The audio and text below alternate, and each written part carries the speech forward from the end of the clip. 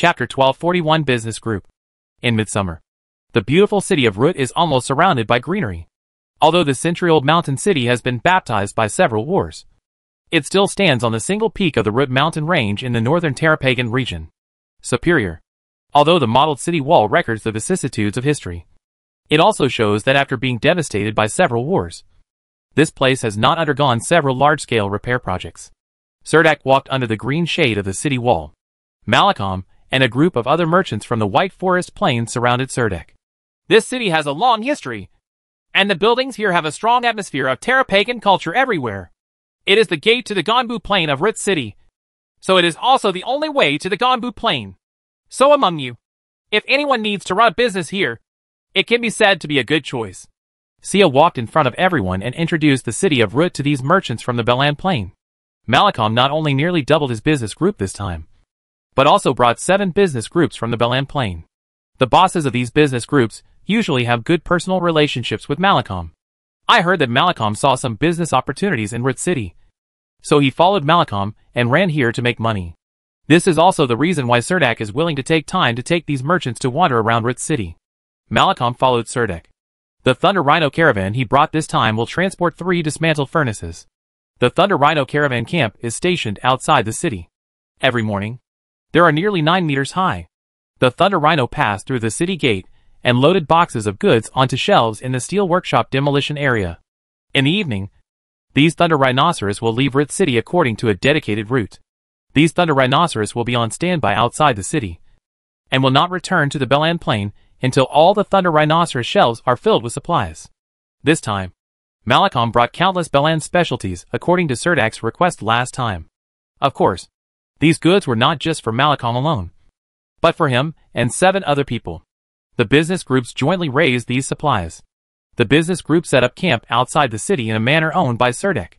This manor was close to the southern wall of Rut. A large amount of supplies were almost all covered with tarpaulin. And the goods were stacked together like a hill. Several business partners were chatting in low voices in the back. They were observing the city carefully. The prosperity here was even far less prosperous than Wilk City. The modeled ancient city walls and uneven stone roads were covered with moss, and moss growing on all sides. Ivy. The slums look very crowded. The streets are full of children who can't even wear pants. And shabby wooden houses are built on top of many buildings. How are the sales of the goods you brought these days? Serdek walked to a house and asked Malcolm. When he raised his head, he happened to see several nobles walking out of the dirty alley and quickly boarding a magic caravan. Then the magic caravan quickly turned around and left at the intersection not far away. Malcolm also watched this scene silently. Then he turned his head and said to Soldak with a smile. Cloth and copper and iron utensils are very popular here. Almost all local business groups purchase them in large quantities. And the prices offered are higher than we expected. It's just that some of the porcelain we brought didn't sell well. Those who can afford the porcelain are local nobles.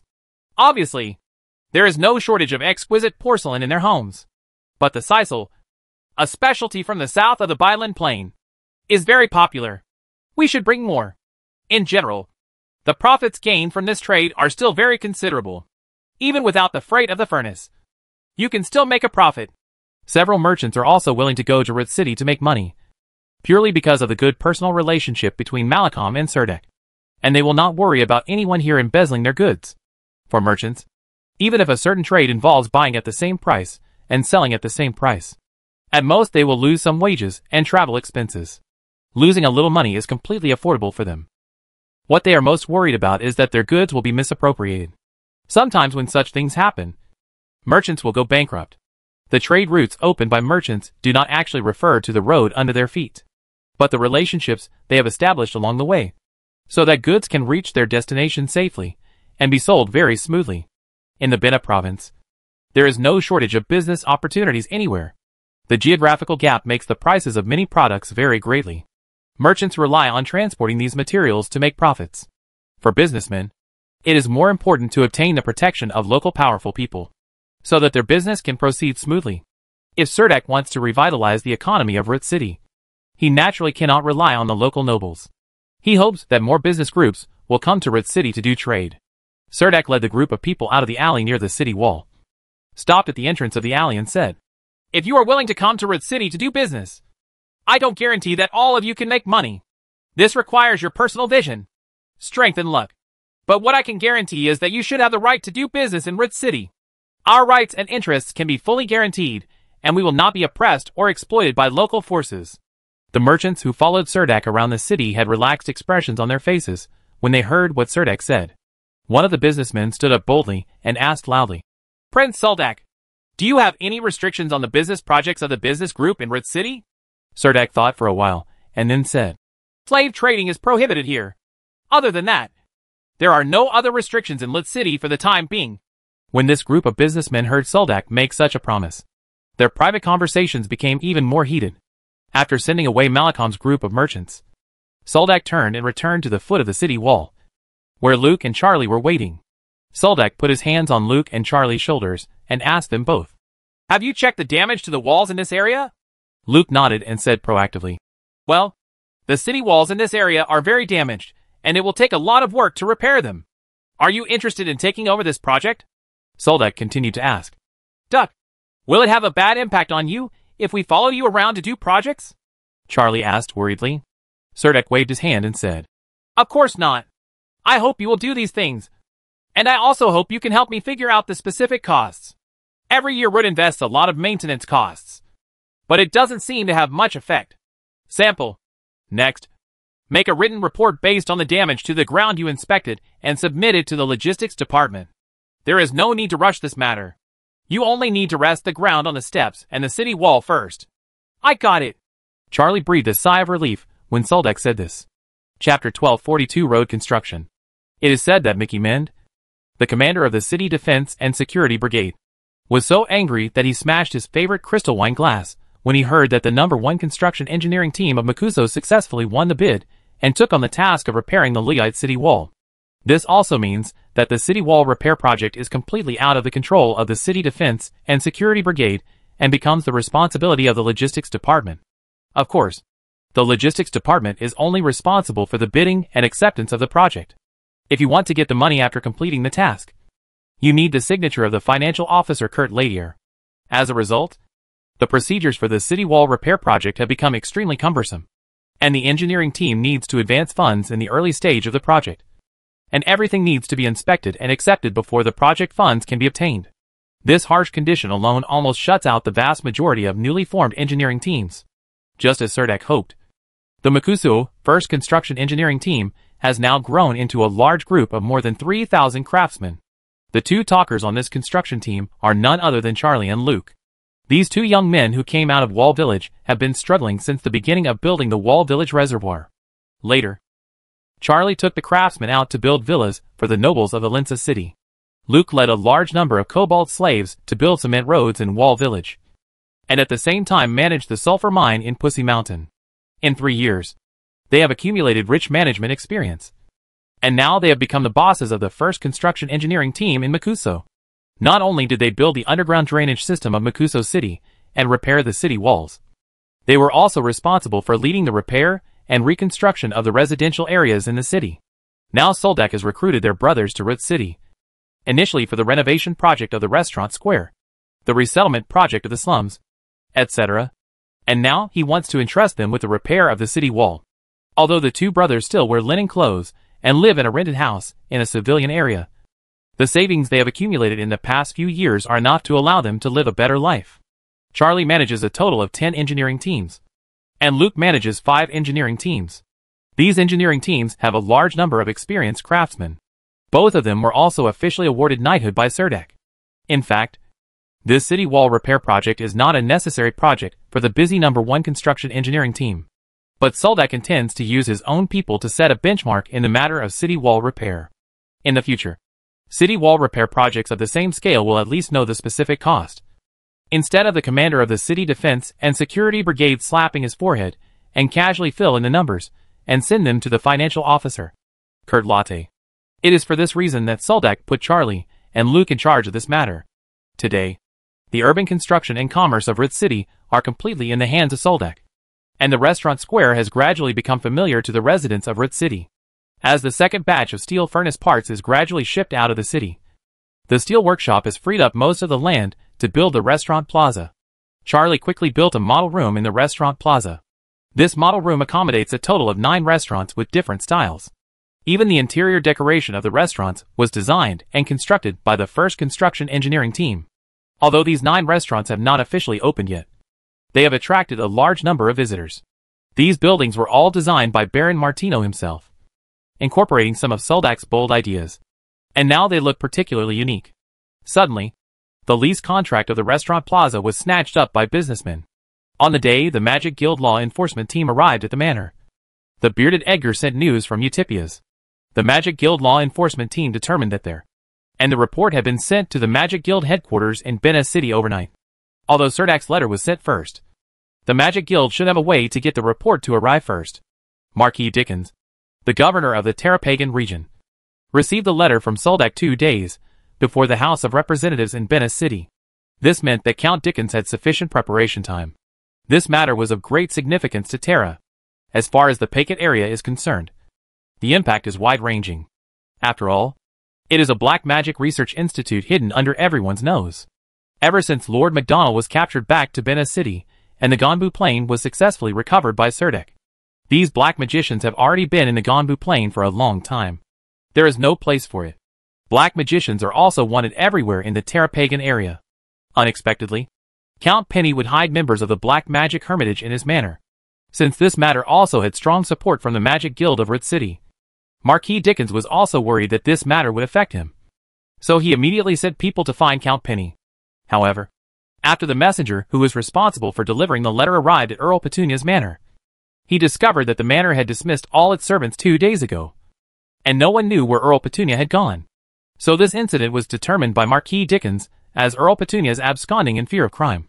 In this way, Earl Petunia became the remnant of Lord MacDonald, and also bore the mark of a rebel. The Bena Province House of Representatives defines rebels as follows. Any territory fought against and recaptured from rebels will be implemented in accordance with the 433 Land Distribution Law. This is equivalent to Serdak's heavy armored infantry regiment capturing Count Penny's Eusebius Manor. Therefore, a large area of territory around the Eusebius Manor that originally belonged to Count Penny was inexplicably assigned to Sir Duck's name. Of course, including this manor. Serdak becomes the new owner of this land which also means that the intercity boundary line north of the Root City Iron Ore area will continue to extend for 10 kilometers to the north, judging from Aphrodite's investigation over the past two days. Although the land around Eusebius Manor is not fertile, it is not as barren as the two small towns in the Iron Ore area. The reason is also very simple. Although this manor is separated from the city of Rip by the crisscrossing mountains of the Iron Ore area, there is a smooth road to the north of the manor that leads directly to Constantinople and the road to the west leads to Collins City, which means that although it is adjacent to Ruth City, due to traffic problems, there is actually no connection between them. But in terms of straight line distance, Eusebius Manor and Ruth City are relatively close. This also gave Serdak a very bold idea. He stood in front of the map, as if studying the mountain roads of the abandoned mining area, in order to be able to continuously transport iron or to Ruth City. The abandoned mining area and Red City a light track was once laid between the special cities for the passage of mine carts. Now this road is almost abandoned. But the roadbed is still intact. If this road is rehabilitated, and the mountains between the abandoned mining area and the Eutypias Manor are opened up, then Red City will be completely connected to the Eutypias Manor. Then from Red City, the road to Constantinople would also be shortened significantly. To this end, he called Baron Martino into the office. And the two studied for a whole day. Then Baron Martino decided to go to the abandoned mining area to conduct an on-site inspection. After all, this involves various matters related to the expansion of Root City to the north. Chapter 1243 Eusebius Earl Petunia and his cronies fled in fear of crime, although they took away a large amount of jewelry, gold coins and magic crystals. They left behind several manors and large tracts of territory. This countess was born into a very prestigious noble family in Collins City and inherited the title from her father. Although she is a female, she has also led her family's private army to participate in playing wars. And with the bravery of her family's army, she has not spell out the Count's identity herself. Earl Petunia had many lovers when he was young, and her husband was a declining nobleman. Such an unequal status made it impossible for him to restrain Earl Petunia. This was also the main reason why their couple finally broke up. The middle-aged Earl Petunia suddenly changed her character. She gave up her arrogant and luxurious life and then ran to the manor to live a secluded life. Some people said that Earl Petunia's life had settled down. No one expected that in one of her most remote manners, she would actually support this group of black magicians to engage in academic research. If in normal times, Count Petunia's behavior would be judged as supporting the Black Magic Monastery at most, and would be blacklisted by the Magic Union. The House of Representatives in Bena Province would not be so boring as to punish a countess for this. But it was not a good time for Count Penny to catch up. The aftermath of Lord MacDonald's collusion with the Black Magic Monastery's independent Gonbu plane had not yet subsided. Her research institute was exposed, let alone that she was just an earl. Even if her last name was changed to Newman, she might not be able to escape from this kind of thing. Soldak didn't expect that Count Penny could be so decisive, abandoning such a large property, and then embarked on the road to escape. Cerdak personally rushed to the Eusebius manor and took over all of Count Penny's properties here. In addition to the manor, there were also large areas of land, mountains and forests, two rivers and a not-so-big lake. Because yeah, there are more than 600 farmers living in Scipia's manor. And they all rent Earl Penny's land. The crops on these lands are not yet mature. But the land has changed owners. So this time Hathaway and Beatrice also came to Eusebia's manor with Soldak. They are responsible for taking over the property. While Cerdak needs to patrol this new territory. At the moment Hathaway and Beatrice arrived at Eusebia's manor and stepped out of the magic caravan. Aphrodite stepped into the gate of the void ending this long summoning that lasted more than a week. Journey of. The carriage stopped in the courtyard that originally belonged to Penny in the manor. This courtyard occupies almost a quarter of the entire manor, and is located in the corner of the manor near the cliff. These houses are surrounded by four domed watchtowers. Unfortunately, due to the long time flies, and some grass grows between the rubble on the walls and roof. Desolation is the biggest feature of the entire yard. Although Hathaway and Beatrice were mentally prepared. When they stepped into the courtyard, they couldn't help but cover their mouths with their hands. The grass in the front garden has grown to the height of a person. And even many trees and bushes have been swallowed up by the grass. This place is more deserted than we imagined. I would rather stay in a tent for one night. Beatrice whispered to Hathaway. The group of people walked to a statue in the yard. Soldak used the broad sword in his hand to cut off some grass in the crevices of the rocks. At this time, the coachman had already pushed open the door of the house. The dust on the door was puffing, floated down, and immediately sprinkled on the coachman's head. This house is located in the northwest corner of the manor. The front yard has been completely abandoned. The back wall is actually built directly from the edge of the cliff. Many windows have semicircular terraces. From the terraces, you can just see the stone cliff below. Hunting grounds. Now the heavy armored infantry regiment led by Edgar is stationed under the cliff. The furniture in the living room was covered with linen and dust was everywhere. Hathaway and Beatrice could only ask the maid to follow them, and lift up all the loose skirts with lace. The house was so dirty that it was almost impossible to stay there. Dak, how many days are we going to stay here? Beatrice asked worriedly. Hathaway took Beatrice's hand and told the maid behind her. Go outside and ask someone to gather all the farmers in the manor. A maid quickly saluted and walked out of the courtyard. Hathaway rolled up the dusty curtains, opened the window, and saw the rolling mountain scenery in the distance and then said, When I have people clean this place up, it will definitely be a nice mountain villa. Come on, let's go see where the place is to sleep. Apart from being dusty, these rooms have no other drawbacks. And the terraces with mountain views are the best feature of the place. Not long after, the maid came in and said that all the farmers were waiting outside the yard. The farmers also heard that the manor had a new owner. When they saw the magic caravan arriving here, they all ran back from their fields waiting for the call of the new owner of the manor. After Soldak checked the house, he left the manor with Gulitum and a few cavalrymen. He needed to look around along the boundary markers of the territory. Hathaway asked people to open the gate of the house. She and Beatrice stood at the gate of the house, looking at the farmers, who were gathering in a hurry. She waited for a short while before walking to the front and facing the gathering. Hundreds of farmers at the gate of the house said, The land, forests, mountains, rivers, and lakes here now belong to Count Cerdak. You will also rent these lands from us in the future. I hope that your harvest on this land will be enough for your livelihood. But you don't have to worry. The land rental fees here will remain the same. In addition, I must explain that in my manner, I do not want to see theft, fighting, fraud, or grabbing other people's property. If someone punishes these regulations, as long as they reach my ears, I will not be polite. Drive him out of the manor. Four maids, a gardener and a craftsman are needed here. The maid only works here as long as we are here. Gardeners and craftsmen usually only need to come here once a week to trim the grass and trees in the garden, repair the grassy stone steps, damaged walls and roofs, etc. Who among you wants to come? Hathaway looked at the farmers and peasant women in front of him. Everyone was relatively new to Hathaway, and they didn't know what to do for a while. So they were all hesitating. I need someone to clean this place for me. Anyone who is willing to work can be exempted from the land rent at home. Hathaway said this casually, and there was some commotion in the crowd.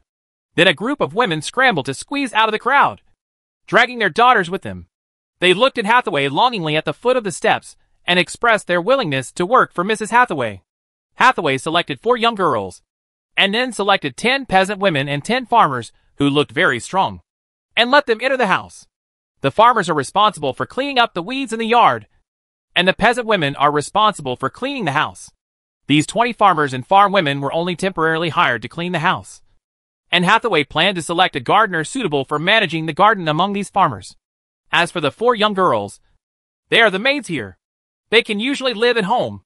Only when Hathaway and Beatrice come here for vacation will they come to the house to do things.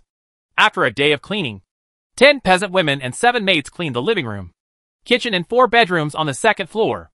At night, Hathaway also used the kitchen in the house to prepare a very good meal. Dinner. Cernak came back very late. The two-headed ogre Guilladom returned to the house and found a large iron pot filled with soft-boiled beef and potatoes. His fatigue was instantly eliminated. He praised the cook's craftsmanship and thanked Hathaway for preparing it. Sumptuous dinner. Soldak tied the war horse in the stable on the west side of the yard, and the coachman quickly gave the horse water and fodder. At night, the stars shone in the night sky of Eusebius Manor, and there was a noisy chirping of insects in the forest. Cerdak looked at the rough front garden that had been cleared. The smell of earth was everywhere, and some weeds were piled up in the yard before they could be cleared out. Chapter 1244 Summer Night On a quiet night, there is no hustle and bustle in Rith City, and no city lights can be seen. To the people living here, Count Petunia is just a name. They know that she is the owner of this mountain, but few have seen her real face. Therefore, the Lord has changed here, and everyone only cares about the land lease fee. It will change, whether the new Lord will take back the land that everyone depends on for survival.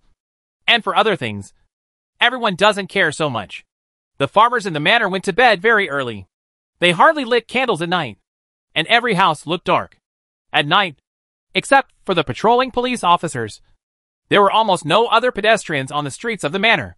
Looking around, only the military camp and the courtyard in Serdek had lights.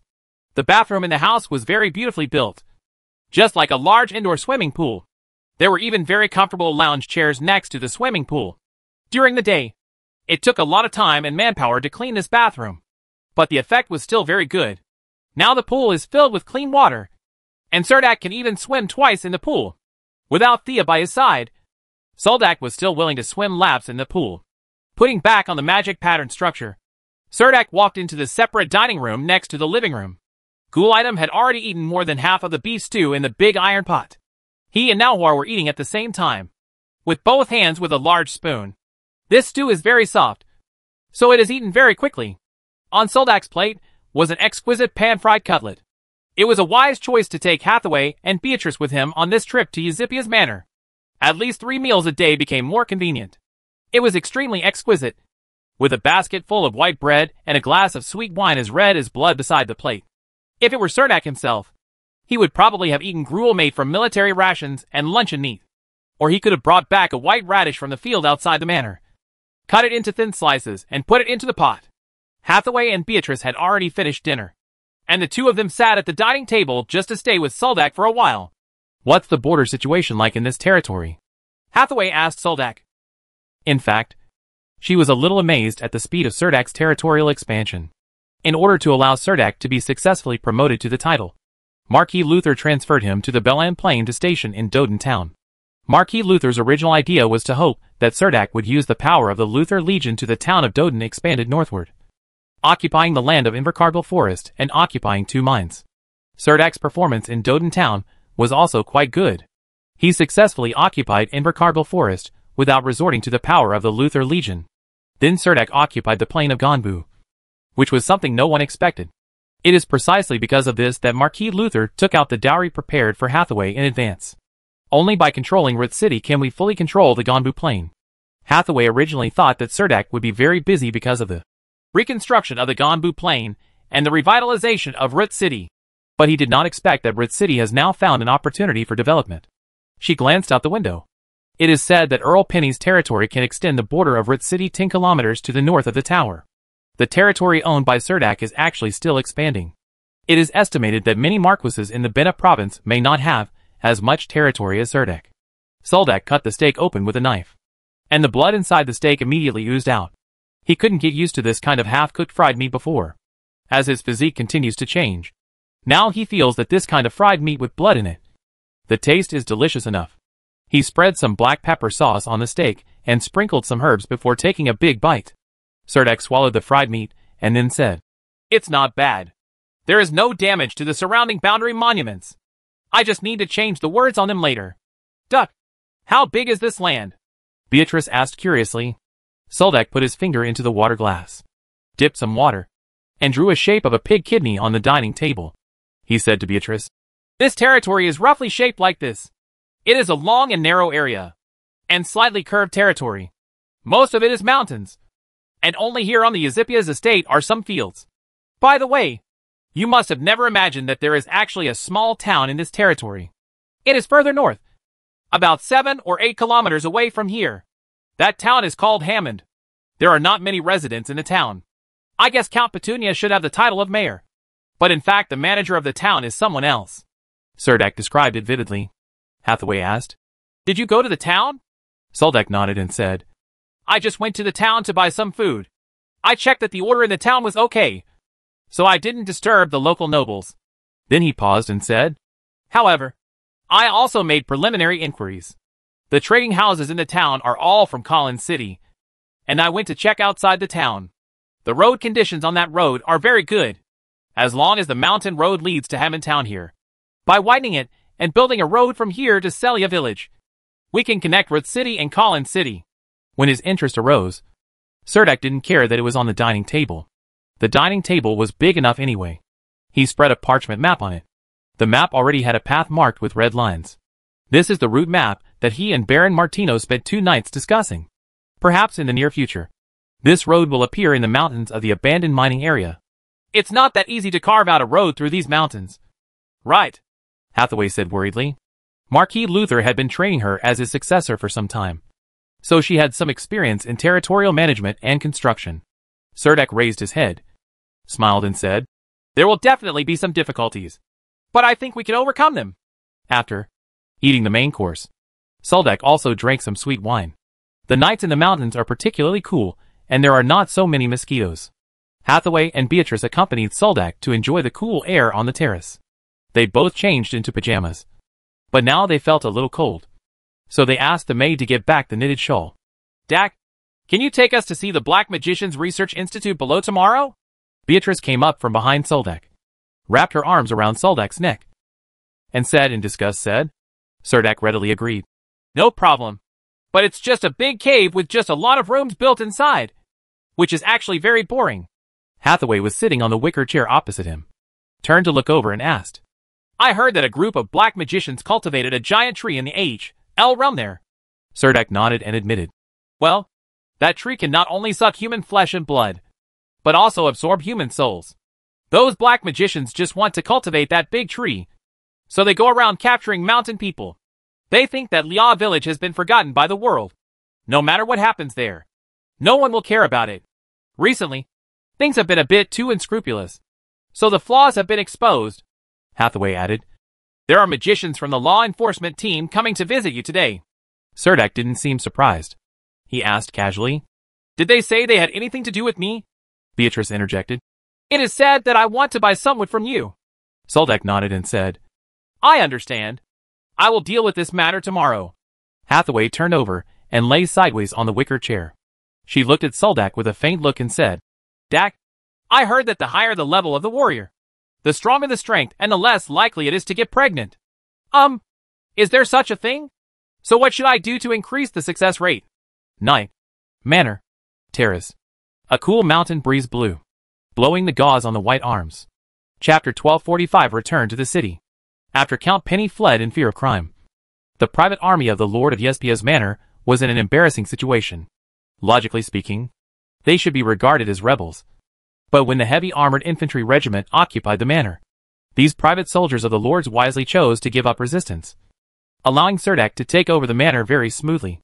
Currently, the question before Cerdak is how to deal with these nearly a thousand private armies of Lords. In recent days, Many private troops have secretly left the military camp one after another, and less than half of the Lord's private troops are left in the camp. Cerdak was not prepared to incorporate them into his Lord's army. These Lord's army had weak fighting will, and he could not trust these soldiers on the battlefield. So the day after Cerdak completed the survey of the territory near the Eusebius manor, he began to remove the garrison in the manor. He gave each soldier here a traveling fee and sent them home. Cerdak only left a 15-member security team in the manor. This security team was not only responsible for maintaining the security of the manor, but also regularly inspected the boundary markers of the manor. At noon, Cerdak received a group of magicians from the law enforcement group. The leader of the magician was Arbok, the head of the law enforcement group of the Root Magic Union. This is a middle-aged magician. He has fluffy black hair and piercing eyes. It can be seen that he has strong spiritual power. Magician Aberk brought a total of seven magicians to Yetzipia's manor this time. They have been staying here for three days. Yesterday, they heard that Suldek had arrived at the manor and came to visit him.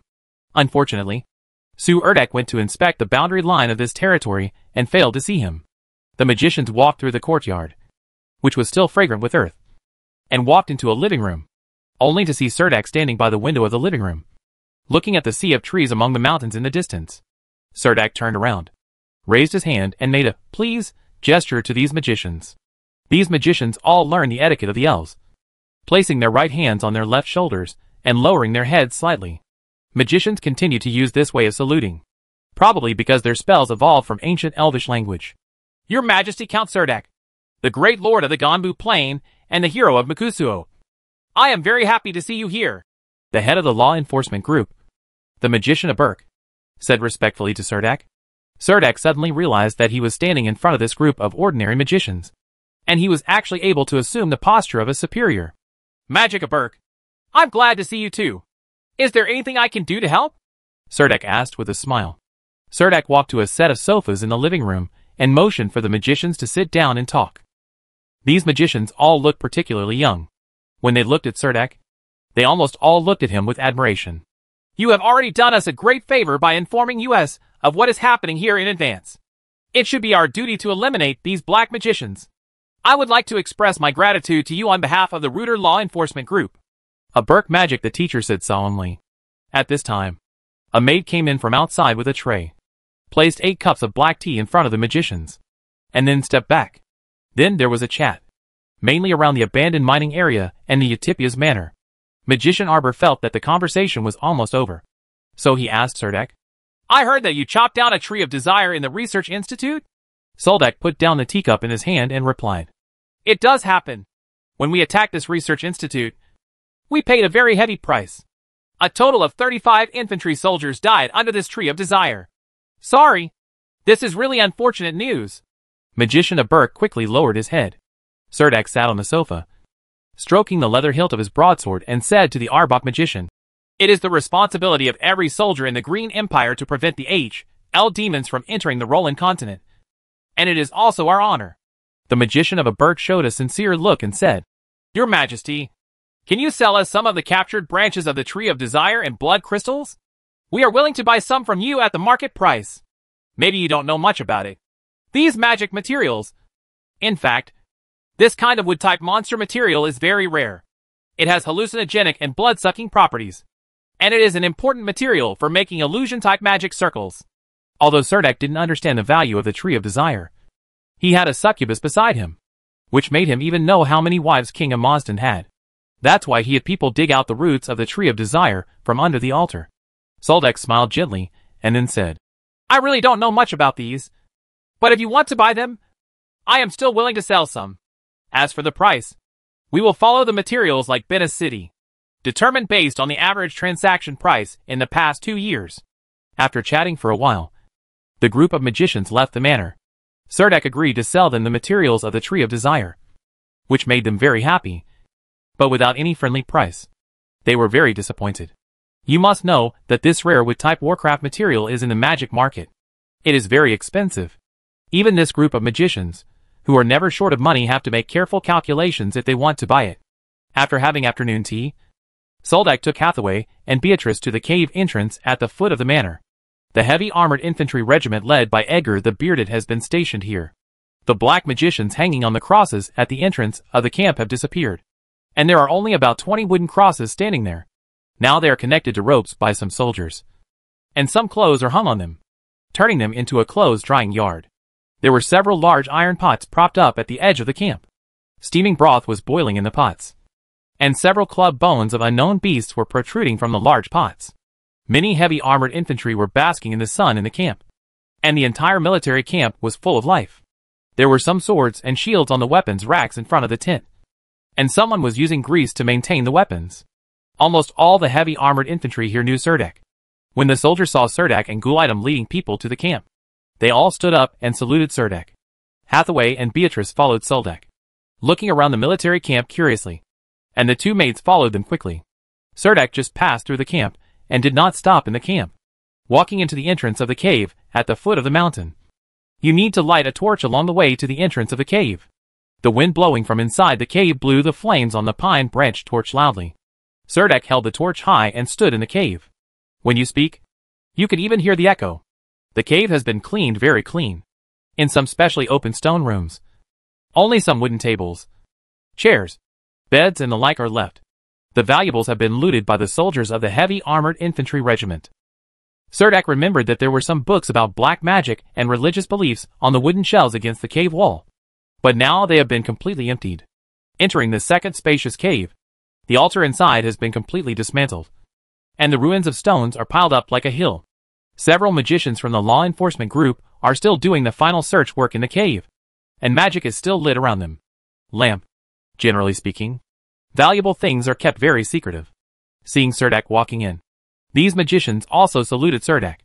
Soldak took Hathaway and Beatrice around the ruins of the altar first. And also described the battle scene in detail. Soldak rarely talked about the scenes on the battlefield and the two women hearing that this tree of desire actually sucked dozens of meters of heavy armored infantry soldiers into mummies in an instant. His face became a little unsightly. Serdek took the two of them around the deepest dungeon of the research institute.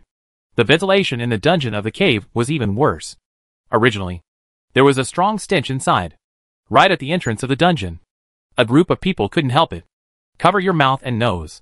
There are no special torture instruments in this dungeon. The black magicians imprison the captured civilians here just to feed blood to the Tree of Desire. Normally, they do not torture these civilians in other ways. Hathaway and Beatrice only stood in the dungeon for a short time before running out. At this point, the visit to the mysterious Black Magic Monastery Research Institute has been completed. This time Serdek came in person to formally take over the Ezipia's manor. When the Lord Army here is completely dispersed, Serdek will to return to Rith City. Bearded Edgar's heavy armored infantry battalion also plans to evacuate Eusebius one after another. The soldiers of these heavy armored infantry regiments will be divided into three groups and return to Makuso City. Hathaway and Beatrice decided to stay at the manor for three more days. They probably wanted to clean up the courtyard of the manor so that they would not have to continue the current cleaning work when they come back next time. On the way back to Rith City, Gulitum sat on the shelf of the magic caravan and shouted to Soldek. This Lord Penny is such a good person. He actually gave you such a large manor. Soldek sat in the carriage and looked out the window at the mountains from time to time. After receiving Baron Martino in the small town in the abandoned mining area, the group returned to Rooter City. Malcolm's Thunder Rhino caravan stayed in Rith City for a week, and almost all the Thunder Rhino shelves were filled with parts from the steel workshop. One morning in early July, the caravan slowly set off amidst the melodious sound of horns. These hill-like thunder rhinoceros finally left Rith City in the manor outside Serdek City. The most that was left was puddles of poop that were larger than a double bed. These thunder rhinoceros excrements were almost piled up into a hill in the manor. And countless flies and dung-moving insects gathered on the dung hills. According to Soldek's request. These excrements were piled up by a group of farmers to form a dung wall more than 3 meters high, 10 meters wide, and 200 meters long. Probably to avoid the stench. This dung wall was covered with even with a layer of plant ash and fine sand sprinkled on it. The stench could not be concealed.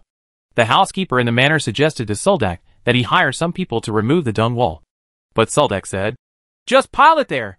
It will still sell for a good price next spring. Chapter 1246 Lively Market Although the businessman Malcolm left with his Thunder Rhino caravan, several Balan Plain merchants, who came to Root City with the caravan chose to stay. They decided to look for business opportunities in Root City and rented shops to open businesses here. For this reason, these merchants also went to Makuso City in the Ganbu Plain to investigate the market there. Since the Ganbu Plain has been implementing a tax-free policy for merchants in the past year, it has attracted a large number of merchants to enter Makuso. Although Makuso's tax revenue is almost zero, a large number of merchants have entered the Ganbu Plain, which has greatly it has stimulated local economic development to a great extent. As Makuso City gradually prospered, Makuso City's one-year tax holiday has ended, and some businessmen without competitive advantages began to look for other ways out. Therefore, a large number of business groups came to Leyte City. It was under this circumstance that the catering plaza developed. Since Root City is the portal exit of the Ganbu Plain in the Daglan Empire, all materials from the Ganbu Plain entering the Daglan Empire need to pass through Root City, which occupies a unique geographical advantage. Many businessmen are optimistic about the geographical advantage of Root City, so they are willing to establish trading houses here. These businessmen on the Balan Plain have also seen this. These businessmen all have their own trading companies in the Balan Plain. If they can open a branch of the trading company in Root City, it will be equivalent to combining two planes. When connected in series, you only need to complement each other to bring you considerable benefits. Especially since they were able to build a network with Count Serdek. They heard that Count Serdek was still a great lord in the Balan Plain. So they were even more interested in establishing a trading branch in Lut City.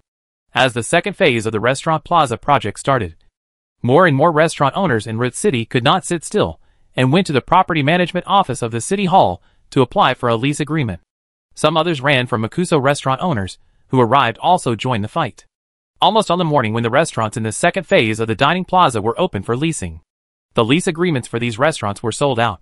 Several restaurants leased to the first phase of the dining plaza have been opened one after another in recent days. Charlie led nearly 500 craftsmen from the first construction engineering team to build the square in front of the restaurant square and the two lanes into a garden style of an aristocratic courtyard. These restaurants look like they are hidden in this gorgeous garden. Charlie even spent great efforts to transplant 12 ginkgo trees that were over a century old from outside the city and planted them in front of the restaurant plaza, forming a clear isolation zone from the street. These century-old ginkgo trees were not easy to transplant. First of all, the trees are huge. If it were not for the help of the Thunder Rhinoceros from the Malcolm Merchant Group, these giant trees would not be able to be transported to the city. Another crucial problem is that the transplant cannot survive. A ginkgo tree of such an old age has a huge root system. Once it is dug out of the soil, it means that the ginkgo tree has died. However, this is not absolute. For some with magicians and druids, as long as they have enough original life, they can transplant these giant trees into a new environment and bring them back to life. Yes, a deal was made between Serdek and the Aberk magicians of the Root City Magic Guild Law Enforcement Group.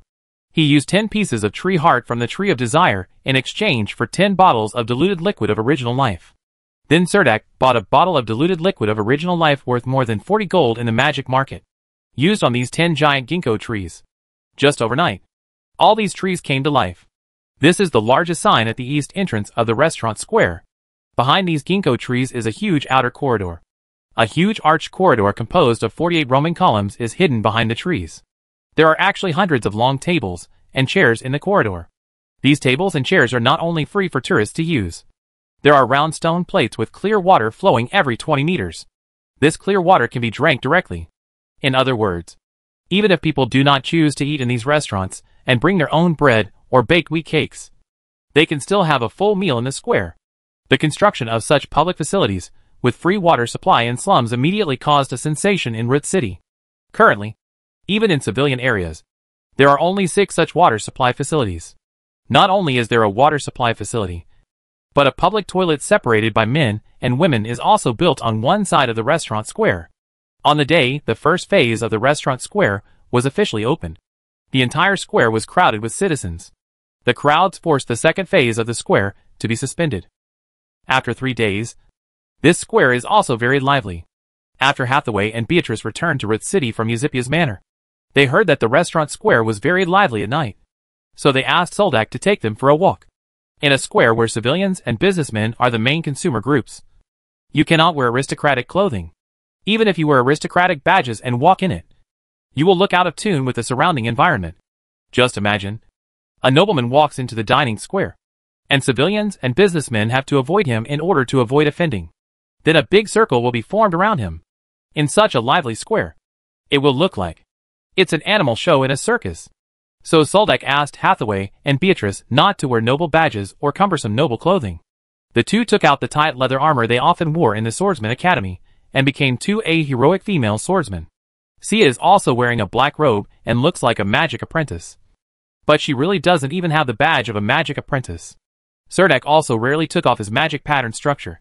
Put on his very old salamander leather armor again. Got rid of the two-headed ogre ghoul item. And arrived in a magic caravan. In the shopping street of Root City. I randomly found an ordinary magic caravan and arrived at the restaurant plaza at dusk. The streets around the entire restaurant square have almost become the most congested area in Root City. The magic caravan moved forward at a high speed on this street. On the last stretch of the road, the three ladies, who had already been a little impatient, simply jumped out of the carriage and walked quickly towards the restaurant square on the sidewalk with constant flow of people. Many girls on the street are wearing the attire of female swordsmen like them, but few of them hang swords on their waists. At most, the wooden handle of the dagger can be seen outside the calf boots.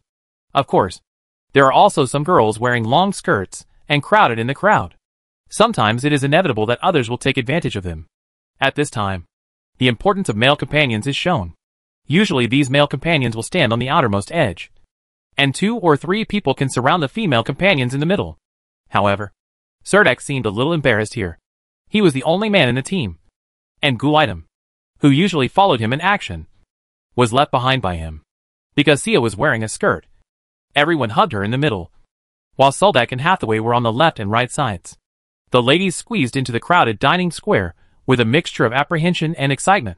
When everyone really squeezed into the crowd, they discovered that there were no dishonest people at all. Although the square was a bit crowded, no one would crowd into them. Everyone would try to avoid physical contact as much as possible. It's not as chaotic as the rumors say. Beatrice held Thea in one arm and Hathaway in the other, looking around in the crowd. Serdek stood on the other side of Sia, and the four of them entered the restaurant square with a crowd of people. As people walked in, everyone found that almost all the nine restaurants were full of diners. And there were even long queues outside several restaurants. Hathaway had no intention of entering the restaurants to eat, but instead was interested in the mobile stalls in the square. I became very interested and tried to buy a little of everything I saw. The delicious ones will be shared with Beatrice and Sia, and the unpalatable ones will be thrown to Soldek. Shia is a picky eater and only eats fish-related foods with lighter seasonings. This kind of food requires high-quality ingredients, so there are almost none in the food stalls. So after wandering around, Shiaya ate the least and Serdek ate the most. At the end of the day, there were still a few paper bags of snacks left in our hands. But we had finally seen the bustling dining square, and everyone returned to the castle contentedly under the moonlight. Finally, when discussing why everyone did not encounter those people, Hathaway and Beatrice both said that the quality of the citizens of Rit City was pretty good. And it was not as chaotic as the maid said.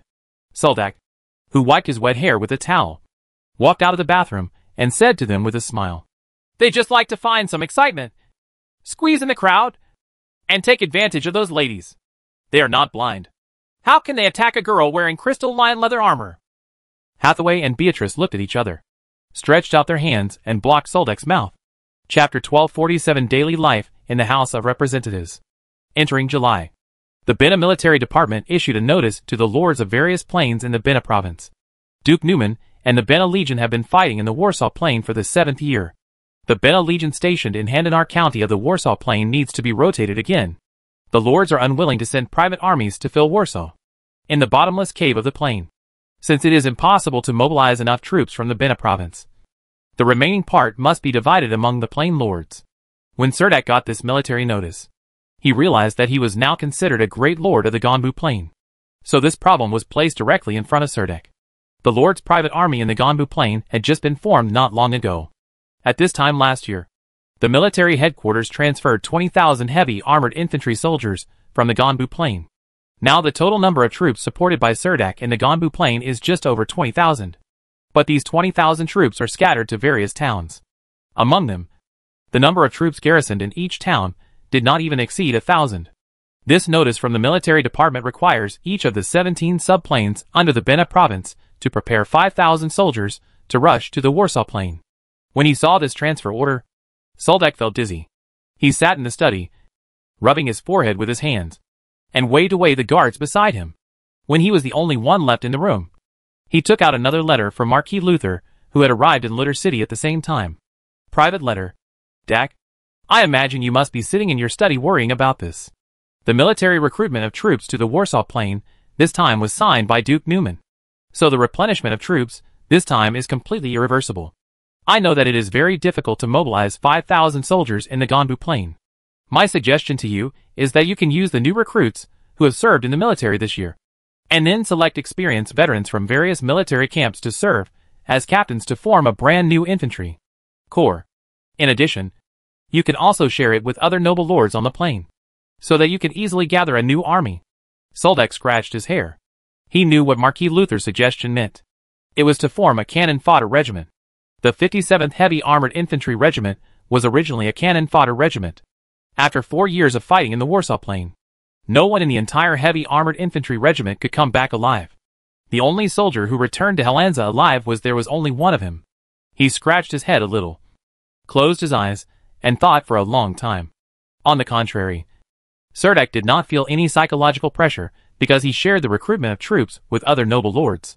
Sia pushed the door open and walked in holding a sheepskin book, and said to Soldak, Dak, the magic caravan is ready. Soldak pinched the corners of his sour eyes, rubbed his face hard to show a relaxed smile, and said to Thea, Okay, let's go! After getting on the magic caravan, he felt the carriage vibrating and shaking as the wheels rolled over the stone road, which made Soldak feel upset. What happened? Sia sat opposite him in a shark patterned dress and asked curiously. The military department issued a recruitment order, and 5,000 troops will be mobilized from the Ganbu plain. The destination is the Warsaw plain. After speaking, Soldak turned his head out of the window. Sia sighed lightly and did not continue. The magic caravan drove past the door of the city hall and slowly stopped in front of the door of the House of Representatives. Dozens of carriages have been parked in the square in front of the House of Representatives. The carriage drivers are hiding in the shade of the carriages. Some are closing their eyes to relax, while others are chatting in the shade. Serdek got off the carriage and walked up the steps to the chamber of the House of Representatives. A group of lords were sitting in the hall, discussing the recruitment order issued by the military. Obviously everyone had their own news channels. And they learned about the news no later than Serdek. The lords were talking loudly about the defeat of the Warsaw Plain in recent years, and the crowd was excited for a while. It seems that the noble lords expressed great dissatisfaction with this recruitment order. At this time, some congressmen hurriedly walked in from outside. Everyone knew that Soldak did not like the congressman in the audience. Being late, the congressman who stepped in on the timeline had to walk a few steps quickly. When all the members were almost there, Soldak walked up to the rostrum, put down the manuscript in his hand, raised his head, and looked around at the noble members. And suddenly the hall became silent. Then Serdek tapped his fingers on the table. And the air in the entire council chamber seemed to freeze. There are six things that need everyone's resolution this time. Soldak began to speak. The members of the House of Representatives secretly communicated with their eyes below. And they were all a little curious. There were really a lot of things that needed to be voted on today. The first thing is that the noble lords of Rith City are not allowed to have any dealings with black magicians. Serdak's eyes became extremely sharp. He looked at the members in the Parliament Hall and continued. I reiterate again. I don't care what transactions the nobles of Rith City have with the Black Magic Monastery in private. But don't let me get the hang of it. Otherwise, I won't be as soft-hearted as the Archon of Collins City. Even if I abandon my territory and flee to other planes. I will send people to capture everyone and hang them on crosses to bask in the sun with those black magicians. Serdek waited for a while and saw everyone at the council table looking at each other and no one raised any objection. After waiting for a while, some members raised their hands one after another, with their palms pointing upward to express their approval. If someone took the lead, other members would follow suit. And the first resolution was passed smoothly. Serdek waited for a while, and handed a parchment document to a clerk. This document required the signatures of all members of the House of Representatives. Then he lowered his head again, looked at the manuscript and continued. The second thing is about the relocation of abandoned iron mine areas. I want everyone in the House of Representatives to actively cooperate with this initiative. I know that some of the members here have some territories in the abandoned mine areas. I ask you to guide the people in the territories. Residents need to move out of dangerous areas. Part of the cost of the relocation process will be solved by the financial department of the City Hall, and the other part will be raised by themselves. Before Soldak could finish speaking, someone on the council seat immediately stood up and objected. Sir Speaker, I have some opinions on this matter. Our Jowett family owns half of the mountain range in the abandoned mining area. Since the iron ore in the mining area was mined out, this territory has not produced any output. For for our family, this territory has become a huge burden, and the residents there do not pay us any taxes every year. But now your decision requires us to help them move out of our own pockets. I think this is unfair. The congressman looked very young. After he said these words, he was also a little excited, and his fair face turned red. Soldak stood in front of the rostrum and listened carefully to his speech before asking other congressmen. Congressman Jowett raised this question. Is it common for nobles who own territories in abandoned mining areas? The congressmen in the audience were a little stunned for a moment when they saw that Soldak didn't say anything. But then, they immediately reacted and stood up one after another and said, Yes, that's it. Sometimes when disaster strikes, we even have to subsidize the civilians. That's right. This will cost a lot of money. In the past few years, we have been fighting wars and supporting the economic construction of Makuso City. How can we, the lords of Leyte City, have any extra money to give to the civilians over there? Build a new home. Sir Speaker, our Glenn family does not have this budget this year. There were actually seven or eight members of Congress who stood up and complained about this matter.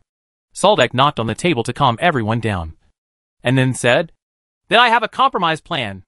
These abandoned lands are a burden to you. Then, as the governor of Rith City. I will expropriate part of the land from you. I guarantee that this part of the land will only be used for construction of civilians. The resettlement area will definitely not be too big, as long as the land is requisitioned. Rith City will compensate the lords with a certain amount of compensation. At the same time, the requisitioned land will become a public area and will not separate your territories. If, if you can actively cooperate with this matter, then the resettlement costs for the civilians in the abandoned mining area will be borne by the city hall. What do you think? The congressman in the audience couldn't help but look at each other. And someone bravely asked, Sir Speaker, does this need to be voted on immediately? Cerdak waved his hand and said, Of course not. I will give everyone a week to think about it. If this plan cannot be implemented, we must consider the issue of the lords, who own territories in the abandoned mining area bearing part of the relocation costs. After saying this, Soldak continued, The third thing is to formulate a code of conduct for the nobles of Rith City. Currently, a large number of business groups enter the Ganbu Plain through Rith City. In order to avoid unnecessary conflicts, I need the House of Representatives to formulate a lawful code of conduct, not only for the common people, but also to restrain the nobles. After Soldak said this, the council hall immediately fell silent again. However, Soldak did not let the MPs vote on this proposal on the spot but gave them some time to discuss it. Then the fourth and fifth proposals began to be announced. It was not until the sixth proposal that the nobles in the House of Representatives became silent. Soldak continued, The sixth thing is about the military headquarters issuing a recruitment order, which requires the Plain Lords to provide a certain number of troops to the Warsaw Plain. The Ganbu Plain and Ruth City are an indivisible whole. So I need you to pass the noble recruitment order of Ruth City. Hearing what Soldak said, almost all the members in the Parliament Hall stood up. Chapter 1248 The Nobles in the City. How can this work? Under Serdak's sharp eyes, the congressman did not have the courage to continue speaking. Once they reject the military recruitment order, these nobles will be destined to miss glory for the rest of their lives. Being able to become members of the House of Representatives means that their family has a place in Rith City. Therefore, the more times like this, the more difficult it is to express one's position easily, especially since this recruitment order was signed by Grand Duke Newman. And Cerdak is the great lord of the Ganbu Plain. Everyone knows the current predicament of the Ganbu Plain. Cerdak's inclusion of Rith City is considered a helpless move. Everyone should show up and vote. If you are willing to accept the call, or feel that this matter has nothing to do with you, you can express your attitude. Cerdak said calmly, and after speaking, he glanced around. Sir Speaker, do you know how much of the army recruitment quota we, look, need to share? The person who had the courage to speak at this time was Senator McMillan of the Ludwig family. Finally, someone was willing to continue talking about this topic. Soldak felt that Senator McMillan was very knowledgeable. So he said calmly, Blueyite City will have a quota of 1,500 warriors. On to everyone. The congressman took a long breath and felt that this number was not very large. After all, the population base of Rit City was here.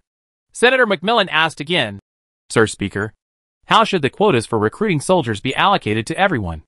Soldak took a deep look at Macmillan and felt that there was usually a lack of such a person in the House of Representatives who was willing to sing along with him. According to the number of residents, for every 200 residents in the jurisdiction, one new soldier will be recruited. In addition, according to the number of soldiers in each private army, as long as the private army of each lord exceeds one squadron, one veteran will be selected for recruitment.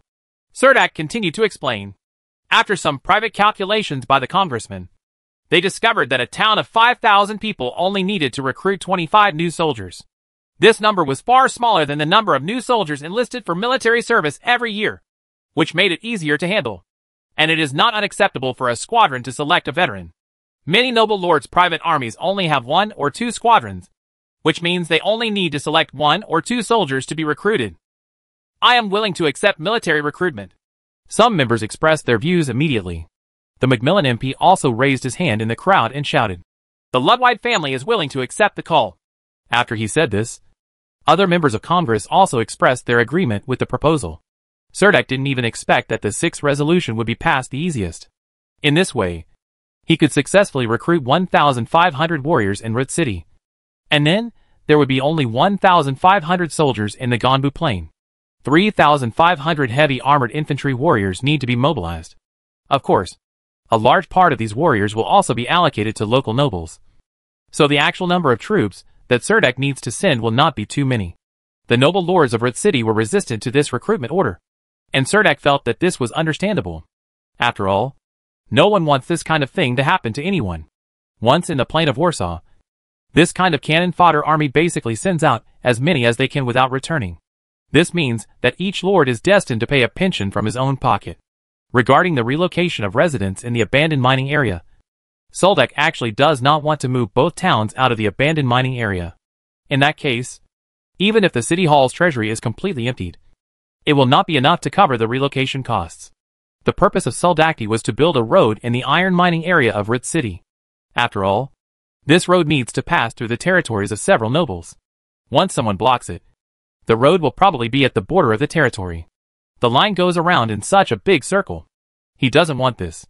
If Serdak only mentioned building roads, this matter would definitely be resisted by the nobles in the House of Representatives in Rit City, who would want their territory to be split in half by a north-south highway. Of course, the nobles must not be willing to spend money. The original idea of Earl Lake Cushing to move the residents of the abandoned mining area to the outskirts of Rit has been delayed for several years and has not been realized. In fact, it was this group of House of Representatives who lawmakers are obstructing. Building this road is not easy. Not only does it have to pass through the territories of more than a dozen lords, but it also has to overcome geological disasters such as collapse and cracks in the abandoned mining area. If you want to build a decent roadbed, the money is not a small amount. That's why Serdek came up with this idea, proposing to let the nobles who own the territory in the abandoned mining area bear a certain amount of relocation costs so he was destined to not agree. When the city hall proposed to carve out a piece of land from their territory for the resettlement of residents in the abandoned mining area, not many people would object. In fact, Serdak just wanted to use the land to build roads. Serdak I feel that this road is destined to become a prosperous trade route. As long as some warehouses are built on both sides of the road, there should be businessmen willing to rent them. Of course, these mining area residents do not need to completely relocate to Ritz City. After all, if so many people relocate, they have to consider livelihood issues. Once this road prospers, it is estimated that it will feed many people in the surrounding area. This is the way Soldak thought of for the residents of the abandoned mining area to get rich. After the nobles of Rit City gradually understood Serdak's temper, they finally understood that as long as he did not do anything that touched the bottom line and everything was in accordance with the rules, the consul was still willing to be reasonable. Next, various forces in the city began to make moves and everyone was eager to establish a good personal relationship with the consul. After presiding over several House of Representatives meetings, Suldek also found that he still needed some supporters anyway, so that he could smoothly implement certain new policies. In order to seek more supporters, Serdek also wanted to contact privately some nobles of Rith City who offered olive branches. During this time, Hathaway received letters of visit and invitations from nobles in the city and the castle, which could almost fill the basket usually used to hold bread. For some old families in the city who want to restore their former glory, the most convenient way is to catch the high-speed train of Serdek. So many families secretly select some capable members of the family. Young people. Trying every possible means to push these young people to Serdek's side. Of course, there are also nobles who want to introduce their daughters to Serdek. So the dance becomes a social activity that Serdek must participate in. Hathaway carefully selected a few worthy invitations to the ball from these invitations, and placed them in front of Soldek. Count Morinod of the Ludwig family invites you to attend the summer night dance held at the manor over the weekend. As far as I know, the Ludwig family is a newly rising aristocracy in the city of Lutter. This the Branch family does not have much background, but they just seized the good opportunity and established many industries in Rith City. Hathaway pointed to the signature on the invitation and said to Soldek. Soldek patted his forehead and remembered the congressman named Macmillan. And then said to Hathaway, I know the surname Ludwide and his family still has a seat as a congressman in the House of Representatives. So? Do you want to try to contact their family? After all, we also need supporters in Ritz City. Hathaway put down the teacup in his hand, sat next to Soldek, and said with a smile to him. Soldek nodded and said, I am deeply impressed by the member of parliament named Macmillan Ludwide in their family. I would like to get in touch with him. By the way, have you finished handling the matters at Yazipia's manor? Soldek asked Hathaway. Hathaway smiled and asked. When will we go there for vacation again? Soldak thought of his road construction plan and replied with a smile. Just wait a moment. When I open the road in the abandoned mining area, then we can take the magic caravan directly to the outside of the manor. The three of them were sitting on the terrace on the top floor of the castle, from where they could overlook the night view of the entire city of Rooter, Nanchung district, which was originally the darkest place in the city at night, has now become the liveliest place in the city due to the completion of the restaurant plaza. The restaurant plaza has also become brightly lit at night. And even the surrounding streets have some bright lights. Wall lamp. Magic caravans line up on the street. Chapter 1249 Noble Ball. The magic caravan that Serdek was riding in slowly drove into the front courtyard of the manor and stopped steadily at the fountain filled with people. As members of the Ludwide family, almost everyone stood by the fountain of the manor to greet him. Around the front courtyard of the manor, a group of nobles from Rith City were also standing on both sides of the steps. The nobles wore gorgeous attire to greet the consul of Rith City. The two elders of the Ludwide family stood at the front.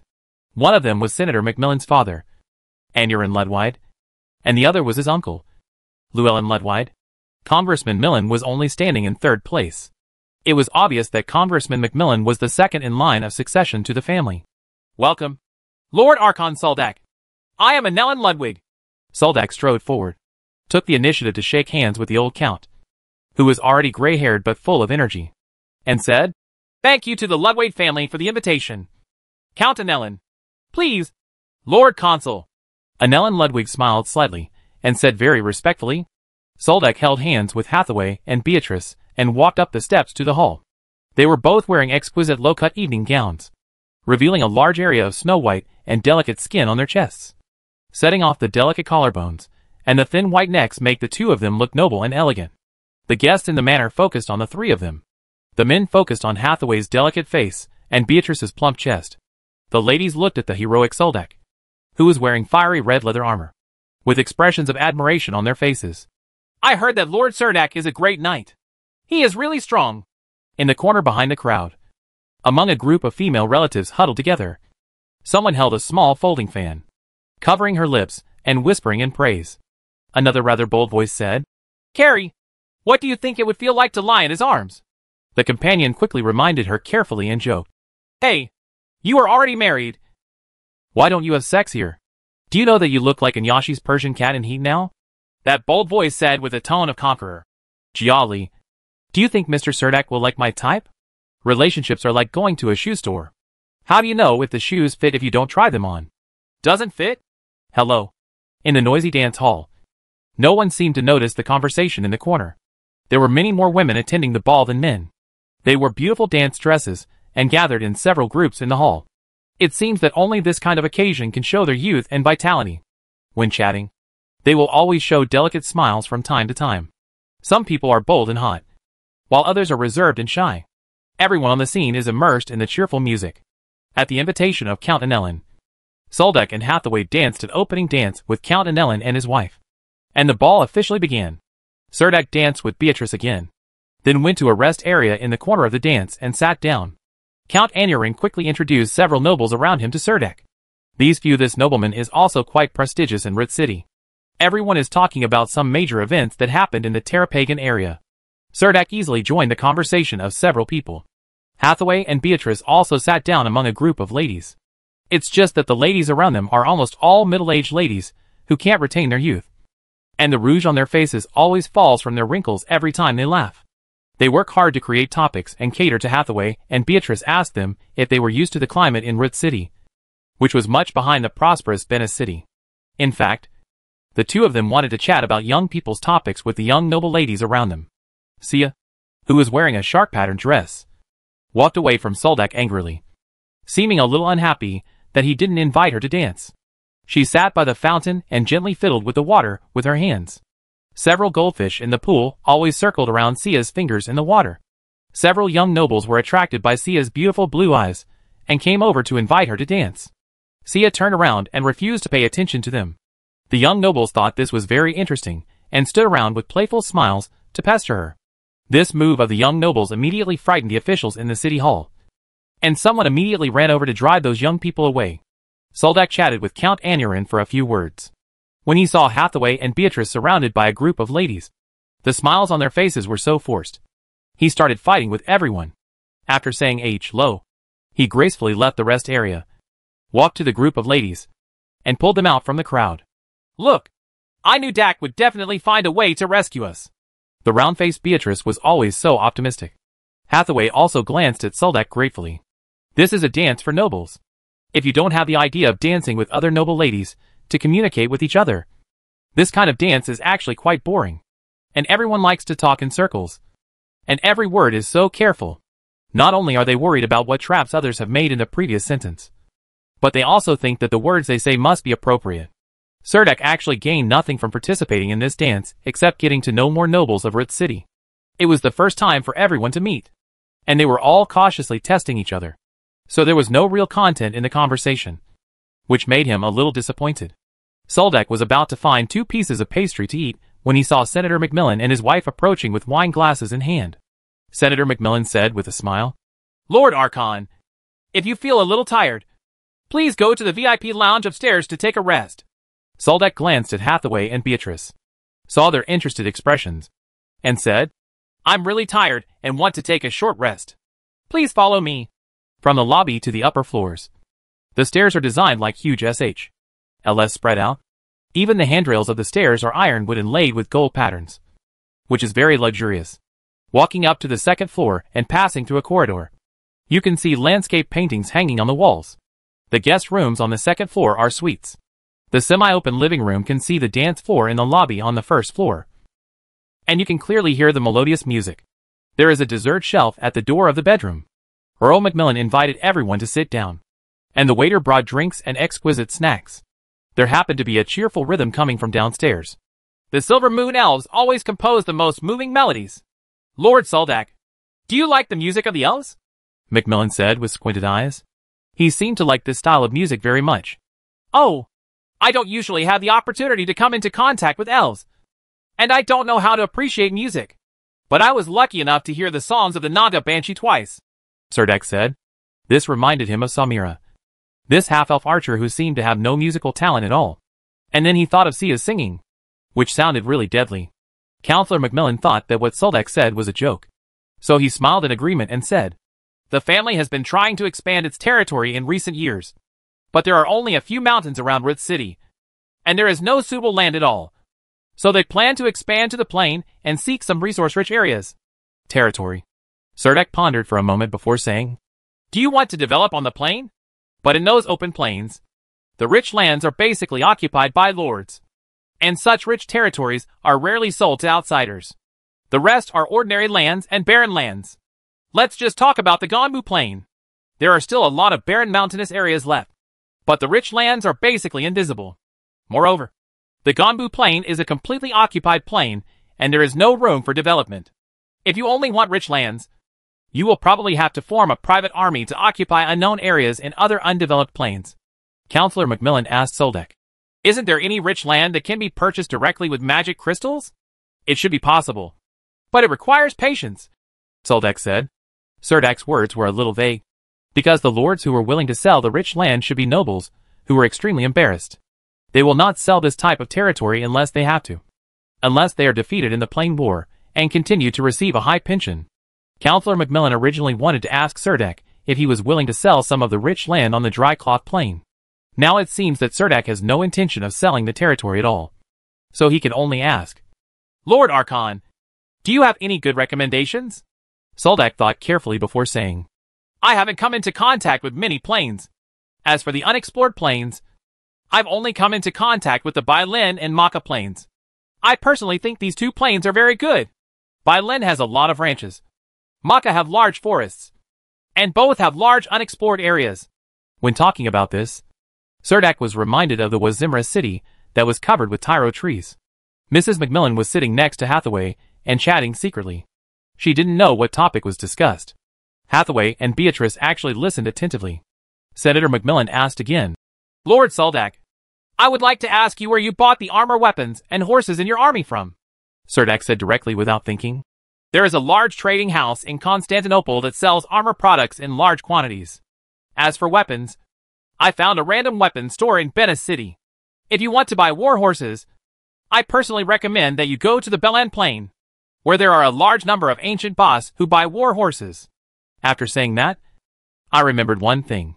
I also have a large pasture in the Ganbu Plain, and the war horse resources are very abundant. Where's the scaled horse? Senator McMillan asked in a low voice. Serdek laughed dumbly and replied, Scaled horse? I guess you have to go to the western province to take a look. Hearing what Soldek said, Senator Macmillan couldn't help but show a trace of disappointment in his eyes. Lord Archon Soldek, do you have any channels to purchase the magic pattern structure? Even if it is purchased at a premium. We can sit down and talk. Counselor Macmillan asked Soldek again. I have, Serdek said calmly. Congressman Macmillan's eyes lit up. He couldn't wait to interrupt Soldek and asked hurriedly, Can you? Serdek waved his hand and said, That trading market is very special. The currency circulating in the market is unidentified black magic crystals. Unless you have enough unidentified magic crystals. Congressman Macmillan sighed again, and then said, The family's business has been doing pretty well in the past few years. They have accumulated some capital, and they want to use the accumulated resources to purchase some territories or form a private army. Go to a certain plain to open up a new territory. I heard that you have a garrison stationed in the Belan Plain. And you have also opened up a territory in the Belan Plain. Invercargill Forest in the White Forest Plain. Serdak answered. Counselor Macmillan leaned forward and said with a longing look on his face, If possible, our Ludwide family hopes to form an army of lords to enter the Belan Plain and follow you to open up the Belan Plain. The purpose is to open up territory. Serdak did not expect that Senator Macmillan not only wanted to learn from him about his experience in forming a Lord's private army, but also set his sights on the Belan Plain. Thinking about the territory occupied in the northern part of the Belan Plain, there is still an ally next to it. It is better than the situation where the neighbors are some ghost-striped red ants and rock birds. After thinking this, he said, There is nothing wrong with this. But since it is a coalition of lords, each of them is responsible for their weapons, equipment, logistic supplies, including post-war pensions. Moreover, when opening up new territories, it also depends on combat merit. The newly formed new army is not it will be a great harvest. If you have sufficient funds, I suggest you recruit some mercenary groups to increase your combat power. Now that we are entering the Belan Plain, the beast tide that occurs once every 10 years has just ended. The northern region of the Belan Plain has ushered in a new round of 10-year development period. There is a vast Three Rivers plain to the east of the Thorny Mountains. Even if it is an area for development, the Anya Swamp to the west is also good land. If you want to develop in the White Forest Plain, now is indeed the best time. Counselor Macmillan hesitated for a moment, then asked, I would also like to ask you, Mr. Archon, is Bailin the next plain you plan to explore? I do have such a plan. When things here come to an end, I will prepare to continue exploring northward along the Invercargill forest. Soldak admitted frankly, but did not go into too much detail. Congressman McMillan obviously got a satisfactory answer, so he was ready to end the conversation. He waved to the butler guarding the door. The butler immediately understood and led two waiters to place a magic sealing box in front of everyone. Counselor McMillan took the initiative to open the magic box. Inside was a piece of cloth with a blue magical luster. Then he said very sincerely, These two pieces of moon cloth are for Mrs. Hathaway and Beatrice. I hope you, Lord Consul, will accept Madam's gift. Chapter 1259 Sitting on the magic caravan. Serdek squinted his eyes. There were no lights in the car, and the watery moonlight shone in from outside. The street lights on the street followed the magic caravan moving forward, like fireflies constantly swooping back. Hathaway and Beatrice may have gotten up too early in the morning. After attending the ball, they boarded the magic caravan and fell asleep on the sofa. Soldak, on the other hand, thought over and over what Senator McMillan said. As analyzed by Hathaway, the Ludwig family can be regarded as a new force that has just emerged in Rooter City. Their family business even spreads across the province of Benna. If Congressman McMillan had not taken the initiative to talk about the family business, Serdek didn't even know that there was such a conglomerate hiding in Root City. At present, the Ludwig family cannot keep up with the development speed of the family industry. Whether it is the development of the family's territory or the formation of the Lord's private army. After all, the first two complement each other. Only when the territory continues to expand and the number of residents in the territory continues to increase can more private armies of lords be recruited. Only by establishing a large enough private army of lords can they obtain a larger and richer territory. The Ludwig family seems to have reached a bottleneck in its development. Their family has accumulated enough wealth, but it lacks the background of a noble family.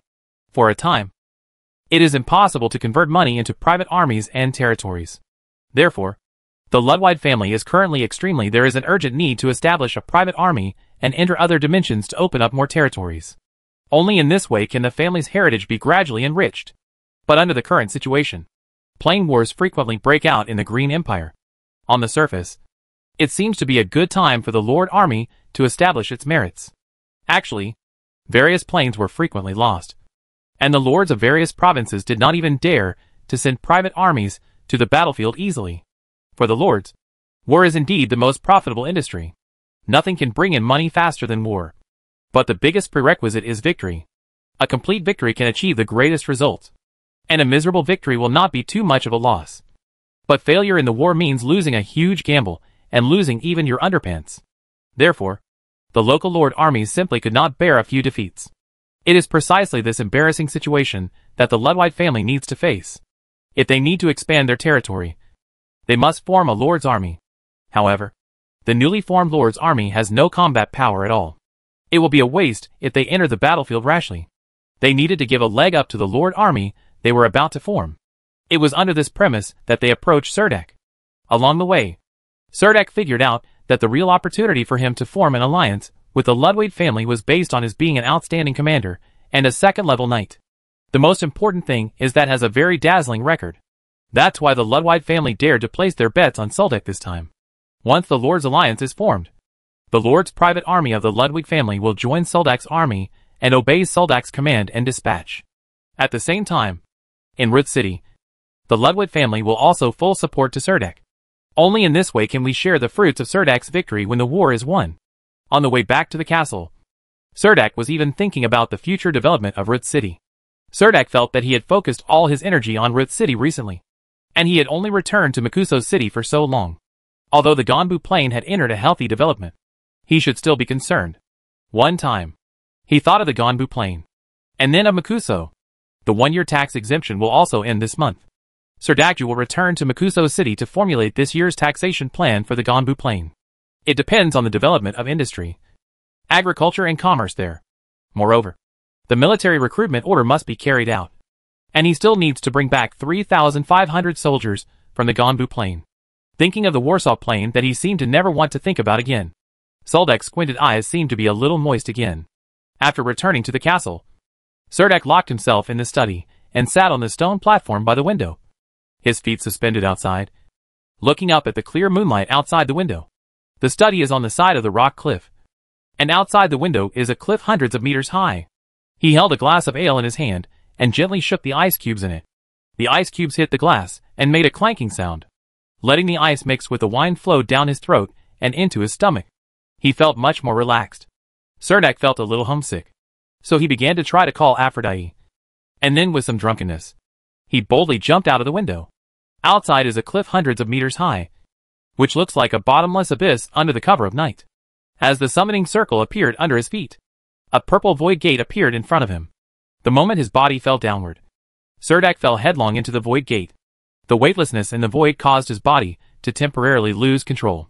It was during this gap that Cerdak fell out of the void gate. The next second, he fell firmly onto the stone floor of the lava mine. The wine glass in his hand also fell to the ground and turned into several pieces of broken glass. He looked as embarrassed as he wanted. Hey, why did you change your appearance this time? Aphrodite squatted next to Cerdak and teased him in a low voice. Cerdak was lying face down and simply turned over to lie on his back. Then he smiled at Aphrodite and reached out to pinch her smooth face. This night, when it was almost dawn, Cerdak brought a bag of red crystals to visit the red dragon Iser. So that the red dragon who put his head into the secret room of the treasure to sleep opened one eye and said calmly. Cerdak asked, Dak, do you know how long it has been since you came to see me? I thought you were about to forget me. Cerdak sat down opposite Iser, and the blazing flame sprayed out of the red dragon's nose just hit his face. How is that possible? Israel, how are you doing in Istanbul? Cerdak said. The red dragon Iser shook his huge dragon head and said helplessly, It's not bad. As long as you don't meet those enemies, your life will be quite comfortable. Looking at the look in the red dragon's eyes, Cerdak knew that its life was not going so well. After sitting down, stuff a large piece of red crystal into the innermost part of the red dragon. Israel was chewing the biscuit like red crystal. Her expression became slightly brighter. But she was still lying there motionless, appearing to have no energy. Chapter 1251 Helence's Sudden Change When Cerdak said he wanted to go back to Wall Village to have a look, the succubus Aphrodite also said she wanted to go back with him. Ever since the two broke through that relationship, Aphrodite seems to have become a different person. This succubus became a little clingy. She and Cerdak rode two ancient Bolin horses along a straight and flat cement road paved with volcanic ash. A thick layer of volcanic ash fell on the concrete road. And two ancient Bolin horses galloped across the road, making the entire road dusty. But when they were about to arrive at Vol village, Aphrodite asked Cerdak to enter the village alone. She waited on a hillside outside Vol village. When she lived in Vol village, she often stayed alone. A man is sitting on the hillside looking into the distance. Cerdak rode along the bank of the artificial drainage channel dug by the kobold slaves and walked towards Wall village. On both sides of the drainage channel, some simple wooden houses could be seen, where some wanderers lived. Inside the wooden house, walking a little further inside, you can see the free market derived from outside the village entrance, which looks like a market. Mayor Bright actually built several rows of two-story buildings around this lively market. The noisy market was filled with a dazzling array of goods. Cerdak even saw some life-related products in the market. Magic rune board. This made him a little surprised. When did the living standard of Wall Village reach such a high level? People could actually afford such light luxury items. Cerdak could actually see some adventure groups near the two-story buildings around the free market. He knew that this was the northernmost point of Paglos Mountain. But no adventure group had been willing to come here before. The road to the market was a bit crowded. So Soldak could only lead the horse and follow the flow of people. The villagers of Wall Village saw him riding back alone. And everyone who knew him greeted him familiarly. When he passed the dead tree in the village, they found that a stone monument had been erected next to the dead tree. Wall Village is clearly written on it. Cerdak walked through the gate next to the dead tree. The inside of the village and the free market were like two different worlds. It seemed very quiet here. The streets were cleaned and tidy. Drainage culverts were built on the streets. And there were rows of two-story buildings. All of them are connected to water pipes. And the spring water flowing from the top of the mountain is directly connected to the homes of every villager. This project plan was indeed originally designed by Soldak. But he did not expect that the old village chief, Uncle Bright, would actually realize it step by step. Looking up, you can see the reservoir hanging on the top of the mountain. The five dams give people a very strong visual impact. Some old people in the village were sitting in the shade at the street corner. When they saw Cerdak, they didn't react at first. By the time they recognized him, Cerdak was already walking along the street. Got home. Knocking on the large painted iron door. A familiar reply came from inside, followed by the sound of light footsteps approaching from far away. Natasha pushed the door open, poked half of her pretty face out of the door, and looked at go to Serdek and stand outside the door. Her big shining eyes blinked, and then she looked up at the sun in the sky. Her beautiful eyes were full of surprise, as if she was asking, Why are you back at this time? Serdek smiled, opened the door calmly, and then stretched out his arms to Natasha. Natasha was a little excited and happy. She quickly took off the apron from her waist, threw it aside, and quickly stepped forward and rushed into Soldek's arms. Soldek put his arm around her waist and turned her around, finding that her waist was still so slender. Isn't it a little strange why I came back at this time? Serdek asked in a low voice against Natasha's earlobe. Hmm. Natasha snorted softly from her nose. Soldek said to her affectionately in a particularly low voice. I miss you so much. So I couldn't wait to run back just to see how you were doing. Natasha could no longer resist Soldek's sweet words. Hugged Soldek tightly, buried her head in his neck, and spoke to him affectionately. We are living a good life. That is, people in the village always have to salute when they see me. And they don't communicate like before, as if we are becoming more and more distant. Hearing Natasha say this, Serdek could only sigh softly, and he would not change anything about it. That's because you have become nobles. But they are still commoners. This is inevitable. Serdek said casually. When I walked into the yard, I saw little Peter standing in front of the training wooden man, sweating profusely, practicing chopping. Moreover, the wooden sword in his hand could already make the sound of breaking the wind. Soldek let go of Natasha and strode towards little Peter. Little Peter seemed to feel something and turned around suddenly to see Serdek standing there. He walked across the courtyard toward the practice field. Dak, you're back. Little Peter put the wooden sword back into the scabbard on his waist, and then ran quickly towards Soldek. Like a cheerful deer, Soldek grasped little Peter's waist with both hands and lifted him suddenly above his head. Every time Soldek saw little Peter, he would see how well he was practicing his sword skills. Now little Peter's teacher is Knight Danila. Although this uncle is only a knight, he is enough to become little Peter's teacher. Serdek could see that Danila taught very carefully. It had been a long time since he had seen little Peter. This time, Serdek found that he had grown up a lot, and his body even had the ability to control power. Come on, Peter. Let me see the results of your latest practice. Soldek put little Peter down, reached out and pulled out a wooden sword from the wooden stand, took two steps back, and assumed a defensive posture. Little Peter was very excited and pulled out the wooden sword from his waist. He first took a stance and held the wooden sword firmly, and then took a step forward. At the same time, he controlled the wooden sword with both hands and slashed forward.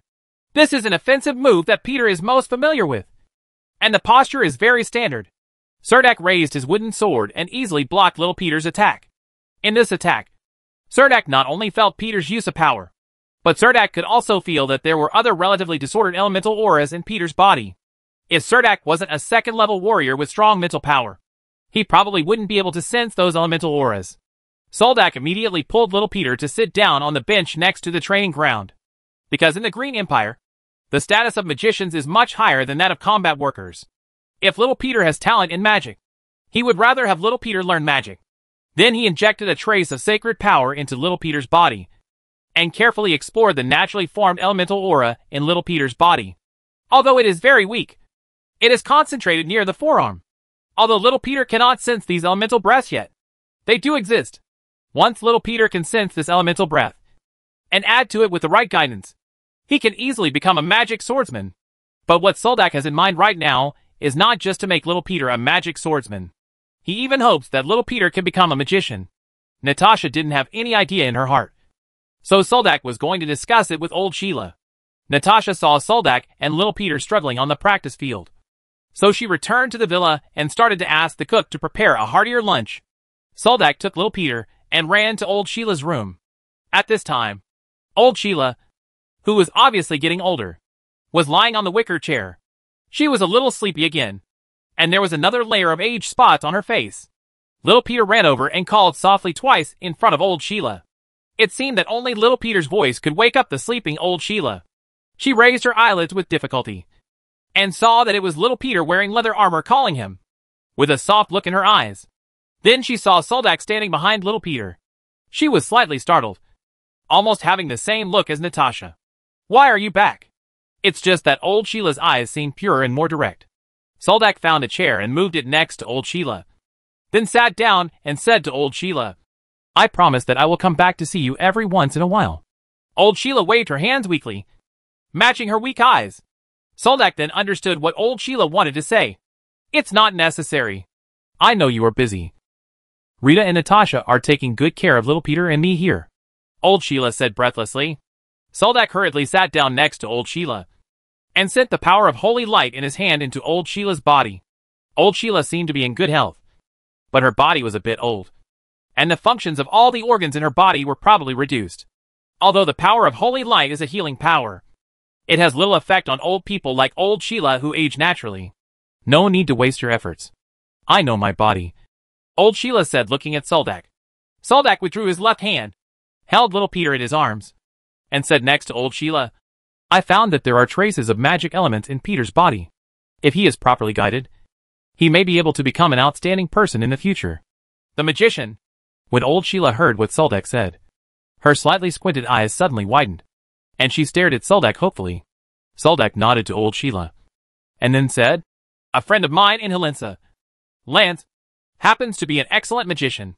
I can entrust little Peter to him and ask him to help him now. He carries out spiritual guidance and then learns meditation. So that he has a greater chance of becoming a magician. Old Sheila wanted to sit up, but her arms were unable to support her body. She tried but failed in the end, and could only lie down on the wicker chair helplessly. Cerdak immediately said, I am going to let him participate in the magic awakening ceremony at the age of 12.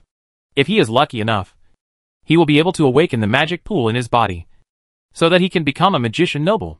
Even if you can't awaken, it doesn't matter, you can just go to Jean Jean Academy. Soldak added another sentence. Old Sheila nodded to Soldak, indicating that his decision was okay. Soldak stroked little Peter's head happily and whispered to him, Peter, you must study hard when you get to the city. From now on, this place will belong to you. The whole deserted land. Although old Sheila was somewhat prepared, she was still shocked by Soldak's words.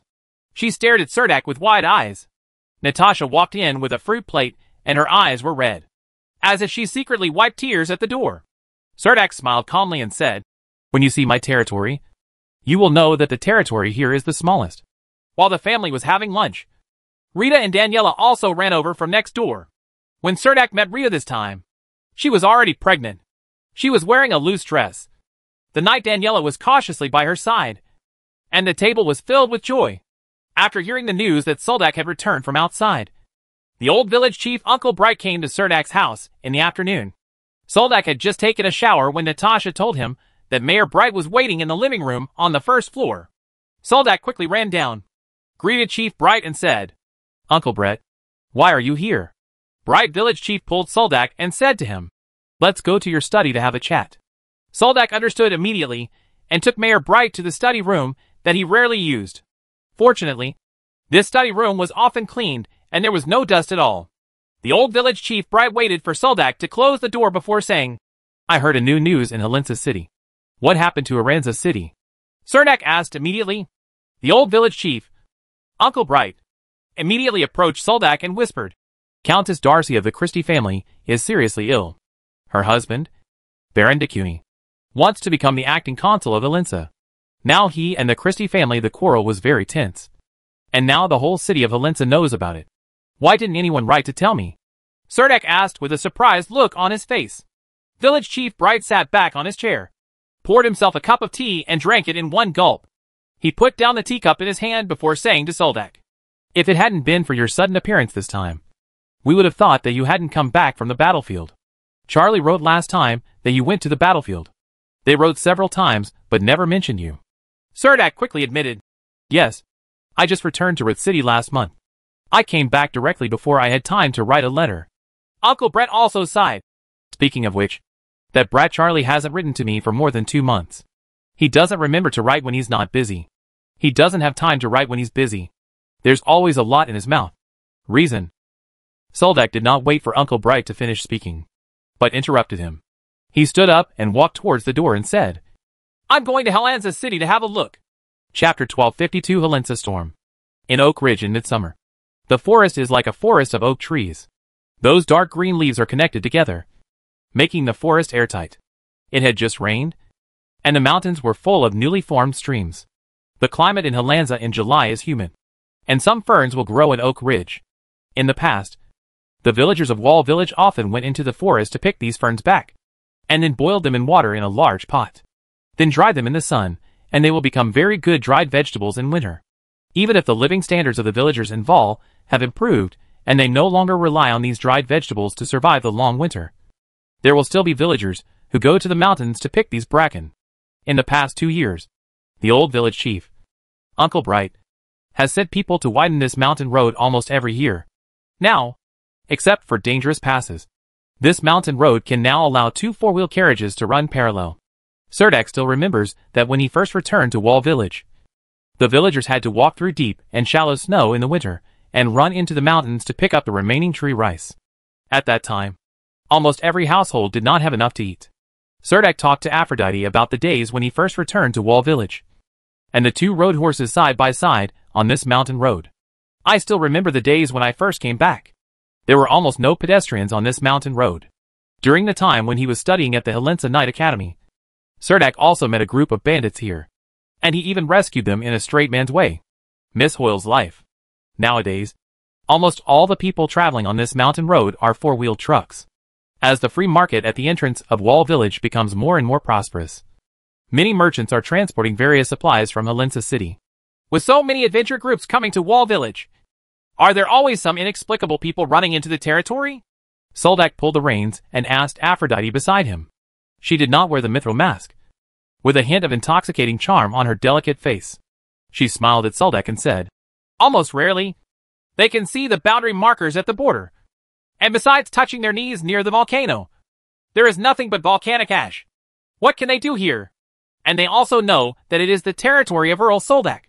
There is a sulfur mine in the territory. The mine supervisors patrol along the boundary markers every day. So basically no one will be willing to wander in your territory. Serdek asked her. Would it be boring to live alone in the mountains? Aphrodite smiled slightly and then said, How could it be one person? There are so many kobold slaves and overseers from Wall Village over there. The two climbed over the last mountain ridge. And the city of Halanza finally appeared in sight, halfway up the mountain. Seeing that the city in front of him was still the same as before, Soldak felt very emotional. This mountain city hidden deep in the oak forest had hardly changed in the past few years. Into the familiar mountain city. When passing the city gate, Serdek also met a group of guard camp knights. The officer leading the team on horseback was also a familiar face. However, few of these young guard camp knights knew Serdek. When they saw the count badge on Serdek's chest, they immediately pulled the reins of their horses and asked the cavalry to stop. All guard camp knights, the knights were all giving a military salute to Serdek. Serdek also responded with a military salute in a formal manner, then rode his horse and walked over, smiling at the guard battalion officer at the front of the team and asked, why haven't we seen each other for so long that we have forgotten all our old friends? Are you Count Soldak? Jasper looked at Soldak in surprise. At this moment, he didn't know what to say. Dak, when did you become an Earl? Serdek laughed and said. It was almost this time last year. Jasper, congratulations on your finally being promoted to a squadron leader. Jasper had a wry smile on his face. When he and Carl competed for the position of squadron leader in the guard camp, it was because Carl took the position of squadron leader away from him, with the help of Serdek. Unexpectedly, Serdek would become an earl in just two years after leaving Halensa. Soldak's friendship with Jasper was very average. So he asked him, Is Carl in the city? Jasper immediately replied, Yes, but he is off today. I guess you should know where he is. I know. Thank you. Soldak nodded to express his gratitude. After entering the city, Soldak checked into the hotel in Garden Square as usual. When I came to the square garden, I found that the low shrub wall in the garden pond had been removed at some point. Now there is a small light yellow flower planted in the flower pond, which makes the area of the garden square look much more open. There were a few more vendors on the street, but the hotel was still the same. Serdek walked around the main entrance and rode into the backyard. Looking through the arched door, he saw the boss Cohen and the groom were cutting hay in the yard. The Walda stables nearby were actually crowded with horses. Boss Cohen raised his head and glanced at Soldak. But in his busy schedule, he didn't even notice the noble badge on his chest. Showing an honest smile, he said to Soldak, Dak, leave the horse here. After hearing this, Suldek agreed, handed over his and Aphrodite's two horses to Boss Cohen, and then took Aphrodite to the reception hall on the first floor of the hotel. Mrs. Cohen, the proprietress, saw Serdek and Aphrodite walking in from the outside. She was surprised at first. She couldn't wait to get her plump body out of the chair, and her white chest even moved back and forth in the thin gauze dress. Shaking. But when she saw clearly that the noble badge on Serdek's chest was shining with golden light, and Aphrodite's mithril mask behind her, the silver cup filled with ale in her hand shook violently, dropped to the ground. The ale spilled on the counter, and she hastily wiped it with a rag. Lord Earl Dark! After Mrs. Cohen said half a sentence, she immediately realized something was wrong and immediately changed her words. Suldek didn't even stop. He walked directly to Mrs. Cohen, gave her a big hug, and said kindly to the somewhat helpless Mrs. Cohen, Mrs. Cohen! Long time no see. Then Mrs. Cohen's movements became a little shaky. She felt like she was a little drunk. When climbing the stairs, she even didn't know which foot to take first. It's still the room on the top floor. The room is clean and tidy, and the windowsill of the attic is full of flower pots. Mrs. Cohen opened the door to the room and gave the key to Suldek. After confirming that they did not need afternoon tea, she went downstairs. Serdek saw that there was only a large double bed in the room. So he laid down on it. Aphrodite opened the window, smiled and said to Suldek, I have always suspected that this is the place where Mrs. Cohen secretly dates with her lover. Only when you come will you take out the key and open this room. But now it seems that it should be an ordinary VIP room. The succubus, who was in a good mood, gave Mrs. Cohen a very fair evaluation. When I came to the Magic Guild in Halanza City again, I discovered that this magic tower, which was as hollow as a shopping mall, looked so old. When Suldek reported Lance's name, he almost didn't have to wait too long. Lance hurriedly ran down the stairs, rushed into the reception hall on the first floor, and came to the magic tower. There were a lot of people doing things at the side, so he avoided the crowds and quickly ran to Suldek. The two hugged each other tightly, and were always extremely happy to see each other as old friends. Dak, you're back. Lance knew that Serdek had been recruited into the big battlefield. So he was so surprised when he saw Serdek this time. After all, it was known as the tomb of the second-turn strongman. Well, Lance, how have you been lately? Lance pulled Suldek to sit down on the sofa in the corner. And Serdek took the opportunity to ask. Not bad. Have you seen Carl? Lance forced a smile. And then asked Suldek. Not yet. I heard that he had a day off today. So I didn't go to the guard camp to look for him. Suldek said. Lance rubbed his hands in embarrassment. And then explained to Suldek in a low voice. Actually, Carl has been resting for several days. To be precise, he has been suspended for a while. Serdek looked surprised. Although Carl was only a noble baron, the casement family behind him was considered a prominent family in Halensa city. Even if he made some minor mistakes, he should not be suspended. What's going on? Serdek asked with confusion. Lance continued to whisper. Mrs. Mariana Christie is no longer responsible for managing the affairs of the Christie family. Carl was also targeted. So he was suspended. Lance said in his tone that this involved an internal struggle within the Christie family. It was obvious that Mrs. Mariana Christie had been seized of power. Moreover, in order to attack Mrs. Christie. Her lover Carl was also implicated, and even suspended from his duties in the guard camp. Where is Carl? Take me to find him, Suldek said with a gloomy face. He clearly remembered that when he came to Halensa city alone. It was Carl who was the first to reach out to him. He should be hiding in the tavern now, Lance said and stood up. Serdek also stood up with Lance. The two walked out of the magic guild and found a magic caravan on the street. Serdek tied the horse to the back of the magic caravan, and the two boarded the car. He introduced to him the recent situation in Halensa City. In fact, when Marquis Bernard Christie was seriously ill, Marquis Bernard couldn't wait to give up the position of Marquis to Darcy Christie. Darcy also hurriedly took the position of consul of Halensa City. Bernard when the Marquis de Marquis was alive. No one among the nobles in the city dared to stand up against Darcy Christie. In the past two years, Marquis Bernard's health has been deteriorating. Last winter, he finally failed to survive the harsh winter and ran to see the Statue of Liberty. After the death of Marquis Bernard, Darcy Christie's life in the city of Halensa was not so easy. The nobles in the city were unwilling to hand over Halensa to Darcy Christie's management due to various distrusts. In order to convince the nobles in the city, Darcy Christie did everything herself. Although she worked very hard every day to handle Halensa's daily work. there were still several mistakes. In order to make up for the mistakes she made, Darcy Christie collapsed in infinite anxiety and excessive fatigue. In this way, the nobles felt that Darcy Christie did not have the ability to manage a city. At this time, someone in the Christie family took the opportunity to gain power and remove Darcy Christie's power within the family. And Darcy Christie's long-lost husband suddenly appeared in Halinsa City. And his second wife turned out to be a widow of the Dunstan family, a great nobleman in Benna City. Because Darcy's husband was from the Dunstan family. With his support, he actually wanted to become the governor of Halinsa City this time. Cerdak was a little stunned when he heard this. He didn't expect that the management of Halinsa City would be so rotten. The magic caravan stopped at the door of the tavern. The tavern also had a closing sign, and the door was closed. Lance took Soldak in the back door in a familiar manner. There were almost no lights in the pub, and all the windows were closed with wooden boards. So the room was very dark. There was only a candle lit next to the bar. Carl sitting side by side with Mrs. Christie on a high stool. The proprietress of the pub was drinking with the two of them. Hearing the footsteps, Carl looked back drunkenly. Lance led the way. Carl recognized Lance at a glance and asked him, Lance, why are you here at this time? Don't you have some important experiments to do today? Lance moved his body away, revealing Serdek behind him, and then said to Carl, Look who I brought here. Dak, are you back? Carl shook his head first, then felt that he was not awake enough rubbed his eyes hard, and then asked doubtfully. Soldak walked up to the drunken Carl, hugged Carl tightly, and then said to Carl, Yes, I'm back.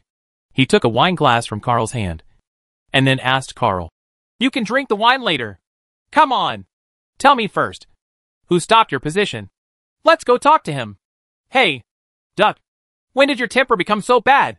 Carl patted Soldak hard on the back and motioned him to sit down first. It'll be great if you come back. Otherwise, I'm going to write to Selina to see if he has any news about you. There was a relaxed look on his face, and he put a hand on Soldek's shoulder, said with a relaxed expression. Then he turned to Mrs. Christie and said, Now that Soldek is back, Mariana, you don't have to worry about Darcy now. Let Dak go and treat Darcy. How powerful is his holy light technique? All injuries can be saved. Chapter 1253 Tavern. The lights in the pub were dim, but Carl rarely smiled. Seeing Carl's friends arriving, the proprietress lit up a few more magic wall lamps around the bar, making the area around the bar even brighter. Mrs. Mariana Christie's face was slightly red, and it looked like she had drunk a lot of wine. Carl seemed very happy to see Cerdak return to Aranza. He put his arm around Cerdak's shoulders and sat in front of the bar. He asked the landlady to open a new barrel of ale, and the two drank a lot of it. Cup, how was your harvest after coming back from the big battlefield this time? Carl asked Soldak and punched him in the chest. Cerdak smiled and replied, It's okay. Carl asked with some worry. I heard that this kind of transfer order happens once every once in a while. There should be a long rest period, and the battlefield is not as dangerous as the rumors.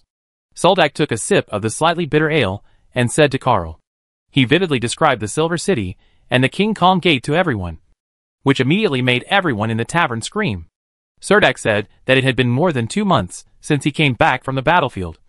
And he had been handling affairs in the city hall there in Ruth City. This time he returned to Wall Village to visit relatives.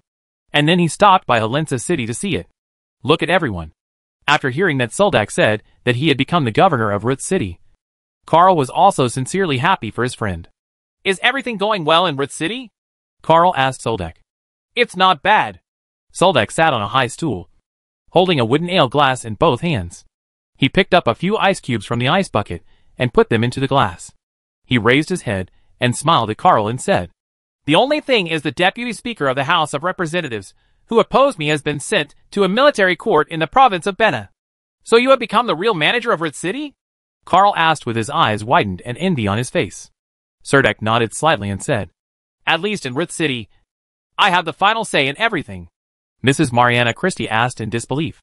The nobles over there did not boycott you together. Soldak did not deny it. He just knocked on the table gently and said, There will be some who are unwilling to cooperate, but they will be convinced by me soon. Looking at his determined look, Carl knew that Cerdak had firmly grasped the situation in Ruth City. Then he thought of the current messy situation in Halinsa City, stretched his worried forehead, and said to Serdake said, It's great that you can come back. I'm afraid you don't even know that Darcy is sick and very seriously ill. As our friend, I hope you can go see her. Carl put forward tactfully. Request. He knew that Soldak and Darcy dated for a period of time in the Knight Academy. But they could not get together later. However, Carl didn't know what kind of emotion Soldak had towards his ex-girlfriend. And whether he would become a mortal enemy like other couples before they got together. I want to know what happened during this time. Isn't the Christie family firmly in control of Valenza City? Why did Darcy become seriously ill? Soldak asked Carl with a serious face. He hesitated to speak, turned to Mrs. Christie and said, Mariana, tell me. Mrs. Christie showed a trace of unconcealable hatred in her eyes, drank all the wine in the glass, and then suddenly asked Soldak, Dak, can you help me kill that guy Dakuni? Faced with Mrs. Christie's sudden question, Soldak was a little stunned and didn't know how to answer it for a moment. Mariana! Carl put his hands on Mrs. Mariana Christie's shoulders, moved her hard to face him, and then said to her, Listen, the affairs of Darcy and Dakuni are their own business. I think Darcy doesn't want you and others to get involved in her relationship. As her relatives and friends, we need to consider how to get her out of her current predicament, rather than helping her cut off all grudges with a sword. Mariana then weakly put down the empty wine glass and said feebly, During the period after Bernard's death, the nobles of Alanza City lost their trust in the Christie family. The main reason is that there have always been conflicts within the Christie family. There is a group of people in the family who are constantly removing power from Darcy's supporters. By the time Darcy reacts, Darcy has already lost the support of the family. Cerdak nodded. He knew that this was probably the real reason why Darcy could not control the city of Valenza. After all, the Christie family had deep roots in the city of Valenza. If there was full support from the family, even if there were voices of opposition, such a large-scale attack would not be possible. Wave. In the final analysis, it is still internal strife within the family, which gives outsiders an opportunity to take advantage of it. In addition, many noble lords in the city are also very dissatisfied with the fact that Bernard gave up the position of consul of Valenza to Darcy. Mrs. Christie continued. The main reason is that Darcy promulgated some new policies in the city without waiting to stabilize the situation in the city. These new policies have touched the interests of most of the nobles in Alanza. Almost all the noble lords. Everyone wants more oak woods. Darcy believes that the oak forest can only bring a good income to the nobles every year and cannot change the lives of the common people in the suburbs. So she is ready to issue a restriction order on the oak forest. Mrs. Mariana said a little feebly. Obviously, she did not approve of Darcy's approach but she was also Darcy's staunchest supporter in the political situation of Valenza City. So her heart was full of contradictions, and even felt a sense of powerlessness. Cerdak didn't expect Darcy to be so bold, and asked with some admiration. So her approach was resisted by the nobles of Valenza? This is just one of them. But it has become an opportunity for the nobles in the city to unite against her. Mrs. Mariana Christie said with a wry smile.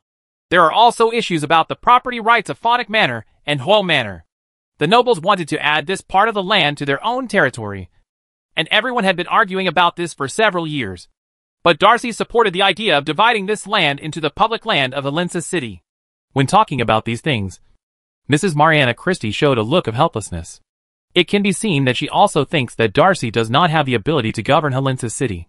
Please help me arrange to meet Darcy first. Cerdak pinched his eyebrows with his hands.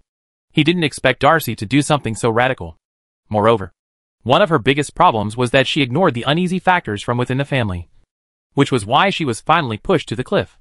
Mrs. Mariana Christie nodded, then waved to the two maids hiding in the corner, asked them to come over and said, Go and prepare the carriage for me. I want to use it now. Yes, ma'am. The maid agreed. Mrs. Christie said to Soldak, I will go to the castle to see Darcy first, and then I will find an opportunity to arrange for you to meet.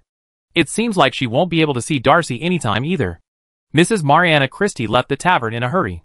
Cerdak has not expressed his opinion and has been listening quietly. He felt that the reason why Darcy fell ill was partly due to internal factors within the family, and partly due to external factors. Her power in the city of Valenza was emptied out, and the family also lost most of its resources. It was completely suppressed. Isolated Archon. If she hadn't fallen ill at the right time, I'm afraid she would have been kicked out by now. It wasn't until Mrs. Christie left and everyone sat down again in the corner of the tavern that Soldak asked Lance. What's the attitude of the Magic Guild towards this? To be honest, the magician nobles are happy to see the internal strife between the traditional noble forces of Valenza. Lance answered without any concealment. Soldak nodded and asked Lance. Do you have a chance to persuade the Magic Guild to side with Darcy? Lance shook his head quickly. Soldak asked Lance, who was sitting aside. If I write to the two great wizards Harper and Morrison, will their influence change some of the opinions of the magicians here? You actually know the two great mages Harper and Morrison. They are considered two of the top six giants in the law enforcement group of Bena province. If there is their support, of course the Halensa Magic Union will fully support Darcy. Lawn, C said excitedly. Okay, leave this matter to me. I think I can convince them, Soldak said without waiting for Lance to ask how Cerdak knew these two giants. Cerdak asked Carl. Is it that basically all the nobles in Halensa City are against Darcy? Carl nodded without hesitation and admitted. That's almost it.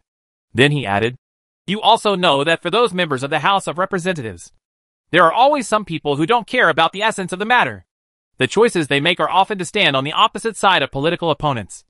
So Darcy still has some supporters. Cerdak was speechless again. In fact, he knew Darcy's character very well. She seemed a bit unruly and domineering when she was young. However, she encountered some setbacks after graduating from the Swordsman Academy. During her time teaching at the Halensa Knight Academy, her sharp edges were completely polished. Character.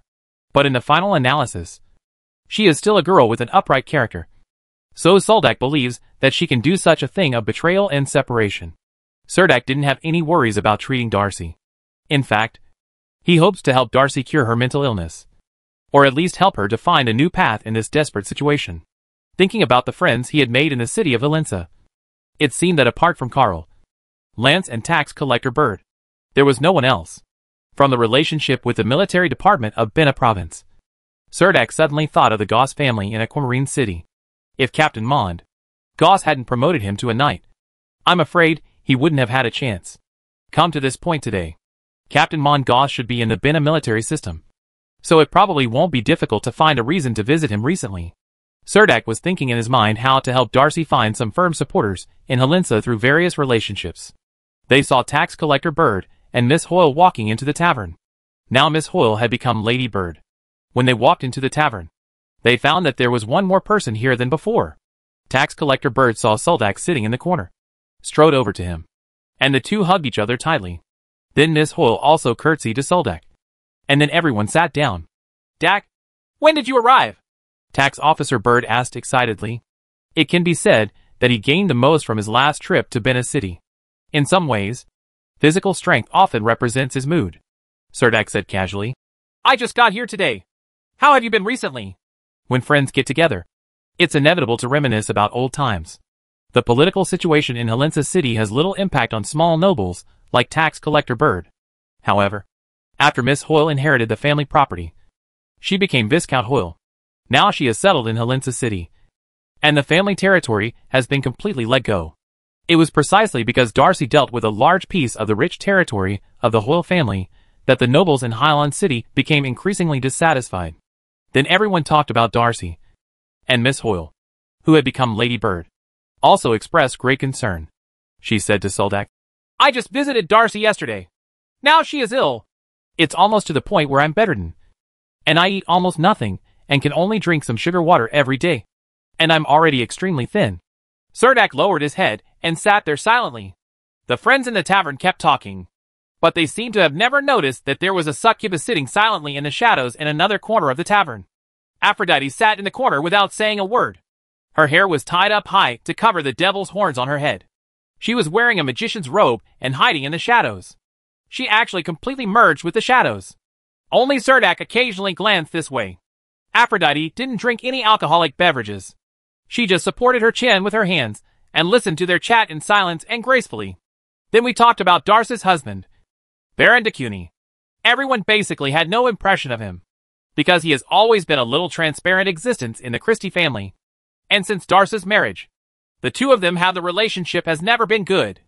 And there were several quarrels when they were newly married. Not long after that, Baron de Cuny left the city of Halensa and disappeared for a long time. No one thought that his second wife was from the Dunstan family. Now that Baron de Cuny has the support of the Dunstan family, he actually wants to seize the management rights of Halensa City from the Christie family. This is something everyone something I definitely didn't expect. Chapter 1254 Meeting Darcy Again when Mrs. Christie's carriage stopped at the door of the tavern again. Soldak and Carl had been sitting in the tavern for half the night. She walked into the tavern angrily and quickly. The two maids just followed her and helped her hold up the long skirt. This complicated palace-style skirt was very strange. The upper body looked extremely cool and exposed her breasts. The large expanse of snow-white skin above. Some designs even expose the shoulders. But the long skirt below is so luxurious that you can't wait to use the entire cloth on it. The long skirt is like a peacock's tail. Same. In order to highlight the narrow waist and large breasts. This kind of long skirt uses restraints to push almost all the fat from the abdomen to the chest. And even breathing requires small sips of inhalation. Mariana bit her red lips. Her face looking even uglier than before she left. After sitting down, she angrily rebuked. Bernard was too soft-hearted at the beginning and took these guys into the castle. But now he is it so hateful that they stood up against Darcy together. What's wrong? Can't you even see Darcy now? Carl sat next to Mrs. Mariana and poured her a glass of ice water. Lady Mariana said with a cold face. They locked Darcy in the innermost part of the castle. Now even if I want to go in for a visit, I have to go through several gates, and each door is guarded by a dedicated person. They don't give me any permission at all. Give me the chance to see Darcy. Lady Mariana said angrily. Do these members of the Christie family want to put Darcy under house arrest? Lady Bird sat aside and asked Lady Mariana. Mrs. Mariana rubbed her somewhat swollen temples and said, That's what they did. And they openly announced that this was to protect Darcy. Miss Hoyle, who became Lady Bird, sat next to her and said, I heard that Dakuni has been waiting for the news of Darcy's death. Once the news of Darcy's death is announced, Dakuni will announce his successor as the ruler of Halensa City. Official. Mrs. Mariana's eyes were a little cold, as if she had lost her last hope for those relatives in the family and she said with a decisive tone, So no matter what, the family does not hope that Darcy will die at this time. Or even if it does happen, he is dead, and it is estimated that the news of his death will not be announced in a short time. Only when Darcy is in this state can they legitimately take over the government affairs of the Halensa City Hall until they can completely control the situation in Halensa. Soldak was also very speechless about this kind of thing happening in the Christie family. But after thinking about it, this kind of thing seemed to be common among aristocratic families. What's the news from Dakuni? Serdek asked. He knew that Mrs. Christie would try to find out as much new information as possible when she went out this time. And what she hated most now was Darcy's husband, Baron de Cuny. Sure enough, Mrs. Christie responded immediately. It is said that he has been hiding in the Winster Manor outside the city. But no one has seen him moving in the manor. It should be the information given by the Christie family's intelligence system. Soldak thought in his heart, I will check on Darcy tonight. Soldak put down the wine glass in his hand and glanced at Aphrodite in the corner calmly. The succubus rolled her eyes feebly and gradually disappeared into the shadows as she approached the virtual form. Seeing that Soldak was preparing to sneak into the Christie family castle, the magician Lance took the initiative and said, How about I use a magic pot to send you in? Serdak smiled slightly, facing the castle that was also brightly lit at night. The magician flew in on a jade handle. It was undoubtedly a moth flying into the flame. Forget it. Actually, I have a better way. Soldak said. He didn't tell this group of friends exactly how to do it. And he couldn't tell them clearly. I have a contract partner who can reverse summon me. So he simply avoided the topic. Well, I hope you can bring us good news tomorrow. Lance stood up with a yawn and said to Soldak.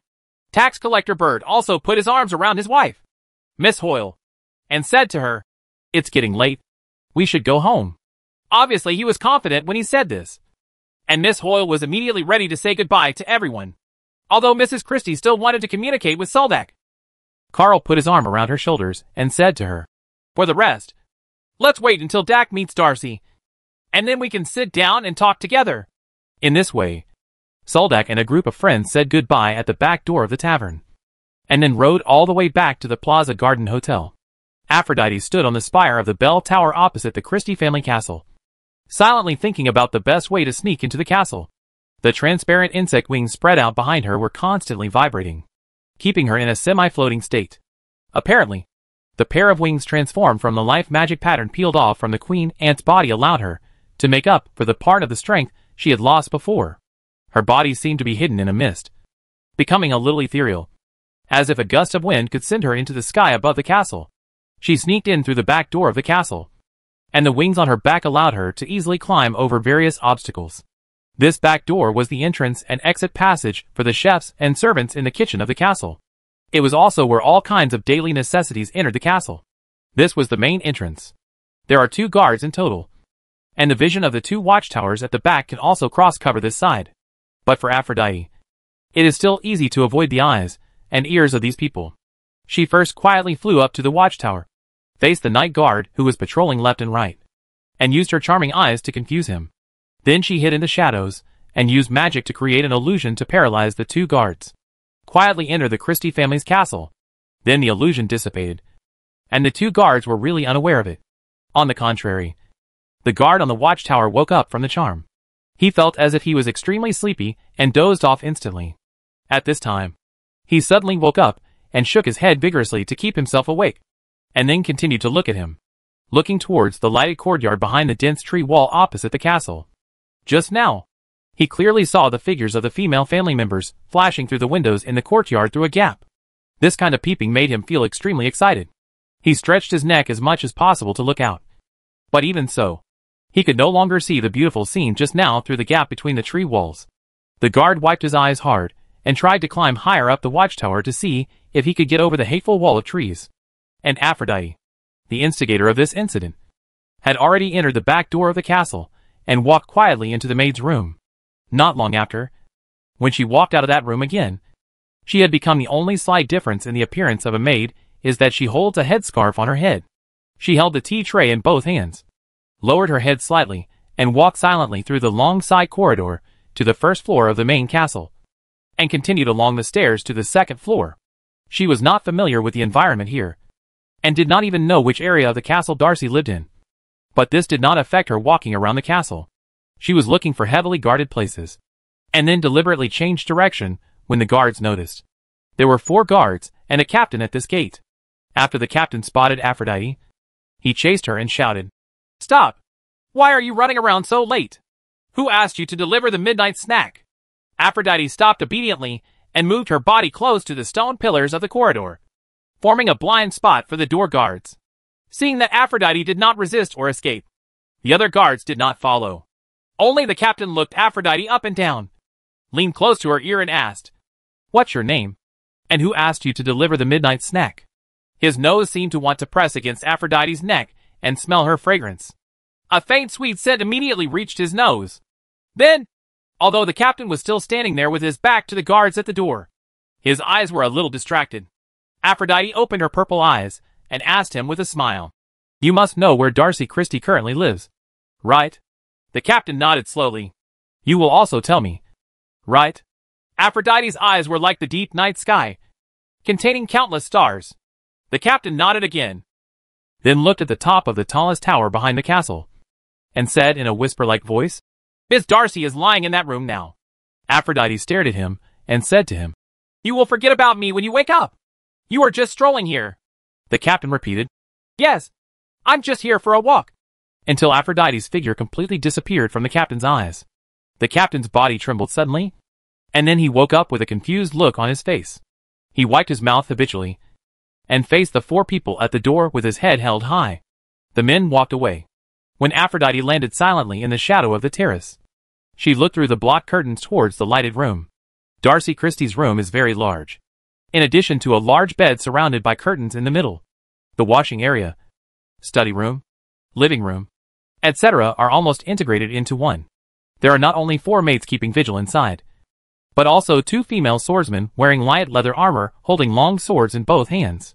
The two are sitting on the sofa in the rest area. There is a chessboard on the coffee table. It seems that the two female swordsmen are the scholars playing chess. Aphrodite propped her hands on the windowsill and peered inside for a while, then retreated quietly. Then she stood on the dark side of the spire's roof, silently reciting the incantation of Sleeping Cloud. A huge eyeball appeared on top of Aphrodite's head, and the magic pattern formation emerged under her feet. A black mist-like aura spread to the surroundings after the end of Aphrodite's spell, and all life enveloped by the black mist aura instantly fell into a deep sleep. Sensing that there was no other movement around her, Aphrodite quietly climbed over the window and got into Darcy Christie's room. She passed over the female swordsman who fell in front of the chessboard and even rearranged the fallen swords beside them, and then came to the side of the maids to make their sleeping postures more elegant so as not to fall in the wrong posture, being suffocated to death by some part of his own body. She even glanced at Darcy sleeping on the bed, then walked to the bookshelf, casually selected a book, sat down on the chair next to her, and then began to summon Serdek. Serdek walked out of the void gate and found himself in a huge bedroom. The circular room looked very luxuriously decorated. Aphrodite was sitting on the chair next to the bookshelf. She was holding a thick book, but her eyes did not fall on the book. Instead, she stared at Soldak and complained. How can you do this in the future? Or think of other ways. Look, I summoned you to Wall Village, and then accompanied you to Halensa, and now I want to summon you to your lover's boudoir. Don't you feel embarrassed? Feeling that the people around him seemed to have fallen asleep, Serdek sat opposite Aphrodite, patted the back of her hand, and comforted her. I will try to avoid such embarrassing situations in the future. This situation is special. I need to your help. Besides, she is already married. And I am also married. The relationship between me and her has long been gone. Now I am just entrusted by my friends to come over to see if I can help her. Soldak quickly asked Aphrodite explained. It's just that his rhetoric seems very weak. And even he himself has a hard time convincing him. He could only stop, shut his mouth and no longer defend, scratched his head in embarrassment, and then began to look at the room. This room was almost bigger than the living room of an ordinary person's villa. The round room was in Serta. Kuz's eyes looked familiar. That seems to be the case in Hathaway's bedroom. This made Cernak feel that all nobles seemed to like to use the tower as a place of imprisonment. He walked from the bookshelf to the sofa in the rest area. The two female swordsmen were sleeping soundly on the chessboard.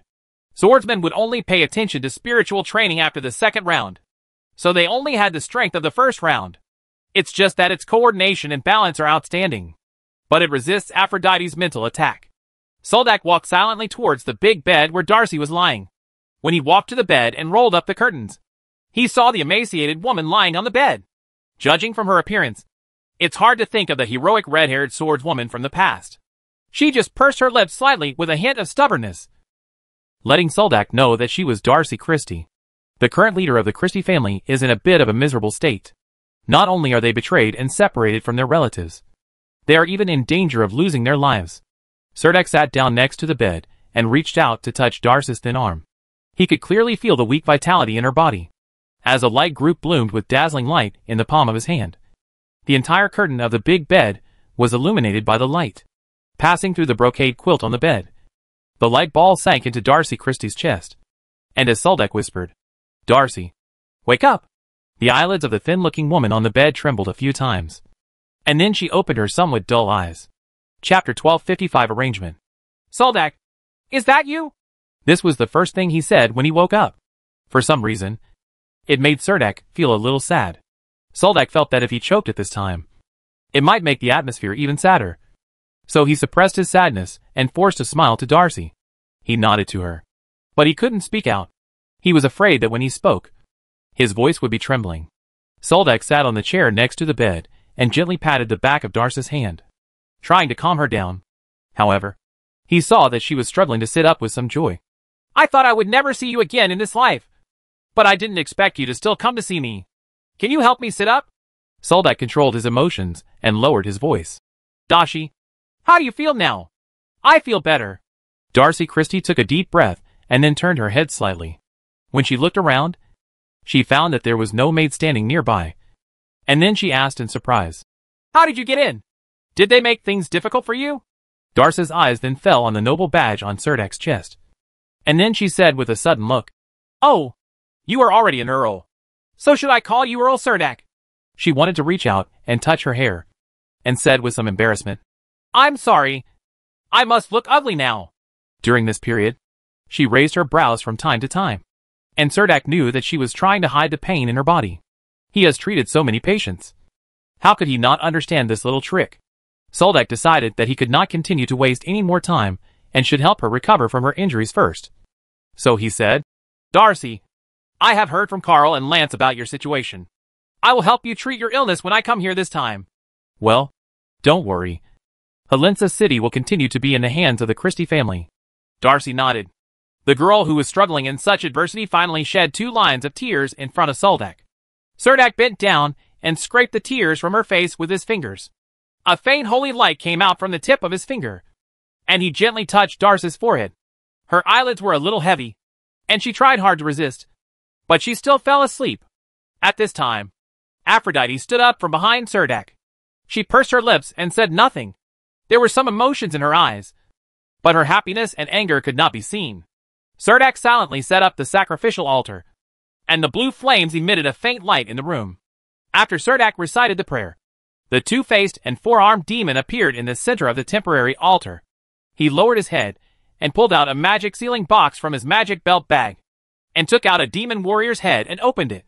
A layer of oil paint was painted on the ferocious face, and the two demon horns were still on it. Cerdak raised it high and began to pray to the face of God. A beam of light fell from the roof. Tyrants! Holy shield! Blessed body! Shield of blessing! The double blessing effect fell on Darcy Christie. Then Cerdak blessed himself with the eye of truth. He began to check the status of the blood vessels and meridians inside Darcy's body, and found that the blood circulation in her limbs was not smooth. She had been lying in bed for a long time, and her body functions had declined. Although she was an excellent first-turn swordsman before, her body became very weak after being on the hospital bed for so long.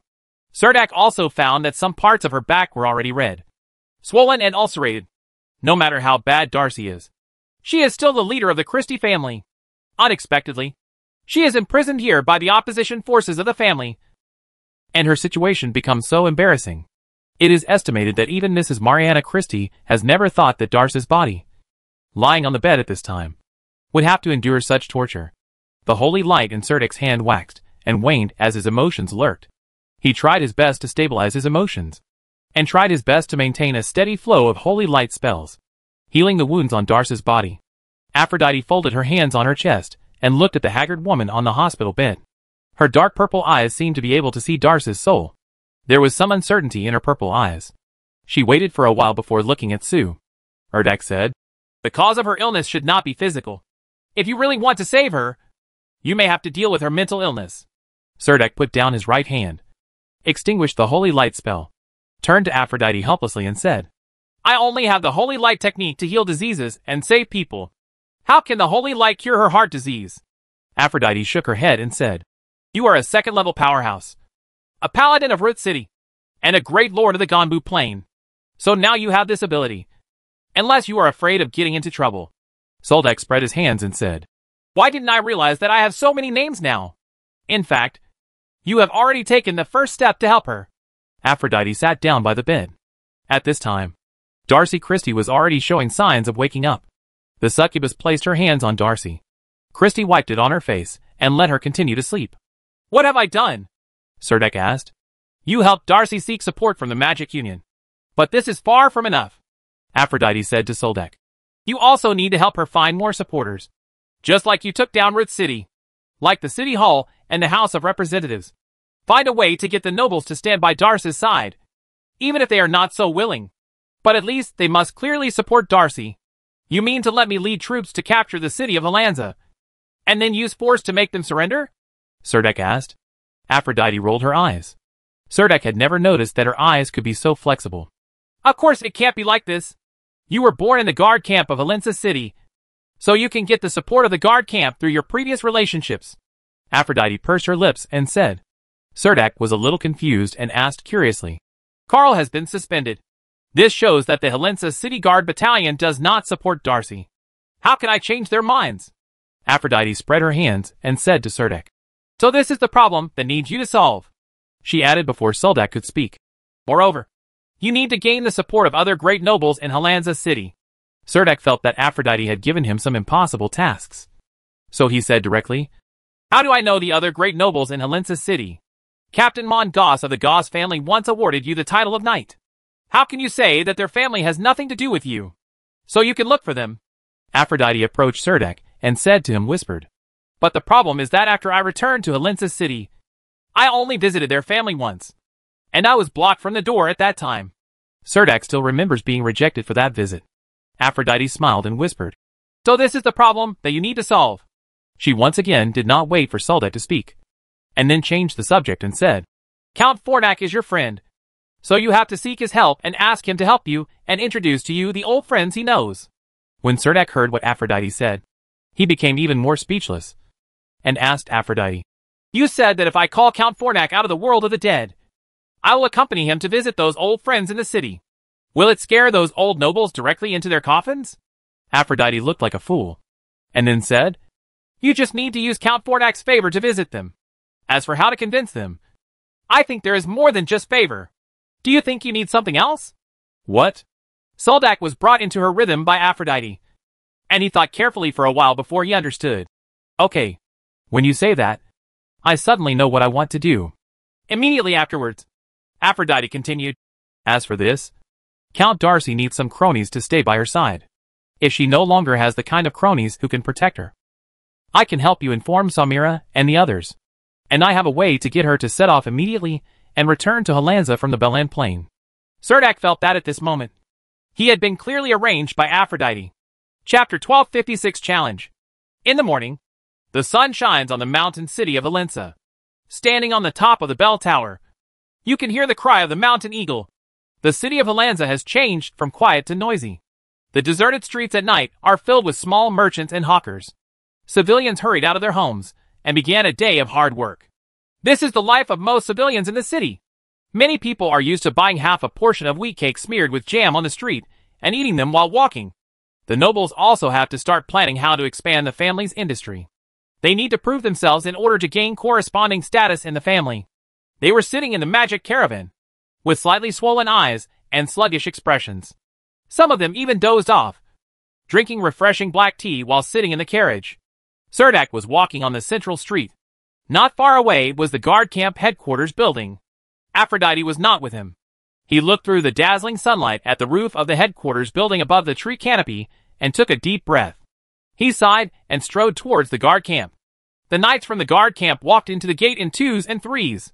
Cerdak also walked quickly among the crowd. The guards at the door wanted to stop him. But when they saw the noble badge on Cerdak's chest, the guards immediately hesitated. Just as the guards seemed hesitant, Soldak had already entered the guard camp headquarters building.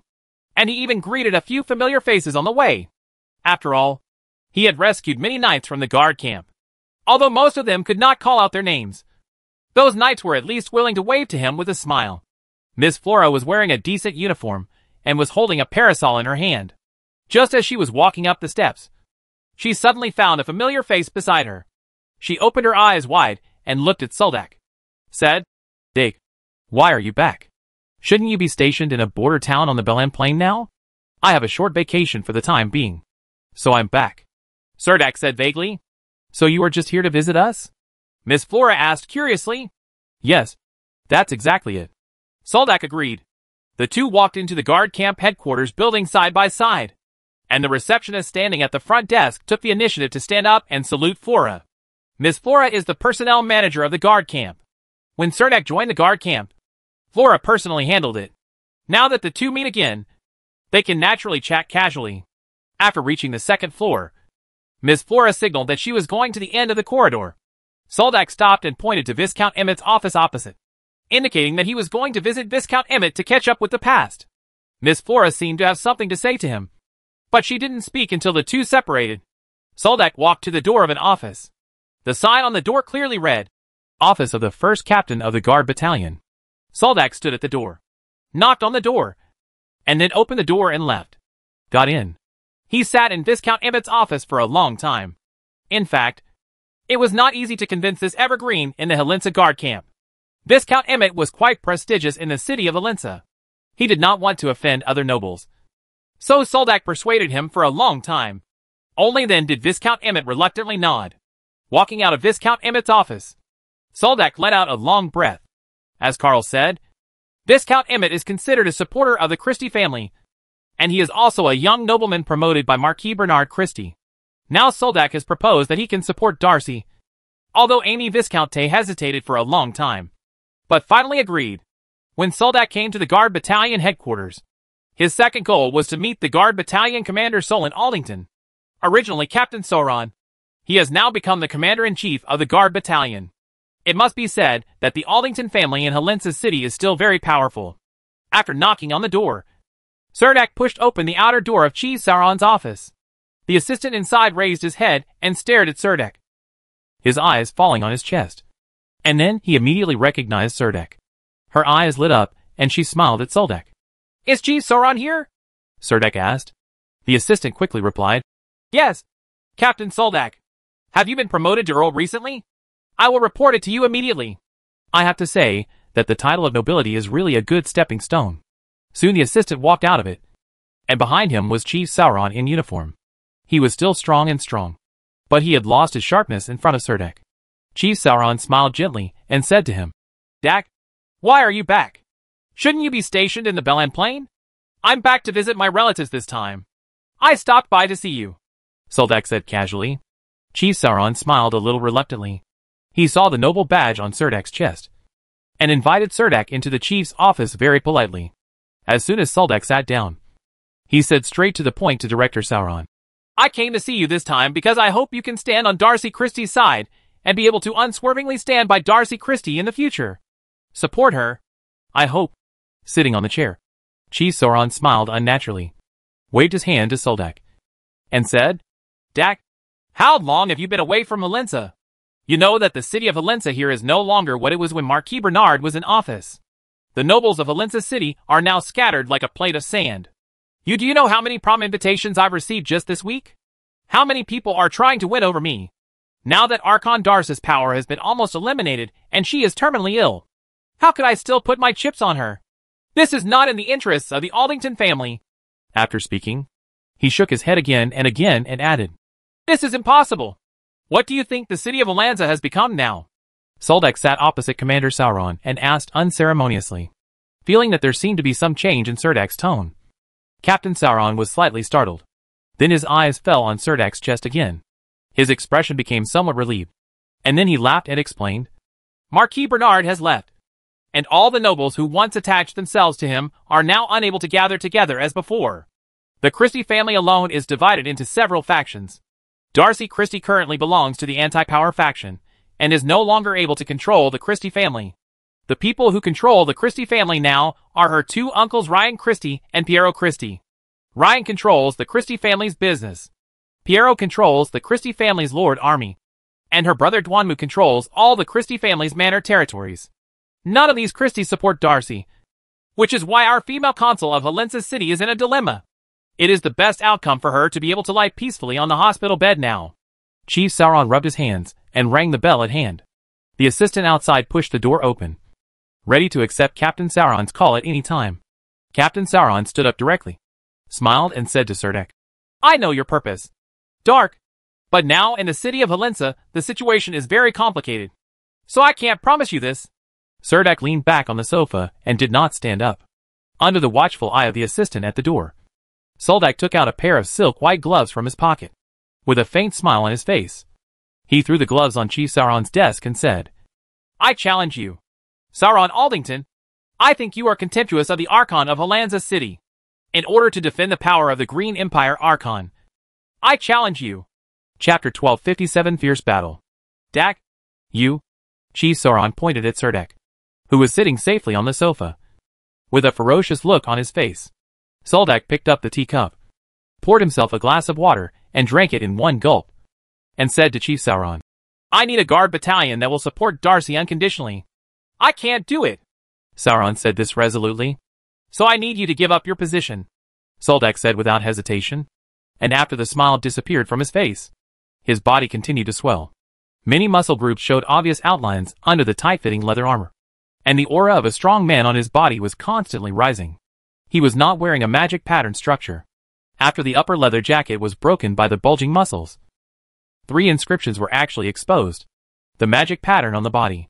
At this time, Two magic pattern structures lit up with magical halos.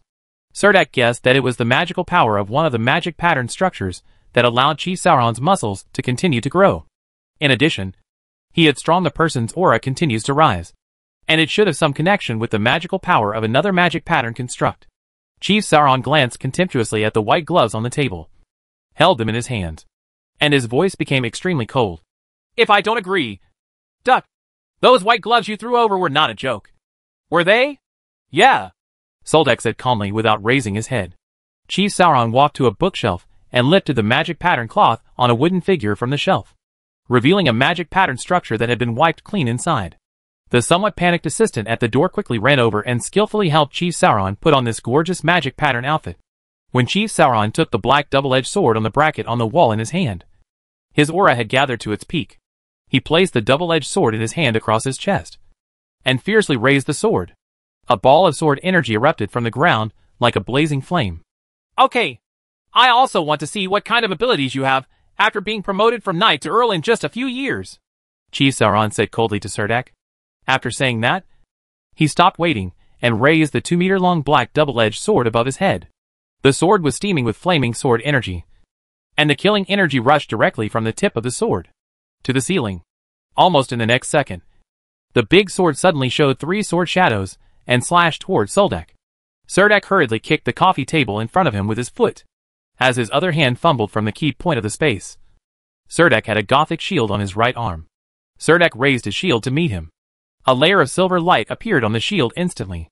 The black double-edged sword struck down instantly, and Gerta's shield immediately erupted with a dazzling silver light, and three torrents of sword energy all hit the shield. Holy shield! Although the shield protected Serdek within it, the destructive power of the three sword shadows was extremely strong. It immediately shattered the sofa where Serdek was sitting, and the remaining sword energy turned into air waves and rushed outward. Two windows in the chief's office were smashed. Broken glass and splinters of wood flew out and scattered all over the floor. Suldek quickly ran to the window, jumped from the third floor to the front yard of the guard battalion headquarters. Chief Sauron glanced at the white gloves on his desk and followed behind with gritted teeth. One step, two steps, three steps. Each step is full of momentum. Both hands grasped the black double-edged sword at the same time, and the whole person turned into a white light, chasing behind Serdek, and the black sword slashed across the shoulder towards Serdek's shoulder. Serdek held the broadsword in his hand. At this time, he no longer retreated. Instead, he stopped and turned half a circle with the inertia of the shield. The broadsword suddenly collided with the black double-edged sword. The two swords suddenly erupted into the sound of gold and iron. Suldek took a few steps back again, almost crushing the stone floor in the front yard of the guard camp headquarters with every step. He fell into the flower bed awkwardly, and even hit a shrub wall. When a group of knights from the guard camp saw Chief Sauron jumping down from the building with a double-edged sword, they all drew their swords and chased after Serdek. Chief Sauron raised a hand and shouted with an angry face. You all stop! This is a duel between our counts! No one is allowed to participate before the winner is determined. At this time, Serdek also held a sword and shield in his hand, covered with leaves, and climbed out from behind the low shrub wall. Many knights in the guard camp knew Serdek, and when they saw that he was actually dueling with Commander Sauron, they all stood there in shock. Commander Sauron had the upper hand twice, and he couldn't help but show a trace of contempt on his face. Is this your ability? If it's just these, it's not enough to challenge me. Dark. As he spoke, the magic pattern structure on Chief Sauron's body also lit up with complex magic patterns. And Chief Sauron's speed increased dramatically. A halo of light shone on and off under Serdek's feet. The orange halo was like a burning flame, and the shield in his hand seemed to be coated with a layer of mithril. Commander Sauron's momentum rose to its peak. He rushed toward Serdek and jumped up far away. That was a distance that was absolutely impossible to perform a jump slash. But just when he reached the highest point of his jump, a giant silhouette suddenly appeared behind him. And then as Chief Sauron shouted loudly, the giant's shadow instantly became extremely solid. And the giant happened to appear at the feet of Chief Sauron. The giant stretched out his hands to grasp Chief Sauron's ankles, rounded his arms suddenly, and threw Chief Sauron in his hand. And the direction of the throw happened to be Serdek's side. Commander Sauron was like a cannonball holding a giant sword in both hands, flying towards Serdek. Serdek did not dodge or dodge. He held his shield in front of his chest in a defensive posture, facing Commander Sauron's broken army, and the broadsword in his hand also shone with holy light. Just when Chief Sauron struck the double-edged sword on Serdek's shield, Serdek and the shield were almost thrown away by the sword, and Serdek crashed into the flower pond again. There was cheering all around. When Serdek walked out of the flower bed again, the atmosphere around him began to become particularly solemn. He looked very embarrassed. But he was not injured. On the other hand, Commander Sauron threw two moves, and the power in his body seemed to be drained out. However, he was still riding a tiger at this moment. He obviously had such a big advantage. So there was no need to stop. But these stunts were too draining on him. Big. The black sword in his hand once again erupted with countless sword rays. And the sword rays were like mountains wrapping toward Serdek. But those are just countless sword lights. In the rain of sword light, Commander Sauron actually jumped up. And between the light and shadow of the sword light, he jumped high again. This time, Chief Sauron was almost integrated with the double-edged sword in his hand, while Serdek was dashing left and right to avoid the rain of arrows. He silently slashed down on Serdek's head. Countless sword rains fell. Serdek held the shield in his hand, and was unable to dodge in the rain of swords.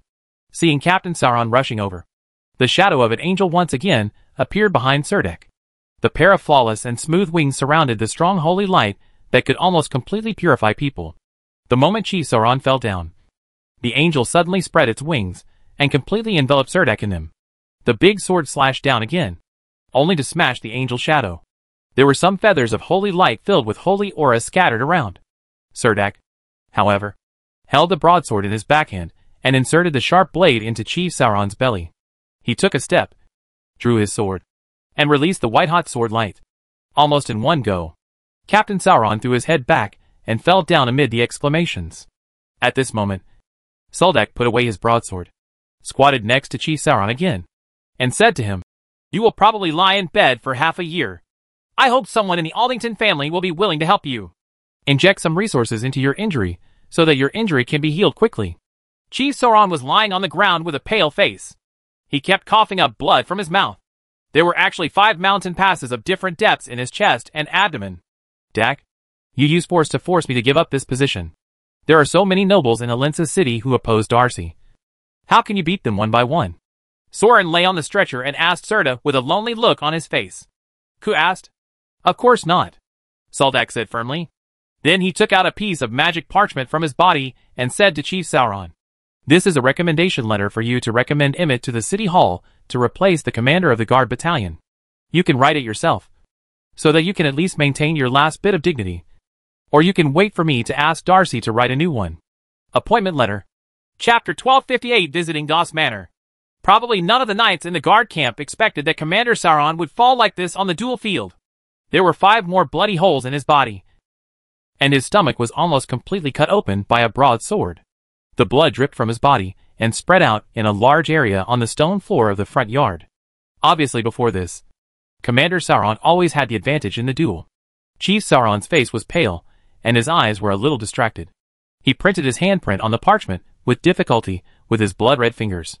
Just when everyone thought that Chief Sauron would die from this, Serdek squatted next to Chief Sauron, put the dripping intestines back into his stomach with his hands full of blood, and then used the holy light technique to continuously fill it entering Chief Sauron's body. He used needles and threads to resew the wound on Chief Sauron's stomach, and rescued him from the ferry of the River Styx. This is the headquarters of the Guard Battalion. Although the duel was too sudden, and the battle only lasted a short time, many knights still came together. Seeing Chief Sauron lying in a pool of blood, and the murderer Soldak was the one who treated the sick and saved people. Everyone was at a loss. Moreover, according to insiders, Chief Sauron and Serdek are dueling according to the laws of the Green Empire. As long as the two parties reach an agreement, the winner after the battle will be protected by the laws of the Empire. In other words, Serdek Duck will not bear any criminal responsibility for this. Serdek stood up, wiped the blood on his hands with a white silk handkerchief, and calmly ordered the knights of the guard camp next to him. Hurry up and bring a stretcher over and send Chief Sauron home. The guard camp suddenly became a mess. The knights in the guard camp looked at Serdek with hostility, but no one dared to stand up and take action against Serdek. Only a few of Chi Sauron's cronies found a stretcher and carried Chi Sauron onto a magic caravan. They stared at Soldak with complicated expressions, and finally left the guard camp headquarters in the magic caravan. Soldak thought there would be a chaotic battle, but he didn't expect that the knights in the guard camp of Halensa City were so cowardly. Or maybe they obeyed the instructions of Chief Sauron and restrained their emotions and did not take action. During this process, Soldak had been standing quietly in the courtyard of the Guard Battalion headquarters. The yard was full of onlookers. Even Miss Flora from the Human Resources Department was on the steps. She stood at the back of the crowd and looked at Soldak in surprise. She recalled that in the morning, she and Soldak walked into the headquarters building chatting and laughing. How could he actually have a duel with Chief Sauron in the blink of an eye? It wasn't until he pulled Commander Sauron's carriage away that Viscount Emmett walked out of the headquarters building of the guard camp to clean up the mess. as the number two figure in the Halensa guard camp. Viscount Count Emmett was in the competition for the candidate for the commander-in-chief. It was given to Sauron because Chief Sauron received the full support of the Aldington family when he ran for chief. Compared to Sauron, Viscount Count Emmett is more supported by the knights in the Halensa guard camp. Aren't you guys all idle? Disperse. Seiko, aren't you going to go on duty? Olcathan, what are you doing here? This Count Emmett stood on the steps and shouted to the crowd of onlookers. Scolded. Captain, Cerdak injured the commander. Captain Emmett. This Count Emmett looked at the knights surrounding him with some dissatisfaction, pointed at their foreheads, stood in front of the steps and read loudly. Chief Sauron and Count Cerdak just resolved a dispute through a duel. This is a tradition that has been continued by the nobles. When there is a conflict between them, the nobles will not expand the conflict, and will not provoke wars between lords. They fight duels in the most gentlemanly way. Therefore, whether it is Chief Sauron or Cerdak, whether they are the winner or the loser, they are worthy of our visit. Dear. Soldak walked up the steps and handed the blood-stained parchment to Viscount Emmett. He felt that it would be better to say less at this time. So he turned around and walked through the crowd in the yard, leaving the guard camp headquarters in full view of everyone. Of course, the fact that Cerdak was able to walk out of the guard battalion headquarters unharmed does not rule out the intimidating power of a second-level powerhouse. However, the root cause, Cerdak believes, is that most of the Halensa guard camp the knights have never experienced battle, and they lack the bloodiness to long for battle in their bones. When Cerdak left, there was still an orange flame-like halo under his feet as the halo under his feet kept twisting and beating. Some knights in the guard camp even curiously asked the captain around them privately. Boss, what is that under Cerdak's feet? It should be the advanced halo of a second turn knight. I'm not sure. The knights around also started talking about this matter. The knights of the guard camp in the yard watched Cerdak leave. That afternoon, a notice was delivered to Carl. And Carl resumed his original position. That night, a group of elite guard battalion knights, led by Carl, entered the Christie family castle fully armed. Although they were blocked by the Christie family guards outside the inner courtyard. No one expected that during the confrontation between the two sides, Duh, who had been bedridden, with Sis Christie was actually sitting in a wheelchair, and was pushed to the high terrace on the top floor of the castle by Lady Mariana. Darcy openly announced on the terrace that the guard camp knights had received her summons and entered the castle. Although the Christie family has always circulated that Darcy Christie is about to die of illness and the guards in the castle are the personal guards of Darcy Christie's uncle, Count Piero Christie. But in this case, these guards failed to hold Carl back. This pair of guard camp knights rushed into the castle almost arrogantly and directly occupied the high tower where Darcy Christie lived. Mrs. Mariana also brought several maids around her and began to take care of Darcy's food and daily life. The news that Darcy was gradually recovering also spread throughout the city of Halensa overnight. After Cerdak left the guard camp, he left Halensa and returned to the Root City Hall to handle some official business. Then he returned to the castle to have dinner with Hathaway and Beatrice. Then he took Sia and hurriedly left the castle. Although Hathaway felt that Soldak seemed a bit mysterious these past two days. She only knew that he was busier than usual these past two days, and seemed to be troubled by the recruitment order issued by the military. At night, Cerdak passed through the void gate again and walked into the room on the top floor of the Garden Hotel. Aphrodite was wearing a long black skirt, sitting in front of the dressing mirror, wearing a pearl earring on her head. Her skin was not fair, but her figure was extremely voluptuous, and the long skirt almost exposed most of the skin on her back. On the outside, the scars on her back were covered up by the magic tattoo, and they looked like a delicate and symmetrical wing tattoo. She combed her long hair up so that she could cover the devil's horns on her head. In the past, she was used to wearing magic robes that covered her whole body, and rarely wore such shoulder and backless long dresses. Now she wears some light makeup on her face, and uses foundation to change the color of her skin, making her skin look like natural pearl white. Then stood up, turned around, spread out his hands, danced the black dress in front of Soldak, and asked, What do you think? Very beautiful. Cerdak felt that if he didn't boast at this time, he would probably be killed by Aphrodite using a spell. After hearing Cerdak's praise, Aphrodite contentedly picked up the magic robe from the side and covered the exquisite long skirt inside. She was going to take care of Darcy Christie tonight. As for why she had to dress up so beautifully, she also to put beautiful clothes under the magic robe. Cerdak thought it would be better not to ask. Cerdak is going to visit the Goss family tonight. The Goss family has given a clear response to the letter of visit he handed over during the day. This is the second supporter Soldak is preparing to win for Darcy. The Goss family has fallen from the top nobility to the second echelon in Halensa City. The main reason is that the private army of the lords of the Goss family was almost completely destroyed in the Warsaw Plain. And the family's vitality was also severely damaged. However, Mond, Earl as still follows Archduke Newman, So the reputation of the Goss family in Halensa City has plummeted. But there is no lack of opportunities for the family to revive. For Soldak, Count Mond Goss is his guide. If Count Mond Goss had not granted him the knighthood, I am afraid he would not have had the opportunity to enter the guard camp let alone be defeated by Lou Marquise noticed. The horse that Serdek was riding stopped at the entrance of a gorgeous manor in the northeast corner of the city. Being able to have a mansion like a manor in the Halensa mountain city shows the profound heritage of the Goss family. Serdek jumped off the carriage at the door, walked to the big iron door, and showed his identity. The guard at the door immediately opened the door. The hired carriage left directly at the gate. A carriage belonging to the Goss family drove out of the manor, followed by a group of attendants. Young Laurent Goss walked out of the carriage, wearing a brand new leather armor. But it was not a magic pattern construct. He jumped out of the magic caravan and smiled faintly when he saw Serdek. Laurent looked much more mature than three years ago. He was still a noble baron. When he saw Soldak, he took the initiative to salute and said with a smile, Count Soldak, long time no see. Soldak was deeply impressed by him. Laurent Goss, Cole Norton, Hathaway Luther, Beatrice Caffello, and Darcy Christie all graduated from Burnett High School. A classmate who graduated from the Swordsman Academy together. He has a very good relationship with Cole Norton. And he even invited Cole Norton to be a guest in Halensa City. But now the Goss family cannot be regarded as the top nobles in Halensa City. And they are even less able to squeeze into the aristocratic circle of Benna City. Cole Norton is doing well in Benna City now. Together with Edie Newman and other aristocratic sons. He can run around in Benna City. In addition, the power of the Norton family has been growing in recent years. A few steps away from the Goss family. Yes! I remember when I first met you. We were in Handenar County. Serdek stretched out his hand to Laurent and said to him with a smile. Laurent asked Soldak to get on the carriage.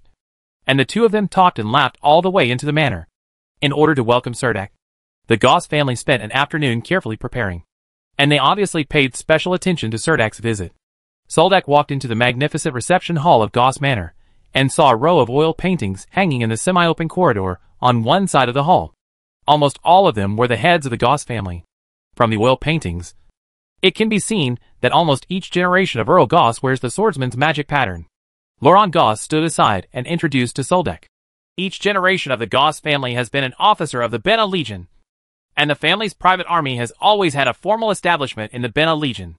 I heard that last year, you successfully regained the Ganbu Plain and gathered 20,000 heavy armored infantry regiments from the Ganbu Plain to support the Warsaw Plain.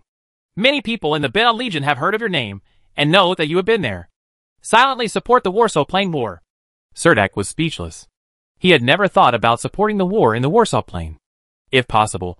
Of course, he would hide as far away as possible. Otherwise, who knows if he will meet an old face and recognize his identity immediately. Chapter 1259 Count Fornax's List. Although the Goss family is currently in decline, it still belongs to the nobles in the circle of the Bena Legion, and it can be regarded as holding the Newman family tightly. It is the most loyal support of Duke Newman. As for why the Goss family settled in Highland Sashan City, Soldak felt that this might be a macro strategy for the Newman family to rule the Bena province. Although at present, the Goss family continues to fade out of the top aristocratic circle of Valenza, the rise of their family only requires the victory of one war. It is a pity that the Benna Legion wasted six years in the Warsaw Plain. So this is also the fundamental reason why the Goss family failed to recover. Serdek is the actual controller of the Ganbu Plain. Not many nobles in Halensa city know about this. But the Goss family should be the ones who know the most details. They even know that Serdek is currently returned safely from the battlefield. For a second level expert, have you ever been to a big battlefield? Is of great significance. The strongmen who have returned from the big battlefield have advantages that ordinary strongmen cannot match in terms of personal combat power, or weapons and equipment. The Benna Legion has been trapped in the Warsaw Plain for such a long time. Serdek has nothing to judge. But he just doesn't want to be involved in this matter. As a plain lord, before the call-up order, at the request of the military department, He sent an army to the plain of Warsaw. This is probably the most that Serdek can do at the moment. And he really can't complain about this. A war that has been ruined by the Bina people. The Goss family obviously has some connections in the military. They know that the big man standing behind Soldak is none other than Marquis Luther, who is currently in the limelight in the Bina province. This is also the reason Soldak came to visit this time. Visit. The main reason for the Goss family's positive response. After passing the corridor filled with portraits, Everyone sat in the living room. And the feeling of alienation was obviously much smaller. After all, Soldak and Laurent were of the same age. And they had some military topics with each other. So when the maid served fruits and refreshments, the atmosphere between the two was very harmonious. After chatting for a while, Serdek explained the purpose of this visit. This time I returned to Halensa City and found that many places in the city have changed. Especially the current situation in Halensa makes me even more worried. When I was in Halensa City, Marquis Bernard took care of me. There are many, so I took the liberty to come to visit this time. I also hope that the Goss family can stand on the side of Darcy Christie, the daughter of Marquis Bernard. And if necessary, we can also reach some contracts. Soldak said directly. After all, Miss Darcy is the successor designated by Marquis Bernard. Seeing Lawrence silence, he added another sentence. Laurent Goss is indeed not as impetuous as he was when he was young. Now he has become calmer, and said to Soldak, My lord Earl, I am not excusing myself from the Goss family. But now the nobles in the entire city of Valenza have some opinions on Consul Darcy. She has touched the interests of most nobles. So everyone has stood up against her. Even if the Goss family is now willing to accept the olive branch offered by Archon Darcy. What's the use? Soldak didn't expect Laurent to say such words.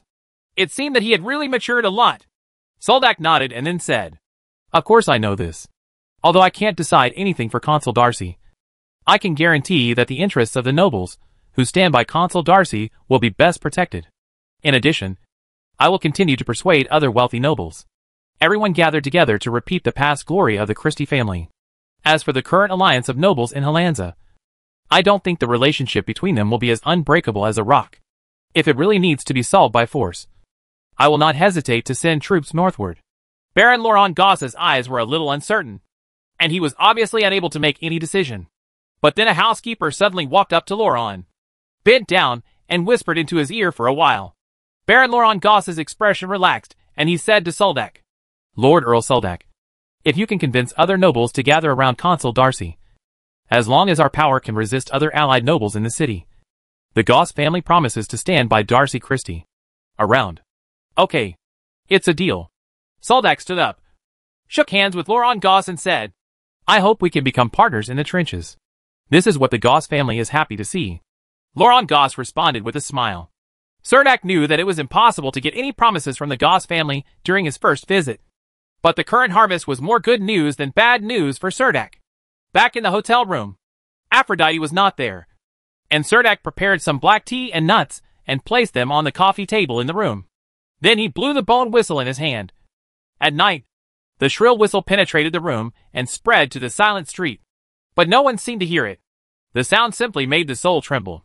Perhaps it was because Count Fornax had become more powerful that the phalanx in Soldak's hand exuded an inexplicable powerful aura. A door stained with blood and rust suddenly appeared on the wall. The door was suddenly pushed open from the inside. Countless skeletal arms stretched out from the mist, as if they wanted to drag everything in this world back to the door. Inside, those skeletal arms will be burned to varying degrees when they come into contact with the air of this world. Among these hundreds of bones and arms, a ghost wearing a tattered black cloak flew out from inside holding a lord's scepter. When his body approached the door, those big bones and hands shrank back.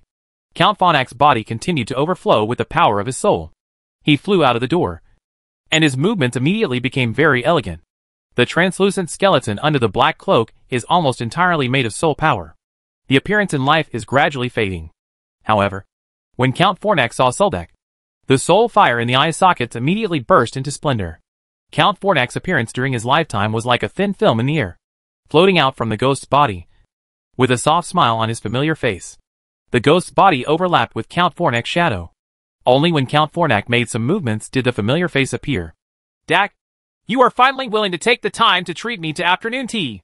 Earl Fornax picked up a cup of black tea, sniffing the fragrance floating on it, and said, Recently in the Bone Wilderness, there are always I met those giant white bone worms. So I took a lot of supplements. And it would be very good to have a cup of afternoon tea to balance it out. This one is really fragrant. Soldek also took the opportunity to ask. Count Fornax, how is your life in the underworld recently? Count Fornax smiled cheerfully. The ghost holding the scepter looked a bit ferocious. But his voice was very soft. Not bad. Thanks to you last time. This gave me an extra helper. Serdek knew that he was talking about the apprentice of the Kit Magician. Now my ghost army has begun to conquer the Bone Wilderness, expanding its territory every day. Count Fornax said proudly. And it seemed that he also needed someone to talk to. Then Count Fornax floated to the window, pushed the window open with his hand, and let the night breeze blow into the room. Is this the city of Halensa? Count Fornax showed some nostalgia on his face and asked Serdek in surprise. Yes. Soldek nodded and admitted. Count Fornax asked again.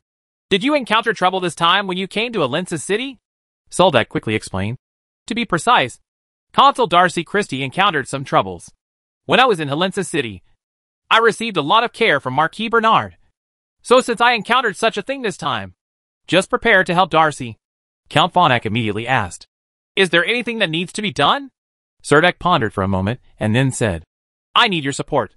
If you still have some old relationships in Halensa City, please give me their contact information. I want to persuade a group of nobles to support Dakane. Count Fornax nodded and said cheerfully, I know. Although I don't like Bernard very much. I don't dislike his beautiful red-haired daughter. Oh, her name is Darcy Christie. Right. Yes. Serdek replied. Count Fornax nodded and said, I think you'd better find a piece of paper to record it. I will pick out the names of some nobles who still owe me favors and have not repaid them. If you can find them, and if they are willing to return the favor, they will probably gain something. It didn't take long for Soldek to get a list of Count Fornax's friends. It seemed that Count Fornax really made a lot of friends when he was in the city of Halensa. The whole parchment is almost filled with names. Chapter 1260 Visiting Atherton. Count Fornax sat on the sofa in the room and listened to Soldek say, I encountered something a few days ago. In the abandoned mining area of Ruth City, the guard camp received a missing person case. The knights of the guard camp sent to investigate at the time did not find anything. Later, I asked Avro D went to investigate and met him in the mine. Of course, we found out later that this necromancer was not the mastermind of this incident. But this necromancer was a very strong person. Count Fornax asked curiously. Oh, I want to know how strong she is. Serdek said while sorting out the list. Her body is constantly turning into corpses. But she is still living strong. Hearing Soldek say this, Count Fornax was a little surprised. Because he knew how painful it was to become a corpse. Not only would the body suffer endless pain, but as the body continued to become stiff and cold, psychological problems would arise. The despair and distortion are the most deadly, and it is easy for people to get lost. Count Fornax sighed. A necromancer who is constantly turning into corpses? This is really rare. Having said that, becoming a necromancer itself involves some forbidden spells. So what? Serdek raised his head and smiled, threw one into his mouth, and then said, I think maybe you can exchange some experiences in this area with her. Fornax put his hands on the sofa, raised his head, and said casually to Soldek, I'm not as free as you think. But facing those skeletons all day long is indeed boring enough. Next time when you see her again, you can call me out, and we can sit down and chat together. Maybe what I know will inspire her. Even a little bit. Seeing that Count Fornax did not rule out meeting strangers, he said, Okay, that's a deal. But I don't know when I can see her again. Soldek compiled the list left by Count Fornax. And before dawn, Count Fornax once again opened the bloody door to the underworld. The two of them saw countless skeletal hands protruding from the bloody door at the same time. Count Fornax turned around and waved to Soldek before walking in with ease. His body penetrated it like water, and then disappeared. Gone. The blood-stained bloody door was closed again, leaving no trace on the walls of the hotel. The list was placed on the table. Soldek saw the name at the top of the first row on the list. Then he took out a quill pen and drew a horizontal line under the first name. Mike Atherton. Soldek remembered that there seemed to be a noble named Atherton in the Helensa guard camp. But he did not expect that this noble had some relationship with Count Fornax. Atherton Manor. Mike Atherton is old. He was so old that he even had to sit in a wheelchair. He was pushed out of the room by the maid every day and basked in the sun under an olive tree in the back garden. This huge olive tree carries almost all of his childhood memories. Now that he is old, he has almost forgotten many things. Only those things from his childhood can still be recalled. Under the sun, on the green grass full of flowers, a boy was running happily. His squinted, cloudy eyes became a little blurry at this moment. He prayed that he could be summoned by the Statue of Liberty as soon as possible and return to the embrace of God.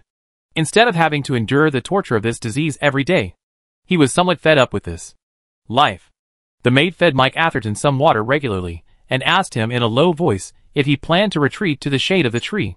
Earl Michael Atherton shook his head feebly, and the two maids could only step back helplessly and hide themselves under the shade of a tree.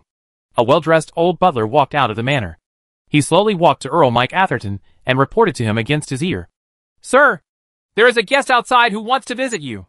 Mike Atherton looked at the butler blankly. He had not seen a guest for at least two years. The old butler knew the inquiry in his eyes, and quickly replied. He has a token of Count Fornax's lifetime. It seemed that the three words phonic made old Mike sober up. And he actually nodded. Although he was speechless. Mike Atherton was very conscious at this time. He even remembered some of the time he and Earl Fornax traveled to the imperial capital. They even communicated with other provinces in the imperial capital. The young nobles had a fight. And later offended some royal families that they could not afford to offend. If Count Fornax hadn't met the nobleman at that time, and everyone got help from that nobleman, maybe everyone would have died there. He felt a little dizzy in his mind. Every time he thought about the past. The sleepiness in his mind came out in waves, like a raging tide. He wanted to shake his head to clear his head. But unfortunately he couldn't. The housekeeper withdrew and took Soldak into the back garden after a while. Serdak felt that the nobles living in the city seemed to like to decorate their manors very luxuriously. The same was true for this Atherton manor. The manor was very lively. When walking through the hall, Serdek even saw a group of young people gathered around an organ, listening to a beautiful girl playing the organ. The female relatives in the manor looked at Soldak curiously. They had not received any notice that guests were coming to their home today. At this moment, everyone was very curious when they saw the housekeeper leading a burly knight into the back garden. Some people even followed secretly from behind. When Soldak came to the back garden, it seemed much quieter.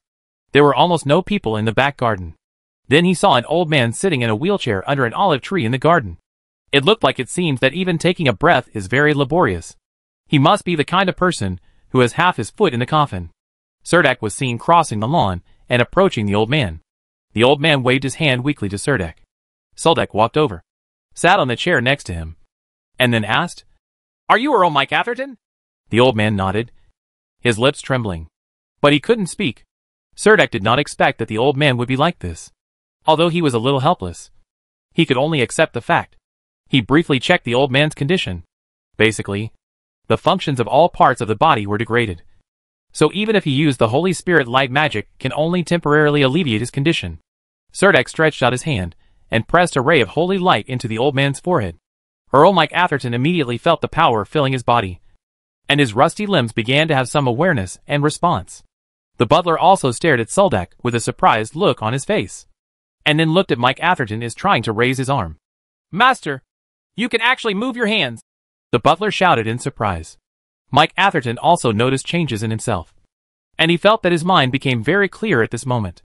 Young man, who are you and where do you come from? Mike Atherton asked in a hoarse voice. He hadn't spoken for a long time, so his voice was a little dry when he spoke. At this time, the maid quickly brought the water glass, gave Mike Atherton a sip and said, Serdek replied, I am Serdek, the consul of Rut City. I came to visit you this time, and I also brought you this. As he spoke, he took out a magic dagger inlaid with three red, green and blue gems from his magic belt. The magic dagger was very old, and even some of the inlaid gold patterns had peeled off. And the three gems it also seemed dim. When Count Fornax handed the dagger to him, Soldak was thinking for a while. How did a ghost bring this dagger with him? The old man didn't even hold it in his hand to identify it carefully, but asked excitedly, When did you see Fornax? A long time ago. I helped Count Fornax with some small favors, so he gave me this dagger. He also said that if I encounter trouble in Helensa City in the future, I will take this dagger to Atherton. The family pays a visit to Earl Michael Atherton. Soldak said. It seemed that the holy light gave Earl Mike Atherton a second spring, and he could even move his hands at this time. What trouble did you encounter? Do you need my help? Mike Atherton asked Soldek. Soldak immediately said. My friend Darcy Christie encountered some problems in the city of Halensa. She needs the support of some local nobles. So I took the liberty of asking you. Mike Atherton's eyes fell on the badge on Soldak's chest. And he asked doubtfully, Darcy Christie? What is her relationship with Marquis Bernard? Soldak replied, She is the daughter of Marquis Bernard, inherited the title of Bernard Christie, and is currently the consul of Halensa City. Mike Atherton frowned again. He also knew nothing about the current situation in Halensa and didn't understand how the Christie family ended up in this situation. Go and call David. I need to understand the situation in Halensa City. Mike Atherton ordered the butler. Yes, sir. The butler responded, immediately sending an attendant out behind him. At this time, Mike Atherton said with some emotion, I am getting older, and I rarely hear news from the outside recently, and I know nothing about the things outside. So can you tell me what happened in Halensa City recently? What happened?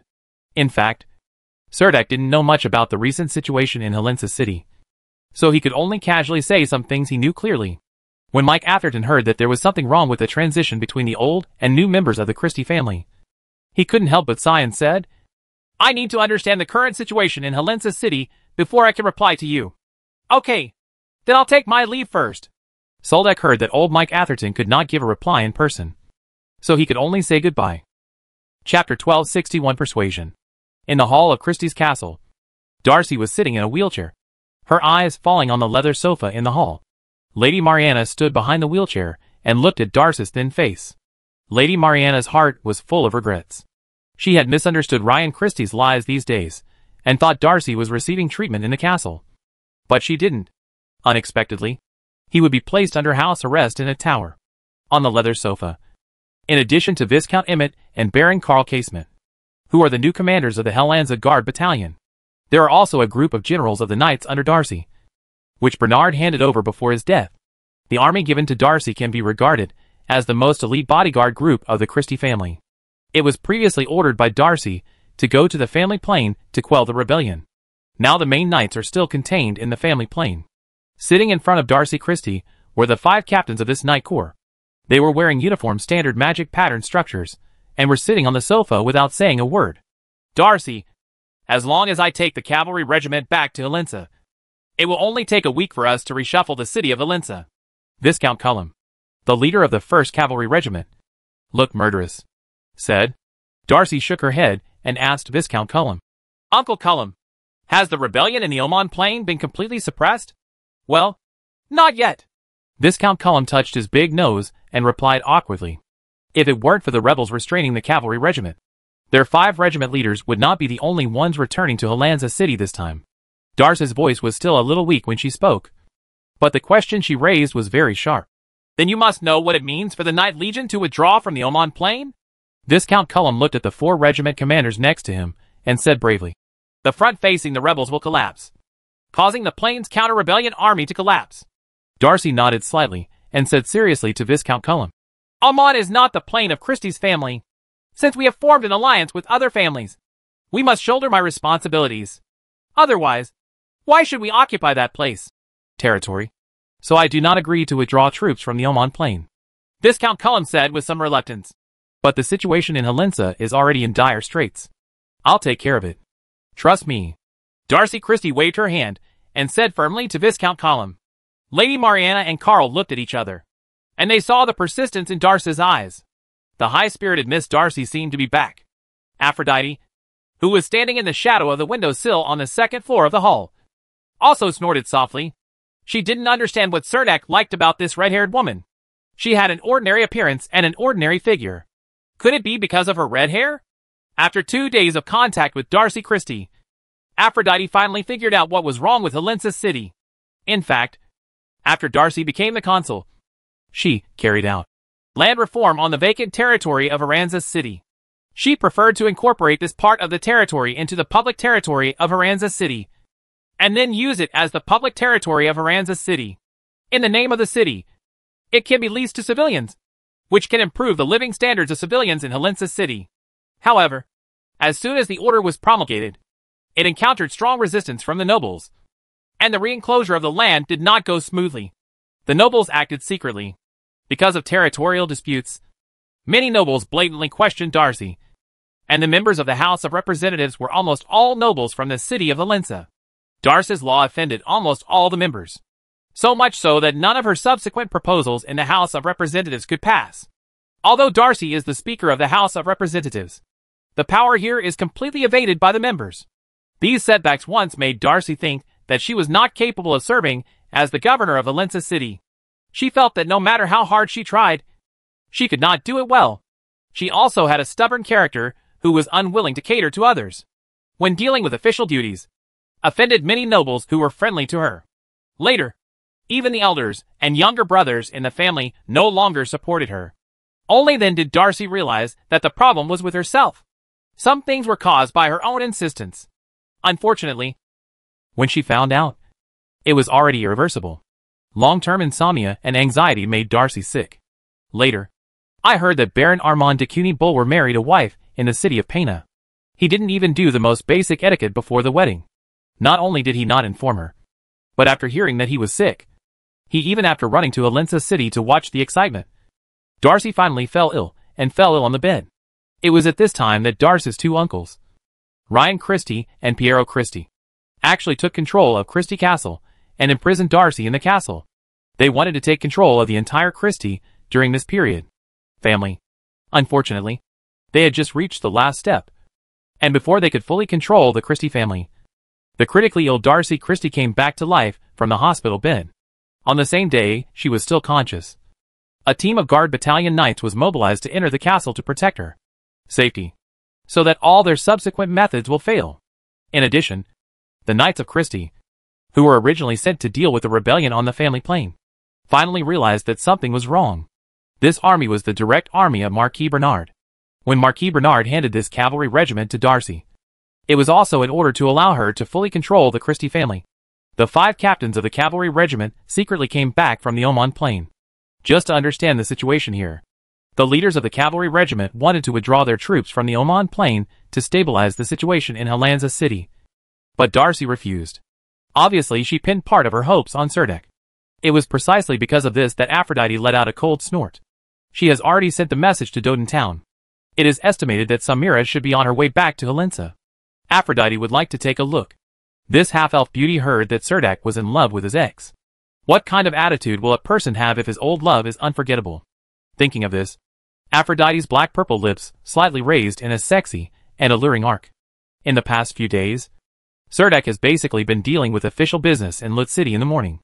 In the afternoon, he will go to Halensa City and start visiting these people and Fornax one by one according to the list given to him by Count Fornax, a nobleman with whom Uralko has some connections.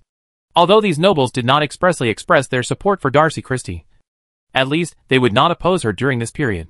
Everyone wisely stayed on the sidelines. Many nobles have keenly sensed that something is not normal in the Christie family recently. Ryan Christie and Piero Christie, who had frequently participated in various noble activities recently, suddenly disappeared in the past two days. And then unexpectedly disappeared in the past two days.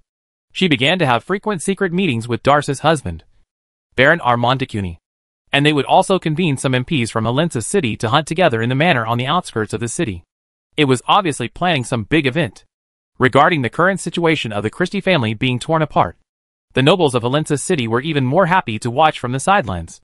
Therefore, when faced with Serdek's invitation, most nobles did not directly agree, and some simply refused. However, due to his status as a second-level knight, he spoke very tactfully in front of Serdek. Darcy Christie has little ability and is not worth following. Chapter 1262 Aphrodite's Expectations During the recent period, the nobles in Halensa city have seen a big show in the city. After the death of Bernard Marquis of the Christie family, Darcy Christie failed to establish enough prestige in the family. What followed was that the Christie family began to fall apart. The three most powerful branches were Darcy's, an interest group formed by two uncles, Ryan and Piero. In addition, Duin, Darcy's half-brother, does not agree with Darcy's status in the family, and has been hiding in a manor outside the city. Serdek frequently visited the nobles in Halensa this time, hoping that they could support Darcy Christie. Only half of the nobles expressed their willingness to support Darcy in front of Serdek. But most people had a negative attitude towards Darcy's new policy. Serdek sat in the magic caravan and pinched the corners of his eyes tiredly. This was really a mess. He had just received a message from the Knights of the Karlsent Guard camp, asking him to return to Christie Castle as soon as possible. And he knew that there might be a new change in this matter.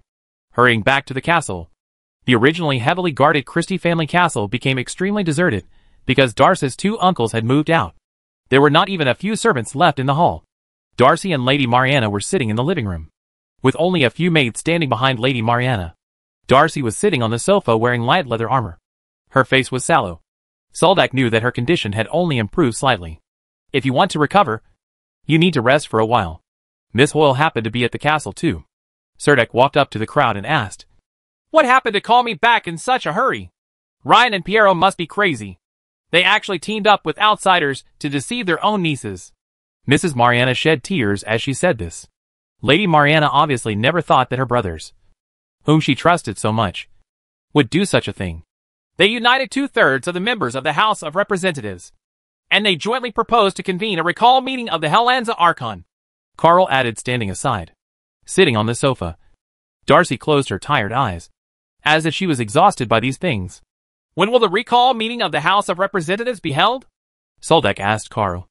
Next Monday morning, Carl replied. That is, the day after tomorrow. Carl nodded, and a strange officer standing next to Carl stood up and said, Miss Darcy, I think we should mobilize the troops from the Oman Plain to return to Halensa at this time. As long as we can control the nobles in the city, they will not dare to openly express those decisions. Serdak turned his head and glanced at the middle-aged officer. His idea was in line with Serdak's temper. Soldak, how have you been contacting the nobles in the city recently? Is there any good news? Carl asked impatiently when he saw Soldak walking in. Serdak took out a piece of parchment from his arms and said to Carl, Here is the list of nobles who are willing to stand on our side. Carl, Mrs. Mariana, Miss Hoyle and others all came together and began to count the nobles on the list. However, the expressions of the three people at the end of the count were still solemn. Mrs. Mariana said. In this way, even if all the nobles choose to wait and see, the nobles are all willing to support us, and less than half of the MPs can stand on our side. Since they openly held a recall meeting, more than two-thirds of the members should be willing to support them. Miss Hoyle also sighed. On the contrary, Darcy, who was sitting on the sofa with a very calm face, chatted to Soldak about what happened to the Christie family in the past few days. Ryan and Piero, Darcy's uncles, had hurriedly moved out of the castle the morning before yesterday. And then, they came together with Armand de Cuny. In the past few days, they have united with most of the noble members of the House of Halensa to prepare for a recall meeting. They decided to remove Darcy from the position of governor of Halensa at this meeting, and then re-elect the governor of Halensa City, the new consul. Serdak did not expect that the other party was also actively preparing, and currently counting the number of members who are willing to support Darcy. It is not even one-third of the total members of the House of Representatives. Unexpectedly, the current situation would be so bad. Serdak had a headache looking at this list. Darcy Christie had gone through so many changes. But she was very open-minded. She smiled at Soldak and said, It's not a big deal. If the Christie family cannot take charge of Halensa, then I will move to the Oman Plain, where one-seventh of the territory belongs to the Christie family. Don't be discouraged. There will always be a way. Soldak sat down opposite Darcy Christie and comforted her. I'm not ready to be a qualified consul. I'm not prepared at all. And he left in a hurry. Darcy covered her face. Her voice was full of sadness. She was like a bird hiding in the bushes wounded deer. Soldak didn't know what to say. He didn't expect that the death of Marquis Bernard would hit Darcy so hard. Darcy Christie covered her eyes with her hands and rested her head on the back of the sofa. Her nose was red and her voice was full of nasal sounds as if she had just cried. He has many thoughts. He told me at that time that it would be very difficult for aristocratic people in power to do something for the common people. Even a little bit. I didn't quite understand it at that time. He has the highest decision-making power in Halensa City. If he wants to do something, how can he not be able to do it? Now I know how difficult some things are. This may be the price of growth. But this price is a little too high for Darcy. Soldak thought in his heart. Dak, are there any other Halensa nobles that you haven't been able to visit? Aphrodite supported the railings on the second floor with both hands and leaned towards the hall on the first floor and asked. Serdak pointed to the red line names on the list, raised the list, shook it towards Aphrodite, and said, They are all here. Almost all those with red lines don't want to see me. Aphrodite pursed her lips, with a demonic smile on her face. but her face was hidden under the mithril mask, and others could not see her expression at all. Only Cerdak could feel that Aphrodite's heart seemed to be about to move, and her body was shaking uncontrollably. It was not that she was nervous at all, but that there was an uncontrollable excitement deep in her heart. Yes, she's excited. Just when Cerdak had this idea, he heard Aphrodite smile and say to Cerdak, This time it's my turn to meet them. I believe they will be willing to listen to my advice. Chapter 1263 Removal The succubus walked into the night wearing magic robes. Even Cerdak didn't know how many people listened to Aphrodite's advice that night. In fact, the charm that Aphrodite is best at is itself an advanced hypnosis. It can make people lose their mind and instantly fall into a hallucination. However, this is only a primary charm. An advanced charm is lurking in deep memories. Can be triggered by certain conditions, such as hearing a certain ringtone or seeing a specific item. The spell of charm will take effect without the user knowing it. The succubus Aphrodite who successfully advanced to become a second-level magician, calls herself a magician. However, Cerdak has never noticed where Aphrodite has become stronger, and is still lazy every day. Look, had it not been for Aphrodite's initiative to persuade these noble counselors this time, Cerdak would not have thought that Aphrodite still had this ability. While Cerdak was busy dealing with the recruitment of troops from the Ganbu Plain in Ruth City, the recall meeting of the House of Representatives in Halensa City was also held as scheduled amidst heated discussions. In the Parliament Hall of the House of Representatives, Darcy Christie wore a bronze magic pattern structure and walked slowly to the podium. Although she had a hard time walking, she still insisted on walking up. The Parliament Hall then became quiet. The members who were whispering and discussing now all focused on Darcy. Darcy's two uncles, Ryan Christie and Piero Christie, were sitting on the podium behind Darcy. Darcy's voice was always tough. And she said casually, I heard a few days ago that you were going to remove me. Darcy Christie lowered her head and looked around with a self-deprecating look. She found that wherever she looked, the congressman looked away and looked away with some guilt. Darcy smiled very freely and said, For me, the biggest regret during my tenure was the failure to incorporate the vacant land into the Halensa public domain. She raised her pointed chin and said, You may think that I am just acting willfully. In fact, I have always wanted to raise the living standards of civilians in Halensa to a higher level. You may also think that this has nothing to do with the nobility. In fact, there is a great relationship between the two. Because only when the living standards of the people of Halensa are improved, the living comfort of our nobles will increase rapidly. The nobles have always been the owners of the vast majority of the land. Many nobles would rather have their territories abandoned than lease these lands to the impoverished commoners. In my opinion, this approach will neither enrich your wallet nor increase your reputation. Darcy likes to speak straightforwardly. And this time, she finished speaking in one breath. There is only one thing that needs to be voted on at this meeting. And that is to remove me from my administrative position as Archon of Halensa. In order not to delay everyone's lunch. Voting has officially begun. After saying that, Darcy asked the service staff in the audience to push the voting box up. And then she took the lead in putting the prepared letters into the box and then walked back to the middle of the podium. Her two uncles looked happy and sat in the corner of the podium, looking at Darcy from time to time. Darcy, on the other hand, looked calm and did not even take the initiative to examine the voting members. The MPs moved very quickly. They lined up in front of the podium in the Parliament Hall and put their votes into the box in the order of their actions. Everyone did not communicate with each other. They just threw the votes into the box and quickly returned to themselves. Seat, for fear of getting into any trouble. It is not until the last member puts his vote into the box that the second step of the members voting is completed. And the next step is to count the votes. For this kind of removal of the city's consul, the number of votes cast by the members must be greater than two-thirds of the total number of members. Then the meeting to remove Darcy can be considered successful. Obviously, Ryan Christie and Piero Christie were full of confidence in the members' vote to remove the consul. They sat on the edge of the rostrum. And from time to time, members of Congress came over to greet their brothers. On the other hand, Darcy was just sitting alone on the speaker's seat. Her face so calm that there was almost no emotion at all. The two clerks responsible for counting the votes, under the supervision of four supervisors, took out all the envelopes from the ballot box and cut them open one by one with a peeling knife.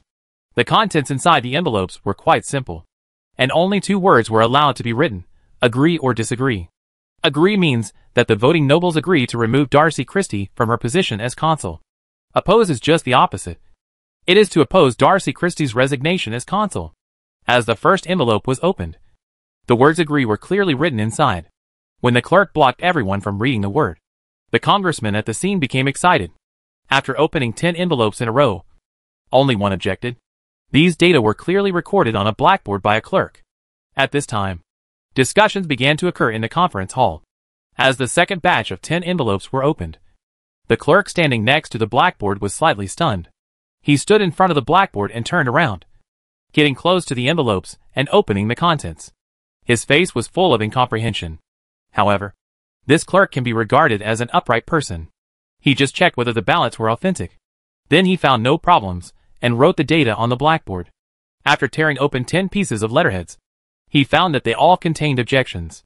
At first, the congressman present did not think it was a big deal.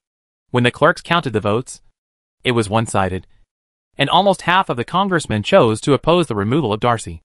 Almost all the members in the Parliament Hall stood up. They looked at the blackboard in front of the podium in disbelief and whispered in their mouths.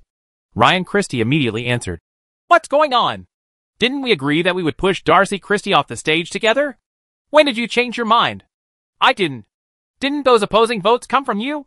A group of congressmen stood in the corner, and everyone was even a little panicked. Even Darcy, who was sitting in the speaker's seat, looked confused at this time. She didn't understand how her supporters could become so numerous. Seeing that the number of votes against the removal was increasing, Darcy thought of Serta, Graham and Aphrodite's efforts during this time. You don't need to think about it to know that this matter must have something to do with them. Darcy was sitting on the speaker's chair, looking coldly at the stunned members.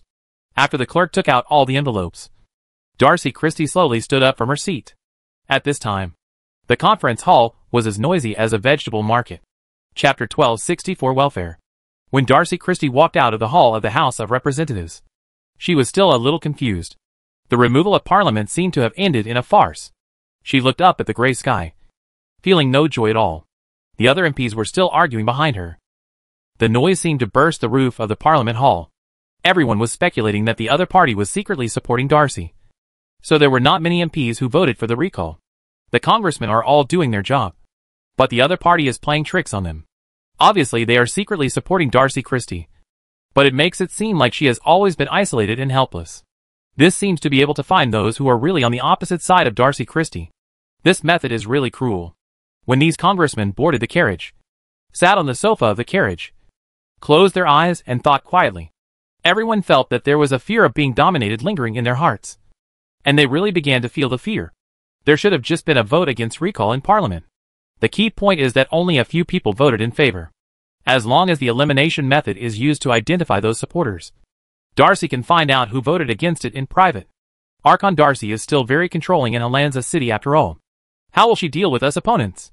The members of the House of Representatives in Halensa City began to be afraid.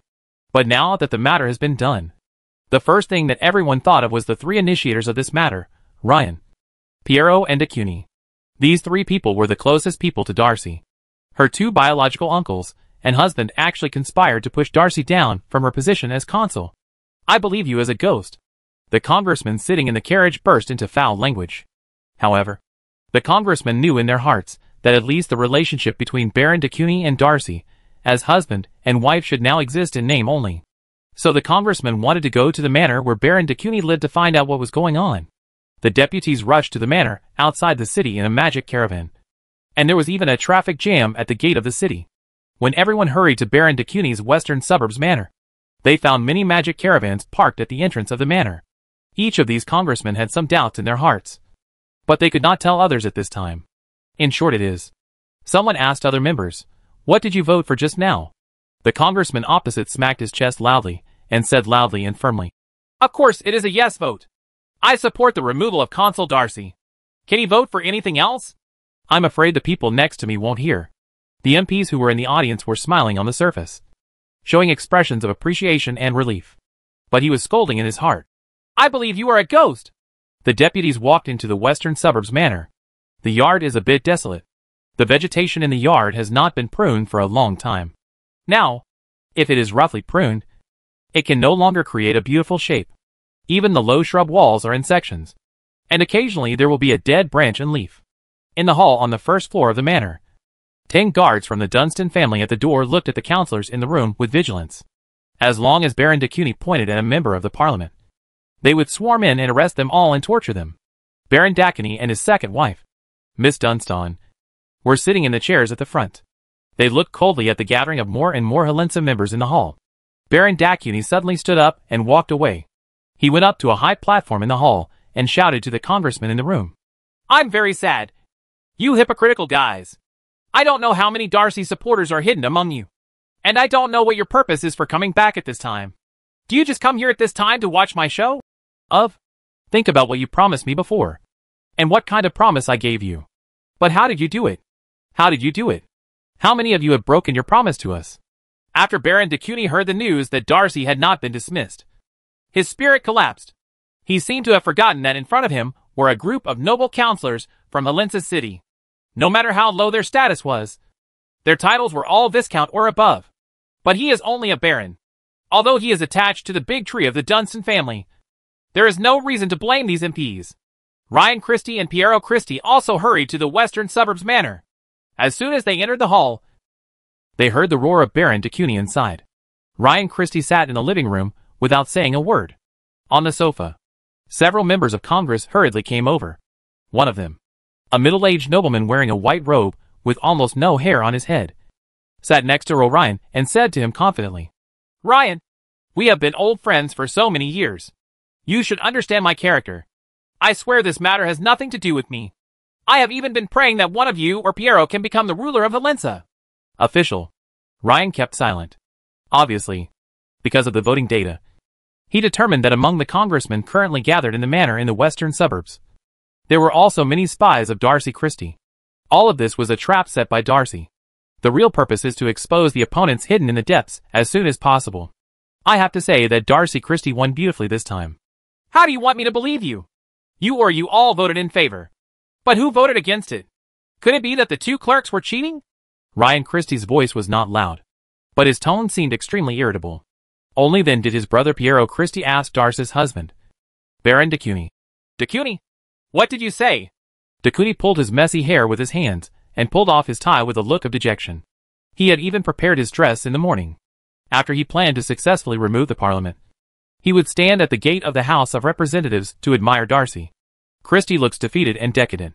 It's a pity that not only did he not wait for the scene to appear, but the problem he is currently facing is also quite serious. What he has to face is Darcy Christie's next revenge. Baron de Cuny could only spread his hands and said helplessly, What do I have in mind? If so, then I'd better go back to Bena City and live there for a while. Yes, Baron de Cuny has begun to think about quitting. At this time, a woman's voice came from the stairs. Didn't you say that you want to run for the consulship of Halensa City? I have already written a letter to my brother, telling him that he must support you. At this time, you can already want to back down? So what if we don't leave? Do you think she will let us stay comfortably in Halensa? Baron de Cuny turned to the middle-aged woman and asked. The middle-aged woman was 11 years older than Baron de Cuny. Although her face had exquisite makeup, it was still difficult to hide the wrinkles and traces of time on her face. The surname de Cuny was the surname of her previous husband. But his husband died in the Plain War. In order to preserve her part of the de Cuny family's property, she went through a lot of trouble and married a man. Only by hiring a young baron and letting the baron inherit the surname de Cuny can he successfully retain this wealth. This time she and her husband, Baron Adman de Cuny, came to Halensa City for vacation. Only when they arrived in Halensa City did they find out that her husband had a wife before that. And this wife had a good background and was a seafarer. The heir to the Christie family. The leader of Lanza City. And also the governor here. When they heard that Darcy was terminally ill, the couple planned to take over the city of Halensa. Unfortunately, before they could take care of all aspects, Darcy Christie actually came back to life. Baron de Cuny avoided the MPs in the hall and came to Mrs. Dunstan. He put his arm around her slender waist, pinched his big nose and said, You don't know Darcy. She doesn't have a good temper. And it's hard to listen to other people's opinions. When things calm down in Halensa City, she will take revenge on us as long as she has free hands. Ryan and Piero have gone too far. They are also Darcy's uncles. How can she still send them to the gallows? But I am different. Now she probably wants me to die early. Just like me, that's what she prays for. So why do we continue to stay here? After hearing what Baron de Cuny said, Mrs. Dunstan was also a little hesitant. The MPs in the hall are like headless flies. Surrounding Earl Ryan, hoping that he can come up with a solution. Darcy returned to the Christie family castle in the magic caravan. After getting off the carriage, she got back into the wheelchair. Aphrodite was lying on the grape trellis on the second floor terrace taking a nap. The maid pushed Darcy over, and Aphrodite opened her eyes and turned over lazily. How did you do it? Darcy was full of curiosity. Aphrodite yawned. She wore a mithril mask on her head, so the expression on her face could not be seen. What? Aphrodite asked. Darcy Christie said. Convince those congressmen. Aphrodite immediately waved her hands and said, I can't convince so many congressmen at once. With a smile hidden under the mask, Aphrodite continued, I just gave them a little psychological hint.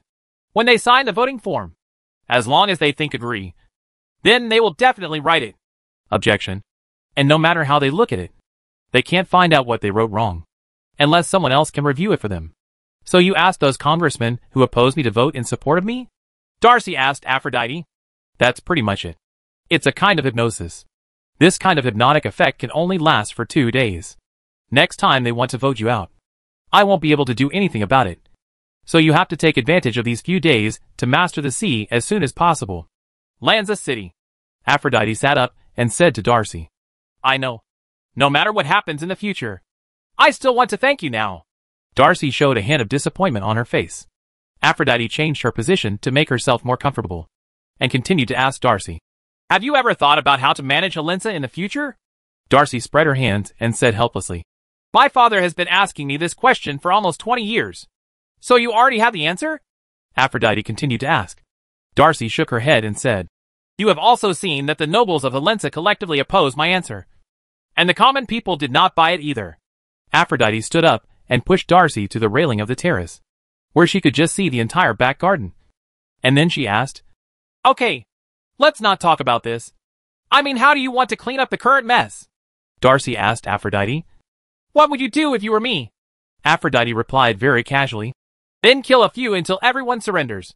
Darcy looked surprised and said to Aphrodite, But they have nothing wrong. Murdering nobles is against the laws of the Empire. The best that nobles can do is to resolve disputes with duels. But that's up to them. Just be willing to take on the challenge. Aphrodite glanced at Darcy, and then said, I heard Dax said that you were in charge of the intelligence agency of Halensa before. How difficult is it to catch their little tail? Darcy narrowed her slender eyes and looked at Aphrodite. Aphrodite walked out from the gauze curtain. Cerdak was dealing with the backlog of official business at his desk. He raised his head and glanced at Aphrodite, and then asked, What was the final result of the recall meeting held today by the House of Representatives in Halensa City? She sat opposite Soldak and helped him organize a pile of documents neatly, and then said lazily, Okay. Miss Darcy was not dismissed on the spot. But this kind of thing we can't hide it for a few days. We have to resolve this matter completely. I'll talk to Darcy when I have time. I think she's recovering well. With that said, Soldak picked up the quill again and began to review the documents. By the way, tomorrow I am going to go to the Ganbu Plain to issue recruitment orders. Do you want to go to Makuso City with me? Cerdak asked. Aphrodite shook her head and thought for a while before saying, I'd better help you keep an eye on what's going on in Halensa. Don't worry. You can deal with the affairs of the Ganbu Plain.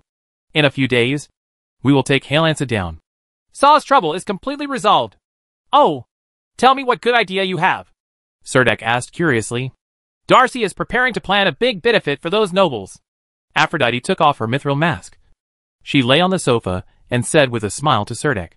Cerdak was reading the documents with his head lowered and he didn't even see the fierceness in Aphrodite's smile. What a great benefit! I'm really curious about what Darcy has prepared for the nobles. Cerdak lowered his head and said, Chapter 1265 Calm down. Samira arrived in Halensa City in mid-July. From Doden Town in the Belan Plain to Wilk City. And then through the portal into Bena City. Take the magic airship from Bena City to Halensa. Normally, the journey takes about 20 days. But Salsa it actually took Mira only 11 days to reach Haranza. This includes the special passes issued by the military department, as well as the strength of the second-level powerhouses themselves. It only took two days, and two nights for Samira and Gary Decker to ride their magic-patterned military horses from Doden Town to Wilkes. Then, they entered Bena City directly through the portal, and then took the fastest train. a group of magic airships arrived at Halensa City. After Samira found Aphrodite with Carrie Decker, who came to Halensa for the first time, the three of them lived in the Christie family castle together.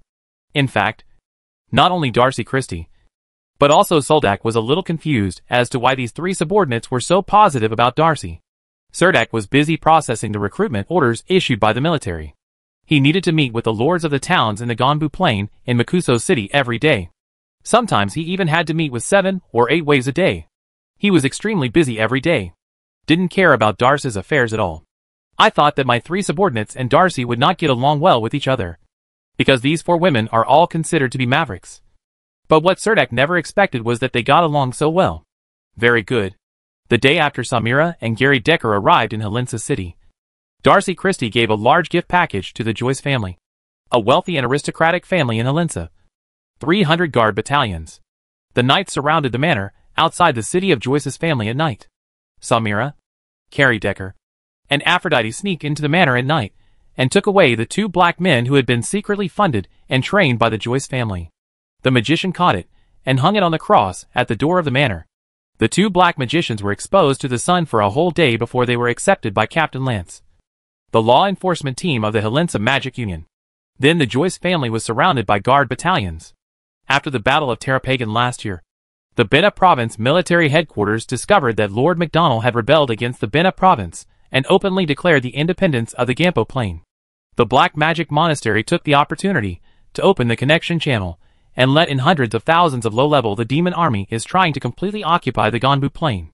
It was under such circumstances that the military issued a decree to arrest black magicians within the territory of Bena province. All black magicians were heretics. This time, two black magicians were found in the Joyce family.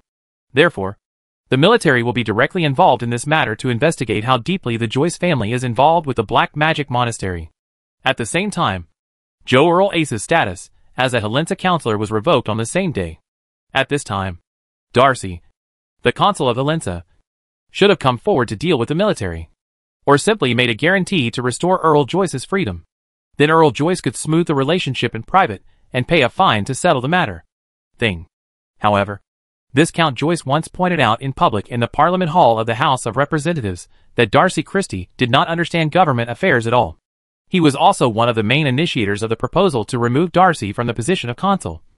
So Darcy did not come forward. The next morning, Count Joyce was taken to the magic airship flying to Venice City. It is said that if convicted, Count Joyce will face three to five years in prison.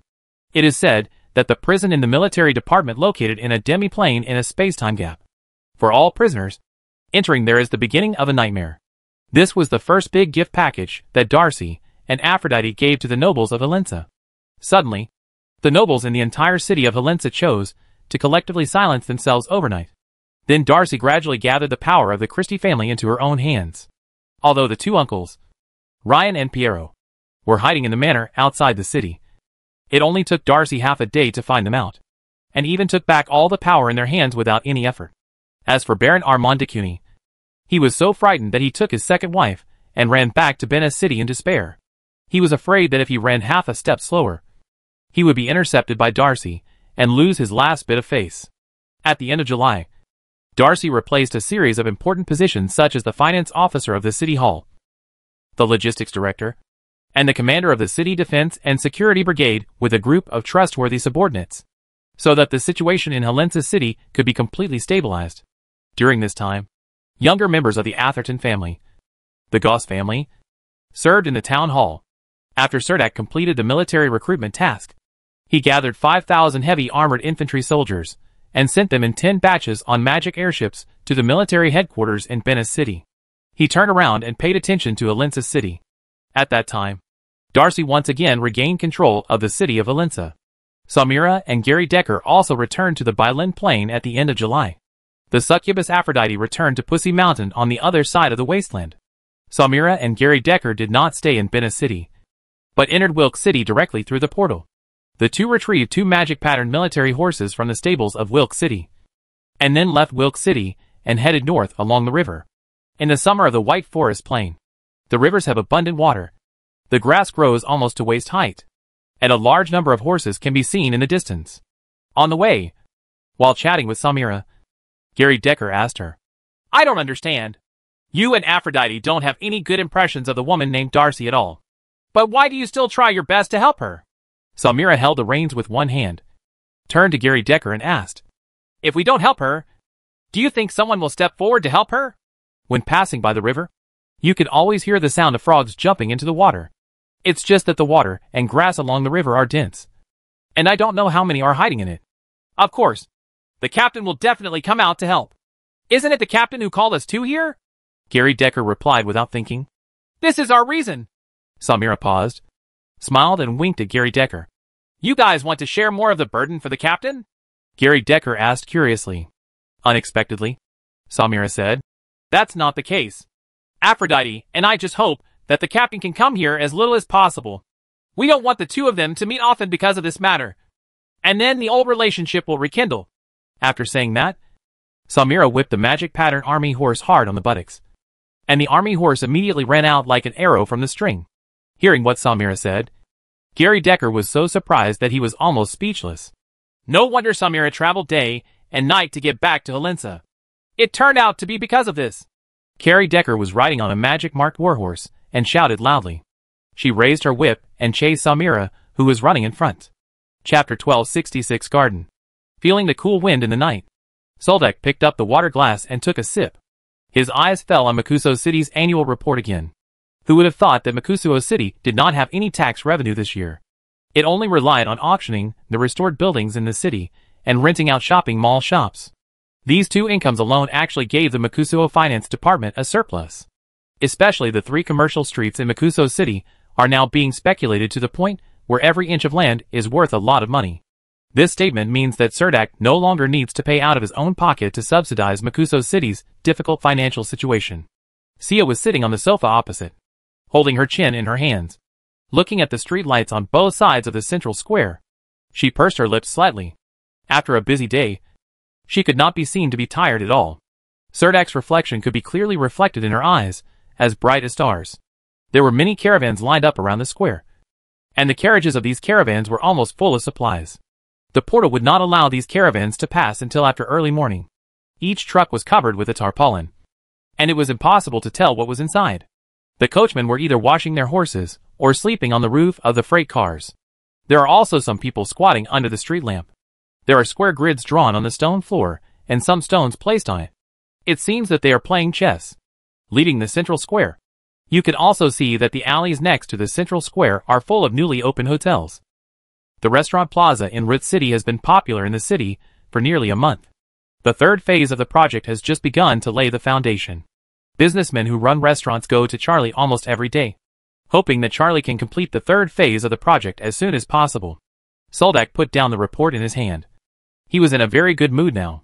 During the previous period, what he was most worried about was that the reconstruction of Makuso City would be a huge hole that would never be filled. With Serdak's economic situation, it would be difficult to maintain it. But now it seems that after just a short period of time, it will be a huge hole. The Ganbu Plain, which has a one-year tax holiday, has basically realized its own profits and losses. And it is very likely that there will be some surplus. He raised his head and happened to see a caravan passing by the magic caravan, with a group of slaves sitting in the last carriage. Although the slave trade is prohibited in Rit City, it is still legal for nobles to own slaves which has spawned many purchasing agents. Soldek knocked his head and said with a smile to Sia. I heard that you bought a group of Naga slaves in Bena City a few days ago? Sia withdrew her gaze, looked at Soldak and asked in surprise. You know all this? Serdek smiled slightly. Beatrice told him this last night. Occasionally, after doing some exercise, they would lie down and talk about trivial matters in life. Of course, Serdek said. Then have you ever thought about how to resettle these Naga slaves? As expected, Thea had already thought of the next plan and said casually, I will send them directly to Bella Lake on the Sai Roman Plateau and let them stay there for a while. Serdek didn't expect that Sia actually kept her word. She had said that she would send the redeemed Nagas to live in Lake Bellanorma. Soldak said to her again, I think it's better to think carefully. It's okay in summer. But in winter, the lake over there will freeze. Sia rolled her eyes and muttered to Soldak. Didn't I come here the same way when I was at the Doden River in the cold winter? Serdek thought to himself. You were living downstairs in the wooden house at that time. And Zigna and Nika also added a heating device under your bathtub. So it was not cold at all. But he didn't say that. Instead, he changed the topic and asked Sia. Okay. Then when do you plan to give them their freedom? Sia said matter-of-factly. Of course they have to wait until they make enough money to redeem themselves. And of course, they have to earn a traveling fee for themselves. You know, taking a magic airship to Chien City is very expensive. Yes, as long as they can save enough money. I will comply with their wishes and let them leave. When the carriage passed through the shopping street, it saw that there were some mobile taverns in the square at the intersection. Most of these taverns have several wooden carts with large wine barrels stacked in a Z-shaped shape tied to the cart. The stall owner only needs to find an empty place to stop the cart and pull out a few wooden boards to enclose a small activity area. Even a simple mobile tavern. Most mobile taverns only appear at night. And they mostly sell ale and low-alcohol free wine at very cheap prices. Next to these mobile pubs, there are often fish, chips, barbecue stalls, etc. Many people gathered on the street. A group of young civilians sang and danced in the square. The sound of music could be heard far away. Some girls were invited to dance in turn and the atmosphere was extremely hot. Seeing this made Sia want to jump off the carriage and join the dancing crowd. Returning to Ligite Castle from Makuso City, he saw the butler and a group of servants waiting on the steps. Soldak stepped out of the carriage and asked the butler, Have you received an invitation recently that you can't refuse? The butler replied, I received an invitation letter from Count Kurt Lanier this morning, saying that he wants to invite you to their manor outside the city for a weekend vacation. Oh, Serdek stopped in surprise and asked in surprise. Did it say anything else? The butler quickly replied. We also invited two ladies. Soldek nodded and walked into the castle hall. Hathaway and Beatrice also happened to come down from upstairs at this time. Soldek took the invitation from the butler. And the two maids helped him take off the magic pattern leather armor and hang it on the wooden shelf in the living room. Hathaway took the linen shirt from the maid and helped Soldek change it herself. Treasurer Kurt invited me to the dance this weekend. Do you want to go with me? Soldek asked Hathaway in a low voice. Is it appropriate for us to go? Hathaway asked Soldak with a smile. Is there anything appropriate or inappropriate? Soldak said, turning to the housekeeper and saying, Then agree to him.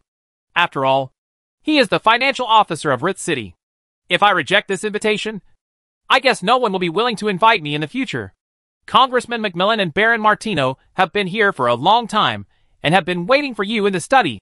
The butler continued. Soldak nodded. He knew this. He came back so early just because he wanted to have a good talk with Baron Martino. Baron Martino has completed the preliminary exploration work on the road from Ritz City to Hammond Town, and is now officially preparing for it. There are preliminary ideas for raising funds for this road. Funds will be raised from various businesses in Rooter City. And Rooter City Hall will use commercial building land on both sides of the road as compensation. This news had been revealed a few days ago, and I didn't expect that there were so many people responding. Now, many businessmen in Ritz City and Makuso City send people to wait at the door of Ritz City City Hall every day. And almost all of them want to participate. No one knows better than these merchants what changes will be brought to Ritz City after this road is connected.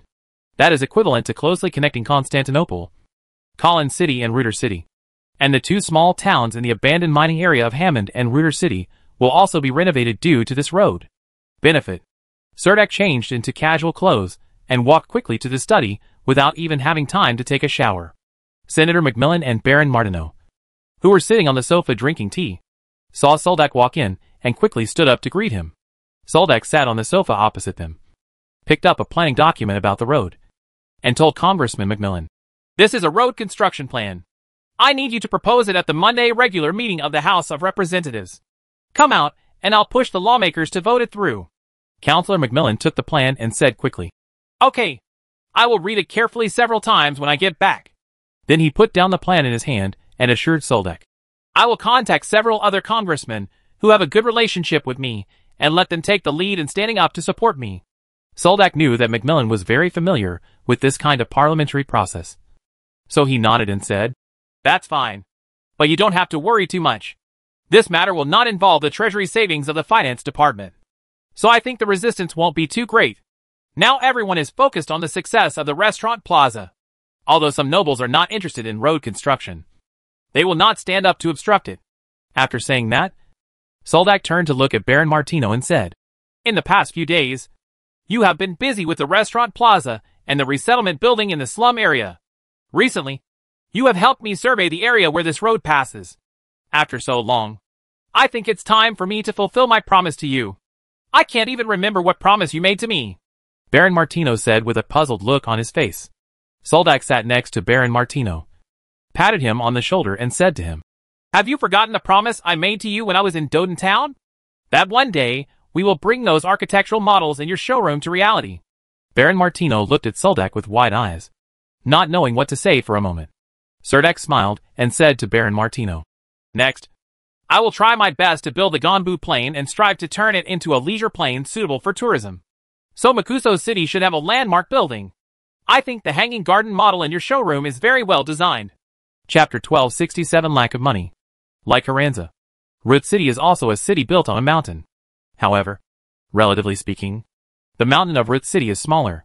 The city almost surrounds the entire mountain, and is not built on the mountainside like Halensa. This hill limits the size of Lut City, unless it expands to the plain at the foot of the mountain.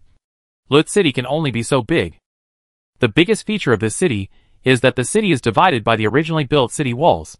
The entire city is divided into five sections by terrace-like city walls.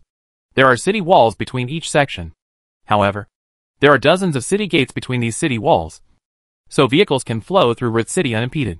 It is divided into five major areas, slum area, workshop area, civilian area, commercial area, and aristocratic area.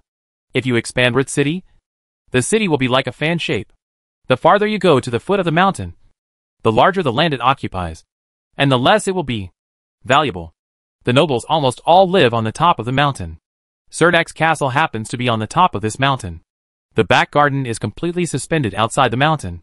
The entire platform is fixed on the top of the mountain by the huge root system of 16 ancient trees. It can be regarded as the best in Rith City. A wonder. Of course, Serdak did not want tourists visiting his castle to visit his own swimming pool or bathroom. So what else is worth visiting in this city? Apart from the modeled ancient city walls, there are actually no monuments to show off here. However, Soldak remembered that in Baron Martino's showroom, there seemed to be a huge corridor suspended on the city wall like a garden. The entire corridor was white. This corridor, that spanned the entire city wall, was completely made of dozens of meters high. It is composed of Roman columns, and forms a round arched sky above the head.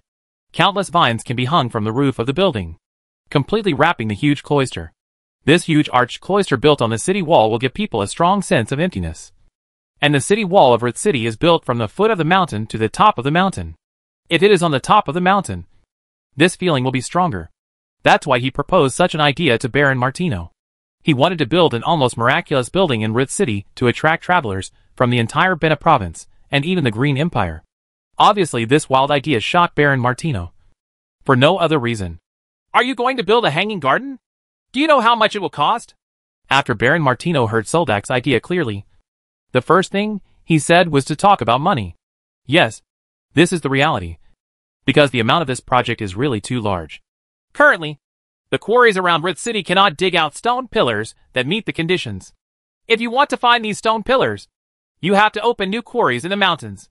Secondly, you must also consider the transportation problem. Even if you have Thunder Rhinoceros, if you want to transport these stone pillars outside the mountain, you must also build a road suitable for Thunder Rhinoceros to walk on. Just these preparations will probably take you more than 10 years. Martino planned to pour cold water on Serdak and let him calm down. He felt that Serdak must have been a little nervous after becoming the great lord of the Ganbu Plain.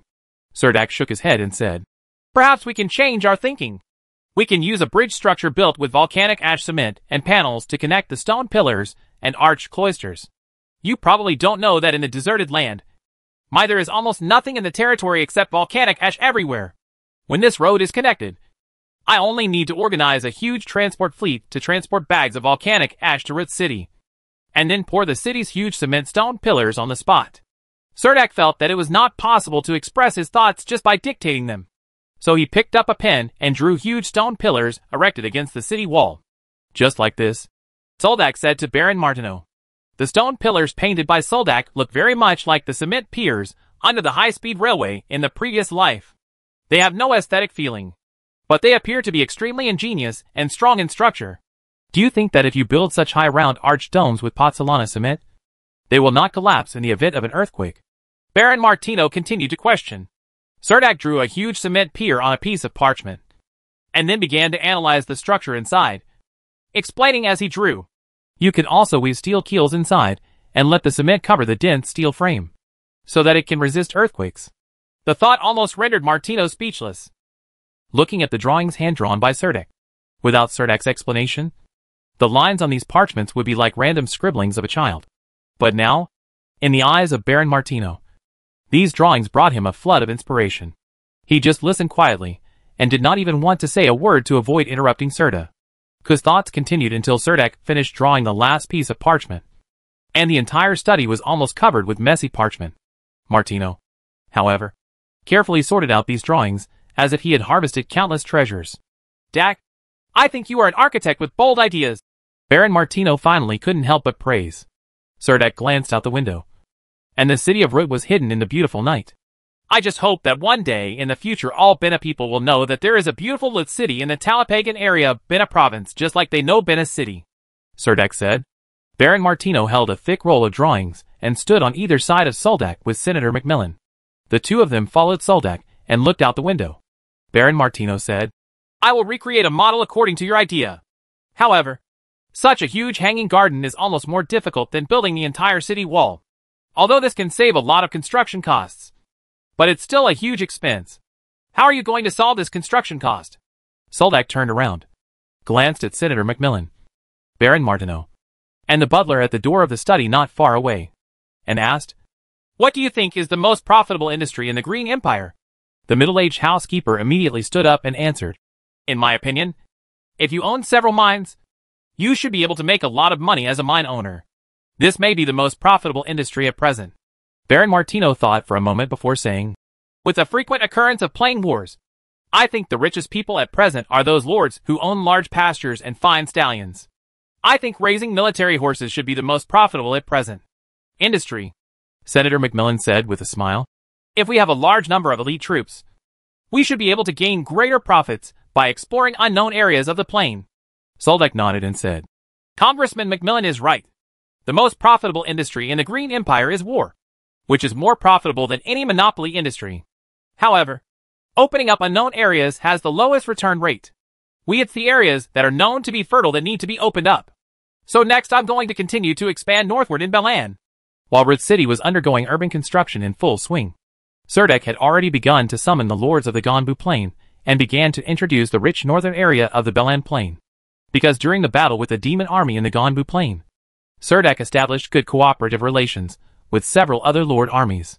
So this time Surdak proposed a battle plan to form a coalition to attack the northern area of the Belan Plain. And it was quickly approved by the noble lords behind these lord armies. In addition to the several lord armies in the Ganbu Plain that had close cooperation in the past. The noble lords in Rut City also wanted to take a share of the battle to open up the plain. Among them, the Ludwig family's new private army of lords was the largest in number. Of course, Surdak himself also mobilized nearly 10,000 heavy armored infantry soldiers from the Ganbu Plain. This time, the coalition forces from the Ganbu Plain went to the Belan Plain, bringing a total of 50,000 lords' private troops. Of course, the armaments and supplies of these armies need to be paid for by the lords themselves. The lord's army does not need to consider logistical issues, because this army since the day of its birth, there has been a fully functional business group accompanying the army. The reason why Surdak submitted an application to the military department for this expedition to the Belan Plain is also very simple. The territory located in Invercargill Forest is always on the edge of the nest of ghost-striped red ants. And these ghost-striped red ants threaten the lives and property of the residents in the Soldak territory at all times. Therefore, Surdak proposed to the military this time to completely eliminate the ghost-striped red ant nests in the Darkworm Valley, so that the northern residents of the White Forest Plain can have a better life. Marquis Luther did not expect that Soldak would take such a big step. However, since Soldak had this idea, Marquis Luther, as the young leader of the main war faction, would not fail to support it. The application was almost submitted to after the military department. It was approved immediately. Surdak has also begun to actively prepare for the war in Ruth City. When the news that Lord Surdak was preparing to enter the Belan Plain reached Ruth City, the radicals and conservative factions in the entire Ruth City immediately fell into a fierce dispute. The conservative faction headed by some established noble forces immediately pointed out many drawbacks of this expedition. Two consecutive years of war almost emptied out the city of Rut and Ganbu. After a year of rest, the city regained some vitality. And now Lord Cerdak has actually begun to form a coalition to fight in other dimensions. This is undoubtedly a serious blow to the local economy. In fact, the conservative starting point in looking at the problem is still good. But some are conservative in thinking. What they often focus on most is maintaining existing vested interests. And then they will continue to develop step by step. In sharp contrast to the conservative faction are the radicals in Rooter City. They actually think that this is their opportunity. Being able to take the express train of Count Cerdak may allow the family to develop rapidly. However, since it is a plain war, there are huge risks. Victory will bring an overnight fortune. Failure will not only involve the entire army, but it will also severely shrink the family industry. It was amid such constant disputes that the Gambo Alliance army formed by Cerdak himself was assembled in Root City. Chapter 1268 before the expedition. Probably because Cerdak controls a powerful army of Alliance lords. No matter what policy Cerdak implements in Root City recently. As long as it is not too excessive. These noble lords in Root City will, will not stand up and raise an objection. Even if Cerdak wanted to build a road in the abandoned mining area. When the nobles heard that the city hall would not have to pay a penny, they immediately passed a resolution to build the road. And the lords who own the abandoned land in the abandoned mining area are also very generous. Cerdak set aside some land from their territory for road construction. And each of them only received a symbolic gold coin. They didn't care at all that the road would pass through the territory and divide the territory into two. Some lords think that it would be good to pass through the territory. At least this road can lead directly to Rit City, making it easier for residents living in the territory to enter the city. The first construction engineering team of Makuso transferred 500 kobold slaves this time. This group of kobolds built a felt shed outside the city and began to build the roadbed. The convoy from Wall Village transported the first batch of volcanic ash from Pudu Mountain, a deserted land, and it has been laid near the city gate. After watering, the volcanic ash formed a very strong cement pavement, and according to Cerdak's requirements, this kind of the cement pavement will be separated by thin wooden boards every 3 meters. It is said that this can prevent the pavement from freezing and cracking when winter and summer alternate. Luke naturally became the commander-in-chief of this road construction. Although this road has not been built, it has been divided into countless roadside areas by 73 trading houses. In the future, construction will be done on both sides of this road. Some material warehouses and stores. The nobles in the city do not have a keen sense of ways to make money like the businessmen and they do not realize what changes this road will bring to Root City after it is repaired. In fact, Luke's construction of this road started in both directions. In the small town of Hammond, just north of Yazipia's manor, another road construction team composed of kobold slaves was also working intensively to build this road. Here there are obviously more four-wheeled carriages. However, it is precisely the problem of insufficient transportation capacity that limits the construction speed of this road. Cerdak left Root City in a magic caravan. He first inspected the coalition camp outside the city, then ran to the road construction site to chat with Luke, and then took the magic caravan to Finance Officer Cole, the manor of Tay Lady. Count Kurt Lotte was lying on a wicker chair on the terrace on the second floor. In the living room, two butlers were leading the servants to clean. This place would become a huge dance floor at night. So all useless furniture had to be moved to the warehouse behind. Inside, several wives of Count Kurt, the financial officer, gathered together and sat not far away from Count Kurt to play cards. The ladies were very excited to have a grand ball in the manor. And the young people in the family were also summoned back by Count Kurt. Even if they just showed their faces in front of these nobles and officials. It would be a good thing for them in the future. Some benefits. The main reason why Earl Kurt held this ball was to show his loyalty to Soldak. Yes, that's what he thought. He is one of the few nobles in Lut City who supports Earl Lake Cushing. Because he clearly knows that Lit City needs to make some changes after being baptized by the flames of war. At least it cannot be mentioned by others. That is, I know. I know. That is the main city of Lord MacDonald's rebellion. Root City needs a new look to change the Bena people's perception of this place. Many times, other areas in the Bena province collectively refer to the area of Root City as Tanan. In fact, there are also some meanings of wild land that are not stated literally. He and Earl Lake Cushing also tried some new measures. But those measures either failed or could not be implemented. Earl Kurt is considered a supporter of the former consul Earl Lake Cushing. So he serves as the financial officer of Rooter City. During his tenure, he has not met any other competitors. The nobles all know that there is no money in the treasury of Root City. But today is different from the past.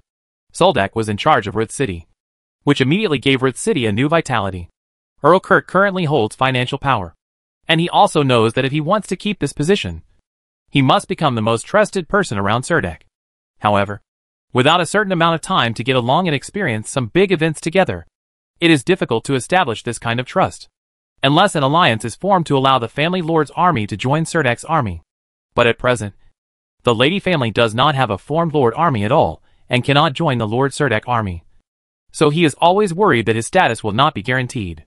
I have been suffering from insomnia recently. And in my dreams, I am being pulled down from the financial officer's chair. The incident where Earl Lake Cushing hid in Benez City a while ago also made him a little uneasy. He was worried that Earl Cushing's loss of Soldak's trust would also affect his position as financial officer. A group of young people from the family gathered in the garden. Among the men and women, a tall and outstanding young girl was among the crowd.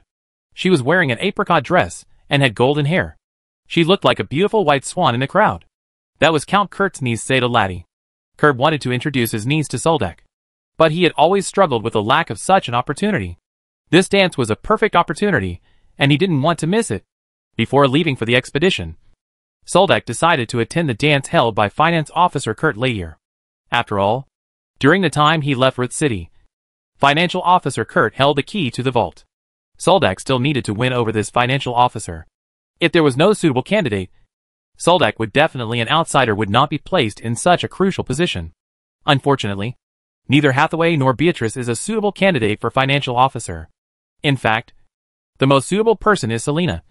but she doesn't want to come to Root City no matter what. The carriage stopped. And Soldak opened his eyes and looked out the window. The gate of the manor of the financial officer Kurt Laddie's family was very grand. The guard saw the badges on both sides of the magic caravan and took a look inside. With one glance, he asked the coachman to drive the magic caravan into the manor. After entering the manor, the magic caravan drove along the corridor in the front yard for a while before arriving in front of the courtyard inside the manor. There was a large carpet spread in the middle of the grass in the yard. And the magic wall lamps all around were lit. The buildings in the manor also looked very gorgeous. A group of people stood on both sides of the steps, waiting for Serdek to get off the carriage. When Soldak stepped off the carriage, Finance Officer Kurt Lady was already waiting in front of the magic caravan. A group of City Hall officials gathered around him. Soldak stepped forward to greet these officials. Treasurer Kurt stood at the front and introduced the century-old history of this manor to Soldak. The beautiful Zeta has also been arranged to stay with her uncle. She knows that the protagonist tonight is this young knight. He is not only the consul of Root City, but also in charge of the entire Ganbu plain. Count Kurt wanted to introduce his niece to Soldak several times. But Soldak was always surrounded by noble lords. The expedition is about to begin. And everyone hopes to know the specific combat mission of Count Soldak in the Belan Plain. Unfortunately, Serdek was tight-lipped about this. Even the other lords who participated in the battle remained silent and did not say which area they would expand to after entering the Belan Plain. It was not until the end of the ball that Count Kurt, the treasurer, introduced his niece Zeta to Soldak. She is so young and beautiful. Her eyes are full of admiration for the strong. And her beautiful and delicate face seems to be able to satisfy any man's vanity. It's just that Serdek is not in the mood to pay attention to Miss Zeta at this time. There were countless official matters waiting to be dealt with around him. If it were not to appease Count Kurt, he would not even want to attend this ball. The third phase of the Restaurant Plaza project has begun. And hotels and supporting facilities in the surrounding areas also need to be gradually constructed. In Soldak's view, the catering plaza should not only have free drinking fountains, but also have public toilets and public areas for vendors to set up stalls. In addition, magic caravans cannot be parked casually on both sides of the street, and a dedicated area is needed. These must be planned around the dining plaza. Although the planning designer is Baron Martino. Soldak also wanted to add some of his own ideas to the planning of the restaurant plaza. In addition, the first batch of resettlement houses and slums have also begun finishing work. Next, the City Hall will gradually relocate other slums. And the construction of the second phase of resettlement houses will begin as soon as possible. This is a major issue to solve the livelihood of people in slums. Problem. Serdek takes it seriously as the project on the resettlement house gradually got on track. Luke had already stepped aside and mobilized the kobold slaves from Wall Village to build roads outside Root City for the construction of cement roads. These kobold slaves were a group with a large number of building materials. Road builder with road experience. But here's the most ironic thing. Although Serdek enforced the law prohibiting slave trade in the Ganbu Plain, he still owns nearly 1,500 kobold slaves. And the number of this group is gradually increasing by 200 every year. Probably the largest slave owner on the Ganbu Plain. When the dance was about to end, Soldak took the magic caravan and left Count Kurt's manor in advance. Miss Zeta didn't even get a chance to say goodbye to Soldak. Thea sat on the magic caravan, angrily scolding financial officer Kurt for his bad intentions at the ball. She must truthfully tell Hathaway and Beatrice what she saw at the ball. Listen. Soldak sat across from the carriage and ignored her nagging. He casually said to Thea, Tomorrow, the Lord's Army Alliance will march towards Bena City. Chapter 1269 Makuso's Summer Night 50,000 lords are heading to Bena City. If they want to take a magic airship, Serdek needs to recruit at least a hundred magic airships. Not to mention Ruth City. Even the entire Bena province probably doesn't have that many magic airships at the moment. Therefore, these armies can only enter Bena City by land, without an order from the military department. This army cannot even pass through other city territories. Moreover, this lord's army was followed by a huge business group that was almost equal to the number of the army. The biggest disadvantage of the lord's army in the form of this alliance is the loose military discipline. The soldiers are okay. At least, they will not do anything out of the ordinary. However, the Lord's army seriously lacks restraint on the middle and high-level officers. Occasionally, some officers will send their families into the army. The merchant group traveled with the army. So some tents in the merchant house were like a second home for these officers. This kind of bad habit can be seen everywhere in the Lord army. But it cannot be effectively managed. However, Serdek has no time to care about it now. When they get to the Belan Plain, I believe Andrew, Samira, and others will give them a good education. Class. The camp was broken up early in the morning, and the leading troops of the army lined up to set off. It wasn't until the afternoon of that day that the last archer battalion at the Ruth City military camp left the camp. Serdek did not set off with the army. He would leave Ruth City on a magic airship half a month later and arrive in Bena City in advance to join the Lord's army. During this period, he not only had to give detailed explanations of the government affairs of Ruth City, but also handle the government affairs of Makuso City. Makuso City has now resumed normal taxation. Due to the large number of adventure groups and business groups gathering in the city, fiscal revenue has exploded this month. I believe there will be a relatively smooth transition period, and taxation will gradually decline to a stable state. However, although Makuso City has restored taxation, the City Hall still provides these business groups with some additional compensatory policies. For example, the same batch of goods will not be taxed every time it is traded, but will only be levied once. And the transaction tax will be levied the amount is extremely low. Only materials that pass through the portal will have a 5% customs duty, and so on. The officials of Makuso City resolutely implemented Soldak's ideas and revitalized commerce to drive the local economy. And they also tasted great benefits from this. In fact, only the city hall had no financial revenue during the one-year tax-free period. And the residents of Makuso City benefited greatly from this matter. The first benefit is that during the period of urban economic recovery, the employment rate of urban residents has remained extremely high. This is obviously a loss of revenue for the city hall. But it makes the entire city better.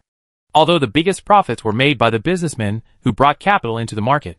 New vitality sprouted throughout the city. And those living in the ruins of the city found their way back to life. Serdek has now become a new generation of heroes in Makuso City. Every time he rides a horse and walks in the streets of the city. Once he is recognized, he will be watched like a star. People will stand on both sides of the street. Applause to Serdek. So now, every time Serdek goes out, he will take the magic caravan in the city hall. In just one year, Makuso City has undergone earth-shaking changes. It was rare for Serdek to have time to wander around Makuso City, and he was only accompanied by a small team of guard battalion knights. The magic caravan stopped in front of the clock tower in the square under the cover of night. The clock tower had become a ruin during the war, and even the giant bell on the roof was extremely damaged. Now that Soldek returned here, he found that the entire bell tower had been completely renovated. The reliefs on the wall surface of the bell tower had been restored in great detail. The giant clock with four dials above his head was in the four directions of 036 inlaid with moonstone. People can clearly see the direction of the pointer even at night. The clock keeper guarding the bell tower opened the door of the bell tower. Serdek took Sia to the top of the bell tower. The accompanying knights from the guard camp were waiting below with yawns. They followed Serdek and walked around the city. After half a day, if it were normal times, these guard camp knights would have been able to go home and rest. Serdek stood on the top of the bell tower, facing the cool night breeze and admiring the night view of Makuso city. After walking out of the bell tower and seeing the tired expressions of the knights in the guard camp, Soldek simply waved his hand and said, Okay, you all should leave. Thea and I will just take a walk here. The knights in the guard camp hesitated at first, but when they saw that Serdek insisted on doing so, they dispersed. The magic caravan was still waiting on the street of the square, and Soldek dismissed the coachman again. Then he and Thea walked down the street like this. The city has recovered very well. Although I have not seen the prosperous Makuso city before. I think Makuso now will be more vibrant than ever before. Serdek sighed and said that the deepest memory in his heart was the dilapidated city that was riddled with holes by cavemen. Thea didn't speak, just stayed by Soldek's side silently. The original city wall of Makuso City has become the city wall of the inner city. And the large slum area outside the city has been included by a brand new city wall. The entire city of Makuso City has almost tripled its size than before. The city's main streets are brightly lit, forming crisscrossing lines of light at night. Serdek did not wear the advanced magic pattern structure, but changed into a set of ordinary guard camp training leather armor. And the distinctive broadsword and gothic shield were also put into the magic waist bag. Sia is also wearing a black robe. From the appearance of the attire, she looks like a magic apprentice. But she does not have the badge of a magic apprentice. The two left the clock tower and walked through the city square into the noisy streets. Makuso was also particularly lively at night. The opera house in front seemed to have just ended. Crowds of people poured out of the opera house and headed straight for the magic caravan parked on the street. In an instant, Serdek and Sia were surrounded by a sea of people. If they want to pass through here, they can only slow down and move forward little by little with the crowd. Some young people walked out of the opera house, their faces still unable to hide their excitement. Apparently they were infected by the beautiful melody, and they couldn't help but discuss it after they walked out of the opera house. A familiar figure stood among the young people. She was wearing a long white dress and long silk gloves on her arms. Her golden hair was pulled back, highlighting her exceptionally tall white neck. Walking down the steps of the opera house, Zeta had already seen Serdek, who was hit by the crowd and stranded in place. He always seemed to be followed by that beautiful lady with long green hair, whose eyes were as clear as lake water. Even Zeta was moved by them. But at this time, Zeta couldn't help but cast his eyes on Soldek, especially when she knew that the simple knight in front of her was the great hero of Makuso City and the great lord of the Ganbu Plain. The aura around Serdek suddenly became brighter and dazzling. Serdek felt someone watching him, and turned around to find Miss Zeta standing among a group of young people, just across the street. Although there are many pedestrians and traffic, it is difficult to conceal the tall and outstanding Zeta. Seeing her looking over, Miss Zeta smiled and nodded at Soldek with some embarrassment, and secretly waved her little hand. It seems that he saw Zeta greeting people. The friends around him seemed to be asking Zeta in a low voice. And Zeta was also explaining in a low voice. Serdek didn't want to stay on this street anymore. So he squeezed out of the lively opera house with Sia. Although Sia wanted to listen to an opera, they came at the wrong time. The next opera was at midnight. It's still a long time before the game starts. What? When you see that young girl from the lady family, you don't even go over to say H, lo? Sia teased. I think she has a good impression of you. Seeing that Serdek wanted to defend, Sia added again. Don't underestimate the intuition of a Nanda spellweaver. Serdek said helplessly. I can't show anyone who has a good impression of me. I have to show it. How many people are there in the entire Makuso city? Can I show it? Sia snorted softly. I thought you would particularly like fresh and young souls. Serdek explained speechlessly. I don't have such a special hobby. Speaking of this, I think it is necessary to go to Celia village in the abandoned mining area to visit Ms. Naomi and Fauna before leaving Makuso. Hiroka hopes to meet this undead warlock. As they talked, they walked around the opera house. This was an auction house. It was completely opposite to the opera house. It was very lively during the day, but very deserted at night. The building of the auction house is extremely grand, and even there is a small square at the entrance. There were six three-meter-high stone statues erected in the small square. The six stone statues with different postures formed a circle. In the middle was a stone statue with three H, L dogs. Only then did Serdek realize that these were six figures. Scene of heavy armored infantry warriors besieging a three-headed H, Lound. Obviously, the artist was a bit exaggerated when making the statue. Facing a three-headed H, L dog. Not to mention six heavy armored infantry soldiers. Even 60 heavy armored infantry soldiers may not be able to defeat it. When Soldak was about to pass through, he heard a young voice saying impassionately, If I were given another chance to do it again, I would be like them, holding a bloody knight's sword and cutting off the head of A.H. L. Dog. He should be a young and passionate young man. Serdak continued to walk forward, and happened to see Miss Zeta and her group of young friends again. Unexpectedly, they did not leave in the magic caravan, but ran to the auction house and continued to hang out. Soldak felt that he should walk over and say H, low to Miss Zeta. When he came out and greeted Zeta politely, there were several hostile looks from among the young people. Soldak understood the young man's psychological feelings at this time very well, and he didn't pay too much attention to it. So he hurriedly left with Sia. Zeta, however, looked at the direction Soldak left, dazed for a long time. The young man on the side said something jealous. But Zeta smiled and said nothing. Everyone first chatted about the opera, and then talked about the recent Makuso Heavy Armored Infantry Regiment's expedition. Several young people were thankful that they had not yet served in the military. If they had served in the military, they would probably have to go from the Ganbu plain at this moment. Fighting in another dimension would be the most unlucky thing. Zeta suddenly found that his interest was waning, and he didn't even want to say another word. Looking at the empty streets, I could only sigh softly. Chapter 1270 Well of Souls There are many problems left in the abandoned mining area outside Rit City, because many caves are dug underground. Precipitation will quickly seep into underground rivers. The large-scale land desertification in the abandoned mining area is very serious. Most of the land here is not suitable for farming. Even the land that used to be there as many areas of scrubland are gradually turning into wilderness, where only thorn grass can grow. In addition, these mines are crisscrossed underground, like huge ant nests. Every year, dozens of collapse events occur in the abandoned mining areas, and there are even ground fissures in some places. Earl Lake Cushing believed that two years ago, this area is not suitable for habitation. And residents of villages and towns here are recommended to relocate outside Rit City. Unfortunately, due to the huge relocation costs, this matter has been put on hold until now. In the valley full of gravel and gravel, there are thorny grasses everywhere that will sting people when they touch your clothes. Even in the middle of summer, the color here is still yellow here and yellow there. It was green, and the wind blowing was moist and hot. A group of kobold slaves were just wearing linen overalls and holding picks and iron drills in their hands. They were cleaning the roadbed here. They use wooden boards to divide the square grids of 3 meters by 3 meters on the roadbed, and then fill them with carloads of volcanic ash cement.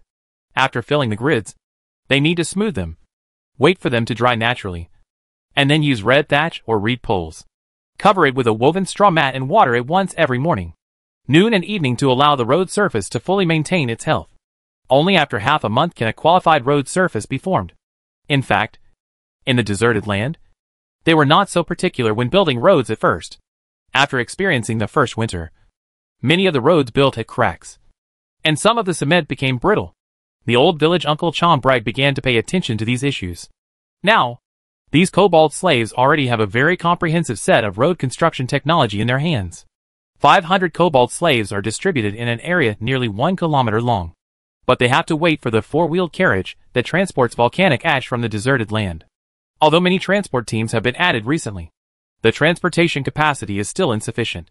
The kobolds the slaves slowed down their work and waited for the four-wheeled carriages to arrive. Luke and Serdek passed by the construction site, and the kobold slaves knelt down and saluted. Nearly two kilometers of road have been built on the edge of Rit City. This is the southern starting point of the road. He smiled at Luke and said, I heard you gave this road a very good name. Luke was wearing leather pants, a leather vest, and a sun hat on his head. His exposed skin was tanned by the harsh sun. Hearing Soldak ask this, he smiled and said, The Southern Golden Road is so big. Fei Zhozhong transported volcanic ash from a deserted land, which makes me think that the gold coin spent can reach this long road. Ha Almost. Soldak also smiled. He put his hand on Luke's shoulder and the two walked along the construction site for a while. Soldak stopped and said, With this road, the Tarapagan area can be completely connected, and supplies from the Ganbu plain will continue to flow throughout the entire Tarapagan area. Luke, who came out of Wall Village, had seen some of the world, and said disapprovingly to Soldak's words, Isn't it the same before? The Ganbu plain delivers sufficient nutrients to the entire Tarapa. Cerdak shook his head and said, But the transportation problem has always existed. As long as this road is opened, the distance from Rit City to various cities in northern Tajikistan can be shortened by at least one-third. I heard that the geological conditions here are very special. There are often collapses, ground cracks, and faults. Luke said with some concern. That's why I ask you to build this road. Because you are the professionals. And you think why I put so much effort into pouring the entire road into pozzolanic cement? I am just worried that this road will be affected by the local geological conditions. Influence. And the magicians invited from the Magic Guild this time usually live in the Magic Tower, and are not good at communicating with others. So you have to be more proactive and maximize their value. This is the right approach. Their utmost respect. Soldak said to Luke. Cerdak has loaned 12 magicians to the Root City Magic Guild. These magicians will jointly use some large-scale Earth group magic to change the geological conditions near this highway. I know that I will have a good relationship with these magician nobles. Luke finished and smiled proudly. After leaving the road construction site, Cerdak took the magic caravan and continued to move forward. The road in the abandoned mining area was rugged and difficult to walk. The magic caravan did not arrive at Celia village until the afternoon. Looking at the desolate scenery in front of him. In the small mountain village, there were only two houses with faint green smoke coming out of their chimneys. But just outside the mountain village, next to a broken wall, Cerdak actually saw a team of kobold slaves. It seemed that the road construction team was sent out to explore the area where the road passed. Cerdak remembered that this road did pass by Celia village. Since there are kobold slaves here, and there are outsiders in the village, Naomi will definitely not live in the village. Cerdak also gave up the idea of entering the village. Further inside, there were no roads suitable for the magic caravan. It would be more convenient to ride on horseback. This time when they came to Celia village, Cerdak was fully prepared. The group of people rode horses into the mountains outside the small village. Cerdak took Sia to the abandoned mine in the deepest part of the abandoned mining area. And sure enough, he found a skeleton squatting silently at the entrance of the mine. It looked like a white skeleton lying at the entrance of the cave. But at the soul fire flickering in the eye sockets proved to Cerdak that it was a skeleton. It is difficult to describe this kind of skeleton. The bones on its body completely subvert the mechanics. They are all spliced together without any adhesive but they can form the shape of the human skeleton and walk around very freely. They are afraid of light, but will not evaporate immediately in the sun. I just heard that when these skeletons are in the sun, the consumption of soul fire will increase exponentially. Seeing Cerdak and Sia walking closer, the skeleton came to life and stood at the door of the mine. The light blue soul fire in the eyes kept jumping, and the lower jaw kept opening and closing. It was like talking to Cerdak. The clicking sound was a bit creepy. Okay, Please take us to see your master. Ms. Naomi. Soldak stepped forward and said to the skeleton, regardless of whether he could hear it or not. The soul fire in the skull's eyes jumped suddenly, and he actually turned around and walked into the mine. After walking dozens of steps, it stopped in front and turned back to look at Soldak and Sia. Cerdak was led by this skeleton, and he walked and stopped all the way until he reached the depths of the mine. Cerdak saw a bright light coming from the cave and then he was sure that he had arrived at Naomi's residence. This mine is connected to the original cave. The cave is very spacious. Serdak still remembers that there is a shaft in the cave that leads to deeper underground. With a faint light, Serdak discovered that the cave was actually filled with skeletons. It was just that the skulls of these skeletons lacked the fire of soul. They were just pure skeletons. Naomi, who was wearing tattered linen clothes, was sitting by the well. Several skeletons were picking up some complete bones from the mine. And they were piled into a big pile beside the well. Good afternoon. Lord Archon. Naomi raised her head, revealing her zombie-like face, and said in a hoarse voice, Good afternoon. Naomi. Soldek responded, and then he moved closer to the shaft. There was a smell of decay and corpse odor coming from the shaft. It was not known how many dead souls were buried under the shaft. He took two steps back, then stopped and said, I'm going on a long trip this time, and it may take a few months. So I came here to see you before I leave. Naomi said nothing. As cold as an ice cube. Cerdak continued. Remember what I said at the beginning? I know a friend who is also very proficient in necromancy. Now because you are studying necromancy, your body is constantly turning into corpses. I told him about this a few days ago. He is more interested in this matter and wants to see your current situation. With his understanding of necromancy, He may be able to solve your problem. Naomi looked at Soldak in surprise. And after a while she said in a stiff tone, Thank you for remembering this promise. Soldak saw the confusion in her eyes, but continued, If you don't mind, I'll call him over. Whatever you want. Naomi said casually. Cerdak made a gesture to Sia, and Sia followed behind. She spread a prepared tablecloth on the stone table, then placed a set of silver teacups and teapots on the tablecloth. And even a silver candlestick with room for three candles was placed on the table. After everything was ready, Soldak blew the finger bone whistle. Although no sound was made, the skeletons with soul fire around him were trembling nonstop. And their soul fire was like a strong wind. Among them, it is possible to be blown away by the wind at any time. Naomi's eyes also widened, and she covered her ears with a painful expression. As a blood-colored door emerged on the stone wall, the door was pushed open by countless skeletal hands inside. These skeletal hands were scrambling to climb out, but it seemed that there was a kind of restraint in the air that could only allow them to escape from the door. Stretch out half of your skeletal arm. Count Fornak's figure appeared again in the bloody door. Soldak and Thea were already accustomed to this. However, Naomi, who saw the ghost for the first time, subconsciously drew a picture in front of her with her fingers. Magic circle. Count Fornak glanced at Naomi, raised his broken arm, and shot out a black light, which immediately dispersed the magic circle drawn by Naomi. Chapter 1271 Well of Souls 2 After Count Fornak entered the world of the dead, he quickly became a lord of the undead world with the power accumulated in Fornak Manor. His body was originally in the form of a void ghost, but now after a long period of accumulation, he has an upper body skeleton and a gray broken cloak. Many ghosts hold a huge bone scythe in their hands. But Count Fornak is a scepter. He usually and Sue when Erdak met.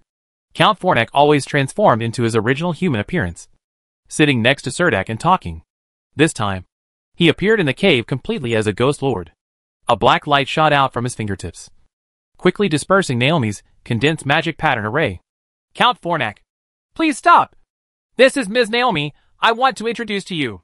Cerdak stood aside, blocking Count Fornak, and shouted to him. Only then did Earl Fornak regain his senses, as if he had regained consciousness from a lost state. He looked around vigilantly, and finally his eyes fell on the shaft, and asked Cerdak, Dak, where is this? Why can I feel countless imprisoned souls here? Soldak quickly explained. This used to be a mine, but it is now abandoned. It is now Ms. Naomi's current residence. Count Fornak ignored Ms. Naomi and flew directly to the shaft. In Soldak's eyes, he didn't find anything strange about the shaft. But Count Fornak almost stuck his head into the well. And he even said to Soldak in a serious manner, From this well I feel a strong soul power inside. And there is also resentful spirit and death energy trapped in it. What is at the bottom of this well?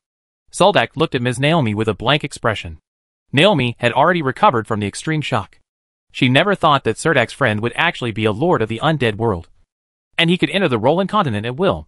So far, I have only found these skeletons here. In addition to some waste ore. There is nothing else. Ms. Naomi walked over slowly and pointed at the skeletons around her casually. Said to the three people, Can you tell us the story of what happened here? Soldak asked Naomi. He pointed to the stone table with a tea tray and asked a few people to sit there. Ms. Naomi stopped at the mouth of the well, looked inside with some nostalgia, and then said in a hoarse voice, Thirty years ago, my husband died in this mine. Like many people in the village. He was also a miner in this iron mine. Later, the mineral deposits in the mine were completely hollowed out. And there was only this one. Iron ore can also be found in the mine.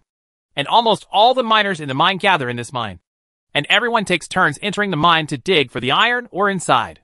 Not long after, the mine experienced a collapse, and many miners died inside, including my husband. The mine closed down because of this. After the mine was completely disbanded, I thought about digging my husband out of the mine. I used to come here occasionally to clean up the abandoned mine tunnels. This was a long time ago. It was also at that time that I met a lingering resentful spirit on the edge of this mine.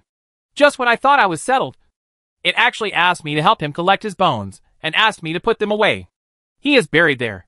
As she said that, Ms. Naomi pointed to the left corner of the cave, where there was indeed a tombstone. She slept there, and she probably never woke up after such a long time. Ms. Naomi introduced the tombstone to several people, just like a hostess introducing her neighbor. Then he pointed to the bookshelf on the other side of the wall and said to Soldak, These books are all left behind by it. And the spells I learned are all recorded on them. Count Fornak appeared next to the bookshelf the next second. He opened two books at random and put the books back on the bookshelf very gentlemanly. Then he said, This Wraith should have been a necromancer when he was alive. Have you ever tried to enter this mouth? Isn't it in the well? Naomi replied calmly. I tried. But the death energy inside was so severe that I couldn't penetrate it at all. My body turned into a corpse because of repeated entries into this mine. Later, I asked them to go down and touch the bones for me. Naomi pointed to a few skeletons standing aside burning the soul fire. Count Fornak nodded, floated to the well again, and explained to Naomi. This is the well of souls. There are too many wrong souls imprisoned here. The death energy here has even reached the point where the essence of human beings has condensed. There is no way to enter this well. But the undead can. I'll go down and see what's down there. After saying that, he saw him floating directly into the well. Soldak and Naomi waited above for about a quarter of an hour before they noticed that Count Fornak floated up holding a light green gem. The emerald reflected his empty face green. There is a precious soul stone here. Count Fornak looked a little excited, and then said to Naomi, This soul stone will greatly help me increase my strength. So I stay here got it. After saying that, the soul stone in his hand disappeared instantly. His tone was so matter-of-fact. But he then said, As for your corpse transformation, I think it was due to exposure to too much dead energy inside. This dead energy invaded your body and eroded your body into a half-zombie. In your current state, I guess you don't need to eat now. Right? Ms. Naomi nodded absently. Count Fornak added, If you are slightly transformed into a corpse, Dak's holy light technique can purify the abnormalities in your body. You only need to be weak for a few days to recover. But now most of your body has been completely transformed into a corpse. Transformation. Once purified by the power of holy light, you will turn into a wisp of smoke and disappear quickly. Hearing what Count Fornak said, Serdak realized that Ms. Naomi's physical condition was so bad.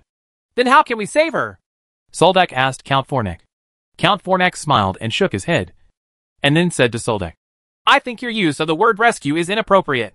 We can think about it from another angle, such as looking at now from the perspective of an undead. Me. It is not so much that there is something wrong with her current body. It is better to say that her current life form is changing, and she is transforming her flesh and blood body into the body of the undead. She only needs to wait quietly until her soul completely breaks away from this broken body. That's when she regains her freedom and new life. Serdak said with a surprised look. You mean that death for us is exactly rebirth for Naomi? So that she can become an undead? Count Fornak corrected her. She is an undead noble. As long as she is not unlucky, she is very likely to have a small piece of land of her own in the undead world just like me.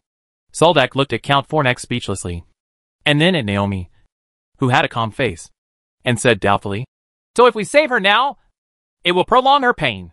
It is better to save her earlier. End your life and go to the world of the dead to find a happy life? Ahem. This is indeed the case from my point of view. Count Fornak admitted. Soldak hesitated for a moment and turned to Naomi and asked, Naomi, what do you think of this matter? The necromancer thought seriously for a while and then said, Me? I don't know. I haven't found his bones yet. I originally planned to find his bones, even if it was a skeleton. After we got married, I originally planned to go out for a walk and see the beautiful world outside. But unfortunately, he died before this promise could be fulfilled. Count Fornak floated in front of her and asked her, So your wish is to dig out your husband's bones, give him some soul fire, and make him a skeleton without memory and thinking ability to accompany you around the world?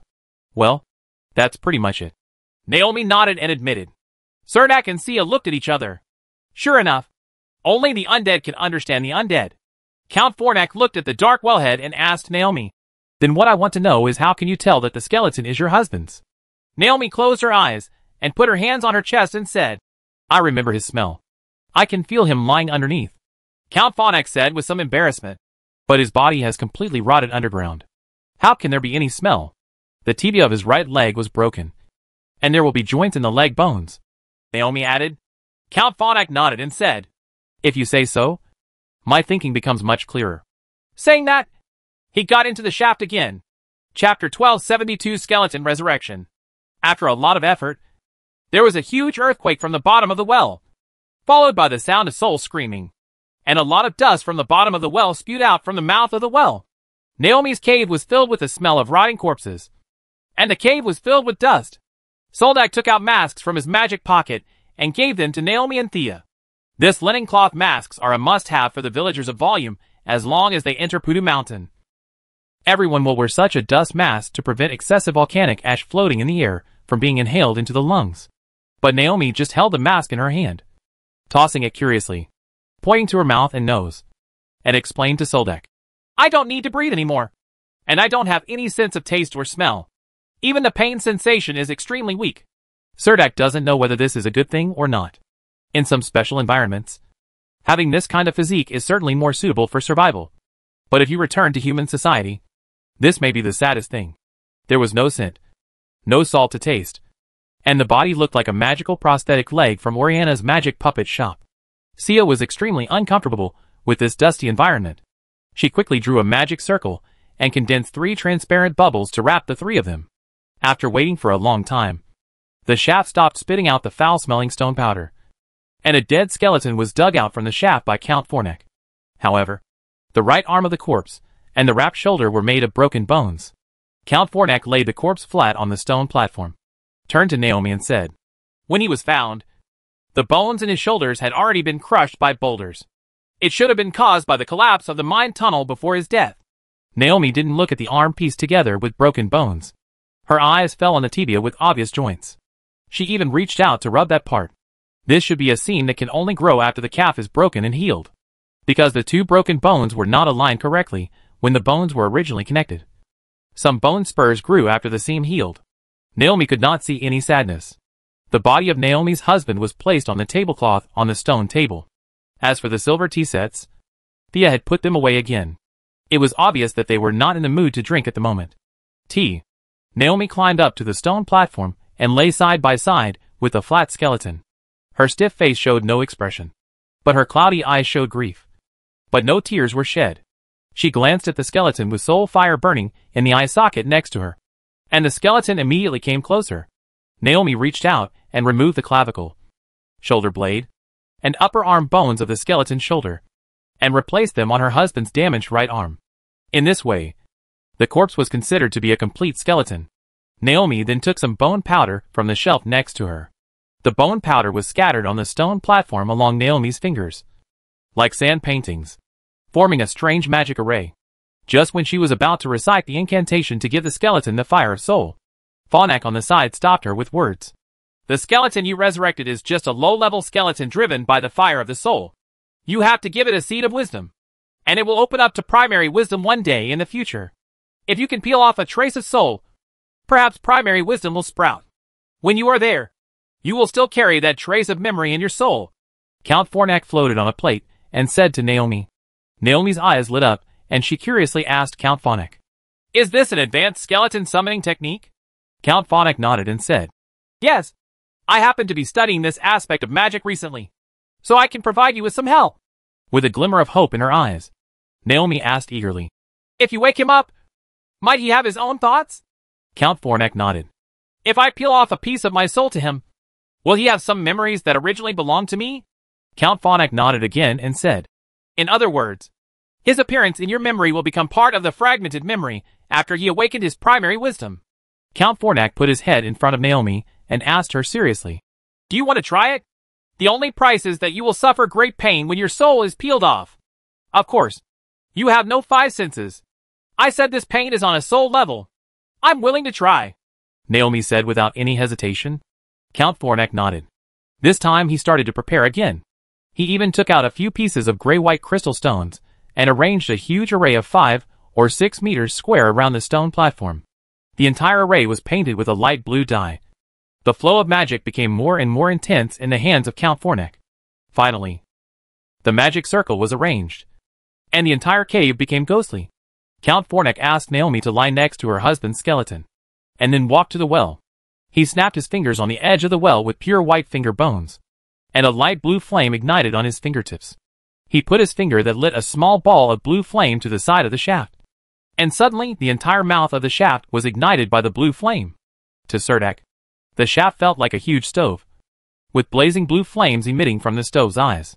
Count Fornak put his other hand into the shaft. As he softly recited the magic spell, His hand glowed with a faint blue light. The bone hand slowly fished out a huge ball from the shaft. The light blue flame turned out to be a ball of soul fire. The skeleton summoned by Naomi only had two balls of soul fire the size of walnuts in the eye sockets.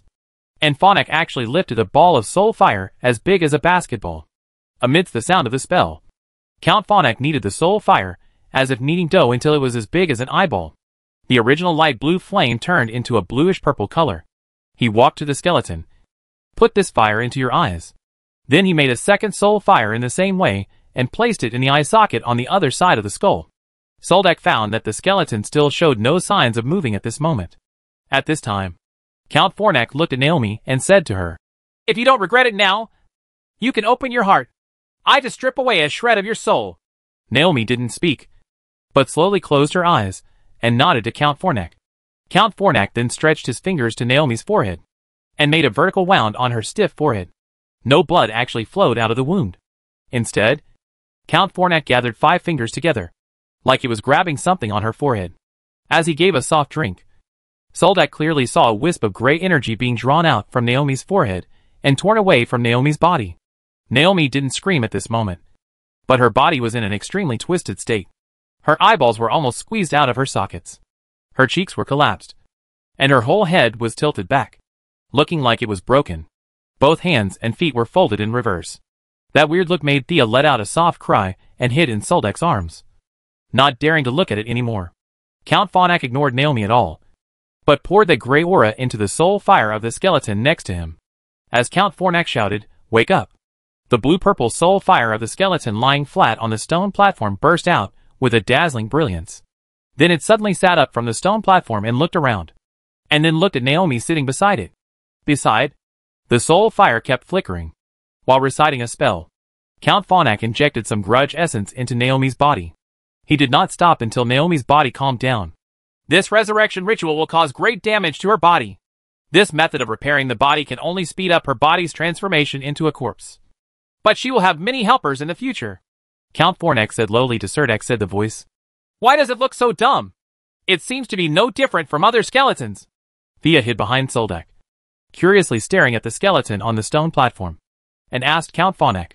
It's not that easy. It only has a seed of wisdom planted in its body. It needs a certain opportunity to germinate. Count Fornak continued.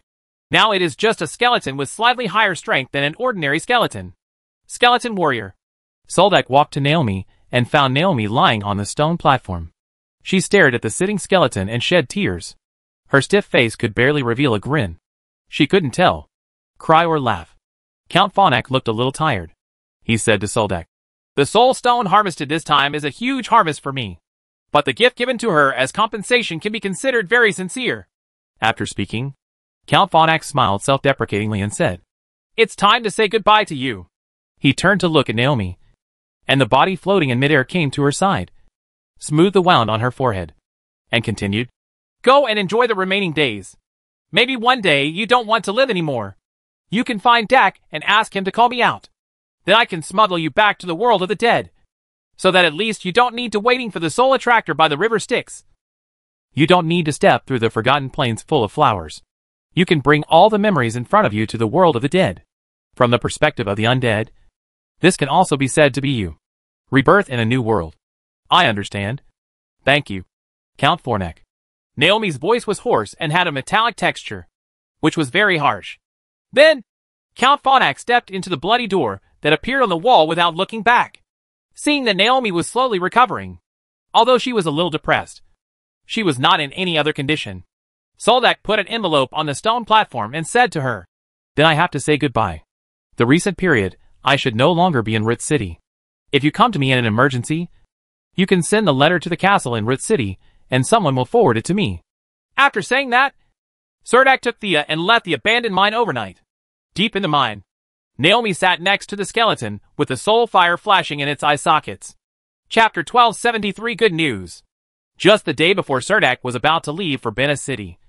News came from the Ganbu Plain that almost made the entire plane boil. There was a five-person adventure group called the Short-Tailed Bear actually in the Ganbu Plain. A rock golem was discovered in the southern collapsed land. And this adventure group was very lucky to kill the rock golem and find a heart of rock from its core. This five-person adventure group sold the Heart of Rock in Bankstown very simply. It is said that the members of this adventure group announced on the spot that the adventure group was officially disbanded. The five members shared the huge sum of money equally.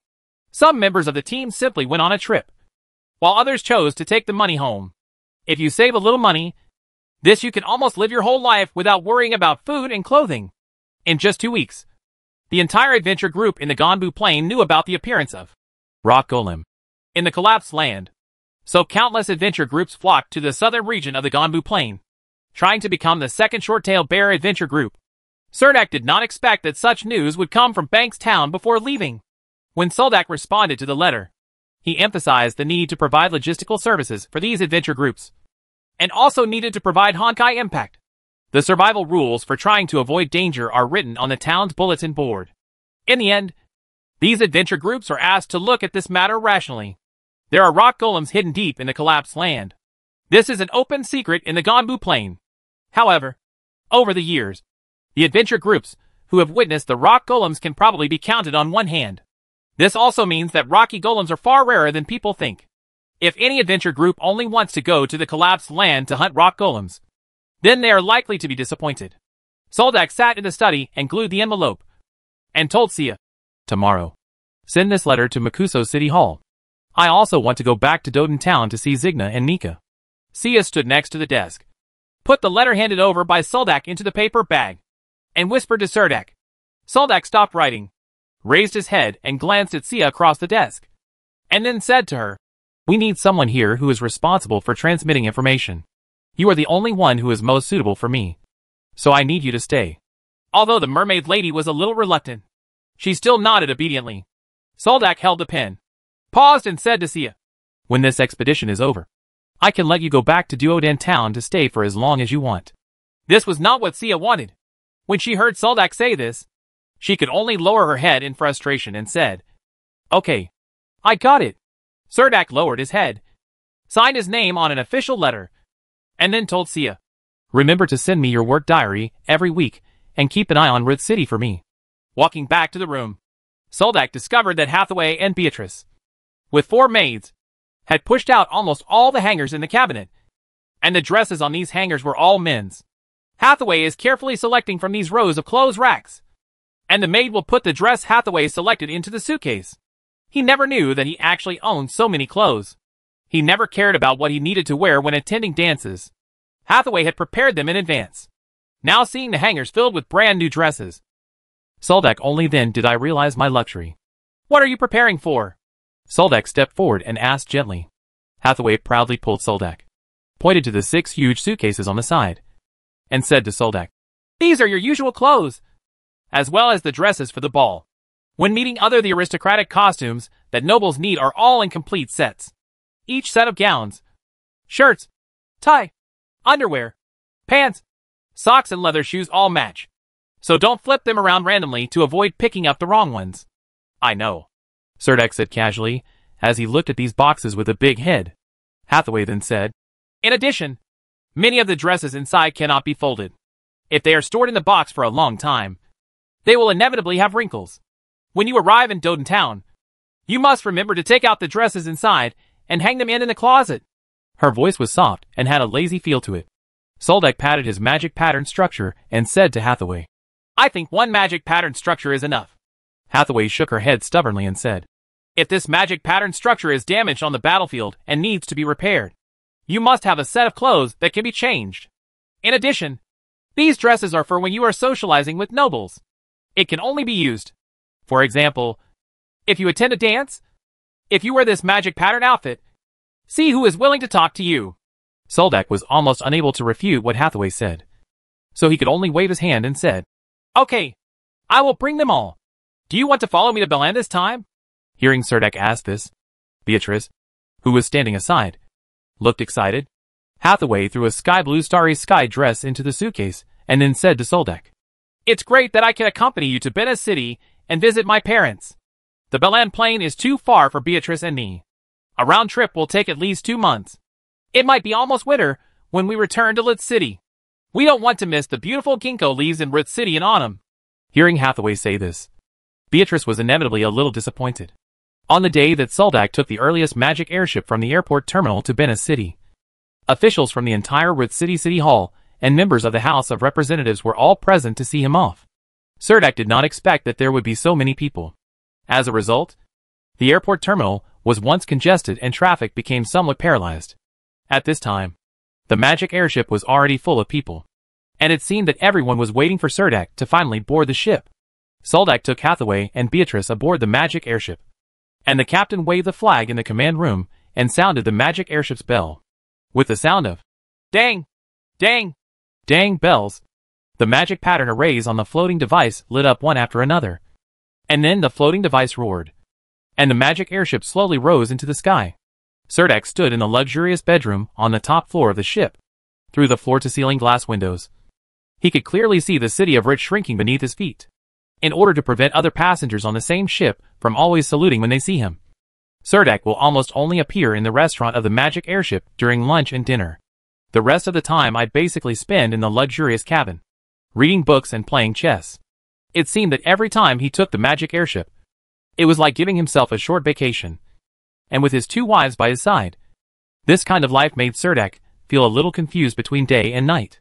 However, just the day before the magic airship was about to arrive in Bena City, Hathaway actually became inexplicably seasick, and her reaction was so severe that she would vomit almost everything she ate. Even if Soldak used the holy light spell on her several times, it was of no avail. Hathaway lay in bed all day, her face a little pale, and her body very weak. Fortunately, Hathaway only endured it for more than a day, and the magic airship successfully arrived at Bena City. Knowing that Soldak and Hathaway would arrive in Bena City by magic airship today, the magic caravan of Marquis Luther's mansion was waiting under the high tower of the airport terminal early. Serdak had the right to get off the ship first. He walked at the front, followed by two maids supporting Hathaway, followed by Beatrice. After the group walked down the airport tower, Serdak then he saw Butler Kenneth waiting at the exit of the tower and quickly came up to greet him.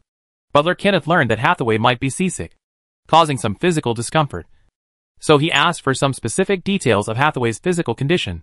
Then he helped Hathaway into the carriage and told the coachman to run slower when he got on the road.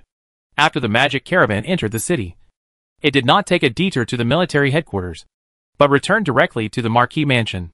Soldak got off the bus halfway, stood on the roadside, and called a carriage to report to the military headquarters.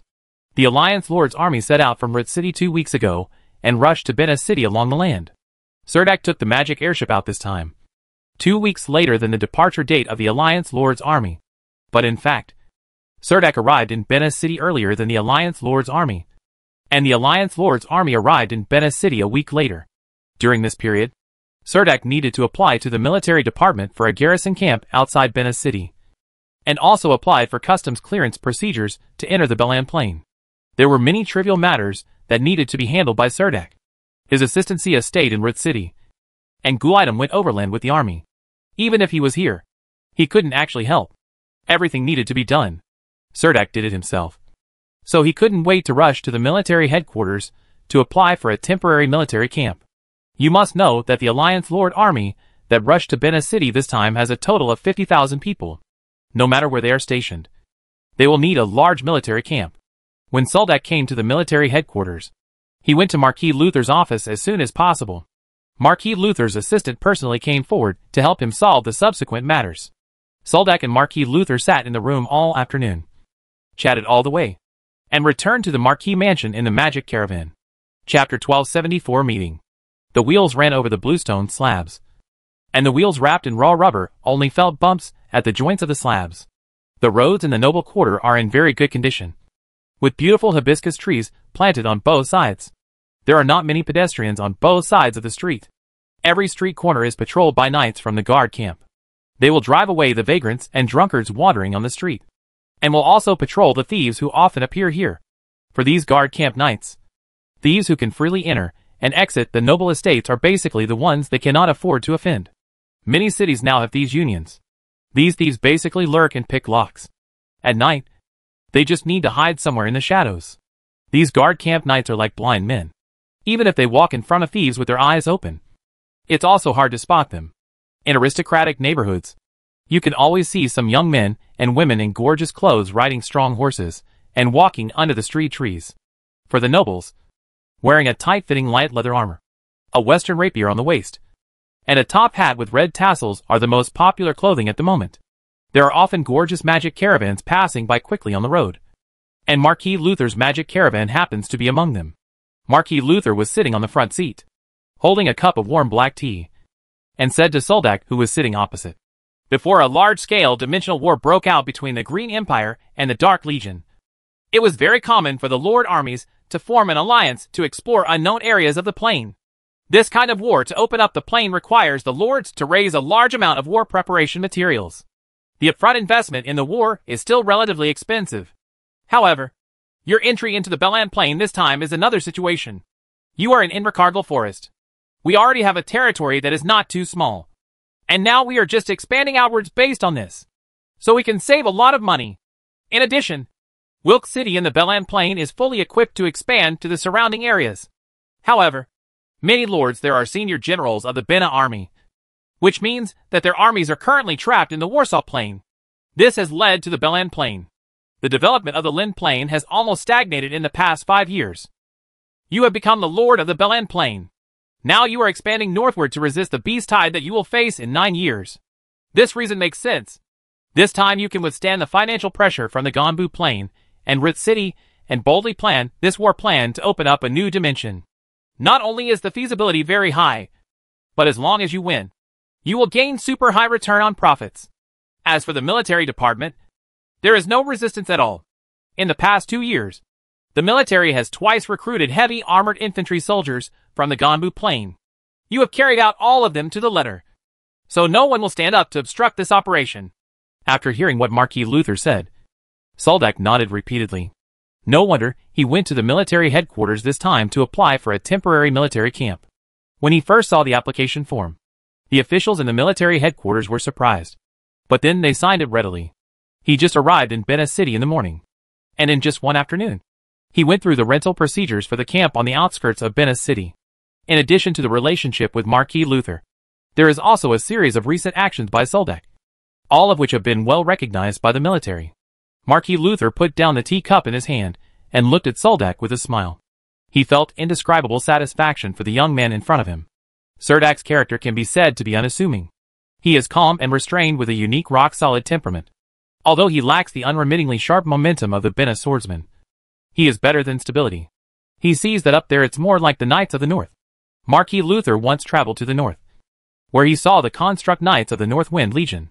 At that time, he was arrogant carrying two broad-edged swords on his back, and did not take any construct knight into consideration at all.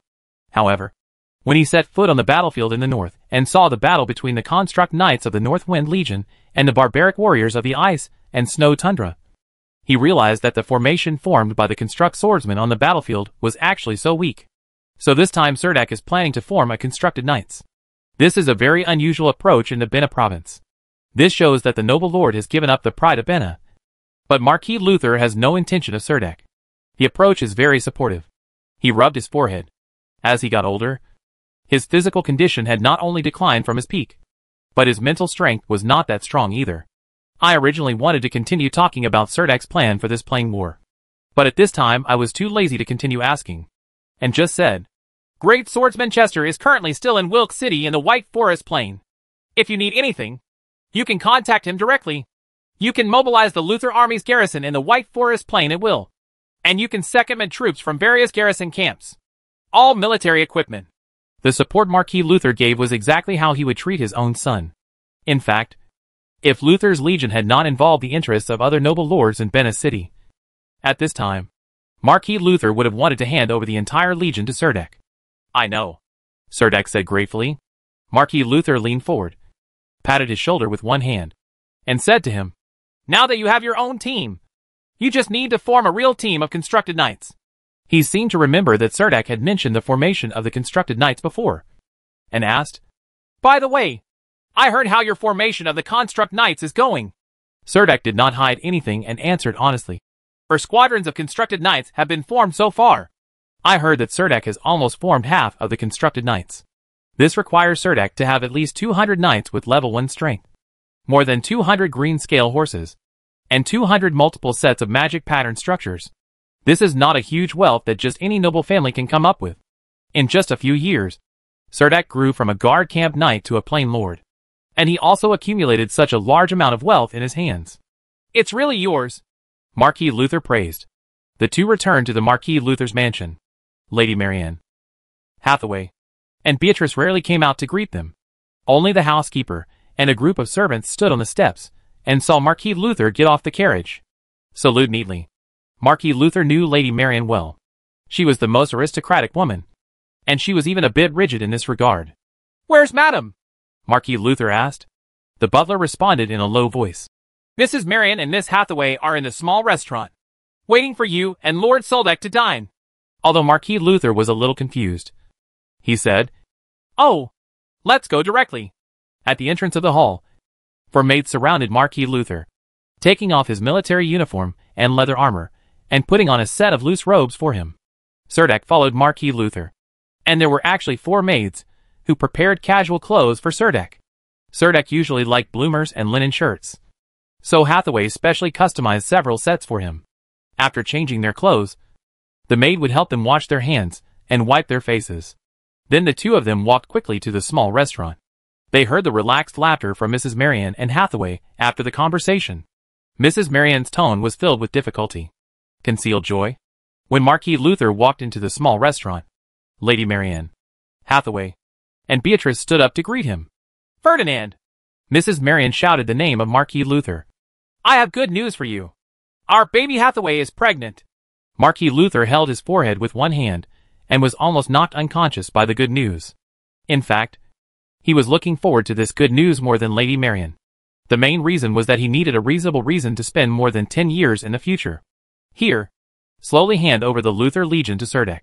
Obviously, in the eyes of Marquis Luther's close allies, the marriage of Soldak and Hathaway alone cannot win the approval of the noble lords behind Luther's army.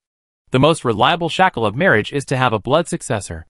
By, in the future, Marquis Luther will also hand over the Luther Legion to Hathaway's unborn child. It doesn't matter whether it's a boy or a girl.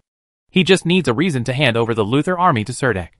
Marquis Luther strode over, held Hathaway's head in his hands, let her lean into his arms, patted her back gently with his hands, and said softly, Oh, so you are going to become a girl soon. A mother. This is really good news. Hathaway closed her eyes and smiled gently. When Marquis Luther sat down next to Madame Marion, Soldak quickly walked up, knelt down on one knee in front of Hathaway, held her waist with both hands, and put his head on her belly to listen to the sounds inside. He's still very young. You can't hear anything. Hathaway whispered shyly when she saw that Soldak's posture was a little too intimate. But Soldak raised his head and said to Hathaway very seriously, I can feel the vitality he is constantly exuding in your belly. He is a strong and healthy child. Hathaway could clearly feel the joy in Soldak's heart, which was a kind of excitement and throbbing in her heart after being promoted to a father. So the last trace of worry in her heart also dissipated. The next day, Soldak went to the Dunstan family with a letter of visit to visit Speaker Fred. This must be done before a formal visit. It also shows respect for the other party and prepares the other party. The other party is also very particular about the time when they arrange the reception and meeting. The shorter the meeting time is, the more important it is to the other party. If the meeting time is left after a month, it will basically be the last meeting. Soldak had been to Dunstan Manor more than once. After waiting at the door for a short while, he was invited into a living room by the butler.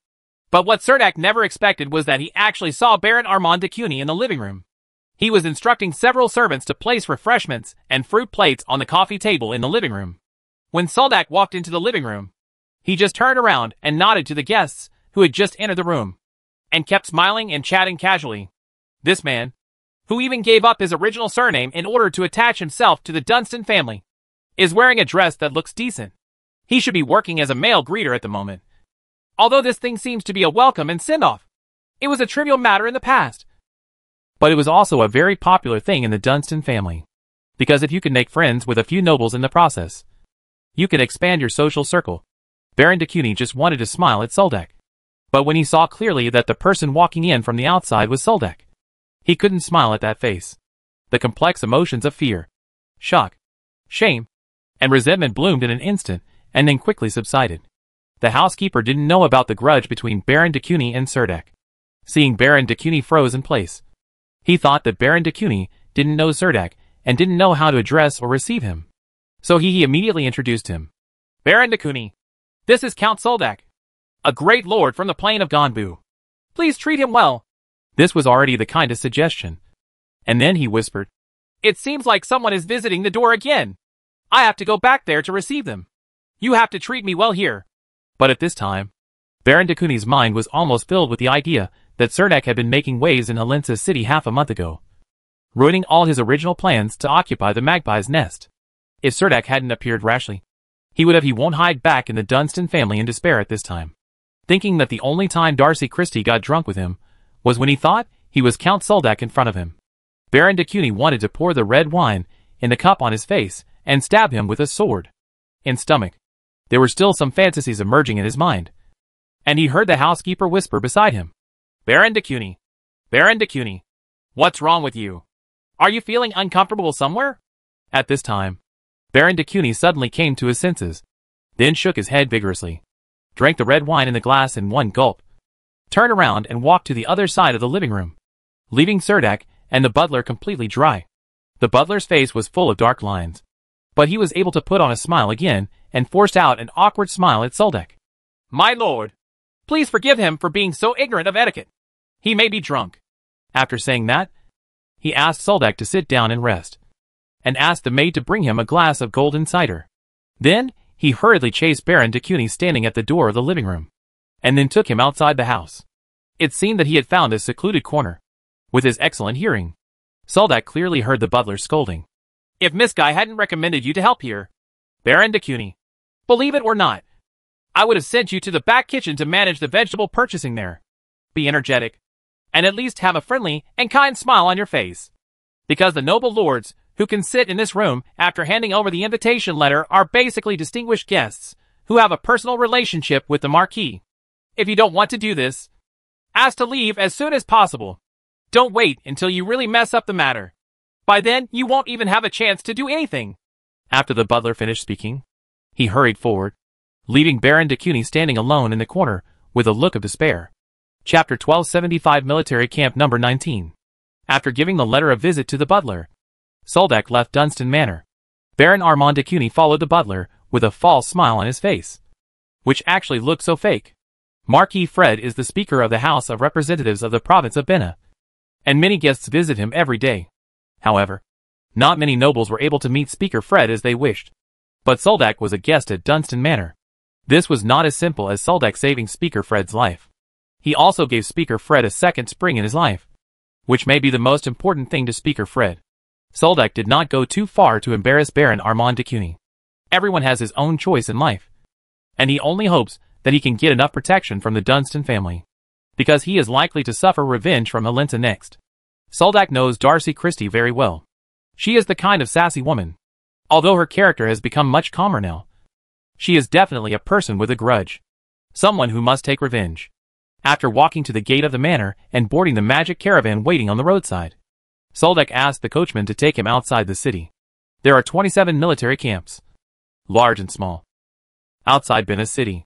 Ten of them are military camps prepared for lords from all over the world. Almost half of the plain portals are located in Bena City. So the lords wanted to conquer the plain. The lord's private army must also be brought to Bena City. In the past few years, these military camps were filled with armies of lords preparing to go out to various plains almost every month. However, since the Bena Legion was trapped in the Warsaw Plain, there have been several private armies of the great lords of the Bena province. They suffered setbacks in the Plain War. At that time, 11 wealthy families went bankrupt due to the Plain War, including the Goffaro family. However, the Goffaro family was already a wealthy family at that time. Count Goffaro just took out the last bit of his family wealth tied it to the chariot of the Hymans family in the Bena province, and then smashed his head and blood on the battlefield. That battle became the last straw that crushed the Goffaro family. Therefore, launching a plain war. For the nobles of the Green Empire, victory means everything, and failure will probably make them unable to turn over in their lifetime. Marquis Luther spared no effort to support Soldak. In addition to being optimistic about his personal abilities, he also made an in-depth analysis of the plain where he will go on this expedition. Although the unknown area of the plain he explores this time is also likely to be affected by there are some setbacks. but they won't pose much of a threat. At most, the legions will be able to withdraw to the south of the Thorny Mountains. And the main enemy Serdek has to face this time is the ghost-striped red ants. The magic caravan was parked at the gate of the military camp, which was about 5 kilometers away from the gate in the southwest of Bena City. The military camp was built on a slope. From a distance, the military camp was surrounded by countless green giant trees, with two doors. In front of the tightly closed large iron gate was a sentry post. Two guard warriors wearing light armor stood beside the large iron gate, holding dark spears in their hands. They looked majestic. Serdek jumped off the carriage and stepped forward. The guard soldier standing at the door performed a military salute to Serdek. Serdek handed a certificate to the guard at the entrance of the military camp. Then the guard said to Serdek, Wait a moment! After saying that, he stepped into the big iron gate. There was a small stable next to the iron gate, because it was blocked by the courtyard wall. It wasn't until the guard rode towards the camp that Serdek discovered it. At the stables. Not long after, the officer in charge of the military camp hurried over on horseback. And the big iron gate was opened. The officer in charge looked to be middle-aged. And the leather armor on his body was not old. But it could be seen that he was well maintained. His beard was also trimmed very neatly.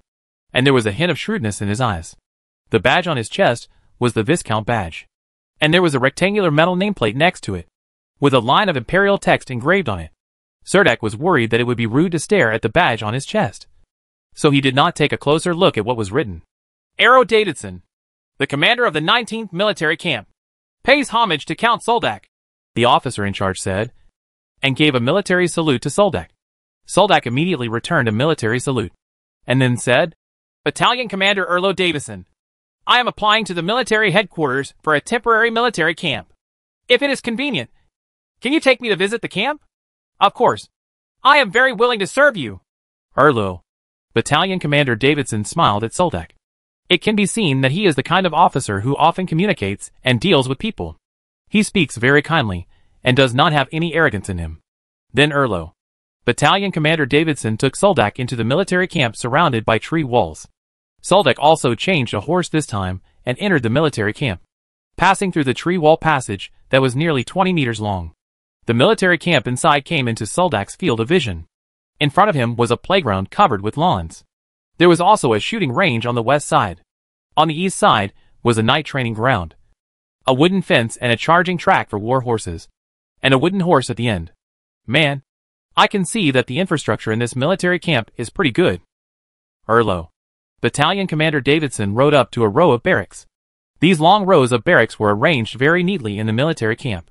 From the outside, Almost every barracks was locked. And there were seals on them that were almost blurry. This military camp can normally accommodate 80,000 garrison troops. It is no problem to squeeze in 100,000 troops. Erlo. Battalion Commander Davidson immediately stated what Soldak was most concerned about. This military camp was definitely big enough. Moreover, Serdek discovered that except for a guard squadron, there should be no other soldiers in the military camp. This military camp has a total of three canteens, which can accommodate 30,000 people eating at the same time. There is also a stable on the north side of the night training ground, which can accommodate about 5,000 war horses. There are a total of 10 wells. But there is no fodder prepared in the military camp. If you have cavalry, it's best to transport the fodder three days before the cavalry arrives at the camp. Erlo, Battalion Commander Davidson introduced. As he spoke, he jumped off his horse nimbly, then randomly selected a barracks took out a bunch of keys from his arms and opened the door. After pushing open the door, countless dust fell from the top of his head, making Erlo. Battalion Commander Davidson's face was covered in dust. Erlo. Battalion Commander Davidson quickly took a step back, took off his helmet with some embarrassment, took out a handkerchief and wiped his face, and then explained, No one has lived here for a long time, but I will clean all the barracks in the camp before your army arrives. When the dust at the door finally cleared, Erlo. Only then did Battalion Commander Davidson lead him into the barracks. Sure enough, it's like Erlo. As Battalion Commander Davidson said, the inside of the barracks is also covered with a thick layer of dust. The room is filled with wooden beds on two levels. There are 60 beds in one room, which is enough to accommodate a squadron living in the same room. Inside, Serdek reached out and grabbed the wooden bed and shook it. These wooden beds were made very solidly, Next Erlo. Battalion Commander Davidson took Soldak to the cafeteria and restaurant again. The cafeteria was also quite complete with pots and stoves, and the long rows of wooden tables were filled with densely packed stools. These things were well kept, but they looked like they had been there for a long time. Not used. Dust everywhere. During the visit, Cerdak learned that Erlo, Battalion Commander Davidson is the only officer in charge of Camp Number 19. Because for nearly half a month, 50,000 soldiers from the Alliance Lord's army will stay here. So Soldak feels it is very necessary to communicate with this Erlo. Battalion Commander Davidson builds good relationships. Walking around in a circle, Erlo, Battalion Commander Davidson invited Soldak into his office for tea. This office is in the southwest corner of the camp. It is a single wooden house with simple furniture and a fireplace on one side of the room. Battalion Commander Davidson entered the room, asked Soldak to sit down, and then started busy boiling water to make lemon tea. Finally waited for Erlo. Battalion Commander Davidson brought over two cups of hot lemon tea, and also brought over a delicate silver sugar bowl, and very politely invited Soldak to taste his tea art. Soldak took a sip, but there were no words to praise the lemon tea in his heart. So he said, It tastes good. Then Soldak took out a box. This exquisite ironwood box looked more like a tea tray. He handed the wooden box to Erlo. Battalion Commander Davidson, then said, This is the first time we met. We came in a hurry. I only prepared this gift. Erlo. Battalion Commander Davidson did not expect that Cerdak would prepare a gift for him. And he was surprised but also looked happy. In terms of title, Cerdak is at least Gorlo. Battalion Commander Davidson is first class. And Cerdak is a plain lord. So there is no need to give him gifts anyway. So Erlo, Battalion Commander Davidson felt a little uneasy at this time and hesitated whether to accept the gift. My Alliance Lord army will be stationed here for at least half a month. I would like to ask Battalion Commander Davidson to take more care of it then. Cerdak said and stuffed the wooden box into Erlo. In the hands of Battalion Commander Davidson. According to the custom of Bena City, gifts are always opened in person.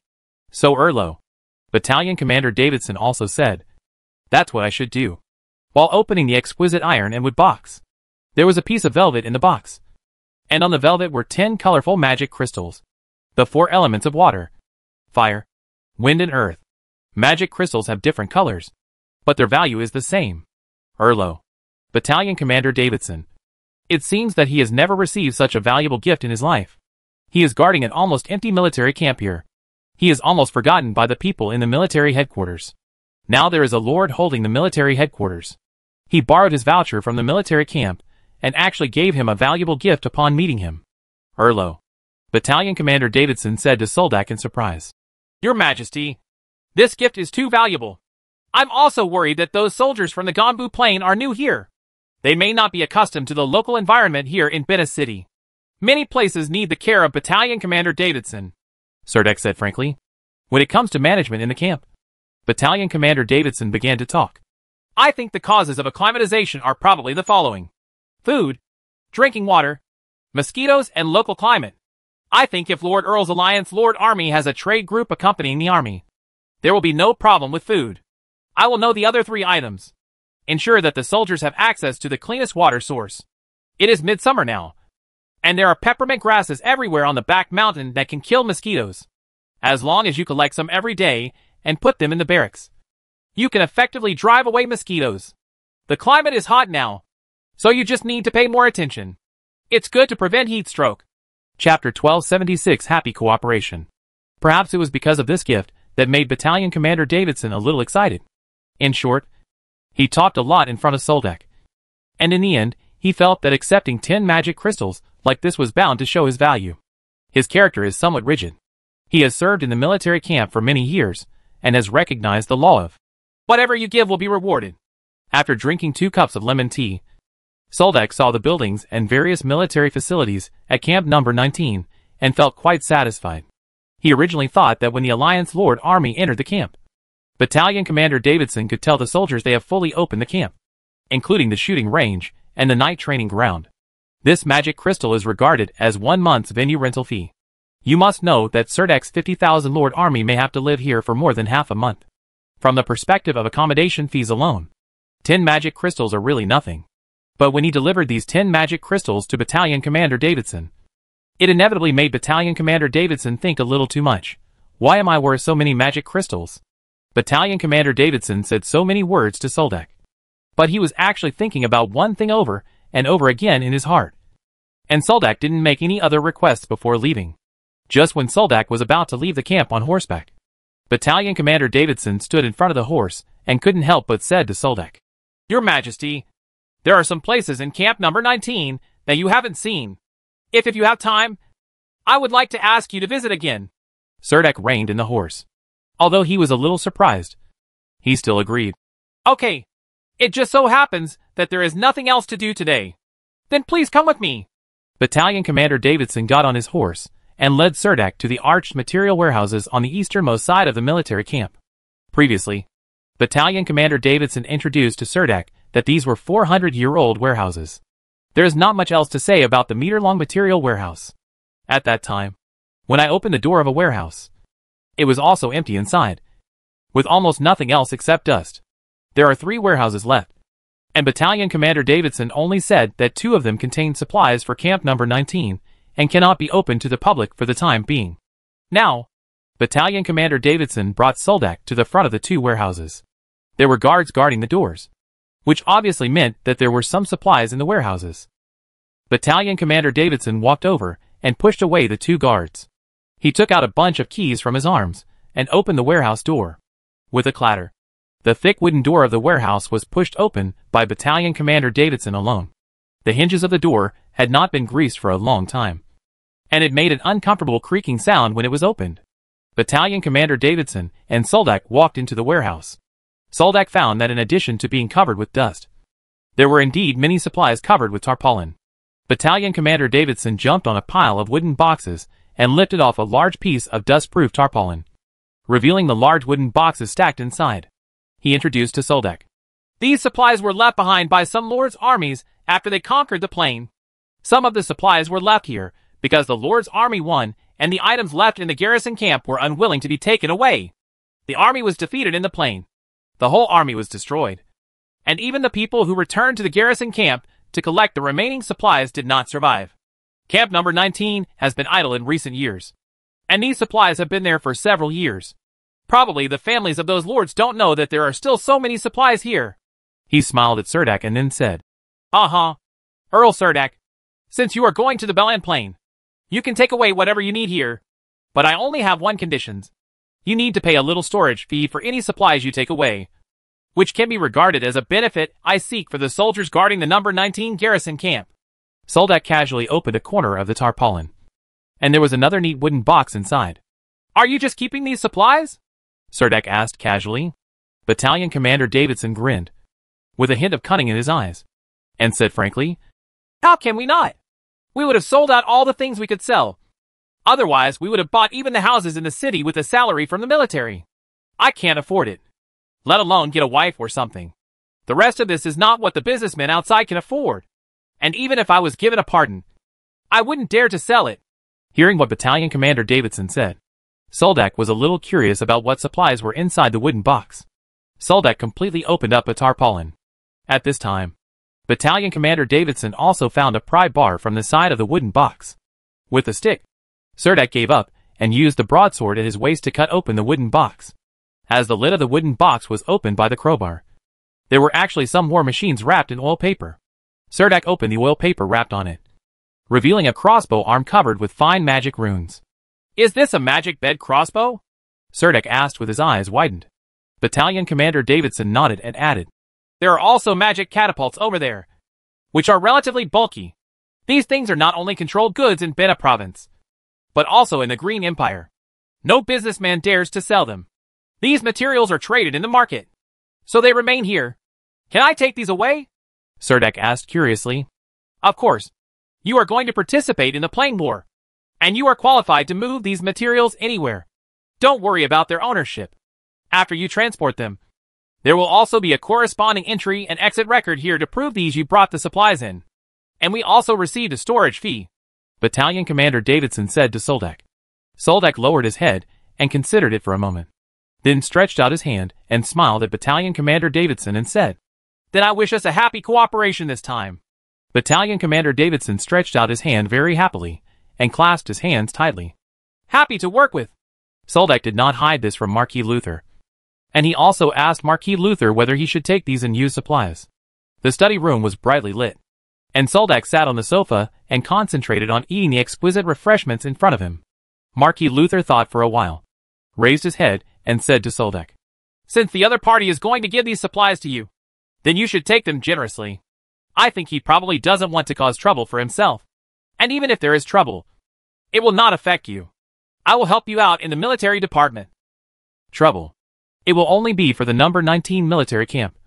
So if there are any supplies in there that your lord's army needs, you might as well move them all, and I'll help you get a pass. Soldak swallowed the cake in his mouth and nodded in agreement. Okay. I understand. Although this time you went to the Belan Plain to open up unknown areas. Today is different from the past. Speaking of which, I hope you can develop the Ganbu Plain well. You know what I mean? Right? Marquis Luther said and waved. He waved his hand and asked the butler to pour Soldak another cup of milk tea. Cerdak knew the meaning of Marquis Luther's words. It was said that the child in Hathaway's belly would be the successor of the Ganbu Plain. So Marquis Luther hoped that Cerdak could be in the plain. In terms of development, we can invest more energy. Cerdak smiled and said, I understand. And I already have a comprehensive plan to develop the Ganbu Plain. Even if I am not in Ruth City at the moment. This development plan will continue. Before the end of the year, I will probably be able to restore the economic level of Ganbu Plain to its pre-war state. Marquis Luther said doubtfully, I have heard about some of the new policies you implemented in Makuso. And I also know that last year you implemented almost a full-scale tax-free policy. I have been worried that your city hall in the Ganbu Plain will collapse because of this. But now it seems that Makuso's development momentum is better than what I saw. Can you be more specific? Soldak took up the topic and said, Although it is tax-free, it also attracted a large number of business groups. The business groups entered Makuso, which not only drove the local economy, but also stimulated the real estate prices of the city's street shops. In fact, after Makuso City fell into ruins, the City Hall was the largest owner of the street shops in Makuso City. We sold or rented these shops to businessmen, and the income was more than the previous annual tax revenue. I have never governed a city, and I don't understand much of what you are talking about. But it seems that the results should be pretty good. All of Marquis Luther's achievements in his life have been in the army, and he is not proficient in city management. Otherwise, he would not have let Earl Lake Cushing govern Litter City. Cerdak was still somewhat proud of the development of Makuso City. At this time, he said, from the current perspective, the results are still very good. And now the inner city has been restored. In the past, there was a large area outside the Makuso city wall. Slums. These slums are now being systematically transformed and I also plan to build a wall outside the slums to expand all the slums around Makuso. Looking at the young knight talking eloquently in front of him, Marquis Luther seemed to see his young self continuing to. I thought he was just a knight with the power of the holy light. But I didn't expect that he did a very good job after becoming a commander. I thought that after he became the commander, he could help him get a piece of territory in the Belan Plain and make him a noble lord. But I didn't expect that he would actually go to the Ganbu Plain and take the opportunity to occupy the entire plain. I thought that as a plain lord, he would be hindered by these daily chores. But I didn't expect that the two connected cities he ruled were developing rapidly. And on the other hand, he actually had the energy to advance into the Belan Plain. It seems that Soldak can bring some surprises to Marquis Luther every time. Chapter 1277 Pregnancy The 50,000 Alliance Lord's army from the Ganbu Plain arrived in Bena City on the third day of August. Military mobilizations of this scale seemed to be commonplace in Bena City, and did not cause any splash in Bena City. The endless plain wars for many years have filled the hearts of many Bena people with anti-war sentiments. However, these wars are basically invasions of a racial nature, and the Bena people are not allowed to retreat in any way. Therefore, troops still gather in Bena every year, city, and then enter other subplanes through various portals.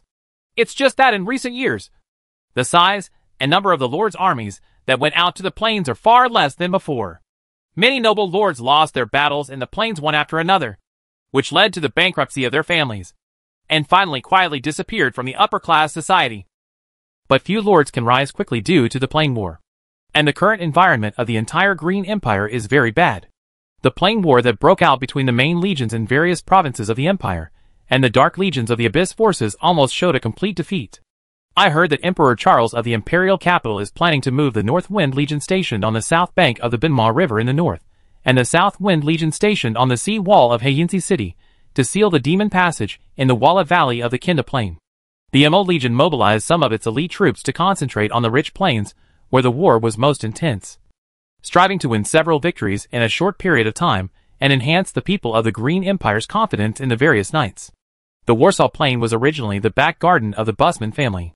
The rich products of the Warsaw Plain have almost pushed the Busman family to the top three of the empire's wealthy nobles in the past few decades. This year happened to be the time when the evil Ghost Legion entered the Warsaw Plain. In the seventh year of this war, the Busman family has almost been drained of all its wealth in this protracted plain war. This also caused the Bena Legion to be trapped in the quagmire of the war in the Warsaw Plain. If we say two years ago, if Duke Newman could decisively abandon Handenar County in the Warsaw Plain and resolutely lead the Legion to evacuate the Warsaw Plain. He would still be able to escape intact. Possibility. Then at this time, the Bena Legion has no chance of escaping unscathed. The soldiers stationed in Handanar County can only withdraw in batches after the reinforcements from Bena province arrive. Speaking of which, had it not been for Duke Newman's wrong decision, the province of Bena would probably have been one of the most comfortable provinces among the 97 provinces of the Green Empire. Now the lords of the province of Bena are most worried. The worst thing is that the Dark Legion will suddenly capture a small plain in the Bina province. Under this situation, the noble lords will almost always hold the lord's army in their hands. Even if they spend money to maintain it in their own private territories. They will not easily go out to conquer various plains. One wrong step, and the army may fall into an irreversible situation. The Ganbu plain owned by Surdak is a fully occupied small plain. This kind of plain can more easily control foreign invasion. And it has no strategic significance so Surdak will mobilize new players from the Ganbu Plain, form a legion and enter the Belan Plain to open up new territory. The Alliance Lord Army of the Ganbu Plain will rest in Bena City for about a week, and then officially enter Belan through the portal in the back garden of the Duke's mansion. Surdak got the portal pass on the second day after arriving in Bena City.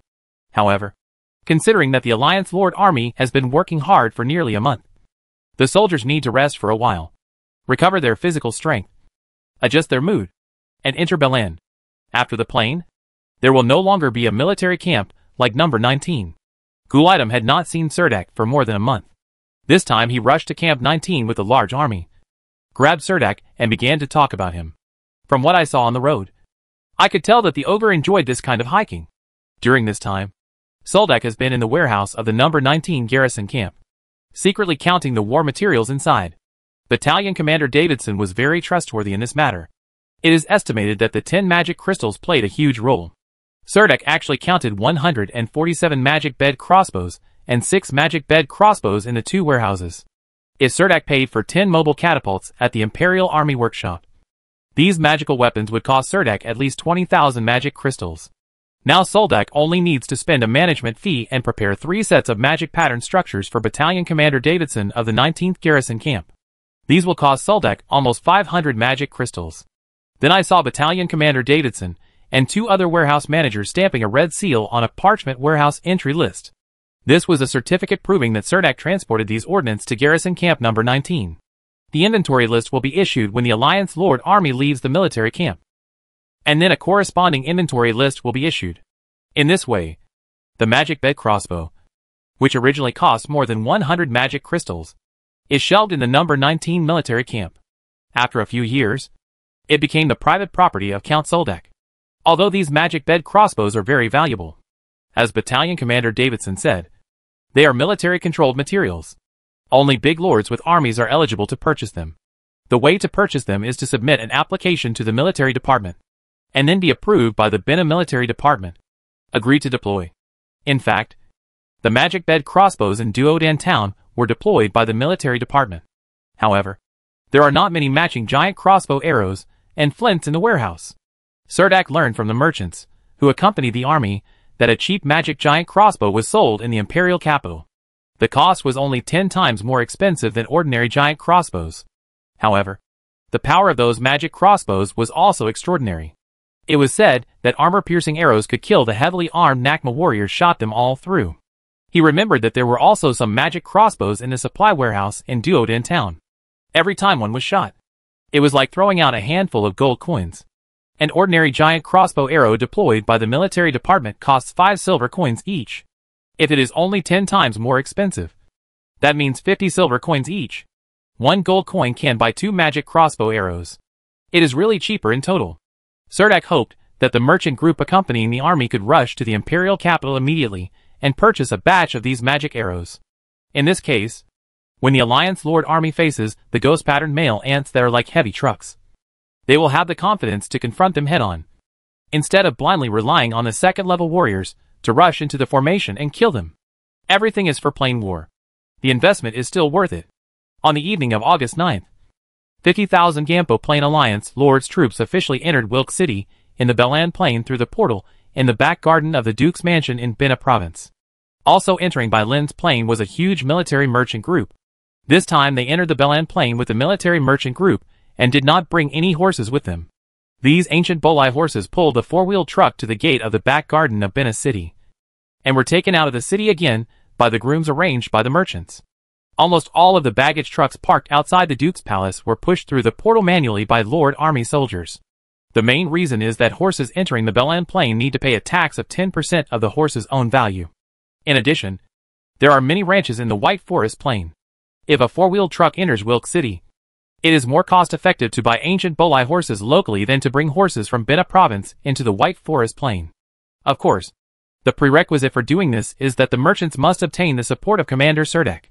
What the merchants didn't expect was that the merchants only submitted a briefing to Serdek and Commander Serdek readily agreed without even talking about the benefits.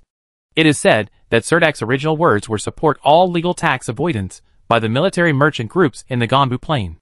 Lance and his magician friends arrived in Bena City on August 10th. This time, the Halensa City Magic Guild sent a total of 15 first-turn fire magicians, and the Lut City Magic Guild came, with the support of 13 young magicians. The Alliance Lord Army has now formed a 28-member magician investigation team. On the day they arrived in Bena City, a group of magicians headed by Lance entered the Belan Plain through the portal.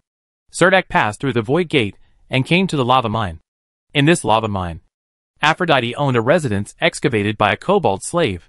Only when he came here this time did he find that the residence was actually furnished with some simple furniture.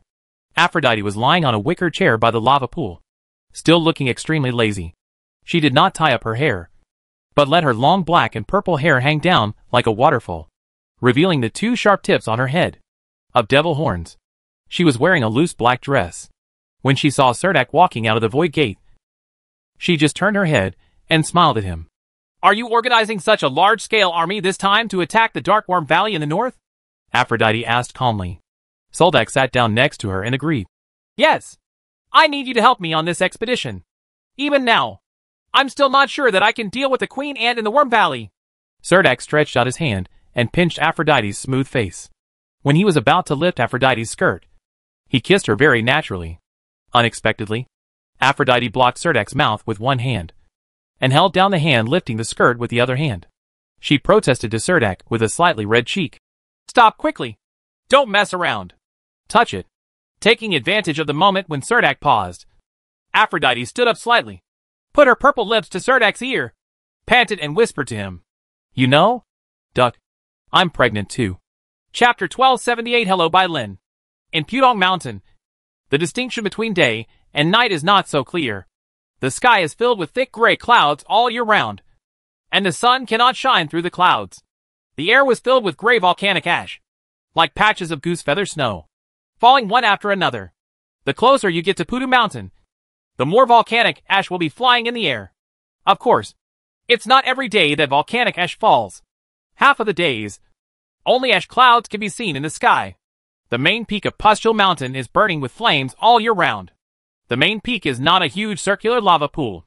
It is more like a group of peaks crowded together.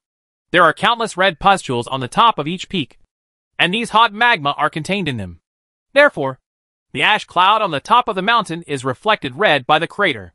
Serdek rarely had the opportunity to go out and walk with Aphrodite. It was rare that there was no volcanic ash falling all over the sky. In the distance, a ring of light appeared on the horizon. The top of the peak was like a brilliant neon, making this place always in a state of dusk. Aphrodite climbed to a cliff on the mountainside. Below the cliff was a flowing river of lava. The pungent smell of sulfur filled the air, making Serdek's throat hurt. The edges of the viscous magma continued to solidify into black rock sh. L. Only the lava in the central area flows downward like molten iron.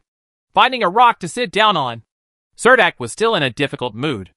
This is definitely not the union of two humans with different skin colors. In the end, a beautiful little hybrid will be born. This is an interracial union of humans and demons. It is said that children born from the union of humans and elves will become half-elves. Children born from the union of humans and orcs will become half-orcs. And children born from the union of humans and Naga will become sea monsters living on sparsely populated islands.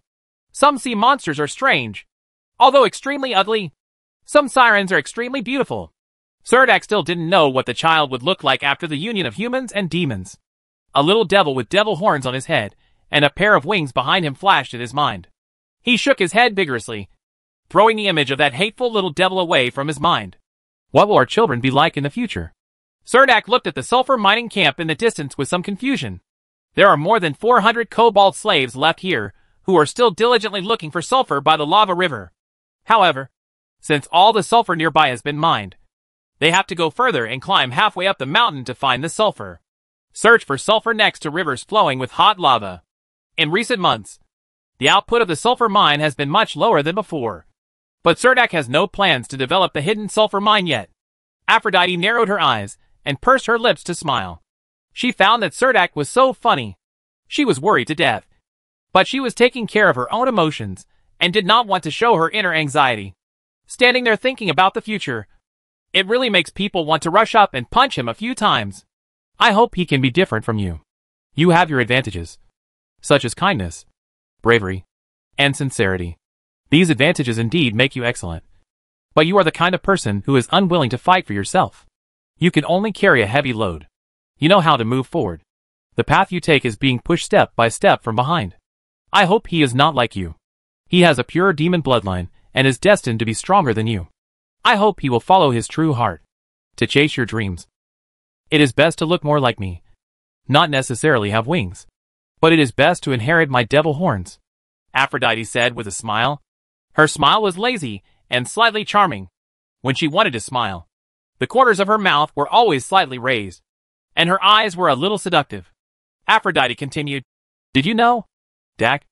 All the magic power of the demon warrior comes from the two sharp horns on the top of his head.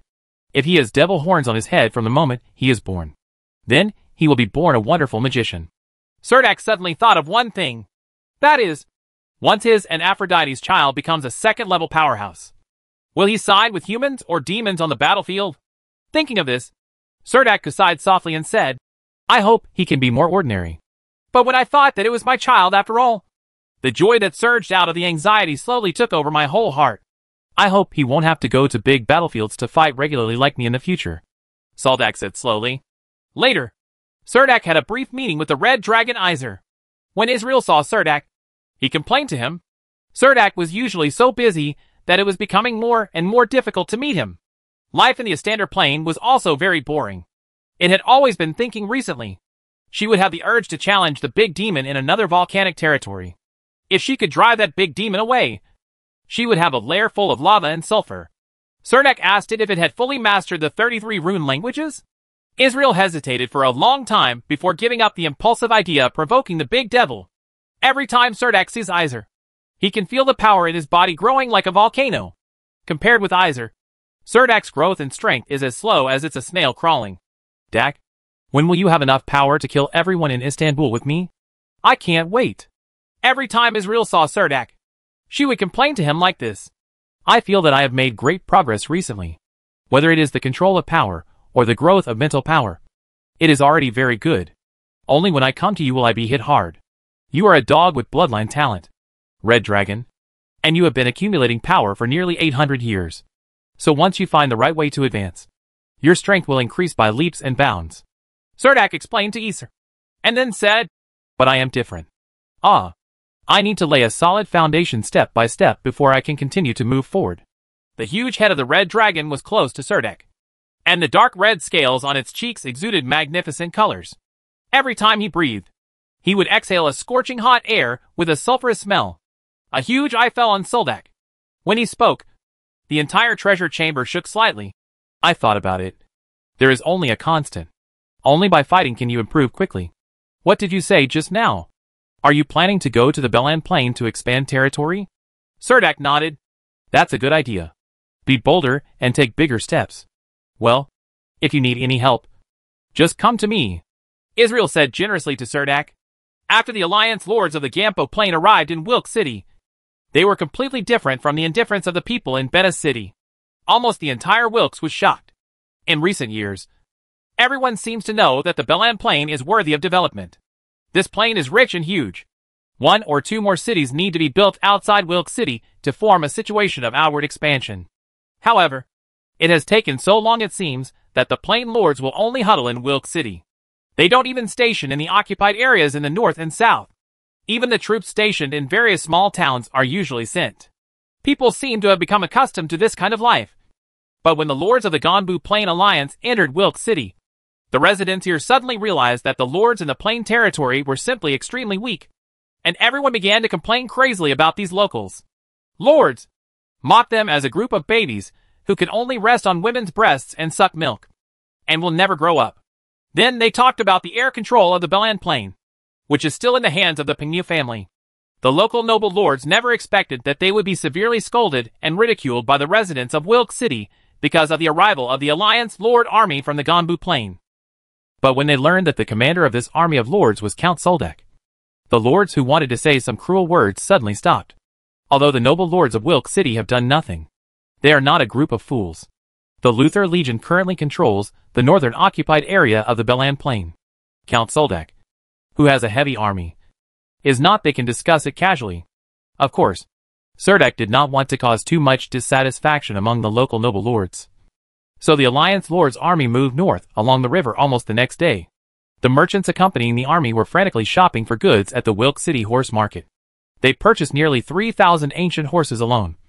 And all the meat needed by the Lord's army this time will be purchased from local ranches. The 50,000 Lord army needs to consume more than 200 yellow sheep every day. A large amount of military supplies are also flowing into the Belan Plain. Since military supplies are controlled by the military department, these do not need to pay the portal customs duties.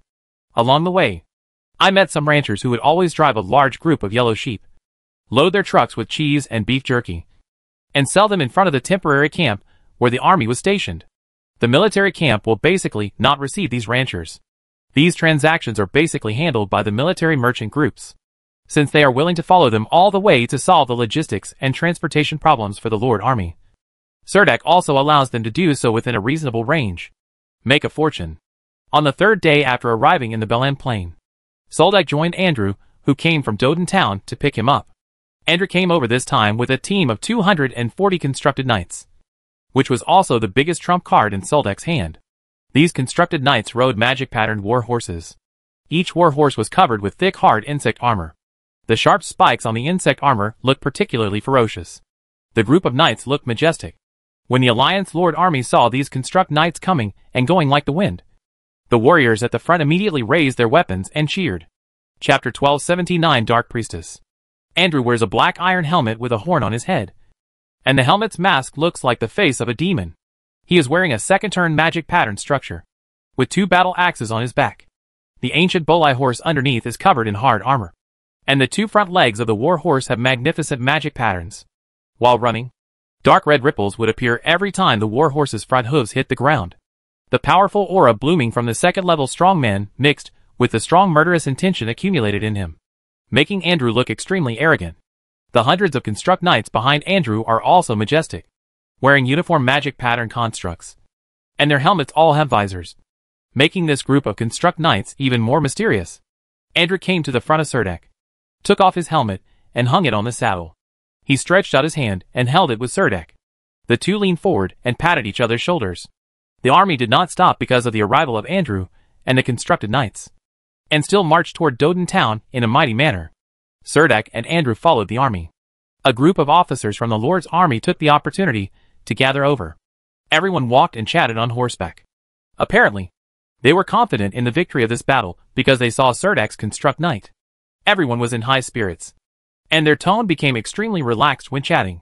Some of the officers of these lords' armies were sent by the local lords of the Ganbu Plain, and some were officers of the 13 lords' armies that jointly carved up the northern part of the Ganbu Plain with Serdek. Their understanding of Serdek, limited to the battlefield of the Ganbu Plain, knowing that there is a big shot standing behind him, who has been fully supporting him. Now that I see that Serdek has a well-equipped team of constructed knights, I realize that Serdek's true strength is not limited to what they know, although Serdek is also a second-level powerhouse. Few people around him pay attention to this. They only care more about his noble title. Is he a baron, viscount or an earl? But when everyone saw Andrew, they could tell at a glance that he was a powerful second-level man with unabashed envy in his eyes. The two rode side by side, chatting like old friends. Boss, I didn't expect you to return to the Belan Plain with such a huge army so quickly. I thought you would be quiet for a while. Andrew said with a smile to Serdek.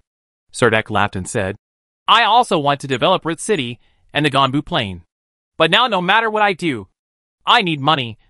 So I plan to expand further north and make another fortune by the way. Andrew's eyes lit up. He stared at Soldak and asked him, Are you going to attack the Ghost Strike Red Ants in the Darkworm Valley? In fact, you should wait until winter before coming here.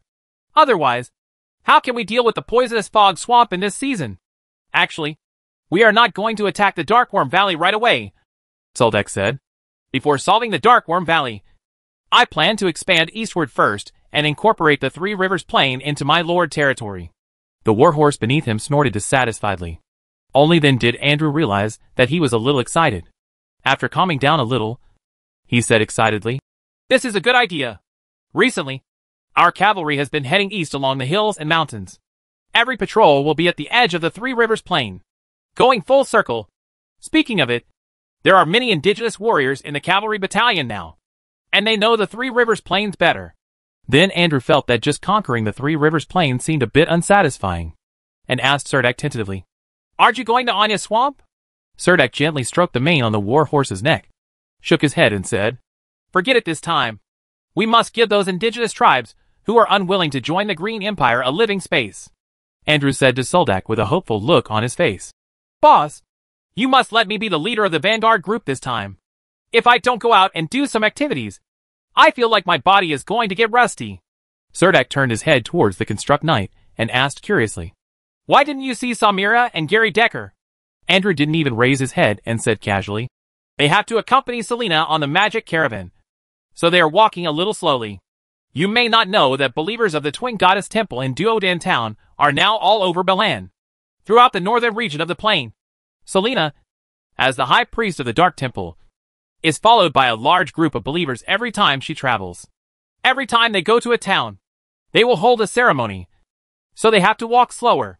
Hearing that the followers of the Twin Goddess Temple had spread to the entire northern region of the Belan Plain, Serdek was very surprised and asked, Has the Twin Goddess Temple developed so fast in recent times? Speaking of this, Andrew said to Soldek again, At the beginning, not many people knew them. So Nika would often take a group of maids with some knowledge of first aid to go to other towns to treat some patients. Gradually, more and more people came to them for treatment. They were priests in the temple. And gradually the entire northern region knew that there was a temple of two goddesses in Doden town. And the number of believers increased from that time. Serdek did not expect that they would be so bold and expand the twin goddess temple outwards. Listen to what you said. Although it was Nika who took the maids out to treat illnesses and save people, it seems that the Temple of the Night Goddess is more popular. Serdek asked with some confusion. Andrew nodded again and said with a smile. Of course. The believers developed by the Dawn Temple correspond to the imperial immigrants from the northern occupied areas, while the believers developed by the Dark Temple are local aborigines. In terms of number, the local aborigines are obviously more, and they are actually more need help. The two of them were walking and chatting. Vast grassland. The war horses running wantonly under the blue sky. The horses seem to be chasing the distant clouds. I have long heard that there are large pastures in the Belan Plain. But the ancient Bolai horses here are basically supplied directly to the great lords of the Bena province. So the war horses of the Belan Plain are not famous in the Bena province. The ride from Wilk City to Doden took seven days. But the 50,000 alliance lords brought by Serdek were almost all infantry. The legion's large army needed to walk to Doden town. Even if all the baggage was loaded on the carriage, and the infantry advanced lightly. It would still take about 20 days. Time to reach the destination. When the army passed through some ranches, Serdek needed to communicate with the local noble lords in advance. But this was just a formality. But no lord would confront Cerdak at this time. Even if he didn't want to use the road, he would hold his nose and smile. There's no other reason than this. I can't afford to offend him. No matter which small town they pass along the way. The commanders in the local garrison camps will personally greet Cerdak at the intersection. They must chat with Cerdak for a few words. And then Cerdak will have the opportunity to start his journey again. The commanders are all officers of the Luther Legion. Although their immediate boss is the great swordsman Chester. They also know the identity of Cerdak very well. They usually have no chance to contact him. Of course, they need to be in Cerdak at this time. He looked familiar in front of Ku. Along the way, Cerdak also met some caravans and some scattered adventure groups rushing to Doden town. It must be said that some people are born with a sensitive sense of smell. Until the scouts in front came back to report that they saw a large group of aborigines coming towards this direction in a mighty convoy. After arriving for only half a day, Cerdak saw Selena's gorgeous magic caravan in Doden town followed by five armed thunder rhinoceros that looked like small hills. Samira and Gary Decker. The two of you were standing on the platform behind Thunder Rhinoceros. Seeing Cerdak riding a horse in the front from a distance. The long-legged Gary Decker couldn't help but jump onto the arrow slot of the magic bed crossbow and wave to Cerdak from a distance. A large group of aboriginal herdsmen on the grassland followed the convoy on horseback. The vast crowd seemed to number at least several thousand people. Behind the group there were people driving the sheep, the soldiers of the Alliance Lord Army were surprised enough when they saw the Construct Knights under Cerdak arriving a few days ago. Now they saw thousands of people walking straight over. And they were even more surprised when Cerdak came. How powerful is the Bylin plain? Seeing that the two teams were about to collide a few hundred meters away, Soldak raised his hand first to stop the 50,000 strong army. The indigenous herdsmen on Selena's side also stopped one after another. Only a magic caravan continued to drive forward for a while, and stopped on the grass between the army and the indigenous people. Samira and Gary Decker were also riding in the Thunder Rhinoceros. Selena walked out of the magic caravan and boarded the Thunder Rhinoceros with a solemn expression under the watchful eyes of Soldak. Back, the Aborigines came over one after another. They gathered around the high platform and sat on the ground, as if they were preparing to eat or to listen quietly. Selina stood on the platform behind Thunder Rhino. Her eyes fell on Soldak's face through the crowd. She took a deep look at him, and then raised a fur cane in her hand. The Aborigines gathered around Thunder Rhino suddenly cheered, and then worshipped. Chapter 1280A Speech Cerdak rode his horse, and looked up at Selina on the Thunder Rhinoceros back platform. She wore a black robe with seven magnificent gems inlaid on the neckline. The robe was embroidered with complicated dark patterns with golden threads. She held a cedar scepter in her hand. The moment she raised the cane, a wave of energy was released all over her body an aura so powerful that it makes people worship. Countless aboriginal herdsmen gathered spontaneously around the thunder rhinoceros. They didn't even pay attention to the troops nearby, as if they were holding a grassland rally. Everyone was waiting quietly for Selena to give a speech, with infinite piety flowing in their eyes. Cerdak did not expect that in just over a year, so many followers of the Dark Goddess would develop in the occupied area in the northern part of the Belan Plain. Especially since this area was also occupied by the Green Empire. Before the Statue of Liberty abandoned the imperial people, there were almost no pagans in the Green Empire. Now many faiths have begun to appear in the Green Empire. But the people of the Empire have deep respect for the Statue of Liberty. So many people are naturally repulsive to other faiths. Even if they are abandoned by the Statue of Liberty, they will comfort themselves like this. The goddess must be trapped, looking for a place. The oracle cannot be transmitted to the Roland continent for the time being. Therefore, it is very difficult to develop other temples and beliefs in the Green Empire. But at this moment, something else appeared in Cerdak's eyes. These aboriginal herdsmen had begun to gradually accept the Dark Goddess. Selina stood on the platform holding a scepter in her hand. Although her voice was not loud, her voice seemed to be transmitted to every corner of the pasture. Her voice was soft, like a lover whispering in her ear. When we stand in the sun, everything in our eyes is just an illusion woven by light and shadow. Only when darkness comes will those illusions and lies turn into an endless night. The messenger of darkness can lead you to conquer those nightmares and let you see the truest origin of this world. The goddess of liberty has abandoned green. This place can no longer be called a free country. The original illusions and illusions are stripped away in the light and shadow. But what is certain is that the darkness is still there. Look, the official oracle of the dark goddess. That's why we stood in front of you in your most difficult days and led you to keep moving forward. We are constantly looking for ways to change all the inequalities here. Now, when we are hesitant about the road ahead, the dark goddess finally sent down the oracle. The goddess said to me, he is the most trustworthy person for you. He came from Halensa city in the Bena province. Bailin's Duodan town is not just for the beast tide that only breaks out once every 10 years, but also hopes to help you escape from your current life. Now, our heroes have returned to Bailin. Do you want to know what they want to do when they come to Bailin? With that said, Selena stood on the high platform, turned around and pointed at Serdek, who was standing at the forefront of the Lord's army, holding the first scepter. Just as Selena finished her last words, all the indigenous herdsmen sitting on the ground stood up and shouted to Selina. Think. Serdek felt that in the Green Empire. Those who believed in gods were a group of lunatics. They became extremely crazy both in their hearts and in their bodies. Amid waves of cheers, Serdek bravely climbed onto the wooden platform on the back of the Thunder Rhinoceros.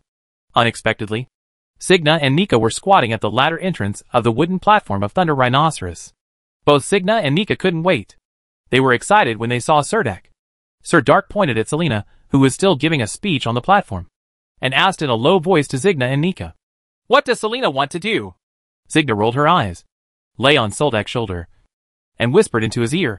She said that she was inspired by the goddess of darkness and led her believers to find the future of the northern area of the Belan Plain. Serdek chuckled and responded. This topic really sounds like an old bastard. Dak, you should hug me. Signa protested softly to Soldak. Serdek quickly stretched out his hands, held the two saints from the twin goddess temple in his arms, and hugged them. And then said, Yes, my dear Signa. Oh, and the beautiful Nika. At this time, Signa had time to look behind Soldak and asked, Dak, where is Sia? Where did you hide her? Serdek found a place to sit down on the platform and said, She stayed in Brit City. He is not as free as you. He has to do a lot of things for me every day. Obviously, Signa was a little dissatisfied with Soldak's explanation. And she said, Cut. At this time, Selina had finished her part of the speech. She turned back to look at Soldak and nodded slightly to him. In full view of the public, he was unable to communicate with Selina beyond words. He could only act in accordance with her script. So Soldak strode to the front of the platform. In the occupied area in the northern part of the Belan Plain, Lord Serdek is not widely known, but many have heard of it, at least when they were fighting for the territory of Invercargill Forest. He and the alchemist made a fuss in Wilk City. At this time, Soldak stood up, and as expected, someone in the audience recognized him. And then, there was a round of cheers. Serdek said loudly to the aboriginal herdsmen in the audience. I brought 500 knights from Halensa here. I was originally ordered by the military to garrison here with the Lutheran army. However, during the garrison period, the northern border town encountered an animal tide once every 10 years. Fortunately, yes, thanks to everyone's concerted efforts, we successfully withstood this beast tide. Now, I have brought 50,000 Alliance Lord troops and set foot on the land of Belan Plain again in order to completely solve this problem. These red ant plagues. Of course, one thing that is undeniable is that when we win, part of that land will become my new territory. But for every citizen living in the northern occupied area, this battle will completely solve the disaster in Belan's northern land.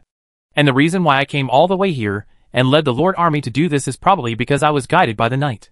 Yes, Soldak said loudly with an affirmative tone, and then pointed at Selina and said to countless believers in the audience, she has entered my dreams countless times. So I have this idea. The night is guiding us, and will bring decades of peace to this land. After Serdek said this, the believers surrounding Thunder Rhino cheered strongly again. Chapter 1281 Arrival in the Town. A paladin praises the night. If the glory of the Statue of Liberty is still there, the priests will probably open the door of time and space and come to Soldak and treat him as a heretic and arrest him in the trial court. But now here is not only Bailin, but the Statue of Liberty has abandoned the followers of the Green Empire. At this time, no one cares what kind of belief you have. For the natives of the White Forest Plain, there is essentially no difference between their belief in the Goddess of Liberty, the Goddess of Dawn, or the Goddess of Night. They just want to make their lives better. Now the Goddess of Night is spreading her teachings in this land. And he also sent down the gospel, so that believers can banish nightmares every night. Just such a little blessing can make them willing to follow the footsteps of the Goddess of the Night, and start to try to believe in the night. In particular, The believers who believe in the Dark night are basically the Aboriginal people in the northern occupied area of the Belan Plain. Everyone will learn from the practices of the Aboriginal people in Doden Town. Only when everyone unites can they make some joint demands to the local noble lords. For example, improving the welfare of herdsmen and improving their lives. If the local noble lords have a tough attitude and are stubborn in their thinking, the priests from the Temple of Night will come over in person and sit down and talk. No matter which world you are in, it only makes sense to speak with a hard fist. Now the high priest of the twin goddess temple suddenly said that under the guidance of the night goddess, the hero's return would bring decades of peace to the people here. The indigenous herdsmen surrounding Thunder Rhino were almost excited. Some young aboriginal herdsmen were so excited that they rushed to the military formation of the Alliance Lord Army and expressed their willingness to join the Lord Army in public, so that everyone could fight against those ferocious monsters together. This made the lords and armies of the Belan Plain look confused. The battle has not even started yet. So how could so many people be willing to join in? This is a situation that has never happened before in any plain war. When the entire Ganbu plain was massacred by the H.L. demons, people in adversity were not seen to be so brave to join in. Everyone is a little confused. Could it be that the nomads in the Belan plain have tough folk customs? Serdek simply rejected the offer of these young aboriginal herdsmen to join the army. These aboriginal herdsmen are herdsmen from other lords' territories.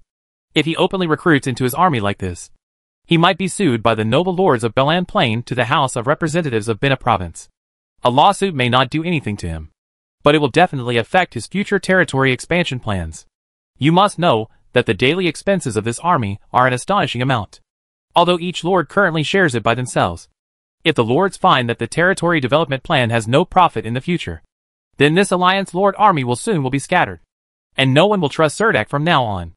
At this time, Serdek needed a victory to give the alliance lords a little more confidence. So he could only stand up and say loudly to the young aboriginal herdsmen in front of him. Everyone, our army comes from the plain of Ganbu. We have no plans to recruit new troops in Belan for the time being. In addition, please believe in the ability of this Alliance Lord army.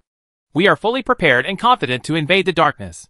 Insect Valley clears out ghost pattern red ants. He found a far-fetched reason to reject the enthusiastic young aboriginal herdsman. In fact, in every war, once it involves beliefs and people's aspirations, you will see some crazy supporters. Selena's reception involved a little bit of faith. Of course, she did this to once again expand the influence of the Temple of Night in the northern occupied area, and to promote it through Serdek's legion. Of course, Selena was also severely punished by Suldek the Knight, because once this kind of thing is done too much, the Lord Army of Ganbu Plain may put on the cloak of the Goddess of the Night, which is definitely not what he wants to see. Obviously, Selena also knew that she was in a bit of a wrong, so she responded positively to all of Suldek's unreasonable demands and she did whatever he asked her to do. It was the next day that Samira and Gary Decker met Serdek. These two beauties covered their faces with hoods, and their long legs were particularly eye-catching as they rode on magic-patterned horses. Although they tried their best he restrained his aura. But the powerful aura of the second-level powerhouse still shocked the commanders of the Lord Army, who gathered around Serdek. The army continued to march towards the town of Doden. But in the next few days, what Serdek didn't expect was that a group of herdsmen along the way actually caught up with their flocks and took the initiative to send their property to the army. This thing surprised the two-headed ogre Gulaitum. It turns out that this can still be done. The Lord Army of the Ganbu Plain also fully felt the enthusiasm of the herdsmen of the Belan Plain. Later, the local ranchers were also very passive. They were all nobles who owned large pastures. And this was in the northern occupied area of Belan. People came all the way to clean up the hidden dangers of the beast tide and the indigenous herdsmen rushed over and took the initiative to send their yellow sheep. If you don't express yourself at all, wouldn't you be looked down upon by the local aborigines? So when the Lord's army passed through some small towns, the ranchers here took the initiative to send the prepared yellow sheep to the army. As for why you chose yellow sheep, because yellow sheep is cheap. The most indispensable thing in the northern part of the White Forest Plain is the large grassland. A group of sheep can breed without restriction under the protection of the herdsman and their number can double in just three years. Once a sheep herd reaches a large scale, as long as there is enough pasture, their number growth will be extremely terrifying. Each pasture raises a large number of sheep, and these sheep are usually controlled within a certain number. Once the number exceeds the upper limit, some must be sold or simply killed. Now the small noble lords of various towns would not feel they had lost anything if they sent some sheep to Serdek's lord army. The only people who are a little dissatisfied with this are probably the merchants who accompany the army. These logistical supplies are within their scope of supply. Now that people are sending them for free one after another, the food they transport will be unsaleable.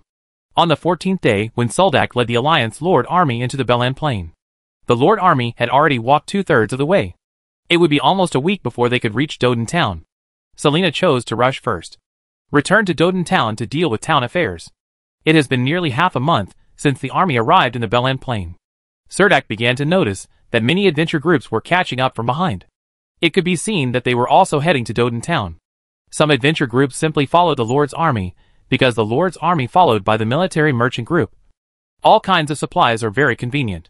It was probably the news that the Alliance Lord army entered the Belan plain that attracted so many adventure groups. Last year at this time, many adventure groups from the Belan plain made a lot of money here. This time, these adventure groups obviously didn't want to miss this opportunity. At the beginning, there were only a few adventure groups following the army. Serdek just thought that they happened to follow the Lord's army to Doden town. After walking more than half of the distance, there were more than a hundred adventure groups following the army. There were two to three thousand more people. And Serdek realized that these adventure groups were all here to follow the Lord's army and go to the battlefield to make a fortune. Since there are many adventure groups in the White Forest Plain and they hunt near the Bridgehead camp on the north bank of the northern rift valley of the Invercargill Warcraft Forest all year round. They are relatively familiar with the affairs of the Invercargill Forest. Many members of the adventure group with a keen sense of smell have heard about this. After hearing the news, they heard that Lord Surdak was leading his army north. So they gave up their previous trip and ran back, preparing to follow the army to hunt ghost-marked red ants.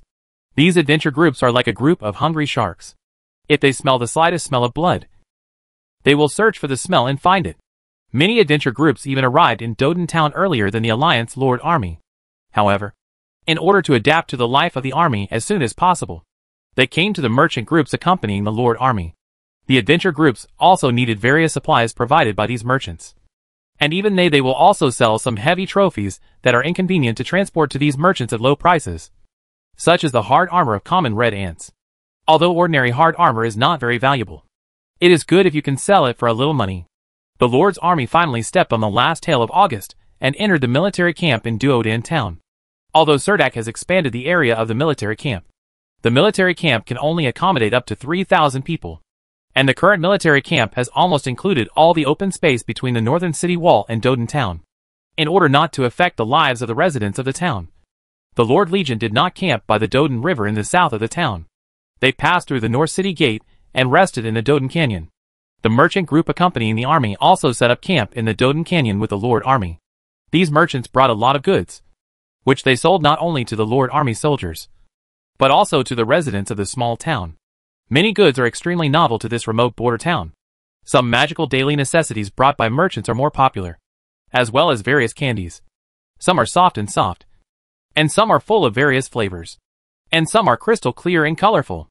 Now Doden Town has become a transportation transit point for copper mines, and an important entrance for many adventure groups to enter the Invercargill Forest. So it is much more prosperous than before. What's more, there is also a twin goddess temple and a war college. Believers from the northern district often come to Doden town to worship in the church. There are also other small town residents who have savings at home and send their children to the war academy to learn swordsmanship. Therefore, Doden town is now much more lively than before. And the shops on the central street are even connected to the gate of the Jean Jean Academy. Chapter 1282 Duodan Canyon North. It is hard to imagine that there are so many believers in the temple of the twin goddess that they have to queue up outside the temple gate. After entering the temple, they will first complete their prayers in the main hall, and then walk around in the garden of the temple, and finally leaving reluctantly, or only in this way. When these believers return to the small town where they live, they can brag to their neighbors about how beautiful the two goddess temples in Doden are. In any case, this temple has now become a must-visit place for many tourists coming to Doden town. Another place that gets a lot of people at night is the grassland on the south bank of the Duodan River. Couples in love almost sit in a row on the grass beside the river. No one shouts. And you can even hear people in the river. The sound of gurgling water means there are so many people. So many that Selena can't even continue to live in the riverside hut. It feels like the Riverview villas are like animal cages in a zoo. They don't even dare to light the lights at night. All windows have to be covered with white gauze curtains. People don't even dare to enjoy the cool air on the terrace. Unless you are not afraid of being watched. So Selina, who became the acting mayor of Doden Town, moved her family back to a house in the center of the town. The riverside house was idle this summer, and only Signa and Nika occasionally came back to stay for a night. The only bakery in Duodan town has now opened branches in the east, west and south of the town. The taste of baked wheat cakes is not great. But every baked wheat cake is salt and sesame seeds and is freshly baked. The wheat cakes are also very crispy. And each one is still two copper plates, which is much cheaper than buying wheat flour and making it yourself. Probably the existence of such cheap baked wheat cakes is also the reason why Doden Town has gathered a large population. Even some young people in the Warrior Academy go to town every morning to buy baked wheat cakes. Many people can't understand why the town hall has to bear such a financial subsidy. The believers of the Twin Goddess Temple understand this as the goddess's last guarantee to the believers, ensuring that no matter how poor the people here are, they will have enough money every day. You can always have a piece of toasted wheat cake. This is the first small town run by Soldek. Originally, there was only one main street in the town, which could be seen from south to north at a glance. But now, after just two years, the town is bigger than before. It had to be at least four times larger when it was taken over. And the southern part was almost connected to the War College. There was no room for expansion in the northern part of the town. Unless a house was built outside the northern wall. There are not many workshops in the town. Most of the people's lives here rely on the continuous inflow of materials from the Invercargill forest, which has led to the employment of local residents. Now some people in the town are beginning to discuss whether you will build a city here. The population in the town is increasing rapidly every month. And the town already has a northern city wall. We only need to plant a city in the southern part of the town. Just use a large outline to define this area as an urban area. Selina was holding a wine glass on the penthouse terrace, with a blush on her face looking at this bustling town with some confusion. Serdak shook his head and said, This place has reached a bottleneck period of development. It is difficult for the population to increase after it reaches a certain upper limit. And the most important thing is that this place is always a garrison camp. I will only be stationed here for four years. At that time, what kind of regiment will the military department send? It is still unknown whether we will be stationed here. Selina put her pointed chin on Soldak's shoulder her body covered in a thin nightgown pressed tightly against Soldek's back, and her lips with a faint smell of alcohol pressed against his ear and said, Is that why you built the iron ore refining workshop at the north exit of Duodan town? Serdak looked in the direction of the north city wall with his bright eyes, casting his gaze into the endless darkness hidden under the night, and answered calmly, Yes, and in fact, from the hilly and mountainous area at the north exit all the way to the north. All the rich the land is my territory, and this iron ore refining workshop must be built on my territory. Selina asked curiously. Will you develop the copper mine into a town in the future? Serdak thought for a while, and then said, If necessary, I will, but I hope that the trade center in the northern part of the Belan Plain should be further north. At least where it takes seven days of magic airship sailing to reach it. No matter it is Duodan it's too close to the town or the copper mines. Although Selina knew that Serdak led the army here this time in order to continue to expand northward. She was still a little surprised when she heard it from his mouth. We are going to expand further north. Soldak nodded. That's inevitable. There are those ghost striped red ants in the north. I close my eyes every day. And sometimes it appears in my dreams that the entire valley is filled with ghost stripes. The scene of red ants. The next time there is an animal infestation. Invercargill Forest will bear the brunt of the red ants first. I never thought that this place would have to be rebuilt again in a few years. Serdak did not stay in the town of Doden for too long, and the Lord's army continued all the way north through the Doden Canyon. Arriving at the northern exit of the Doden Canyon, there is already a part of the boundary monument of the Serdak territory. On a hill at the northern pass, a long steel dragon spreads downward on the gentle slope, like a crouching tower. A steel behemoth on the mountain. Although these furnaces have not been started yet, seven huge chimneys are rising into the sky, and Serdak has already seen the prototype of the steel workshop in Root City.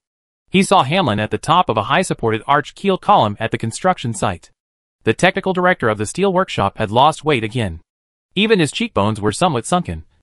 And he was also sunburned. He was dark. But his eyes were exceptionally bright. As if he were full of longing for a new life. When I saw him, he was pointing at a worker on the top of the pillar and shouting curses. The worker was so scolded that he did not dare to say a word. It's hard to imagine that Hamlin's skinny body can actually burst out with so much energy. Serdek wisely remained silent and did not interfere. After Hamlin finished handling the matter, he accompanied Soldak around the steel workshop and introduced him to the construction progress of the workshop. So, in three months, I need to transport the selected ore powder to you. Serdek stood on the high hill, looked at the steel behemoth in front of him, and asked Hamlin.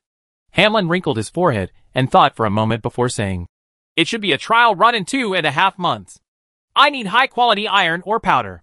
Soldak still doesn't know what his iron ore mine will look like. When he left, he only cleaned up the foundation of the shed. Now he went there just to see how the ore screening and grinding equipment was installed on site. According to according to the news from the dwarf workshop in Bena City, they should have started the final step of debugging in recent days. Okay, I will pay close attention to the progress of the iron ore mine project. Soldak nodded and agreed.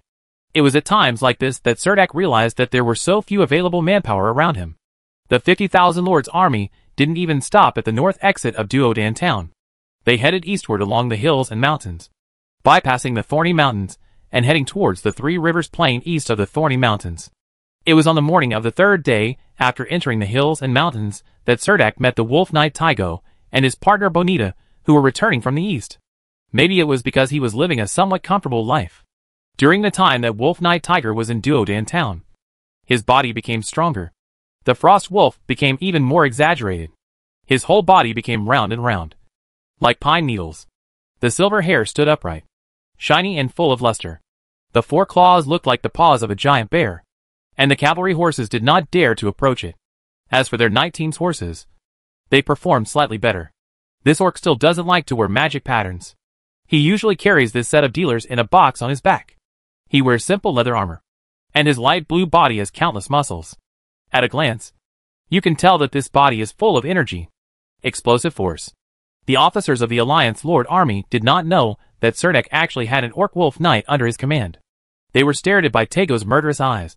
And most of the officers did not have the courage to go up and greet the Wolf Knight.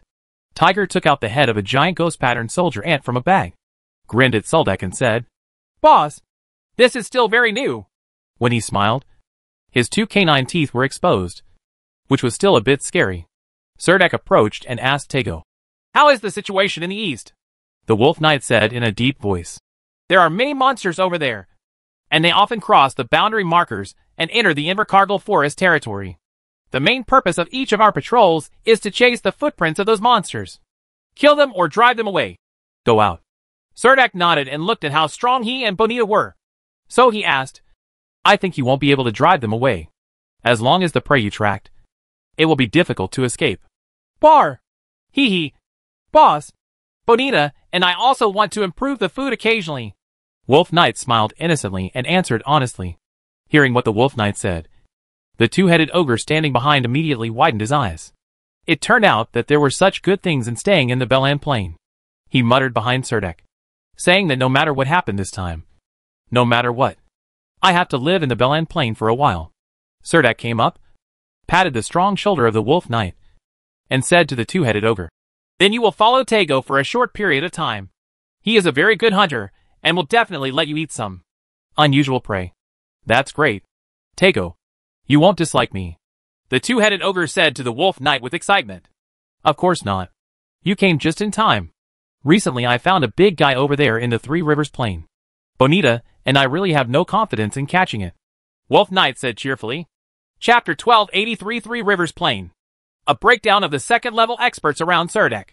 Andrew, Samira, and Guidam were the first to follow Serdek. Now each of them not only possesses two magic patterns of life, but they have also broken through the shackles of the second rank and become ranked high in the Bena province. Famous warrior. Andrew and Samira seem to represent the top two-turn berserkers and demon archers. It's hard to say about the two-headed ogre because there are no other ogres to compare with him here. The special one around Serdek is the succubus Aphrodite. Before her wings were chopped off, her strength was equivalent to that of a peak-level magician. However, after her wings were chopped off, her strength was greatly reduced until Serdek implanted two life magic patterns peeled off from the ghost pattern Ant Queen. The back of the succubus gave the broken-winged succubus a new lease of life. Serdek was even a little confused as to when Aphrodite broke through the second level. Suddenly one day, Serdek discovered that her strength had reached the level of a second-level archmage. If she hadn't revealed it at the critical moment, I don't know how long she would have kept it secret. The most mysterious one is Selina. Now she has been promoted to the High Priest of the Twin Goddess Temple.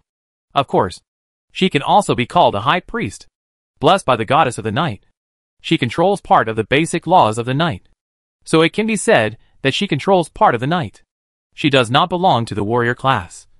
Nor does she belong to the magician. The power she possesses is the divine power obtained through prayer. Therefore, it is difficult for Serdek to say how strong she is. When he was dealing with the young ghost-marked Ant Queens, the fog of war in the dark night seemed to have caused great losses to those ghost-marked Ant Queens, who were famous for their mental strength.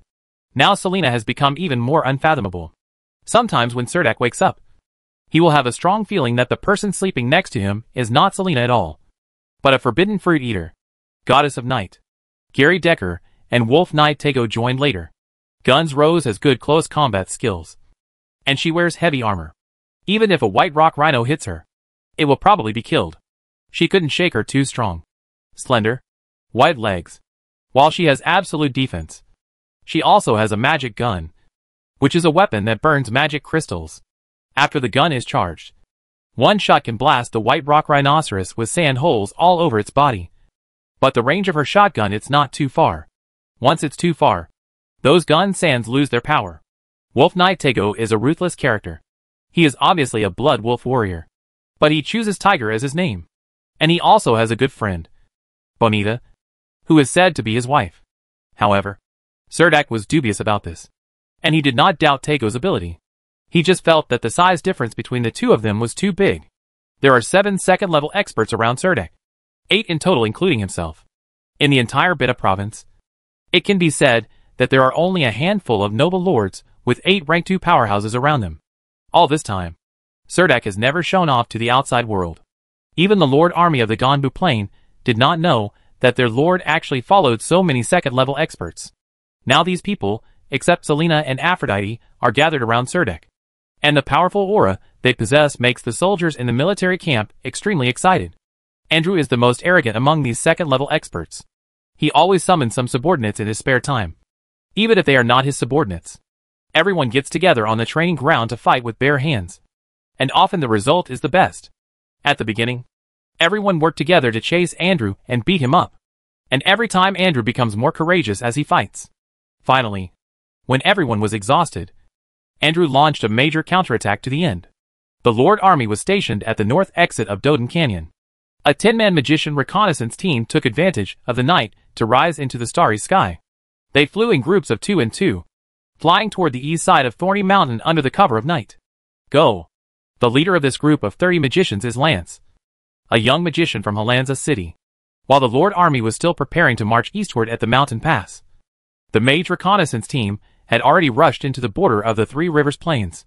Due to the large number of monsters that escaped from the Invercargill Monster Forest, they were forced to migrate there, so that the number of monsters on the Three Rivers Plains warcraft are almost overrun.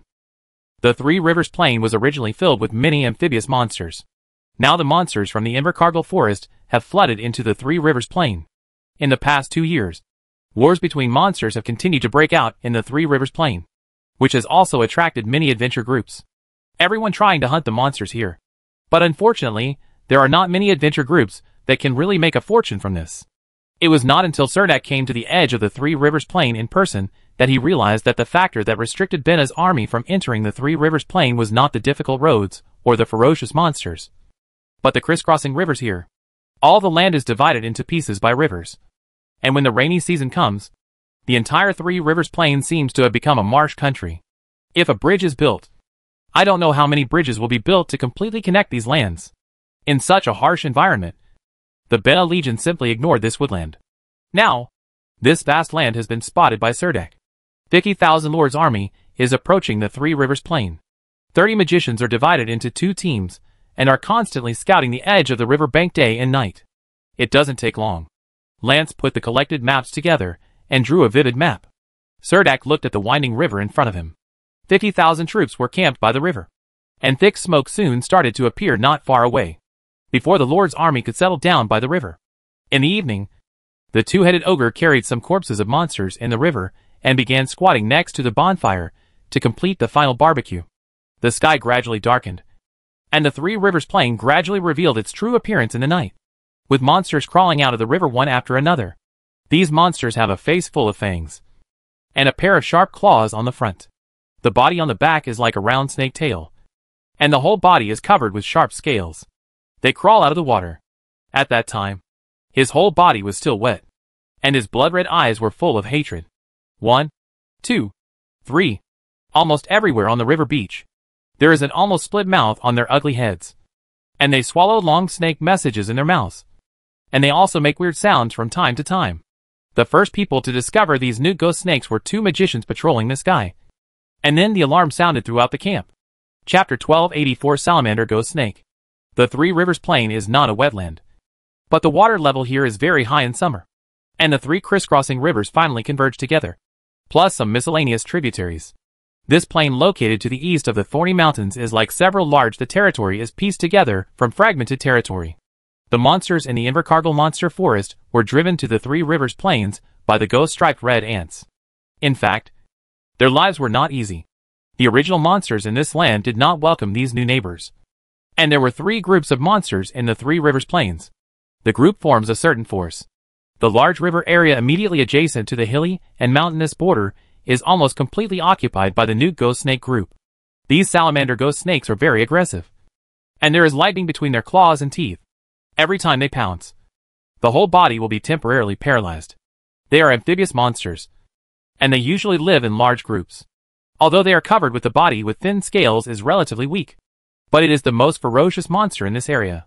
It is the existence of these salamander ghost snakes that completely separates the Three Rivers Plains from the Invercargill Forest. The monsters in the Invercargill Forest can only rush through the dangerous area of the salamander ghost snakes and enter the Three Rivers Plains. Only in the depths can there be some living space. There are a large number of giant swamp crocodiles in the central area of the Three Rivers Plain. These giant crocodiles have rough skin and thick flesh. They are proficient in water magic. But they have no brains. They will sneak into the river when they are attacked. They are not very aggressive. Especially because of their leather. It is relatively valuable and has always been the preferred prey of many adventure groups. But there are many rivers here, and if you want to enter the depths of the Three Rivers Plain, you must rush through the territory of the salamander ghost snake. Many adventure groups are unable to deal with these new ghost snakes, so they stay away from this Three Rivers Plain. The easternmost part of the plain, near the Tiger Leaping Gorge, is occupied by a group of giant red-backed tortoises that have been hiding in the water plants at the bottom of the river for many years. They only crawl out of the water occasionally when they are hungry. And their main food is salamanders. A ghost snake can lie underwater for half a year after eating a full meal. These giant turtles dominate the rivers in the Three Rivers Plain. But because they are at the bottom of deep water basins, few people see them. The skin of the new ghost snake is covered with fine scales the size of a fingernail. After the new ghost snake dies, once these hard scales peel off, the new ghost snake's leather becomes fragile and has no use value. It is the only thing that can be used the only ones left were teeth and claws. And hunters from local indigenous tribes were willing to use these materials to make bone arrows. Therefore, apart from an incomplete magic core, the salamander ghost snake has nothing of value at all. Moreover, they are cunning and cruel. They almost always appear in groups by the river. They will quickly hide in the river when they are in danger. They are not easy to hunt. So not many adventure groups are willing to hunt the new ghost snake. On the first night, when the Lord Army arrived at the edge of the Three Rivers Plain, these new ghost snakes were like a group of leeches smelling the smell of blood. They crawled out of the river valley in groups, leaving wet streaks on the grass. Watermarks. The two magicians responsible for exploring the central area of the Three Rivers Plains rode on magic harpoons and returned to the Lord's army's camp with the last glow of the setting sun. From a distance, they saw a sparkling scene beside the river. They originally thought it was sparkling waves rising from the river. But when they flew closer, they discovered that a large group of new ghost snakes were sneaking towards the camp. Shoo! A young magician blew the whistle hanging on his chest. And a clear and metallic whistle sounded into the camp. In addition, the magician simply tore open a magic scroll. And a fireball spun and formed in his palm. The raging flames kept beating in his palm. The fireball rolled towards the group of newts, ghost snakes, and explodes among the snakes. The explosive flames did not cause any harm to these salamander ghost snakes. Their bodies were covered with a layer of hard dense scale armor. The moment the fireball fell, a layer of ice sh L instantly condensed on the armor. And the explosive flames it didn't affect them. It just left a scorched mark on the grass. And several disgusted new ghost snakes jumped high from the grass and sprayed water arrows at the magician, who was flying in midair on a magic harpoon. As a result, the two magicians quickly pulled up the handle of the magic pot, and several water arrows were placed next to their boots, exploding the city into an icy fog. Hearing the sound of magic explosions outside the camp, Samira and Andrew were the first to react. They were sitting next to Soldak and were studying how to clean up the magical beasts in the nearby area. When they heard the whistle and explosions outside, Andrew he immediately stood up and rushed outside the tent. Samira also reacted very quickly and followed Andrew. Gary Decker and Wolf Knight Tego quickly followed the two of them. By the time Soldak led a group of officers to the gate of the camp, the scene here was already in chaos. Andrew's body was burning with flames, and he rushed into the group of snakes. Carrie Decker was actually standing next to him. She relied on her heavy armor to block the electric bites of the new ghost snakes, and used the magic shotgun in her hand to continuously blast away the new ghost snakes one after another. Shattered. And worked together with Andrew to carve a bloody path in the community. Samira followed behind, using the sky strike bow in her hand to kill the ambushers, who moved as fast as lightning. Just a second before the new ghost snakes pounced on Gary Decker. They were killed by Samira. Mira shot through the head. On the contrary, the powerful Gulaitum and Wolf Knight fell behind. They stayed by Serdak's side, and did not enter the battlefield immediately. Two new ghost snakes sneaked close to Serdak. Just when he was about to open his mouth and bite, the Wolf Knight cut off his head with a sword in his hand. Blood splashed on the grass and the salamander ghost snake collapsed like a puddle of mud. Serdek squatted down slightly, reached out, and pinched a little bit of the mucus-like skin of the salamander ghost snake. And those fine scales suddenly scattered all over the ground. Is this the most worthless new ghost snake?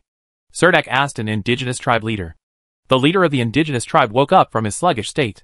The killing scene in front of him made him a little frightened. He never thought that the followers around Lord Serdek would have such strong fighting power. Looking at the kind-faced Lord Soldek, the indigenous chief immediately corrected his attitude and answered him respectfully. Well, it's just because no one in the tribe is willing to hunt them that their tribe has expanded to a terrifying number. Then he added, The monsters in Invercargill Forest are not willing to be enemies of these Rongyuan snakes. Soldak nodded, turned around and ordered Captain Ned Mosby, who was following behind him. Go and prepare the catapult. Since these basilisks are worthless, we will smash them directly this time. Yes, Commander.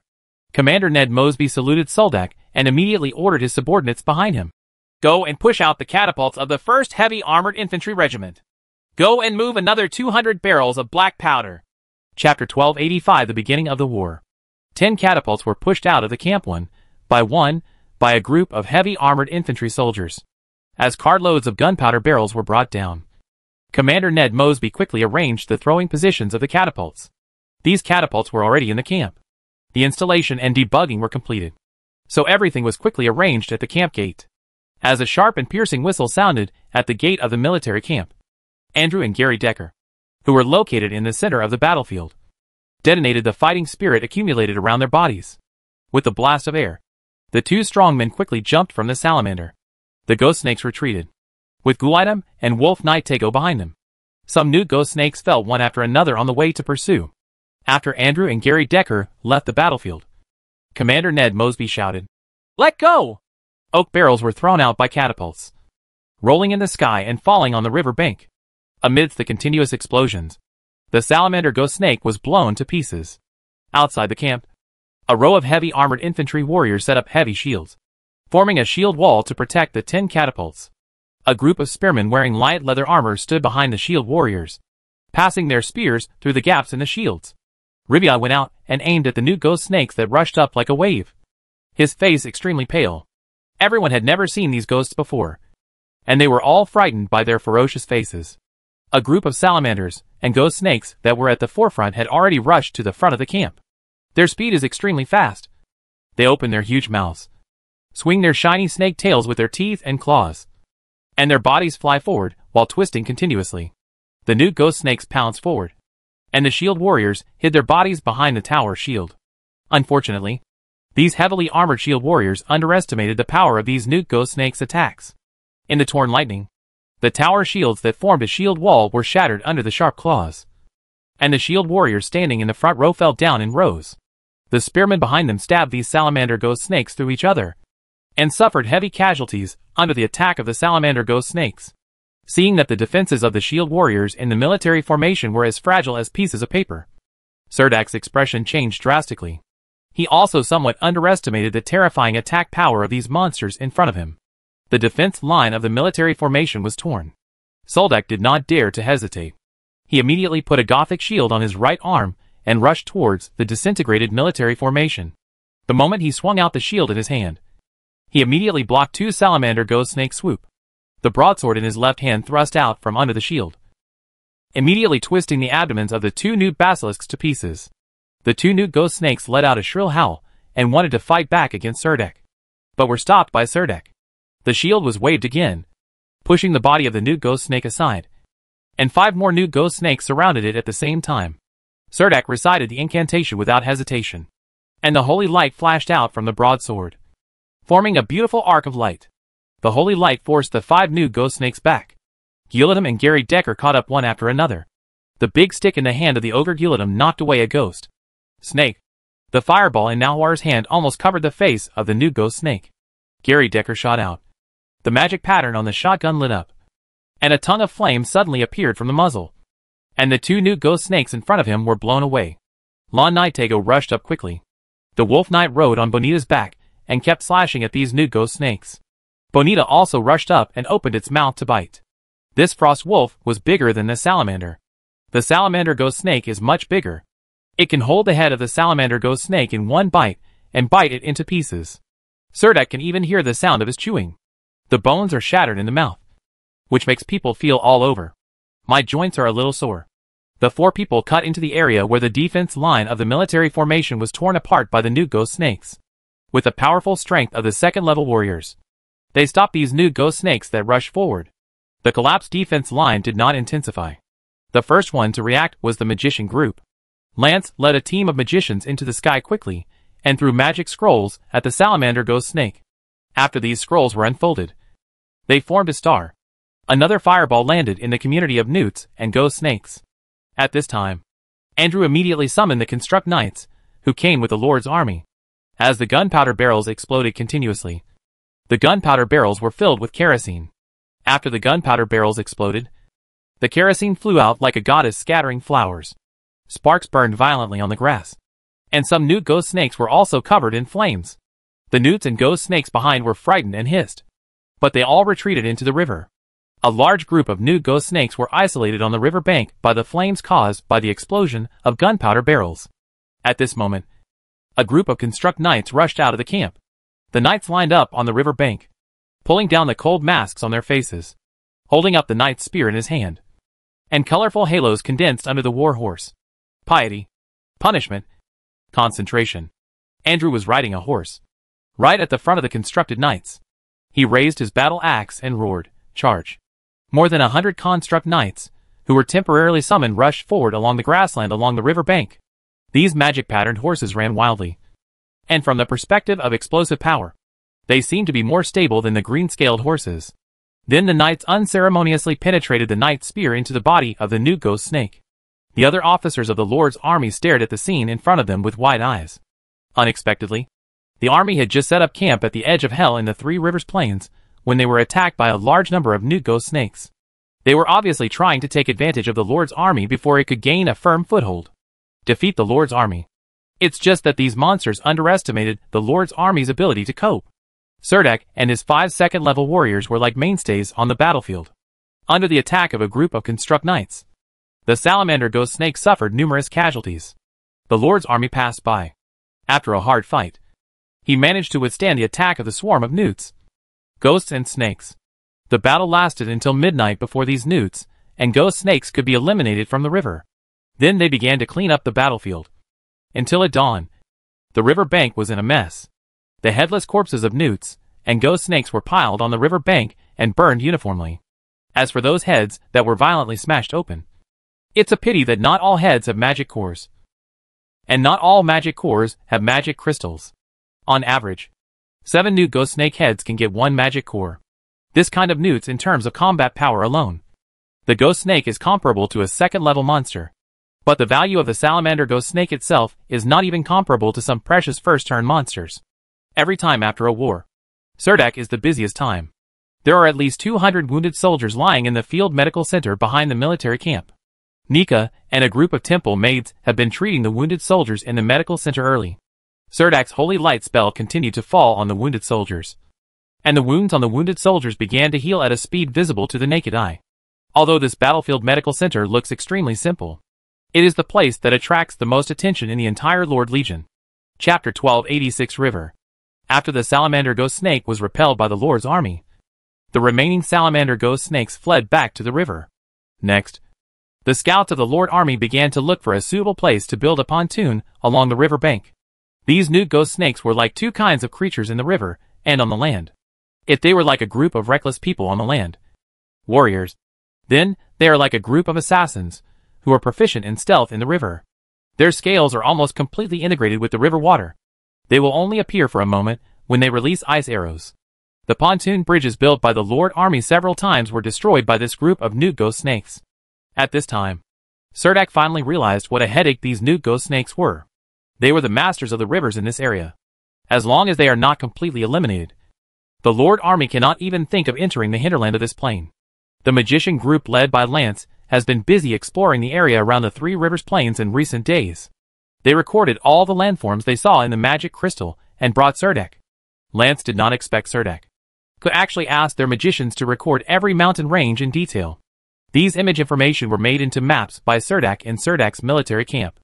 On this map with accurate images provided by magicians, you can clearly see a Grand Canyon upstream of the river in the Three Rivers Plain.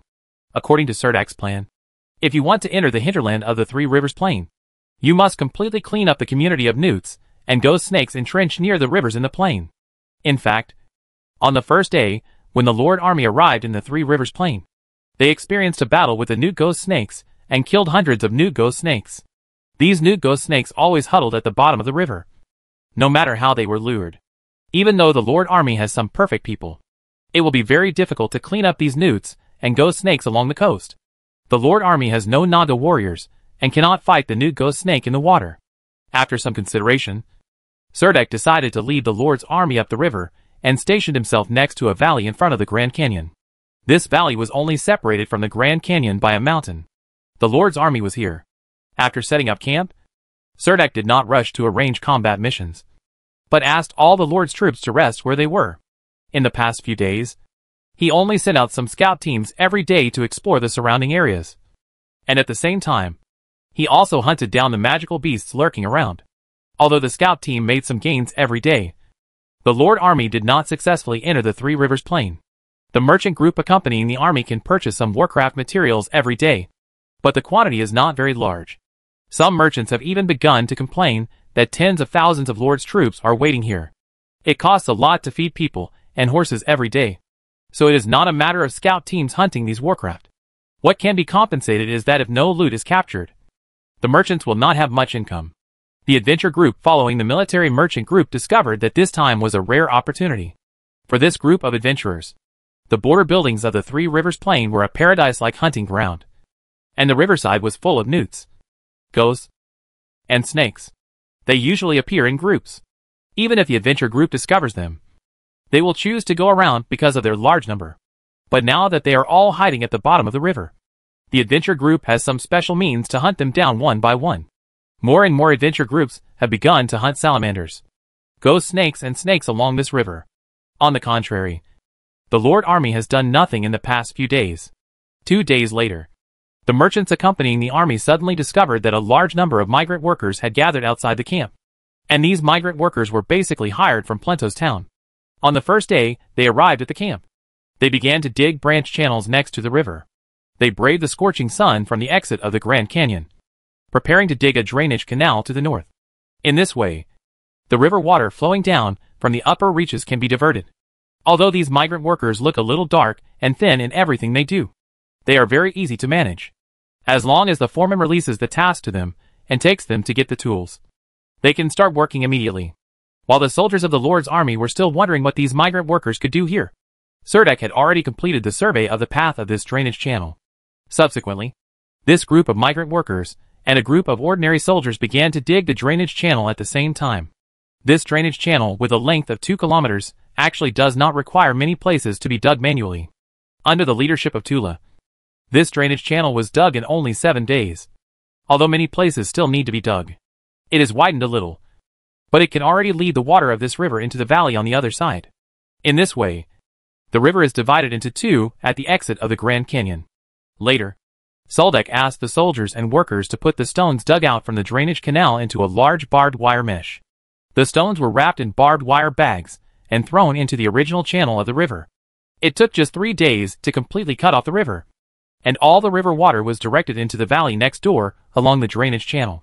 Due to the cutoff in the downstream river, the water level dropped little by little, gradually revealing the river bed full of silt. In this way, the newts and ghost snakes that were originally lurking at the bottom of the river were exposed to people's sight again. They originally tried to hide in the soft mud under the river bed. When the mud on the river bed was exposed to the scorching sun, the mud cracks began to appear. And these new ghost snakes realized that the situation was not good. They began to crawl out of the mud of the river bed and fled in all directions. A row of crossbows has been placed on the grass beside the river. What a group of archers have to do is to kill the newts and ghost snakes crawling out of the mud at the bottom of the river.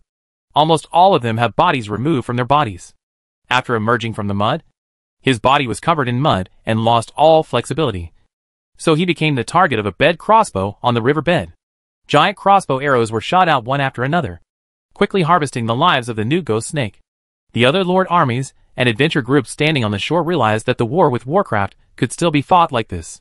The salamander ghost snakes that died tragically at the bottom of the river were picked up by the soldiers and thrown into the four-wheeled truck of the business group without any treatment. And then some magic crystals could be harvested from the businessmen. Surdak did not collect the heads of these new ghost snakes this time. These heads were severely broken, and they were only primary sacrifices. Once the new ghost snake died, its entire body began to fester rapidly. When the soldiers brought their corpse up, it looked like a slug without any skin, and the surface of its body was covered with sticky mucus. Without the protection of the river, even if these salamander ghost snakes successfully escaped into the grassland by the river, they would not be able to escape being shot by members of the adventure group who swarmed behind them. Suddenly, the garrison camp at the edge of the Grand Canyon was filled with joy. And while the river stopped flowing, the Lord's army quickly built bridge piers with some stones in the river preparing to build several stone arch bridges here. The merchant group accompanying the army finally obtained a large amount of cheap materials for the salamander ghost snake, as well as a large number of first-level magic cores. In addition to the salamander ghost snake, the Lord Army also harvested some Gambi's devil fish. Immediately afterwards, Andrew led a cavalry regiment of 500 people across the dry river and entered the plain. Chapter 1287 National Hunting Ground. The Lord Army behind them rushed into the river bed that was cracked by the sun, and used their spears to dig out the new ghost snakes that were hiding deep in the mud and did not dare to climb out. The adventure groups, following the military merchant group, also came to the river one after another. They looked at the dam on the edge of the Grand Canyon and realized that Surdak was going to dig through all the mud at the bottom of the river this time. Just to be able to deal with these salamanders. The newt, ghost, and snake caused a devastating blow. Moreover, this time the Lord's army did not restrict the adventure group's activity area, that is, if the adventure group entered the river bottom to dig through the mud, the Lord's army would not intervene. As for the vanguard of the Lord's army, they have already crossed the river. Under the leadership of Andrew, Samira, and Gary Decker, they have launched a detailed search in the upper, middle and lower reaches of the other side of the river. It is one of the largest gathering places for new ghost snakes. As long as this place is cleaned up, at least one third of the new ghost snakes in the Three Rivers Plain will be cleared away. Migrant workers in the town of Plentos are building a bridge across this dry river. It goes without saying that the river will still have to be filled with water again in the future. The most rare thing about the Three Rivers Plain is that the land washed out by the Three Rivers is fertile, and the water system is developed for easy irrigation. As long as these three rivers can be properly managed, at least tens of thousands of hectares of fertile farmland can be obtained. Therefore, Surdak does not intend to destroy the original water system here. In order to clean up the newts and ghost snakes, Surdak only temporarily changes the course of the river and pours the river water into a low-lying valley. In fact, once the valley is filled with river water, this place in the end, it will only form a lake surrounded by mountains. There are no necessary conditions for a river to form here. This valley has no low-lying outlet. Surdak has asked magicians to scout the entire plain in the past few days. In his plan, a dam needs to be built in the upper reaches of the river. This will not only increase the water storage capacity of the Grand Canyon, but also slow down the abundant summer rainfall here, allowing the downstream floodplain to form a marsh. And he not only just wants to build a dam on this river, but also plans to build dams on the upper reaches of the other two rivers on the plain. Only in this way can the Three Rivers Plain be ensured that it will not be flooded in the rainy season and dry in the dry season. Once these large dams are built, this area will become the most fertile land. Surdak built a dam in the Three Rivers Plain. In addition to these reasons, another reason is that whoever controls the rivers here will be the real owner of this plain. Because there are many rivers in the Three Rivers Plain. Adventure groups or troops must wade into this plain. And the three most powerful monsters in the Three Rivers Plain almost all live in the rivers. The new ghost snake. The swamp giant crocodile. The red giant turtle. Among them, the most numerous, ferocious, and difficult to deal with are these new ghost snakes. Not to mention that the adventure group cannot deal with them at ordinary times. Even if Surdak brought an army of 50,000. If the river is not drained before, the Lord the army is still helpless against these new ghost snakes. But now, even an ordinary warrior with a spear in his hand can easily kill the new ghost snake stuck in the sun-dried mud after he knows how to deal with him. If the river can be controlled, the combat effectiveness of the swamp crocodile and the red-backed turtle will be reduced to a minimum. In fact, among these monsters, swamp giant crocodiles are not the best monsters to hunt. They are second-level monsters, and their individual strength is much stronger than the newt, ghost snake, but they are also the monsters that Surdak is least worried about. In the eyes of the adventure group, these giant swamp crocodiles are pieces of living magic pattern structures. Yes, the leather of the swamp giant crocodile often appears on the auction house. And it is considered an excellent leather for making primary magic pattern structures. As long as the Lord Army opens the passage into the hinterland of the Three Rivers Plain, those adventure groups will enter this river basin one after another to clean up the swamp giant crocodiles in this area. They will only worry that there are not enough swamp giant crocodiles in these rivers. And they will never there are too many swamp giant crocodiles in the river. Just as Surdak guessed. As the Lord's Legion cavalry crossed the first river, the adventure groups behind them couldn't wait to follow. They want to follow the tail of the cavalry, break through the territory of the new ghost snake, and enter the territory of the swamp giant crocodile. However, there was another tributary blocked in front of everyone. Surdak still followed the same method, cutting off the river at the upper reaches, and then waited for the river to slowly dry up. Many newts and ghost snakes had to follow the receding river water into other river basins. What Surdak didn't expect was that on the Three Rivers Plain, these monsters had very clear territorial divisions. When a group of escaped salamander ghost snakes entered the wetland where the swamp giant crocodile lived, those monsters hiding in the swamp the group of crocodiles in the depths actually went out en masse and started a brutal fight against the passing salamanders and ghost snakes. Although the Lord Army cannot deal with these salamander ghost snakes in the river, these thick-skinned swamp crocodiles can kill a salamander ghost snake in almost one bite. An adult swamp giant crocodile can reach eight, turning its body on the spot. The new ghost snake will be torn to pieces by the giant swamp crocodile in an instant. Scratching, biting, and electric attacks are like pieces of paper under the absolute defense and power. The noble lords of Wilk City also knew that this plain was fertile. And it was these new ghost snakes that blocked their army's progress. Originally, they planned to take a look at Lord Suldek's show. But unfortunately before these noble lords could discuss the matter at the ball, the news of the first victory in the Three Rivers Plains had been delivered to the military headquarters in Wilk City. The news had just arrived in Wilkes one night, and the adventure group living in Wilk City was in an uproar. Almost all the adventure groups were preparing to pack, hiring some carriages to go to the northeastern border of the northern occupation zone. And everyone was rushing to the Three Rivers Plain. Get a piece of the pie. In fact, at this time, Surdak's 50,000 Lord army could only hold the upper reaches of the Three Rivers Plain. An army of 50,000 sounds like a huge number. But when the Lord's army is scattered over a vast land of almost 30,000 square kilometers, it is no different from a herd of one-horned bison migrating on the vast prairie. And it can easily be overwhelmed. In the wilderness, Andrew, Samira, and Gary Decker led three cavalry battalions and traveled all over the hinterland of the plains wherever they passed. Boundary markers for the Alliance Lord Army would be erected. Also to announce this to the outside world. Sovereignty over the territory. In fact, Surdak is still looking forward to the arrival of those adventure groups. In order to attract more adventure groups, he even deliberately helps these adventure groups and arranges a safe and convenient hunting environment. The military merchant group will also provide these adventure groups with, with sufficient supplies. They will also purchase some Warcraft materials that the adventure group cannot take away. When Belan entered September, there were nearly hundreds of adventure groups in Wilk City entering the Three Rivers Plain on the northeastern border of the Northern Occupation Zone. The following three trade routes can be seen almost everywhere with carriages loaded with goods. Like army ants, they transport countless Warcraft materials from the Three Rivers Plain to Wilkes, and then pass through the portal in Wilk City, shipped to Benes City. Countless giant crocodile leathers are excellent materials for making primary magic pattern structures. In this beautiful autumn, the people of Bena once again felt the eyes of the Empire. Countless material dealers flocked to Bena City in order to get as much share of Warcraft leather as possible. In order to prevent disorder in the Belan Plain, the Bena Provincial House of Representatives issued an order at the end of September. The portal in the Belan Plain is under military control. And this autumn is also a nightmare for the giant swamp crocodiles in the Three Rivers Plain. This massive hunting operation did not end with rich harvests. Almost all the adventure groups who first arrived in the Three Rivers Plain made a fortune, which in turn attracted more people. Many adventure groups are coming. If the new ghost snake group here was extinct because Surdak drained all the water in the river, then the swamp giant crocodile here was completely hunted by hundreds of adventure groups.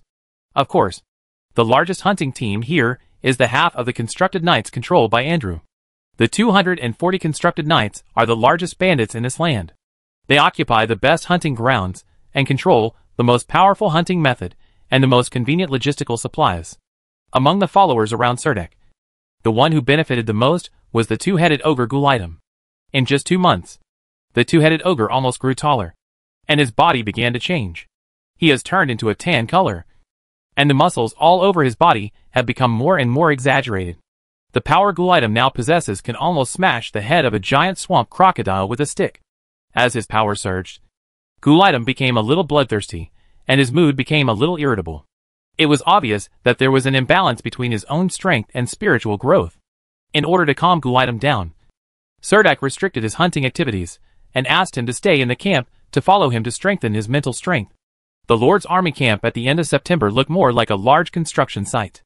Not only did a large amount of swamp giant crocodile leather accumulate in the camp, but a large amount of building materials were also stored around the camp and these building materials were basically used for prepared for the construction of a large dam upstream. Now not only migrant workers from Plentos town gather here, but also migrant workers from several small towns such as Doden town, Nanta town, and Jylin town are almost all building large dams here. The lords from the Ganbu plain did not expect that just over two months after entering the Belan plain, Count Soldak would add the most fertile territory on the Belan plain to his own territory. And the most important thing is that everyone can get a share of it. All the expenses spent on mobilizing the army this time began to show a surplus after the army hunted the local monsters. This means that not only did this expedition cost no money, on the contrary, I made some money. Of course, what the noble lords value is not these, but the rich land on the Three Rivers Plain. In the sky, rock birds keep wandering and flying. Chapter 1288 Visit. Not too far from the camp. The military merchant group established a free market there. The free market is filled with a wide variety of products. But the stall owners here are all doing the same thing, which is to purchase Warcraft materials. After these two months of accumulation, the prices of these Warcraft materials on the market have gradually become clearer. Surdak stood on the watchtower at the gate of the camp, looking at the bustling market, and suddenly felt that the taste of leading the Lord's army to the Belan plain had changed a bit. This Lord's army had now become Sana, the largest hunting group in the plains, has convoys, continuously transporting the trophies back all day long. After a series of sorting, they will flow into the free market not far away. 50,000 lord armies were scattered across this vast plain, hunting the giant swamp crocodiles here, and creating a huge fortune at an extremely fast speed. Surdak divided half of this wealth with the lords, who were willing to send troops to the Belan plain with him this time. The retained half was used to build a large dam at the exit of the Grand Canyon. According to Surdak's plan, this large dam will be completed by this time next year. And then we can use this dam to control water resources in the Three Rivers Plain. Although the Lord Army has not yet obtained ownership of this territory.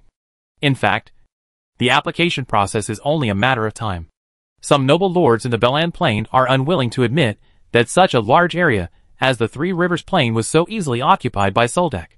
They think that he relied on the power of hundreds of adventure groups in Wilk City, and now only it controls half of the Three Rivers Plain. So it does not recognize this territorial expansion in unknown areas. Surdak didn't think it was anything, since the Lord's army had left its footprints here. When this land was finally conquered, his name would definitely be on the boundary monument. The cool wind blew from the watchtower, and Surdak suddenly saw an army holding gorgeous flags appear in the sunset. At dusk, the army slowly came along the river. Some of the knights carrying the flags looked a little listless. The road was a little muddy, and a group of knights didn't look energetic either. Surdak ignored this strange army and turned his attention to the sparkling river. A month ago, there were countless newts and ghost snakes in this river. But now, it is estimated that it is difficult to even find the shadow of a snake.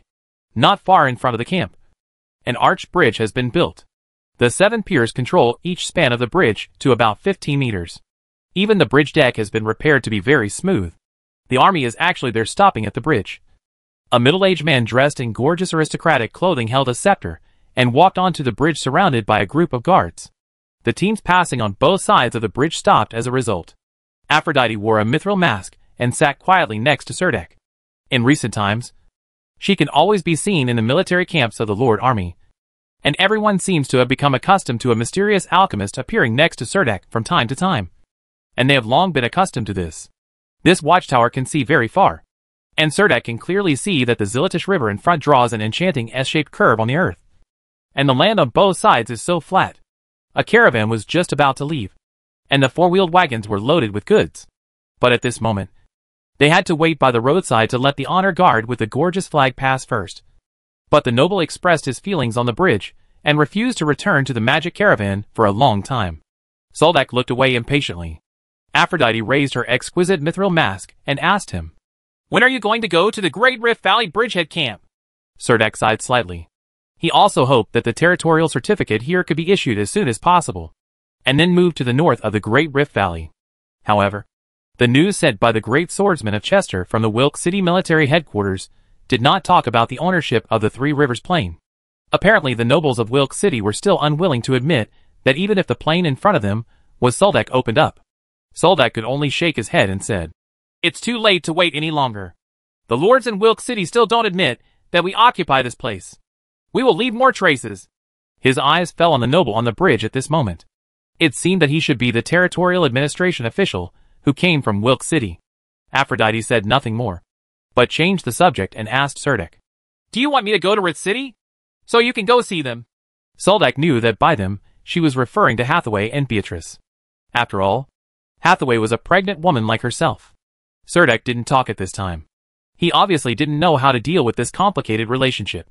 What he was thinking was, shouldn't Aphrodite and Hathaway be hostile at this time?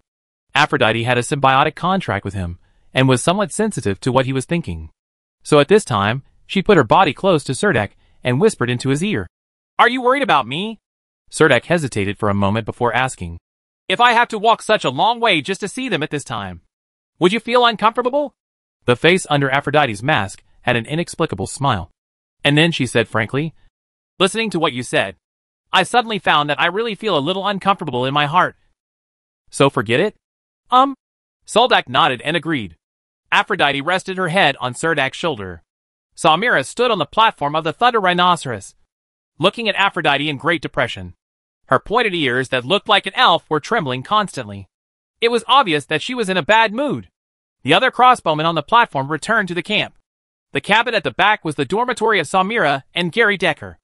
It was more convenient for the two of them to live here. Carrie Decker took off her heavy armor from her sweaty body, revealing her toned figure wearing only a small vest. She shook her long black hair, looked in the direction of Samira's gaze, and said, TSK TSK. Our leader is really not picky about anything. Even the succubus can bite Samira. I think you should try to be more proactive. You can't keep doing this. The half-elf archer was a little irritable, jumped on the bed crossbow in front of him, and sat at the control console refusing to say a word. Just before dark, a delegation from Wilk City slowly stopped at the gate of the camp. The leader was a noble lord from the Belan Plain. He held a golden cane in his hand, followed by a row of gorgeous honor guards, about 50 people in number, and a motorcade behind him. a follower beside him walked up to the guard and shouted to the camp guard. We are from Wilk City and want to see Earl Soldak. As he spoke, he took out a letter of visit from his arms and handed it to the guard at the camp gate. Chapter 1289 Death of Atchison Surdak walked down from the watchtower, and the guards at the camp gate stood up straight and saluted him, strutting directly in front of the noble lord. Surdak said calmly, I am Surdak. Who is your excellency? Wilk City Representative Dirk Atchison. The noble lord holding the golden cane nodded to Surdak. Then he straightened his tie and said to Soldak with a straight face, Count Soldak, you submitted an application for the territory of the Three Rivers Plains to the House of Representatives in Wilk City. After some consideration, the House of Representatives decided to send me. Check here. Soldak nodded and asked the Atchison representative to enter the military camp. The personal guards behind Congressman Atchison immediately followed. A group of people surrounded Congressman Atchison, and they seemed very loud when they entered the military camp. Seeing Soldak's accommodating behavior, Representative Atchison became even more proud. Congressman Atchison has done this kind of work of establishing territory and then negotiating it several times on behalf of the Wilk City House of Representatives. Although the lords who opened up the plains have rebounded every time, and have expressed their intention to appeal to the House of Representatives of Bena Province. Once this matter enters the process, it can easily become nothing in the end. Moreover, Councillor Atchison felt that he was standing behind the entire Wilk City nobility. He came here to offer an olive branch to Count Soldak, asking him to join the Belan Plain Noble Lords Association. Of course, the price Surdak had to pay was to cede part of the territory of the Three Rivers Plain, since the lords of the entire Wilk City stood behind him. Councillor Atchison felt that he still had some upper hand when facing Soldak. Walking into the military camp, Senator Atchison found that it was more like a huge material turnover warehouse, with messy materials piled everywhere, and there were almost no Lord's troops in sight. He straightened his waist again, and his expression became even more proud, with that aristocratic pride on his face. At this time, he seemed to have forgotten that the Earl of Surdak in front of him was a lord with outstanding military exploits. He simply felt that if he could even manage a military camp in a mess, he must not be very good at commanding an army. Perhaps those previous military exploits were not enough. It was Marquis Luther who piled it on him, especially after entering the military tent. The place where the sand table was originally placed was actually a model of a Grand Canyon and a dam. Congressman Atchison could not find any military deployment on it. This made Congressman Atchison conclude that certain chances are Grams won't be able to command an army at all. He climbed the steps, sat down on a chair, and glanced around the military tent. He even saw two elf and human beauties in the corner of the military tent. Their straight long legs dazzled him. And he felt that Count Surdak was still better than him in terms of aesthetics. Then he thought about it again. Count Soldak married the beloved daughter of Marquis Luther. Naturally, he did not dare to leave these two beauties at home. It would be a good choice to bring them to the military camp. Counselor Atchison glanced at Soldak with some disdain. That strange look made Soldak slightly startled. He couldn't figure out why the Wilk City House of Representatives would send such an arrogant guy to review the newly developed occupied territory. Carrie Decker quickly brought two cups of lemon tea. Senator Atchison looked from her chest to her long legs that were put together without any gaps. His gaze was a little wild. But he immediately retracted his gaze and said to Soldak, After my understanding along the way, I found that you actually only occupied half of the Three Rivers Plain. The remaining area is not yet completely in the hands of your lord army. Count Surdak. Is that true? Soldak was speechless, thinking that the Wilk City House of Representatives was really testing his bottom line again and again. But faced with this question, Surdak still nodded and replied, It is true that some areas are not fully controlled. When I come here this time, I represent not only the House of Representatives in Wilk City, but also the many nobles in Wilk City. We hope that you can allocate a part of this vast territory to compensate Wilk City. Lords of Wilk City. After all, this has always been the land that the Lords of Wilks wanted to develop. We have been preparing for so many years. But you were the first to develop it. You should allocate part of the land to compensate Weeks for all reasons. Lords of Wilk City. What do you think? Congressman Atchison felt that what he said was pretty good. At least, he got his point across. How many do you want? Soldak pinched the corners of his eyes and asked coldly. Counselor Atchison waved his finger and said, Not much. Just give us one third of this land. That's enough. Surdak was speechless. He didn't know what to say to refuse. Samira and Gary Decker, who were sitting in the corner, also looked at Congressman Atchison with strange expressions. Soldak thought for a while, and decided to give him a step up. So he said to Representative Atchison, Actually, I have a better suggestion. According to the 433 Land Distribution Law, this place will eventually belong to my Lord's Alliance. The territory is only 40%. After all, we are an alliance of lords here. In fact, each lord does not get much territory. In fact, most of the territory belongs to the Bena province and the Green Empire. If Wilk City's the lords really want to own the land here, so they can buy it from the Bena province with gold coins. Councillor Atchison did not expect that Surdak would refuse in disguise. And his face suddenly turned ugly. He asked Surdak with a cold poker face. Aren't you afraid that this hasty decision will make all the lords of Wilk stand against you? Soldak came closer to Representative Atchison. His forehead was almost touching his, staring into his eyes and said, Just as you are not afraid that I will kill you after making these unreasonable demands. Of course I will too. Not afraid of making enemies of all the lords of Wilks. As soon as he finished speaking, Lord Atchison felt a cold sharp knife inserted into his back. The severe pain almost instantly overwhelmed any sense of his body. Representative Atchison pointed to Soldak and said with disbelief, You. Before the next words were even uttered, Representative Atchison fell straight into the tent. Carrie Decker took the opportunity to pull out the dagger stuck in her back and walk back to the corner as if nothing had happened. She didn't even ask Surdak why he wanted to kill this nobleman. In short, she just walked over and stabbed him to death with the dagger. Counselor. And then retreated to the corner without saying a word. On the contrary, Soldak walked over, rummaged through Representative Atchison's body, and found that he was dead on the spot. He called the guards at the camp door in and told them, Take Representative Atchison out. Leave it to his followers.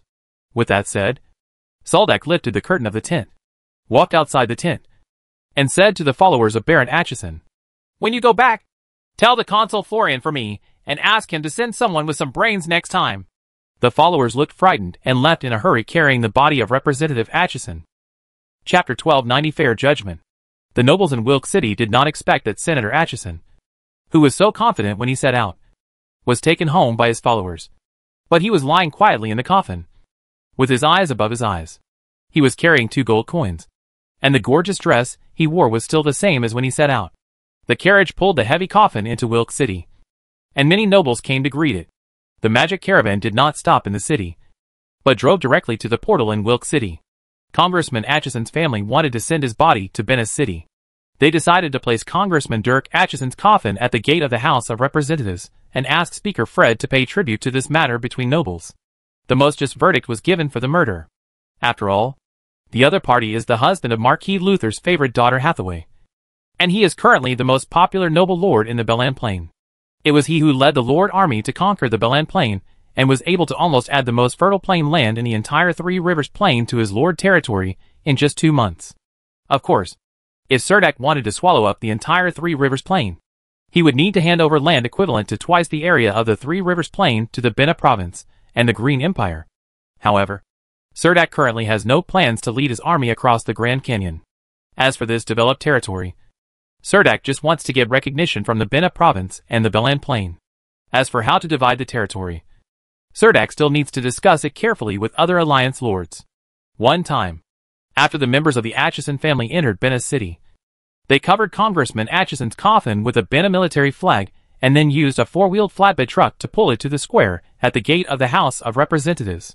This move by the Atchison family immediately attracted a large number of onlookers in the square in front of the House of Representatives. Several young people from the Atchison family stood on the high roof of the car, raising their hands high, denounced Earl Surdak's despicable behavior to the onlookers. Due to the upcoming annual Harvest Festival, Bena City has become very lively recently, so there are especially many onlookers. Most of the onlookers were curious. What kind of noble lord could force another noble family to put a coffin with a faint rancid smell on the street and denounce the atrocities of this noble lord to the public? It was only when they heard that the lord these young people in the Atchison family were telling about was none other than Earl Surdak, who had recently led the Alliance lords of the Ganbu Plain into the Belan Plain, that some people became aware of it. I began to wonder whether it was internal strife caused by uneven distribution of benefits when reaping the fruits of victory. Because now the entire city of Bena is crowded with businessmen coming from all over the country. Most of them came here to purchase the hides of those giant swamp crocodiles. It was the series of territorial expansion actions by Surdak and his alliance Lord Army in the Belan Plain that stirred up the economy of the entire Bena city. Recovery. Now another noble in Wilk City came forward and began to accuse Lord Surdak. And no one found it strange. After all, in Bena City, it is not uncommon for nobles to bite each other. In the afternoon, the square in front of the House of Representatives was finally filled with crowds of onlookers. Speaker Fred, who was busy handling official business in the House of Representatives, finally couldn't stand the noise outside and began to ask his assistants to investigate the situation outside. Baron Armand de Cuny also succeeded in squeezing in with his cleverness. Next to Speaker Reed. He is now just following Speaker Fred's assistant. But even so, it makes a group of young people in the Dunstan family very jealous. The assistant had been with Speaker Fred for several years. He walked out of the House of Representatives and came directly to the square. He first asked the members of the Atchison family about the situation, and then said to the members of the Atchison family, If you want to accuse Count Surdak, you can come to the House of Representatives and go through the normal process. Of course, I will truthfully report this matter to the Speaker. However, it is very irrational for you to gather a crowd here. I hope you can leave as soon as possible. After hearing what Speaker Fred's assistant said, the nobles of the Atchison family certainly did not want to leave like this, seeing that his words were not very effective.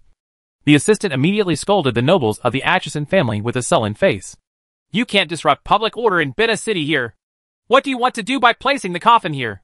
Seeing the hesitant expressions of the nobles of the Atchison family, the assistant immediately took the opportunity to say, The duel between nobles is full of uncertainties. I want to know the specific ins and outs of this matter. But we can definitely find a place to sit down and chat. I will listen to your story slowly. When I also hope can any of you use the most objective and true words to describe the scene at that time? The four-wheeled flat carriage carrying the coffin was driven away from the square by the coachman.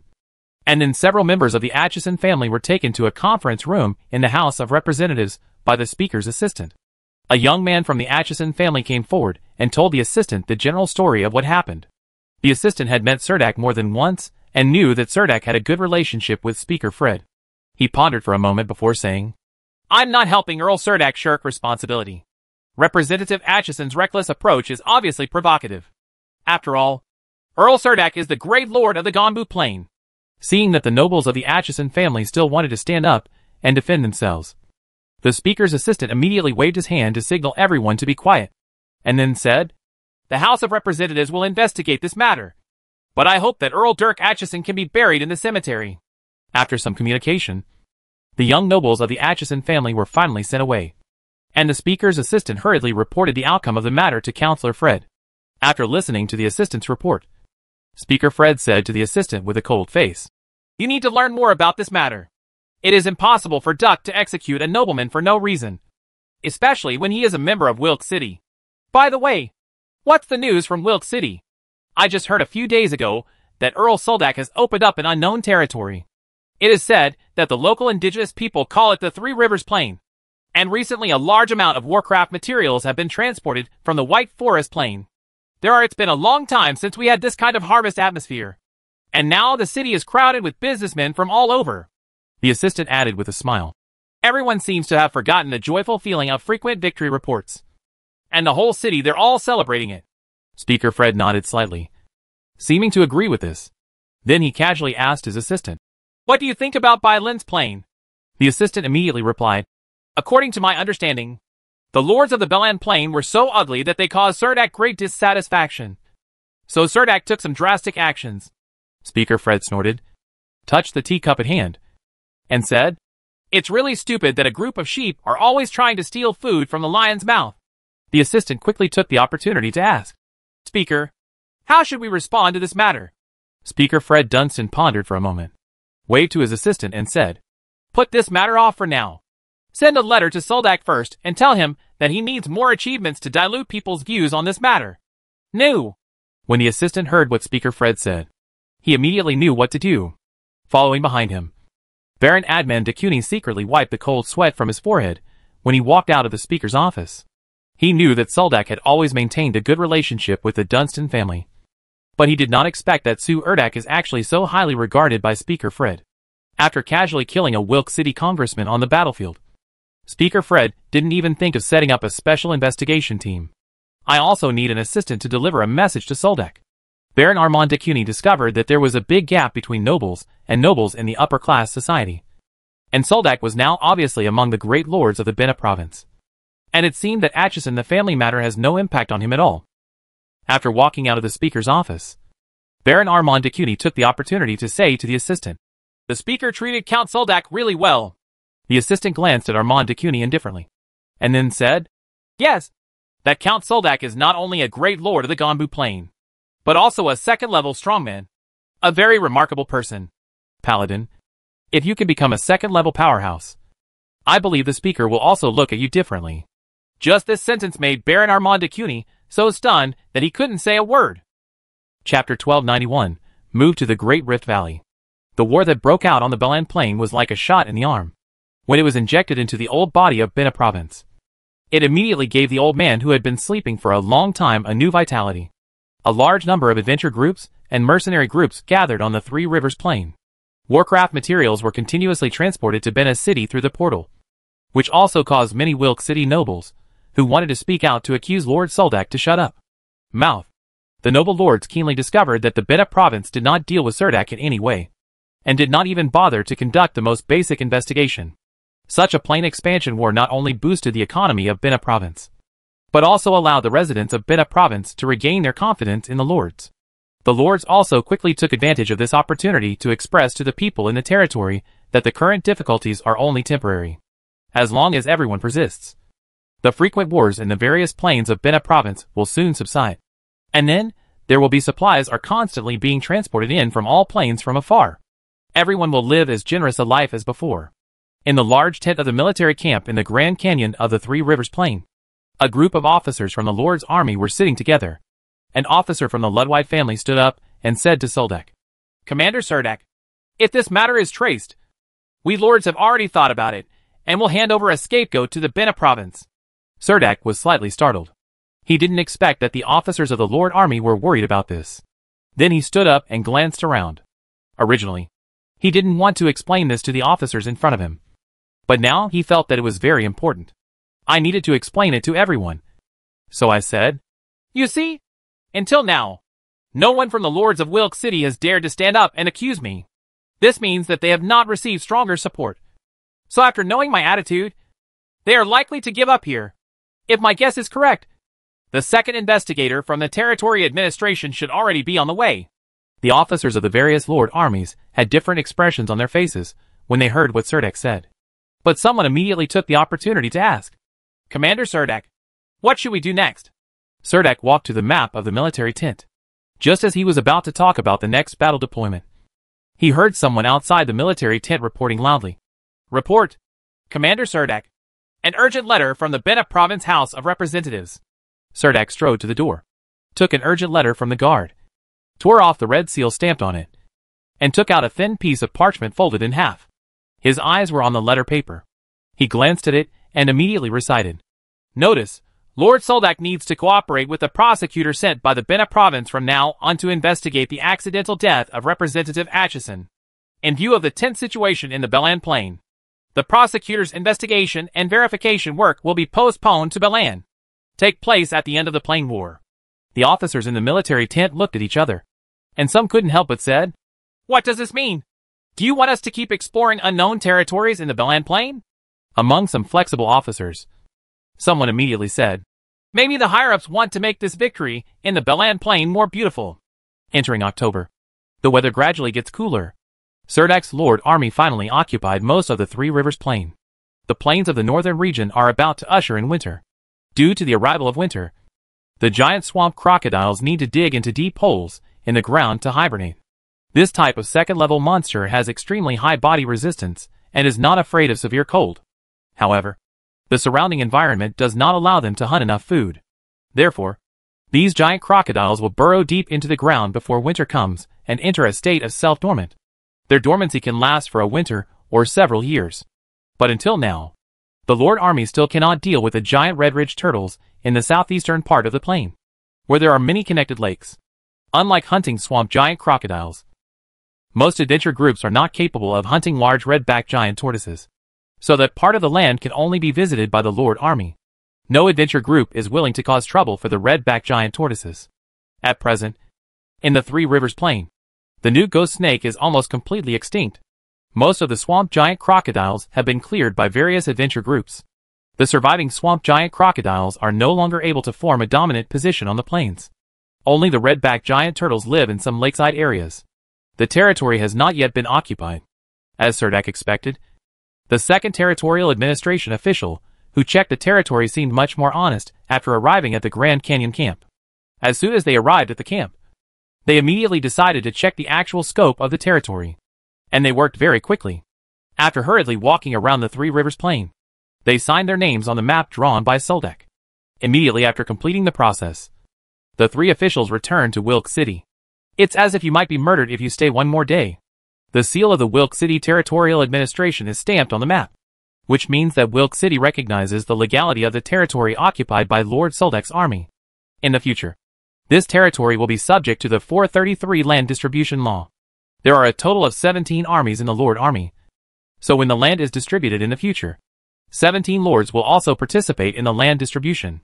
In the future, there will be how much territory is divided according to how much effort is actually exerted. Surdak clearly marked the border on the map. In recent days, some people have begun to want to divide the territory. However, everyone seems to want to compete for the big dams upstream and want to own part of the big dams. But they are unwilling to spend money on infrastructure construction. In the end, everyone finally agreed. We must use all the proceeds from this war on the Three Rivers Plain to support the construction of this large dam. Once this large dam is built, it will immediately change the water network of the Three Rivers Plain. Having control of the dam will control the Three Rivers Plain. In mid-October, Surdak led an army of 50,000 lords to leave the Three Rivers Plain and rush towards the Great Rift Valley in the northern part of the Invercargill Forest. 21 armed Thunder Rhinoceros walked at the forefront of the Lord's army. This heavy crossbow regiment was controlled by Samira. The Lord's army was in the middle of the team and behind them were a large number of carriages from the military merchant group. Now these military merchant groups have grown to over 10,000 people. As the giant swamp crocodile burrowed into the ground, the adventure group found that there was no longer any oil and water in the Three Rivers Plain. Hundreds of adventure groups also followed the army to the Bridgehead camp in the Great Rift Valley, in the northern part of the Invercargill Forest. When Surdak arrived at the Quoto camp, he found that the camp was at least five times larger than when he originally created it. The buildings in the entire Quoto camp extended infinitely to both sides of the Great Rift Valley. The camp already has very complete military facilities. And after several months of preparation, the Quoto camp has accumulated a large amount of military supplies. Among them, what Surdak is most looking forward to is the giant magic crossbow arrows that he sent to the imperial capital with the military merchant group to purchase. The Green Empire continued to invade the northern part of the White Forest Plain. The birds that dominated the sky in the north began to continuously attack the cattle and sheep in the pastures, and occasionally culled some local herdsmen.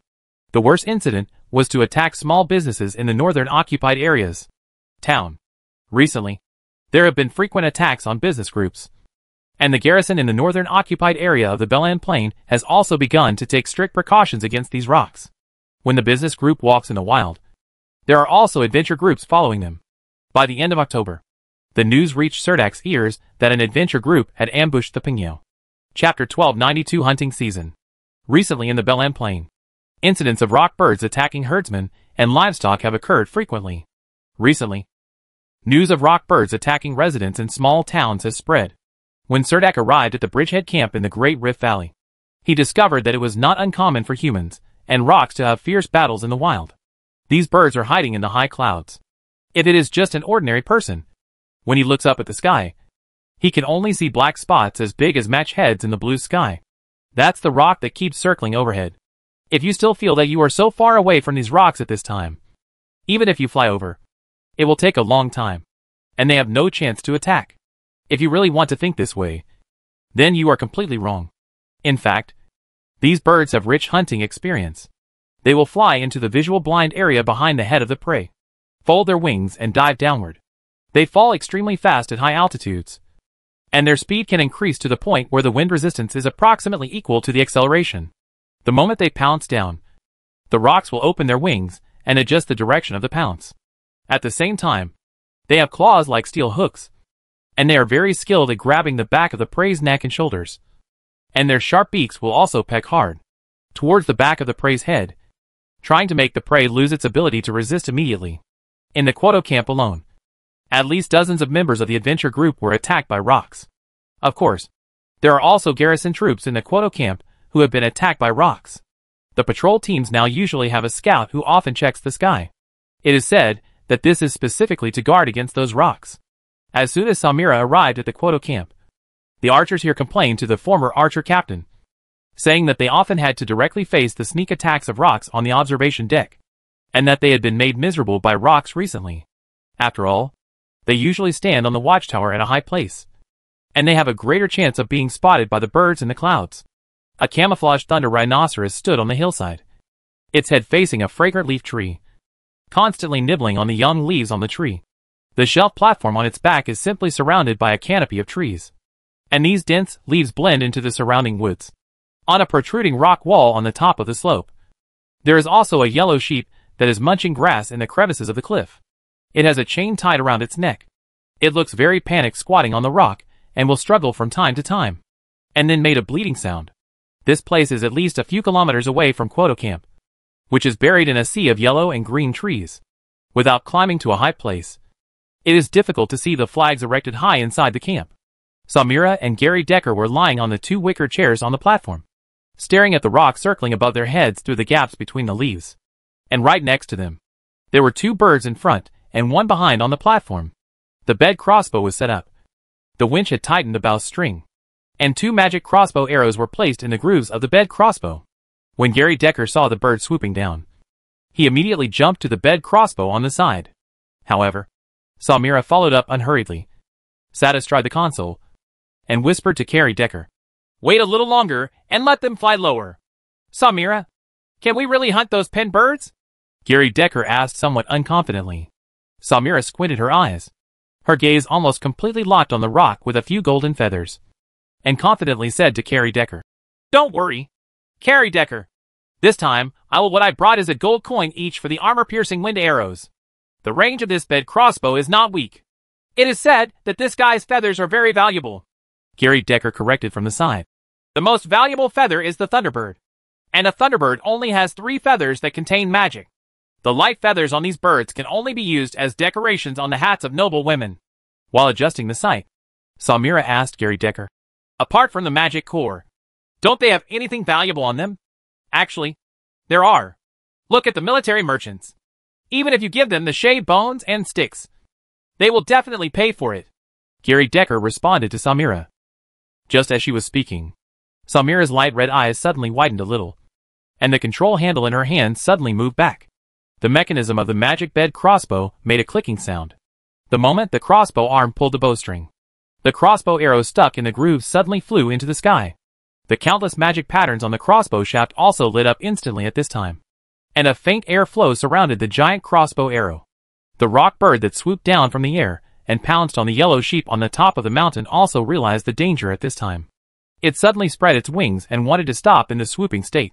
But at such a sudden moment, the giant the crossbow arrow had already penetrated into the Pina's belly. As the magic glow lit up on the bird's belly, the giant crossbow arrow easily penetrated the bird's body. A huge yellow-colored rock fell down and plunged into the bushes not far away.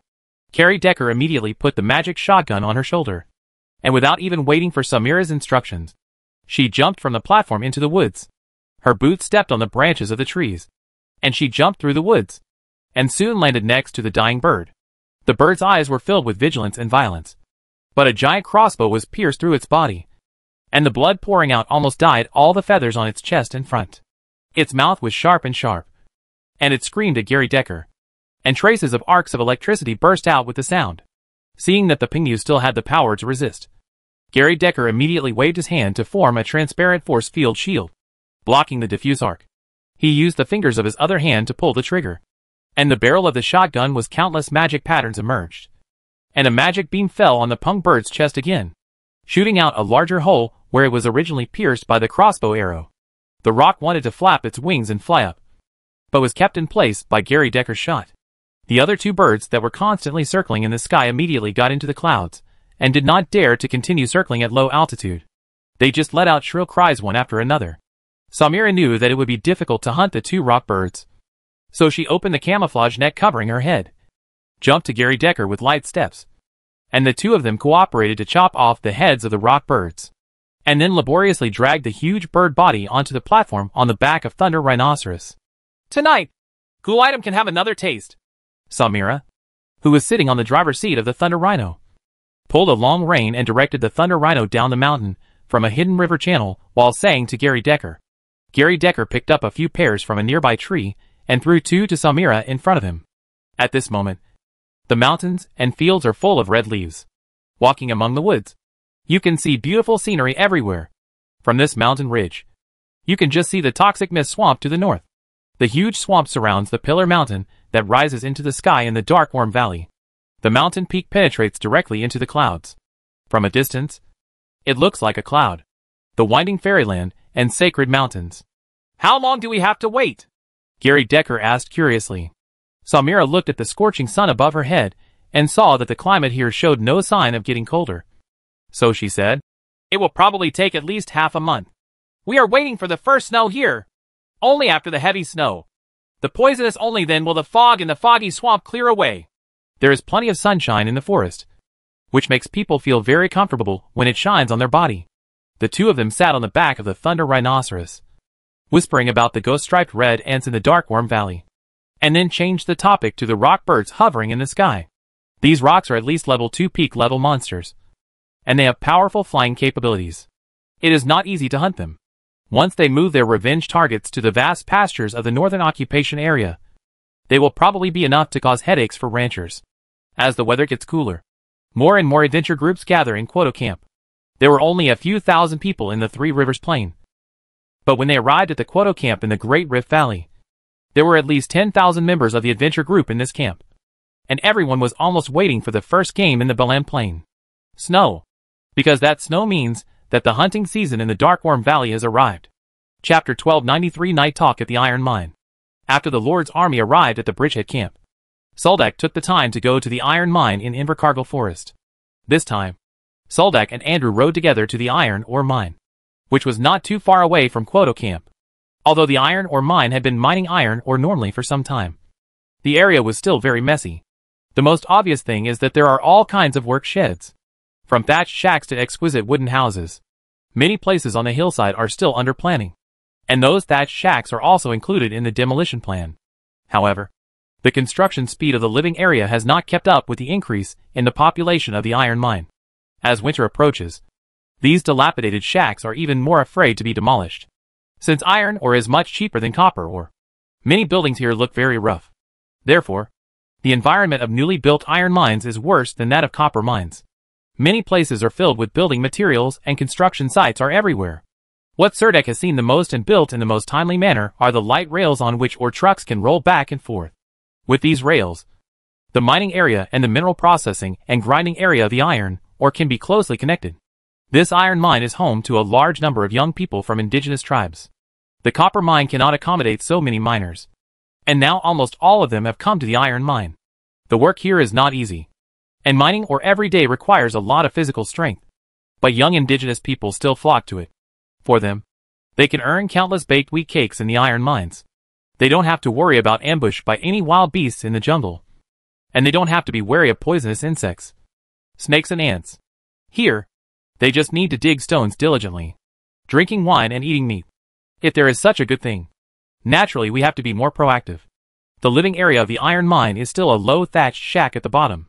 It is very simple to build this round shack in the style of an indigenous tribe. You only need to choose a stronger tree. Center it on the big tree. And you can quickly build it with branches. But the biggest drawback of this kind of shack is that it cannot withstand wind and snow. To block the wind and snow, the outside of the shack must be covered with a thick layer of moss. This kind of shack is a little damp inside, with black smoke coming out from the exit. And the fire pit is almost close to the door.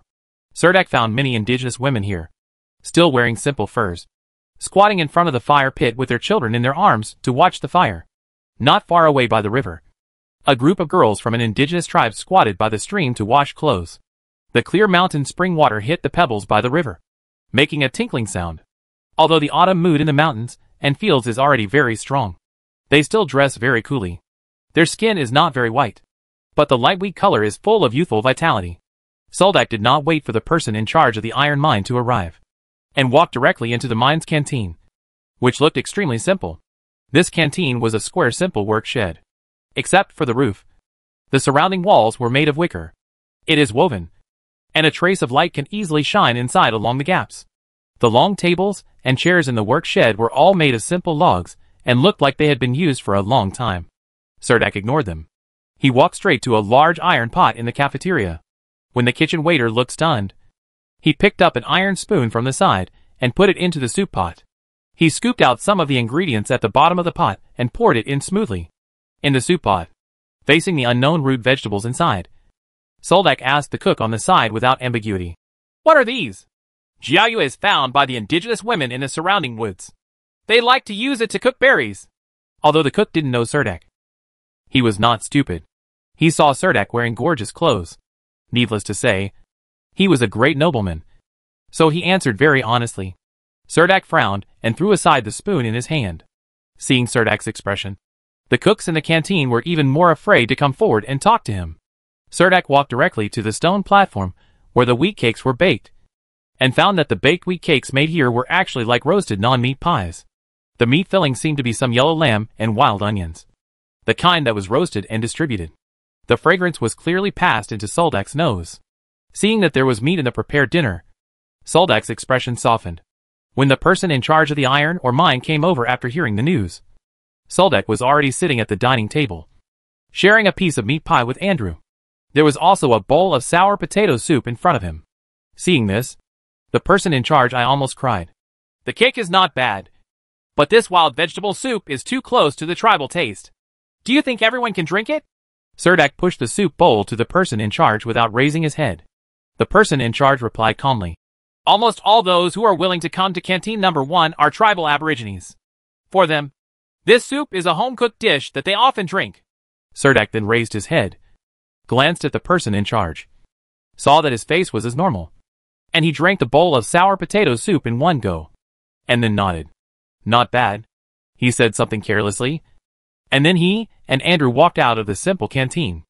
I know that time is tight to build the iron or this time, and we have to meet the supply demand for iron ore powder from the steel workshop. All other tasks here have to make way for it. But I feel that the most basic living needs of the miner still need to be met. Satisfied? This is very necessary. What are the most basic needs of life? Eating, sleeping, work clothes, anti-smash shoes, hats, etc. As Surdak was talking, a group of miners had already finished work. They walked into the work shed covered in dust, chatting and laughing. When they saw the mine director standing at the door accompanied by two big shots, they immediately lowered their talking and laughing voices, and then calmed down. I walked to the dining area in a polite manner, received the meat pie and sour soup, and then sat down from the first row of chairs one by one, still very intoxicated by the meal. Surdak then turned around and walked out of the simple canteen. Under the leadership of the mine director, Surdak walked around the excavation site, or transport truck, and screening and grinding machine. Now the first and second areas of the iron ore mine have begun normal excavation, and the third and fourth areas are currently being expanded. The main reason is that the mine car track has not been built yet, and a large amount of ore is piled up on site and cannot be transported out. However, Surdak is quite satisfied with being able to manage the iron ore mine like this in such a short period of time. For the arrival of the Lord, the young people from the indigenous tribes at the iron mine gave Surdak the highest standard of welcome. In the evening, a bonfire ceremony was held. An indigenous tribe leader happened to be at the iron mine. So he accompanied Surdak and invited Surdak to taste the fruit wine of the indigenous tribe. He also arranged for two young girls with flowers on their bodies to accompany him. Besides Surdak, the welcome dance in the evening was very lively with everyone singing and dancing. Surdak curiously asked the two beautiful indigenous girls, Are your sweethearts dancing down there? The two indigenous girls were also very upright. When Surdak asked this question, they nodded very generously and pointed to him personally. Surdak patted the shoulders of the two of them and said to them, Go and dance with him. Let me and your clan leader chat here for a while. The two indigenous girls showed surprise on their faces and ran quickly into the crowd around the campfire without hesitation. When the indigenous chief saw Surdak's behavior, he laughed and picked up a glass of slightly sour fruit wine. He stood up and held the glass high, And the entire bonfire dance immediately became quiet. Just listen to the indigenous chief say loudly. In the past, we only knew how to collect herbs and hunt wild animals. If the hunters who went out hunted prey and brought them back to the tribe, we would have a good meal. If they could not bring back the prey, then we would eat berries and wild vegetables. If we don't even have berries and wild vegetables, we might go hungry. Now we no longer rely on hunting. And every family can still have an earthen pot, which can usually store a little wheat flour. So we can eat delicious wheat cakes every day. Although there are a lot less prey in the jungle. The same dangerous monsters are almost extinct in this jungle. Nearly all the newborn children in the tribe survive. If this continues, the population of the tribe will double in less than 10 years. Who brought us everything we have? The young people of the indigenous tribe shouted at the top of their lungs. Lord Surdak. The indigenous chief continued to speak loudly. Now, Lord Surdak has summoned a large number of lord armies from other planes to prepare for a war with the ghost marked red ants in the north, so that we don't have to suffer from the beast tide again. Let us raise a toast together. Here's to a better life tomorrow. The bonfire dance in Invercargill Forest suddenly lit up. Although the berry wine was not very tasty, Surdak was still a little drunk. After the bonfire party, he and Aphrodite were cooling off on the platform of a wooden house. And Andrew's loud snoring came from next door. If the tribe leader hadn't said these toasts, I wouldn't have thought that Qin came to the Belan Plain and actually made so many changes here. Aphrodite leaned in front of the pillar and looked at the hillside. The bright light smiled at Surdak. Surdak shook his head and said casually, Actually, I just opened up a new territory here. In order to occupy more fertile land and avoid any armed conflict with the local indigenous tribes. I gave them, they set aside some territory belonging to their tribe. In addition, in order to make their wallets fatter, they also built two mines here and hired some young people from the local indigenous people as miners. These are what every noble lord will do. Matter. Those lords are not like you. And they are actually supported by the local indigenous people. Aphrodite turned to solidify Surdak, and said with a smile, More lords are thinking about how to manage. How can we squeeze out all the oil from the bones of the indigenous tribes in the rear territory? And how can we limit the strength of the indigenous tribes and reduce their danger? And in order for them to support you, you are even willing to help them grow and develop. Aren't you afraid that when they grow stronger, everyone will unite against you? Aphrodite asked. Surdak replied calmly, There is nothing to worry about. The land of Invercargill Forest is only as big as this one. I find that your vision is different from before. Surdak rubbed his somewhat groggy forehead and asked Aphrodite, Do you have any good ideas for those giant red-backed turtles? They usually hide at the bottom of the lake, and the adventure group is powerless. Hunting, but without management, it cannot be regarded as a pioneering area for the Lord Army. Then what else do you want to do? Plan to hunt them all down? Aphrodite asked. Surdak nodded and replied, Surrender or die. Aphrodite held her slightly bulging belly with a smile and said to Surdak, If you can convince Selina to help you there next spring, maybe my method can do it. Should we wait until next spring? Surdak asked doubtfully. Yes. After the weather gets colder. They will also sleep. It is not a good thing to wake them up in such a cold day. Aphrodite said with a smile. Chapter 1294 The Vast World. After learning that Surdak had come to inspect the iron mine, the chiefs of the indigenous tribes in the Invercargill forest rushed here quickly. Many of the indigenous chiefs wanted to meet and have a private chat with Surdak. Nowadays, iron mines have absorbed a large number of young people from indigenous tribes, and disputes over workers in the mines can no longer be regarded as the main conflict between the tribes. However, as Surdak's Lord Army fought on the Three Rivers Plain, almost the entire Three Rivers Plain was included in the territorial territory. The brilliant achievements displayed by the Lord Army once again gave the chiefs of these indigenous tribes some other ideas. Idea. Under the Empire's universal military recruitment system, the indigenous tribes are now considered people under Surdak's territory. So Surdak has the right to recruit troops from these indigenous tribes. In fact, Surdak's current garrison in the Belan Plain, except for the 500 cavalry he brought from the deserted area of Halensa City, the other nearly 2,000 warriors are almost all warriors recruited from the indigenous tribes and local aborigines. This lord's army belongs to the army on the Ganbu Plain. But the chiefs of the indigenous tribes don't care about that. They actually took the initiative to ask Surdak, look, so many young people in the tribe have not served in the military. You, because of this, Lord Cargill should expand his private army. For this matter, Surdak thought over and over again for two nights before summoning the tribal chiefs who came from all over the place. He said that it was impossible for him to vacate all the young warriors in the tribe at once. And now that the two mines were hiring, the iron mines would still need a large number of miners. Invercargill Forest does follow the Empire's recruitment system, but it is also limited to tribal young people under the age of 20. Of course, not all of these young people have to join the army, but they join the army in batches within four years to perform military service. Although the Green Empire's universal recruitment system is the obligation and responsibility of all male citizens, Surdak's army implements a series of rewards, punishments, and living allowances. In other words, in Surdak's Lord Army, young indigenous warriors serve for four years. During the annual military service, you will also enjoy the military's living allowance. And there will be some rewards if you participate in the war. Just like the indigenous warriors currently stationed in the military camp in Doden Town.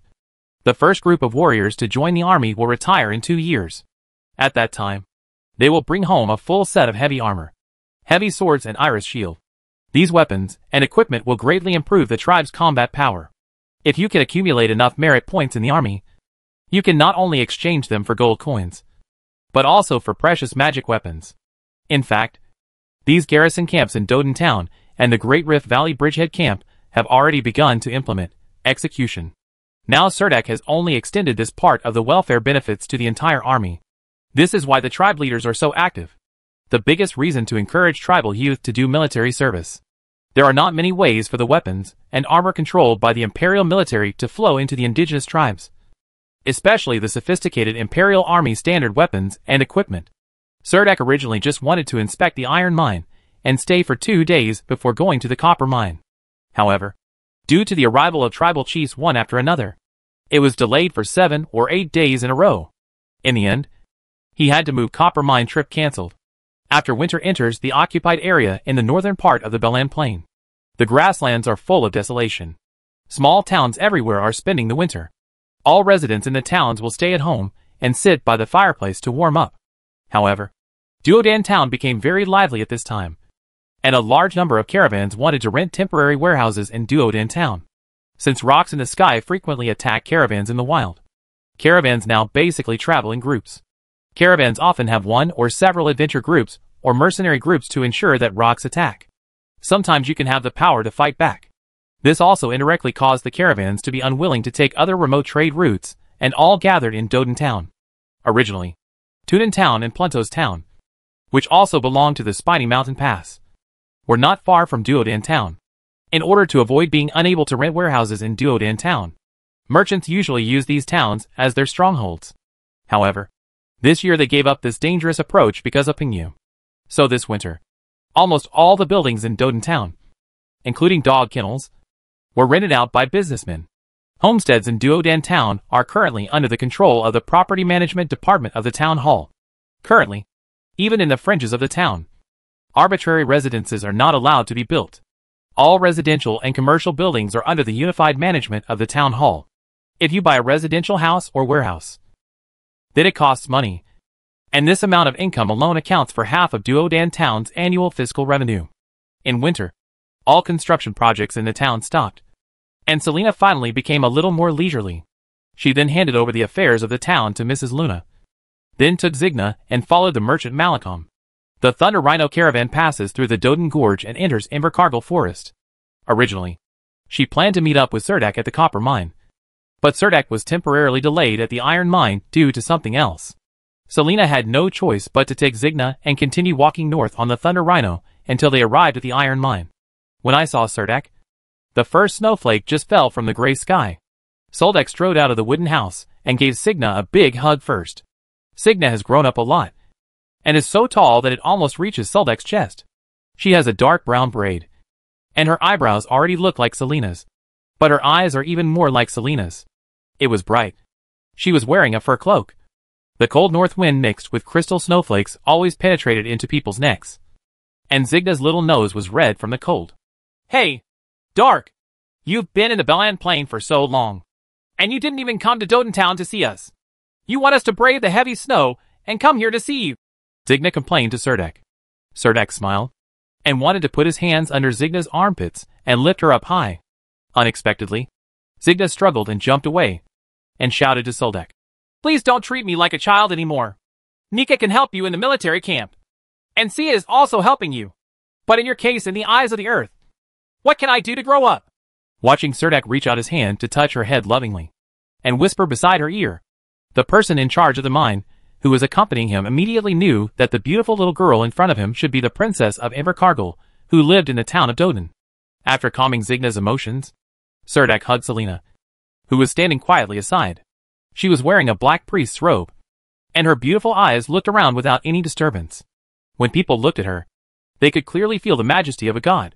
Selina pressed her face against Surdak's stubbled face, and the two separated immediately.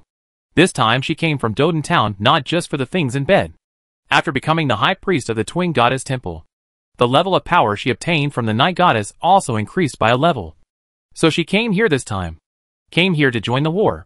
Malcolm's Thunder Rhino caravan brought a large amount of supplies, part of which was to be kept at the iron mine, while the other part was military supplies, and was to be transported to the Quoto camp. Selina rushed to the iron mine day and night, but was unable to rest for one night in the mine cabin, because the first snow in the Invercargill forest had already fallen. Surdak climbed directly onto the platform on the back of the Thunder Rhinoceros and moved into the wooden house where Selina lived. The Thunder Rhinoceros business group was slowly forcing their way forward without stopping for a moment. These Thunder Rhinoceros had huge cloth pockets around their mouths. They almost ate while walking, constantly taking in nutrients to offset the huge energy loss in their bodies. Selina looked out of the window with unfocused eyes. At this moment, her mind was completely empty. She could clearly feel that there was another leader in her body. But she could still feel all the feelings of her body very clearly. But she had lost it. Control of the body. Fortunately, she had long been accustomed to the strong mental power coming to her body, just like galloping on the vast grassland, and finally stopped exhausted. She looked at the sky with snowflakes through the glass window and watched. Then she slowly closed her eyes and carefully savored every strong beating of her heart.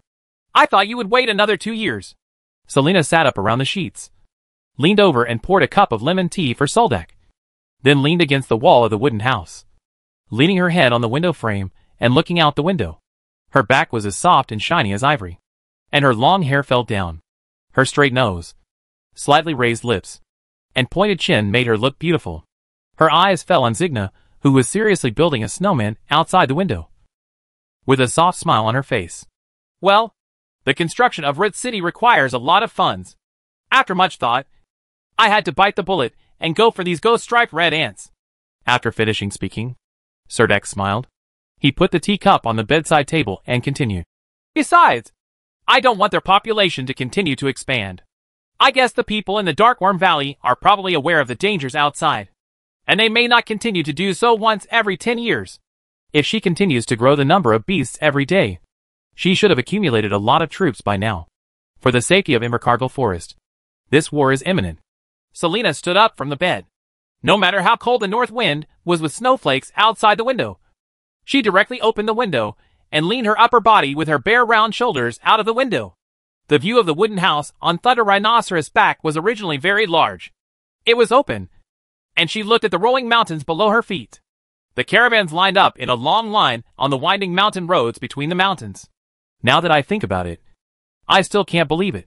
It turns out that such a large piece of land belongs to you, and your territory will extend out of the thorny mountains and include the plains to the east. Therefore, it is natural to eliminate the sources of danger in the north. Selina squinted her eyes and looked into the distance. Her body shivered uncontrollably, and she said to Surdak. Then she couldn't help but think, who could have imagined that after leaving the desolate land of Valenza City, there would be such a vast world outside. Chapter 1295 Prelude to the Battle A heavy snowfall has turned the entire Invercargill forest into a silvery white world. The outside temperature is not that cold this season, the heavy snow only lasted for two days and melted immediately after being exposed to the sun. Although the poisonous fog swamp is not frozen, the swamp is still full of mud pits. But the poisonous fog that permeates the swamp has begun to gradually dissipate. The Lord's army at the Quoto camp was ready. Surdak and Selina returned to the camp with a Thunder Rhinoceros merchant group transporting supplies. The Lord's army had already begun preparations for the battle. Before that, Surdak also organized I asked some veterans who had participated in the last battle to talk about the details of crossing this swamp. Almost all of the bed crossbows brought from Bena City this time by Surdak have been brought to the bridge camp. There is also a row of catapults that can throw oak explosive barrels outside the camp. Those explosive barrels are piled outside the camp. Surdak summoned the Lord Army and held a pre-war mobilization meeting in front of the camp. The main thing was that Surdak was going to announce the reward and punishment system in the army to the Lord Army of the Ganbu Plain. The most important thing was to the exchange rules of the merit exchange list will be explained to the Lord Army. Because killing the ghost marked red ants has high merit rewards. These achievements can be exchanged for gold coins, magic crystals, and weapons and equipment. When Surdak announced these rewards, the Lord Army originally led by Surdak was not surprised. Because everyone had experienced that kind of day. But other Lord armies have never seen this. When these Lord armies heard that during the battle, the ghost marked red ants they killed could be exchanged for very good weapons, they felt it was a bit outrageous. In other words, no lord was willing to do such a thing before. Big capital. Before the army set off, three forward battalions led by Andrew, Gulidum, and Wolf Knight Tego took the lead into the poisonous mist swamp. The three armies marched hand in hand in the poisonous fog swamp.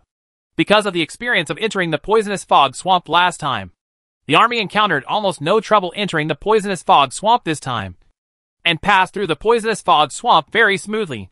Hundreds of bed crossbows were easily brought to the swamp, in addition to dozens of catapults. The ghost striped red and seemed to have sensed the danger from the outside world, and almost all of them have withdrawn into the Darkworm Valley. I don't know if it is because of the mental restraint of the ghost striped ant queen. Even the ghost striped worker ants rarely come out to look for food. In just one week, Surdak led the main force of the Lord's army through the poisonous mist swamp smoothly. This time, Surdak came to the ruins of the previous camp under the stone arch bridge by the lake. There were only some broken tents inside. There were still some supplies that had not arrived and had to be taken away in a hurry. But those supplies had almost turned into garbage. Instead of rebuilding the camp on its original site, Surdak once again built a large-scale camp on a vacant lot. At the same time, the Lord's Army's merchant group and more than 10,000 members of the adventure group also followed behind the army, smoothly passing through the poisonous mist swamp, and set up camp on the beach a few hundred meters away from the lake. The Adventure Group Alliance has experienced the sneak attack tactics of Ghost Striped Soldier Ants. So this time the Adventure Group moved the loose camp several hundred meters back so as to leave a fighting buffer zone.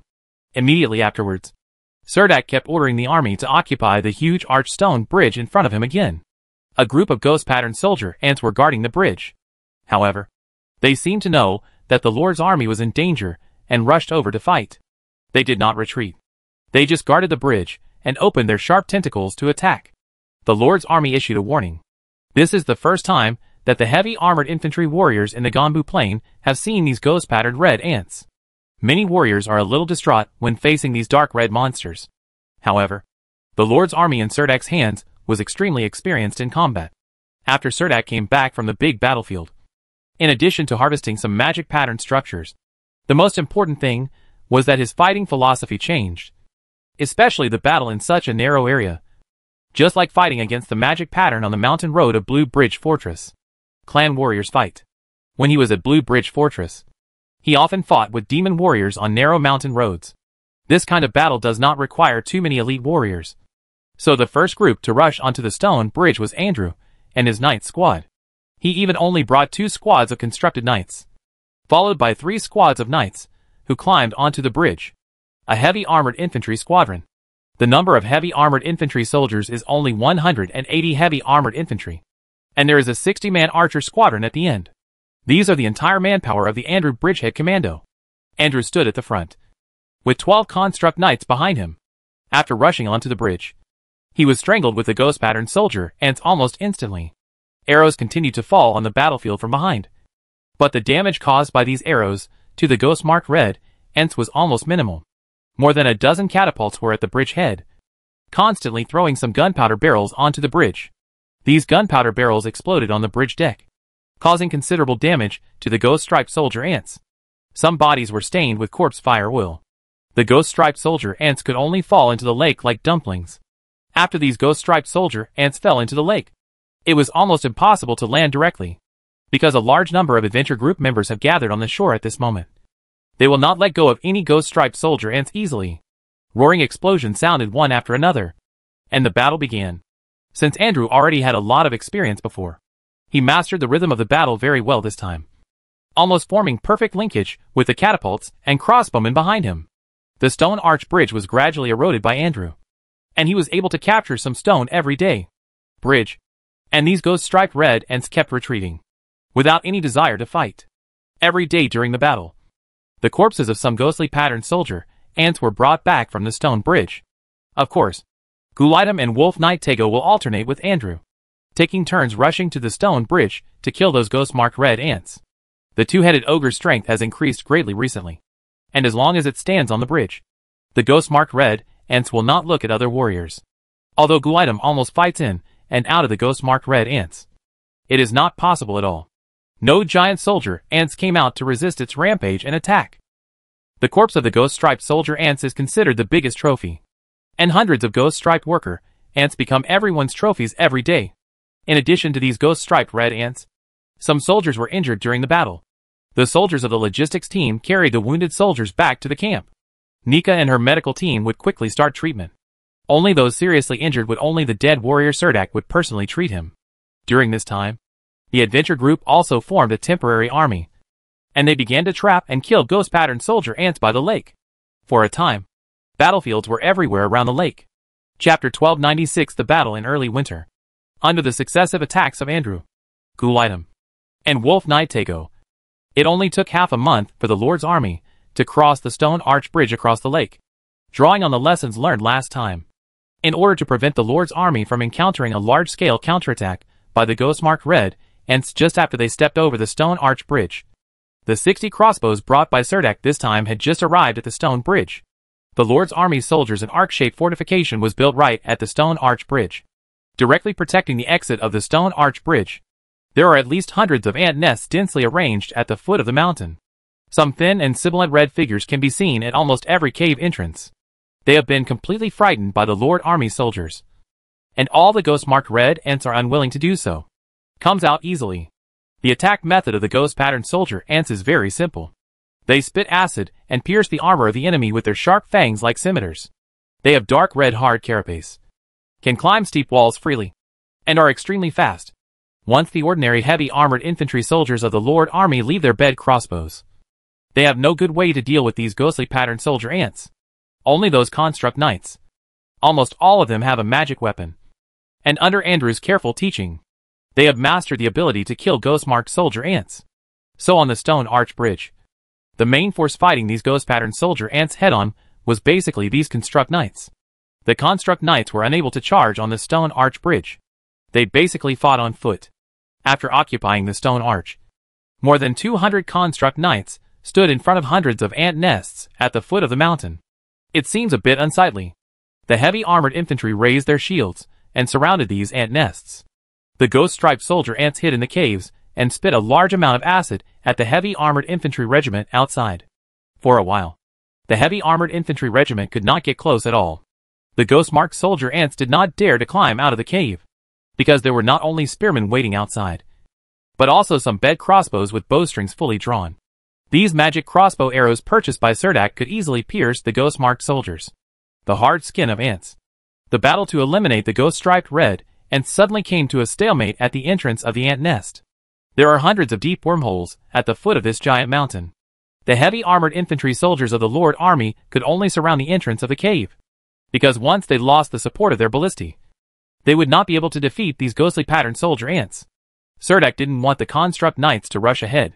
Who knew what dangers there might be in the anthill? These half-armed construct knights were his real wealth. Only Andrew relied on his being a second-level strongman and his body was wrapped in fighting spirit, and he rushed in impulsively. He tried several times, but failed to rush in. Because there are densely packed ghost pattern soldier ants inside. They occupy every inch of the cave. If Andrew wants to rush inside, he can only kill them all the way. There is a time when a second level strongman is exhausted. After his fighting spirit is exhausted, he could only quickly exit the ant nest. Although the Lord's army was unable to rush into the ant nest for a while. The ghost-marked red ants were also suppressed by the Lord's army, and did not dare to come out of the ant nest. This made Surdak much more calm when making combat deployments. In order to reduce the pressure on the front line of the Lord army, Surdak allowed the adventure group behind to pass through the stone arch bridge and come to the battlefield here to continue hunting ghost pattern soldier ants. Facts can prove that the power of the people is infinite. These adventurous groups came to the battlefield at the foot of the mountain, bringing with them a variety of hunting methods. Since winter has come, the weather here is getting colder and colder, and white frost has already formed on the rock walls in the early morning. Therefore, when these adventure groups are fighting, in order to fight against the ghost-striped soldier ants spitting acid, they will spray acid into the ant nests, splashing water. In such a cold weather, the ghost-striped soldier ants fighting at the entrance of the cave were all wet. The hypothermia made the movements of the ghost-striped soldier ants at the entrance of the cave become very stiff. In order to maintain a fighting distance, some members of the adventure group fixed hooks and sickles on the tips of 5-meter-long night spears. They worked together to extend the long hooks into the hole, looking for a few ghost-patterned soldier ants inside to escape from the cave. After pulling out, the members of the adventure group hiding outside the cave quickly dismembered the ghost-patterned soldier ants.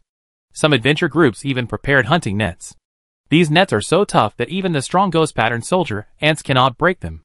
Every time they seal the hunting net at the entrance of the cave, they can always capture fresh ghost pattern soldier ants. In the rear camp, there were suddenly some temporary leather-making workshops and butcher shops that process red and meat. These first shops were basically processing red and meat sausages that were easy to store and carry. And they also purchased soldier ant tusks. The businessman, whose stomach is full of acid, transports some corpses of soldier ants back from the battlefield almost every day. The fresh meat of some ghost-striped red ants is roasted until golden brown, sprinkled with some herbs and salt, and then put on the stall for sale. Soldiers returning from the front line would occasionally eat two skewers of delicious red and meat in front of this street stall. Surdak ordered Andrew to lead a team of constructed knights to patrol the battlefield every day. They must deal with emergencies in a timely manner. For example, a ghost-striped male ant that is bigger than a war elephant suddenly emerges from a certain cave. Or some giant ghost-striped soldier ants are ready to rush out of the ant nest and launch a counterattack. Only second-level powerhouses like Andrew, Gulitum, and Wolf Knight Tego are capable of handling these emergencies. At the gate of the Lord's Army's frontline camp, there is a huge notice board. The notice board announces the names of the top 100 soldiers in the military camp, as well as the merit points they currently have. This merit ranking is almost every morning. Things change, and some people's rankings will rise quickly, while some warriors will be injured due to their bravery, only to appear briefly on the merit list and then quickly be pushed down the rankings by others. On the other side of the gate of the frontline camp, the exchange reward items shown on the merit exchange list almost made the members of the adventure group outside look at them. Especially the magic pattern structure at the top of the list attracted the attention of most people. Whenever this happens, the soldiers in the camp feel like they are on fire. Many people hope that the group leader can put them on the battle list a few more times. In the Lord's Army camp, every day's topic was almost inseparable from achievements. The reason why this place is called the Darkworm Valley does not refer to this huge mountain, but to the huge space inside the mountain. According to the information obtained by Surdak, if you want to enter the Darkworm Valley, you must pass through here. Wormhole. But currently, the ghost patterned soldier ants are blocking the entrance of the cave with their lives, and are fighting against the Lord's army almost every day. And no matter how many ghost marked soldier ants die, there will be more ghost marked soldier ants to replace them.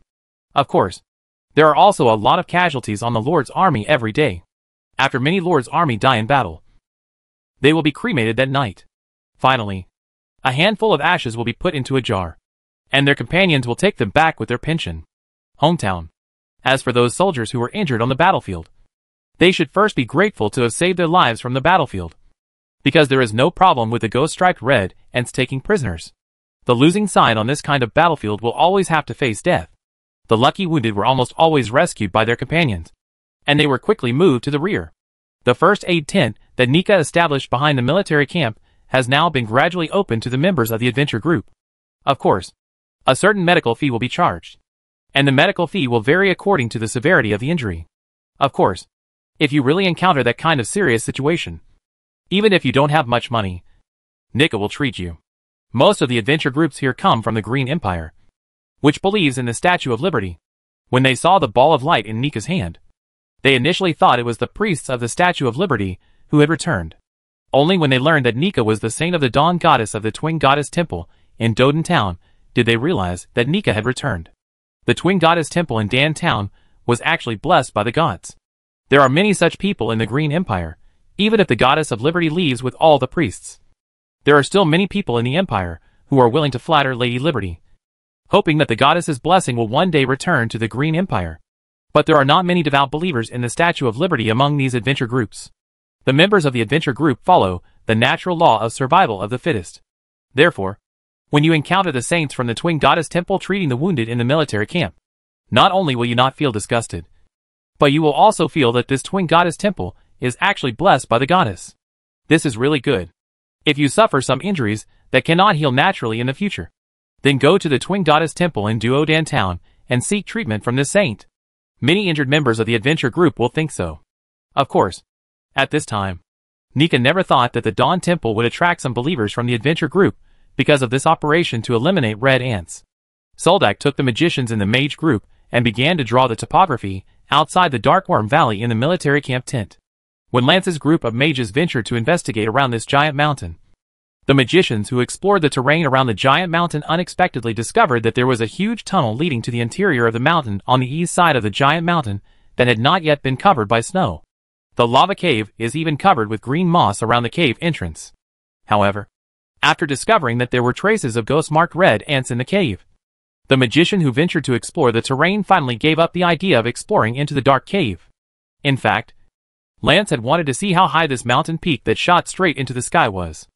Unfortunately, the magician flew high into the sky and failed to reach the top of the mountain after penetrating the clouds. Instead, he was almost swooped by pings from all around. Attack! Lance drew the outline of this huge mountain on parchment and explained this huge mountain to Surdak. It is much larger than the Oak Mountain where Halensa's city is located. There is even no comparison between the two. If we really want to describe how big this mountain is, I think it might be bigger than Bena City.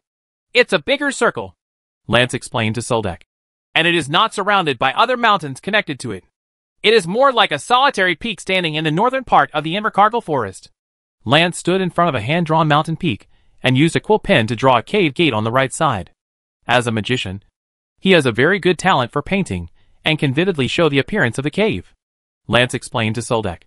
There are cliffs all around here. Only between the two stone bridges on the east side is a huge cave. And the entrance of the cave is very high. The entrance is 30 meters high and more than 10 meters wide. To reach the entrance of the cave, you have to at least walk from at the foot of the mountain. We climbed a steep mountain wall nearly 100 meters high, and we still don't know where it leads. Our magician investigator was attacked by a rock and was forced to retreat. Is there any other way to let the army enter the cave? Surdak asked seriously. Lance nodded. Used a quill to draw two curved arcs at the entrance of the cave. And then said, Yes, there are also stone arch bridges like giant tree roots on both sides of the entrance. But these two stone arch bridges are it's very long. If we want to reach the foot of the eastern mountain from our current camp, we have to walk at least 20 kilometers eastward. If we want to go up from the stone arch bridge, we need to continue walking 5 kilometers eastward until we reach the edge of the poisonous fog swamp. Surdak nodded. Lance then smiled and said to Surdak, In this area, it is really dangerous to ride on a magic harpoon to conduct reconnaissance.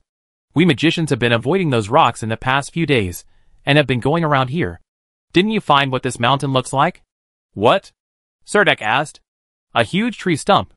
Lance replied, then pointed at the huge sketch on the parchment, and added to Surdak. A giant tree with roots countless times larger than ordinary tree roots. The stone arch bridges across the lake look like the exposed aerial roots of the tree. And even the texture on the cliffs looks like bark. After hearing what Lance said, Surdak also said, Actually, I have long suspected that this is a world tree that has been dead for a long time and has been completely petrified. In that case, the huge cave that your magicians explored is probably a giant tree cave. That cave can go straight to the heart of the mountain. A bold idea suddenly came to his mind, and he said to Lance, We won't get any advantage by entering the ant nest. We might as well explore the cave. Maybe this is the real entrance to the mountain. He tapped the map with his pen. Surdak felt it was necessary to take a look at this matter in person, in order to mobilize manpower to explore the cave with him. The frontal battlefield situation here must be stabilized. Surdak planned to take Gulidum, Gary Decker, and Selina with him to explore the cave. If in danger, Aphrodite can also run out to help by summoning a magic circle. Andrew, Wolf Knight Tego, and Samira will stay on the battlefield here. They are all second level experts who can exert their full strength on the frontal battlefield. With them here, even if the ghost marked red ants launch a massive counterattack, Andrew also has a way of holding on for a while. Worried that the ghost-marked red ants here would take the opportunity to counterattack. Surdak prepared some small gifts for them before leaving. Chapter 1297 Explosion Hula. The material manager uncovered a large piece of tarpaulin next to the catapult, revealing the black powder barrels arranged very neatly inside. Stored here are black powder barrels transported from Wall Village. Arranged like a wall. A group of heavily armed soldiers swarmed up, loaded these black powder barrels onto flatbed trucks, and pushed them to the battlefield ahead. Now the battle at the entrance of the ant nest is still going on in full swing. Every day there will be some casualties in the Lord Army. But due to proper handling, they are still within the controllable range. However, the hunting by the adventure group seems a bit messy. Some adventurers are often dragged into the ant nest by the red ants. And finally, not even a single bone could be recovered. A strong heavy armored infantry soldier carried a barrel of black powder and strode to the entrance of an ant nest in the core area. The heavy armored infantry soldiers lined up in a shield wall made room for him. And there were spearmen. A slide was set up on the shield wall that was tilted toward the entrance of the cave. The heavy armored infantry soldier placed the black powder barrel on his shoulder on the slide. When everything was ready, the soldier behind lit the fuse of the gunpowder, and the heavy armored soldier immediately let go. The round oak barrel rolled along the slide towards the entrance of the ant nest. Once the heavy black powder barrel started rolling at a speed, it would be difficult to stop even if there were rocks or something underneath.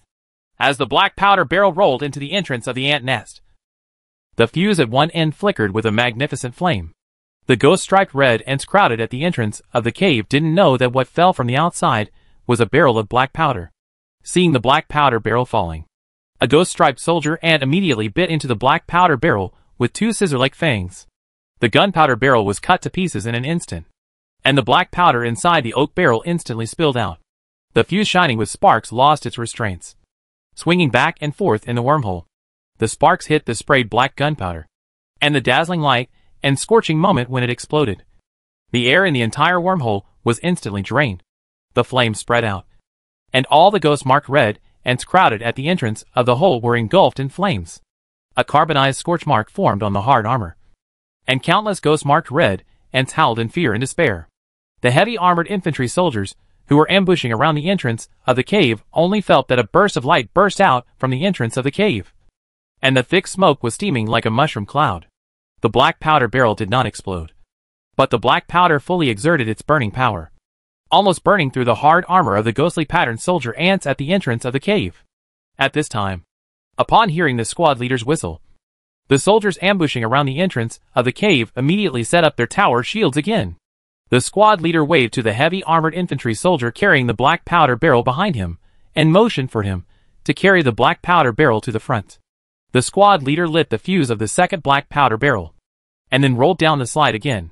In the wormhole, the ghost-striped soldier ants at the entrance of the cave, whose bodies were covered with burns and bruises, were scrambling to retreat into the cave without even noticing the falling black powder barrel. The entrance to this ant nest is a vertical shaft, about 10 meters deep, and then it is dug parallel to the mountain. It is surrounded by burnt ghost striped soldier ants. Ten seconds later, a muffled sound was heard deep in the wormhole, as a strong stream of smoke was ejected from the hole. The smoke was mixed with some broken limbs of ghost striped red ants, which were scattered around like raindrops. Some red ants with ghost stripes, disturbed by the explosion, crawled out of the hole, almost desperately. Their bodies were burning with flames. Some were missing some legs. And they walked crookedly. Although the heavy armored infantry soldiers waiting at the entrance of the cave were also affected by the huge earthquake. They saw the ghost striped red ants crawling like this when he came out. He used a sharp spear to stab the red ant from the mandible into its head. At the foot of the mountain, almost half of the ant nests were experiencing this scene. There were explosions and smoke everywhere, Countless ghost pattern soldier ants were killed and injured. This action of throwing a gunpowder barrel almost dumbfounded the adventure group, who was playing soy sauce on the outside. For a long time. From the simplest fireball spell to the fifth level magic meteorite. This kind of explosion damage has never been possible without magicians. They either throw out prepared magic scrolls, or simply chant spells to cast magic. Starting from the fireball. Techniques. Fireballs. Bursting flames. Firewalls. H, L flames, and volcanoes. Every time fire magicians break through a level, they can cast more powerful fire magic. Although many armies of the Grim Empire are equipped with fire scale bullets, The core of this firearm is also a simple magic scroll. The members of the adventure group have always thought that black powder barrels are like exploding flints and can only be used in big battles. But this time, they clearly opened their eyes. It turns out that black powder barrels can be used in this way. This thing is so destructive that most of the ghost pattern soldier and corpses brought back from the battlefield were burned to black. This part of the hard armor can no longer be used. I wonder if they can still be picked out from the broken limbs. How much fresh meat will be produced? Such a battle would cause too much damage on the battlefield. The heads of some ghost pattern soldier ants exploded. And the magic cores inside flew to no one knows where. Just as the ghost striped red ants were forced back into the depths of their caves by the explosion. Some cave entrances began to collapse amidst the explosion. Moreover, these heavy armored infantry soldiers seemed to be artificially controlling the number of cave entrance collapses. Not only did they retain some of the cave entrances used by the adventure group for hunting, but they also selected some wormholes with less deep shafts and slightly tilted angles to preserve them. These preserved cave entrances were prepared for the future general attack. The explosion lasted for a whole day. At dusk, a tank-like ghost striped male ant finally crawled out of the cave against the frequent explosions of black powder barrels. There were no agile ghost pattern soldier ants following them. Just as they emerged from the ground, their majestic bodies lifted up countless huge stone slabs. The ghost pattern male ants spurted out a large amount of acid rot from their mouths, immediately disturbing the heavy armored soldiers around them. The infantry soldiers fell on their backs, and some soldiers were even stained with acid. Andrew and Gary Decker saw the ghost striped male ants emerging and immediately rushed to support them. Samira, on the other hand, was sitting on the control panel of a bed crossbow, aiming the giant crossbow arrow at the ghost-marked male ant in the distance. And without hesitation, she pulled the trigger, and the crossbow arrow flew out at an extremely fast speed. Andrew held two axes and jumped high. At the moment when the giant axe struck down in the air, the axe blade streaked across the sky, triggering an arc of electricity to strike down. The electric arc and the battle axe hit the ghost-marked male ant's head at the same time. And the patterned hard armor was suddenly split open with a deep wound by the sharp axe. There are hundreds of wormhole exits on the stone arch bridge, except for some well-located holes that are suitable for fighting ghost-striped red ants. The other wormholes have all been blown up by barrels of black powder. Chapter 1298 Cave Before exploring the eastern cave, Surdak used black gunpowder to blow up nearly half of the entrance to the ant nest, which greatly slowed down the daily fighting intensity of the Lord's army. Although this wave of explosions caused a fierce counterattack by several ghost-marked male ants that were larger than the magic caravan. The battle quickly subsided under the joint efforts of Andrew, Samira, and Wolf Knight Tego. When the second-level experts faced these huge ghost-marked male ants, the battle was relatively easy. Moreover, these ghost-marked male ants were hunted for the first time this year. Before that, for as long as a year and a half, the ghost-striped male ants never leave the poisonous fog swamp when the body of the ghost-striped male ant was carried back from the battlefield by a four-wheeled truck. The merchants in the military merchant group were talking about these warcraft materials. Many merchants were running around for it. And some of the military merchant groups were preparing to join forces. No matter how high the cost, they will grab one. However, for these ghost-striped male ants, Surdak's price for selling them to the business group was not high, and only the business groups accompanying the army were eligible to trade. Although these ghost strike male ants are large in size, the hard armor on their bodies is too thick to be practical. The only valuable thing is the magic core in the skull of the ghost strike male ants, which has a high probability of obtaining high level the magic core of the magic crystal. The merchants wanted to purchase the ghost strike male ants. It was said that they wanted to make specimen statues and then transport them back to Bena City. It is said that the noble lords in Bena City like to collect such high-level Warcraft specimens. Many noble lords will be very interested in such a third-level peak Warcraft. If the body of the ghost-marked male ant is filled with anti-corrosion and moisture-proof materials, it will be hard to the surface of the armor is painted with waterproof varnish. Many wealthy nobles like to place such a high-end monster specimen in the vestibule as a sculpture. After taking out the most valuable magic core inside, Surdak will sell these ghost-marked male ants for three magic crystals each. It immediately aroused a heated discussion among other business groups in the camp and everyone began to think that becoming a business group accompanying the army was really a good thing. In addition to the Lord Army's daily harvest, the adventure group's daily harvest is also uninterrupted. There are also some adventure groups who are lucky enough to hunt giant ghost pattern soldier ants. This kind of monster itself is also very valuable. It is said that on the day of hunting, He was bought back by a local businessman in Belan for 20 magic crystals. Right next to the Lord's army camp. The military trading company set up a large number of outdoor tents. Just like a large free market. The 11-member adventure group has a record of killing 11 ghost pattern soldier ants in a single time. We are now recruiting a sharpshooter. The 8-person adventure group has the best record of hunting 5 ghost pattern soldier ants. Now we are recruiting two mid-level shield warriors with a level 1 or above. They need to have spare parts of the magic pattern structure and a magic shield, which can block the full blow of the ghost pattern soldier ants. Those with combat experience will be given priority. Temporary recruitment information like this was actually posted on the walls on both sides of the military camp. Every day, some new adventure groups arrive at the battlefield, seeing the lively scenes and the trucks carrying the loot. All members of the adventure groups who come here will be so excited that they can't sleep on the first wild night. There are also some adventure groups who, after seeing the exchange merit list on the notice board at the entrance of the military camp, came up with the idea that joining the Lord's army might not be a bad idea.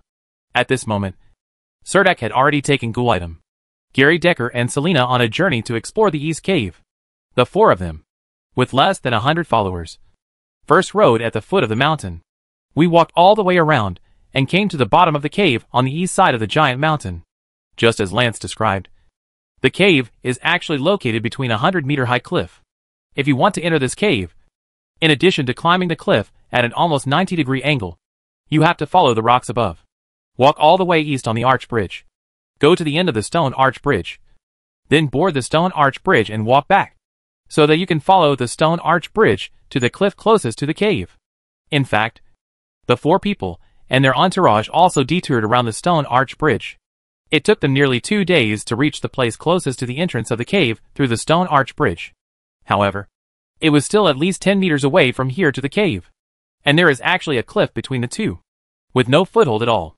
Looking at Selina riding a white camel and walking side by side with Surdak. Gary Decker felt secretly envious. She walked at the end of the team. With her magic shotgun hanging in the leather bag next to the saddle. She wore a bulky magic pattern structure and rode a unique magic pattern war horse here. Her long black hair was tied into a ponytail, making her look so heroic. The two-headed ogre Gulidum was walking at the front of the team. This guy had killed more than a dozen ghost pattern soldier ants along the way. His temper seemed to be much more irritable than before. Everyday Gulidum and the two of them, now Huar, kept talking. They seemed to be arguing about something. But they both had their own opinions. These days, no one has been able to convince the other. There is no road in front of the stone arch bridge at all. If you want to enter the cave, you have to climb the cliff. Although it is not too far. You only need to cross a distance of more than 10 meters. But it is also very dangerous. The stone arch bridge is like a tree root growing out of the stone wall. It has no connection with other places. And the closer it gets to the giant mountain, the stone arch bridge will become extremely thick. Standing on the edge of the stone arch bridge, the two-headed ogre Nailware said worriedly. Even if this cave leads to the heart of the mountain, how do you think the Lord's army can cross here? What's so difficult about this? After Gulidum finished speaking, he stepped back a few meters with his brain. After a run-up, the three-meter-tall ogre jumped forward steadily at the place closest to the cave. The strong body jumped up, crossed a distance of more than 10 meters, and stepped steadily into the cave. Gulidum turned back to look at the people on the stone bridge and waved vigorously to them.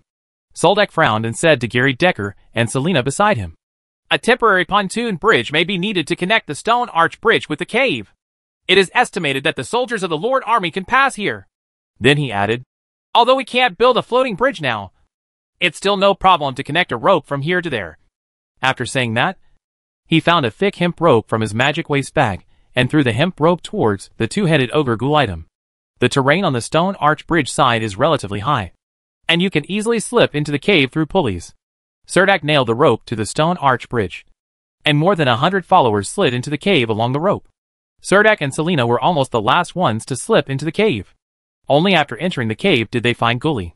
Temu has already hunted several ghost-striped soldier ants inside, has set up a bonfire, and is preparing to have lunch at the entrance of the cave. Chapter 1299 The Ruins of the World Tree The exploration team finally entered the cave. Surdak found that there were no stalactites at all in the cave. The internal space was much larger than the entrance.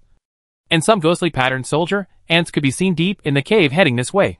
From a peak, they seemed to have been frightened by Gulidum and were hiding in those hidden stone crevices with no intention of coming out. The light in the depths of the cave seemed a little dim, with only amber luster condensed in some stone crevices. Surdak came closer to take a look. They were some beeswax stones mixed in the stone crevices. This kind of crystal was found in the magic market. It is a kind of magic gem. Surdak used his heavy sword to pry off a palm-sized piece, which looked a bit like amber or citron. There was a faint halo flowing in the gem. Surdak casually released some holy light, which penetrated into the gem very smoothly. Is this a magic gem? Selina followed him, and came over to take a look curiously. Surdak nodded and said, Although I don't know what kind of gem it is. It should be of high value, and have good magic conductivity and magic amplification.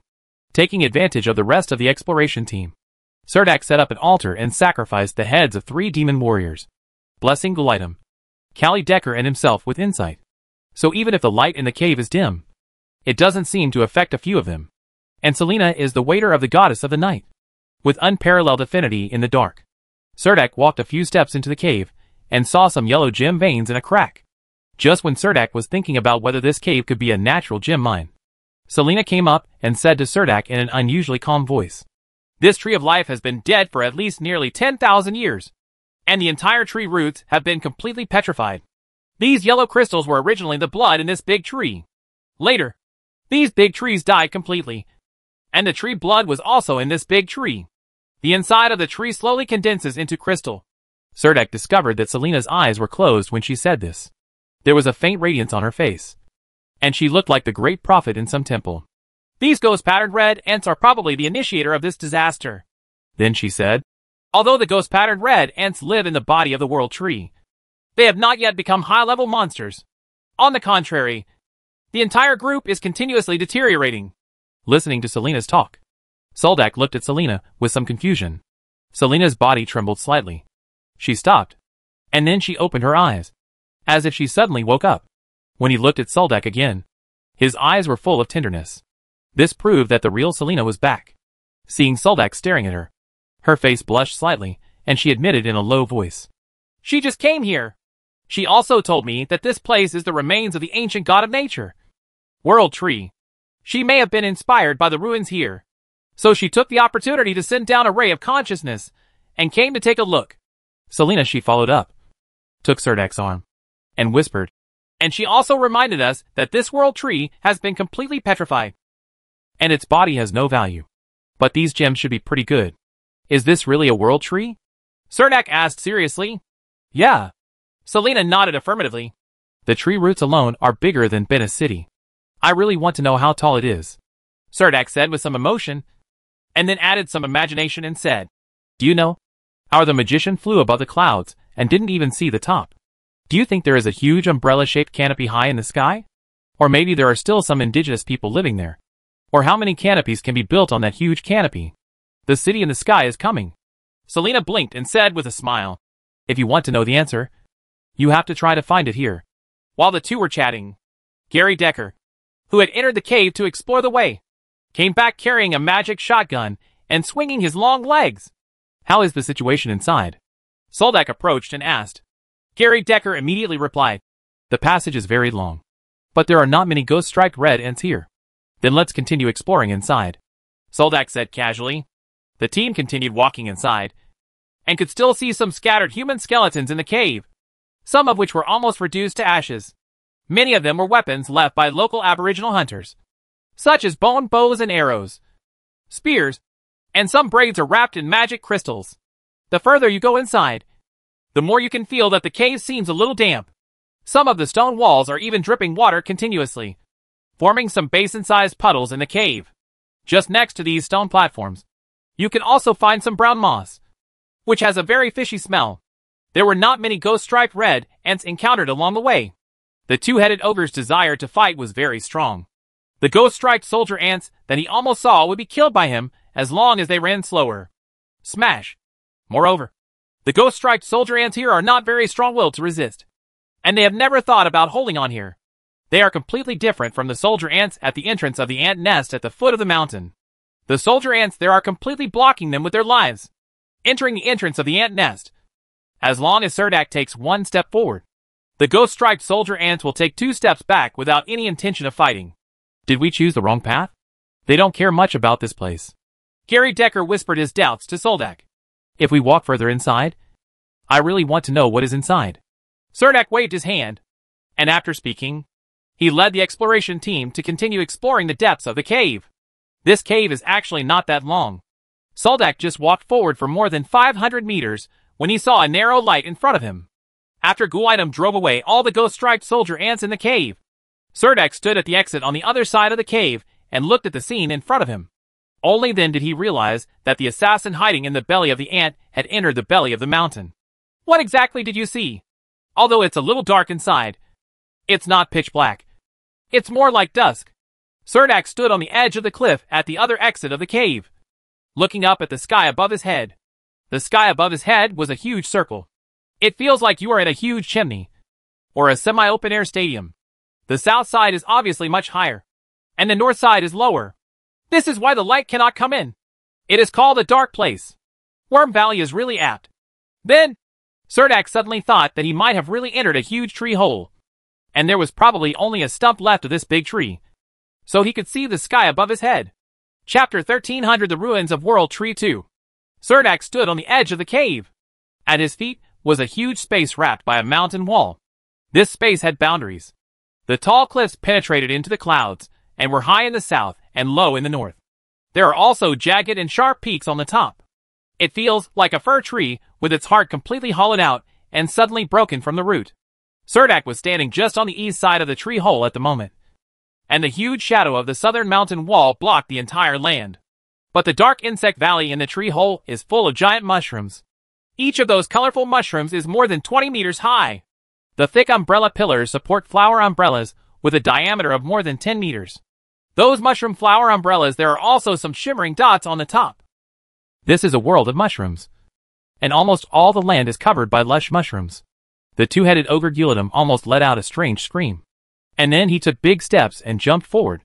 His thick body was surrounded by a set of black iron armor of a Nakma warrior. And he held a, a mace-toothed club. Its bulky body did not linger in the air, falling downwards like a black cannonball. And then stepped firmly on a giant mushroom. His waist was completely embedded in the back of the mushroom umbrella. And then he struggled to crawl out of the mushroom umbrella. He stood on the mushroom umbrella with a face of joy, raised his head, and made a peace gesture to Surdak.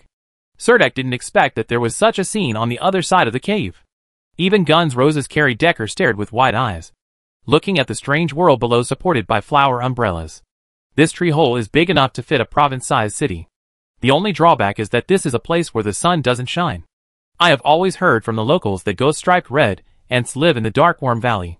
When Surdak first saw this huge mountain, he complained that the locals were really bad at naming it. These ghost striped red ants are obviously hiding in the belly of the giant mountain. Why is the mountain named Dark Worm Valley? Only now do I know that there is actually a cave inside here. And it is surrounded by stone walls nearly a thousand meters high. Gary Decker sighed. This is the place the Dark Worm Valley was originally talking about. It seems that you can't see many ghost-marked red ants.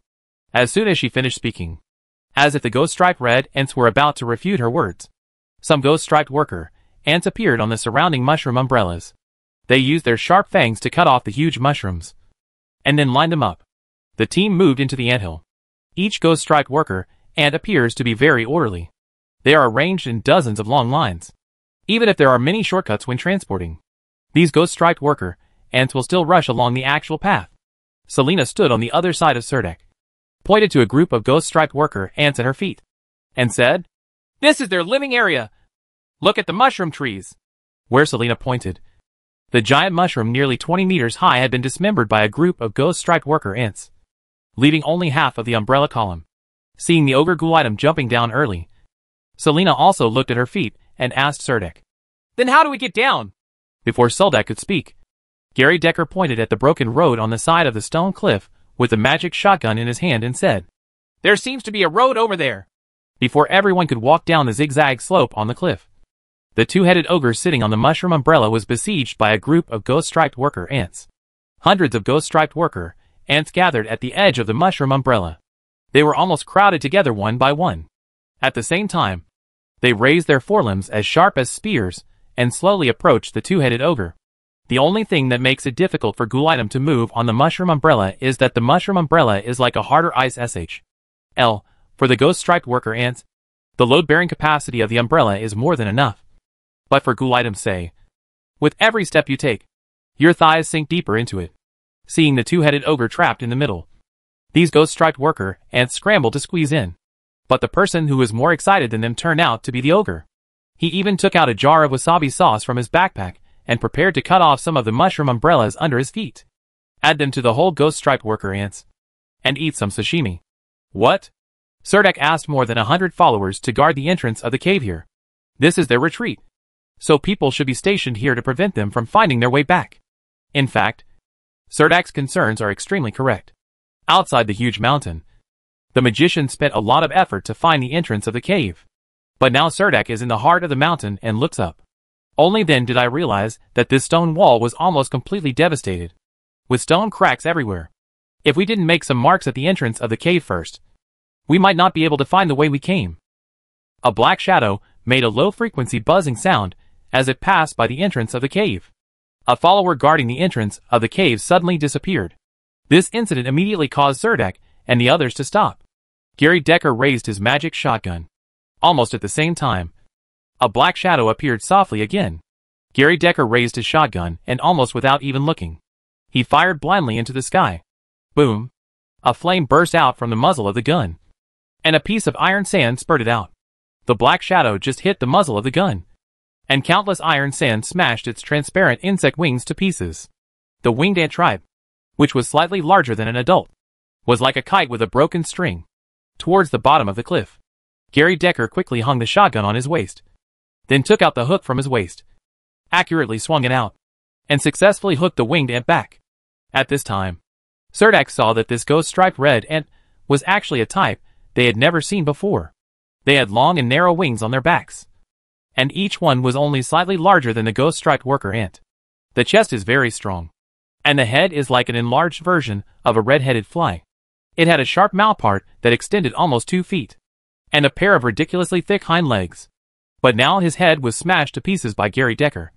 And one of the followers even picked out the dirty magic core from the sticky brain. It seemed that a ghost-striped flying ant had exposed its hiding place. And other flying ants also flew over from all directions, blocking Surdak and his party at the entrance of the cave. At this time, some ghost-pattern flying ants formed attack formations in the air. The followers behind Surdak also took out repeating crossbows and aimed at the ghost-pattern flying ants suspended in the air, with arrows flying everywhere. A thin whispering sound also sounded in the cave behind Surdak. When Surdak turned around, he realized that the cave was already crowded with ghost-striped soldier ants.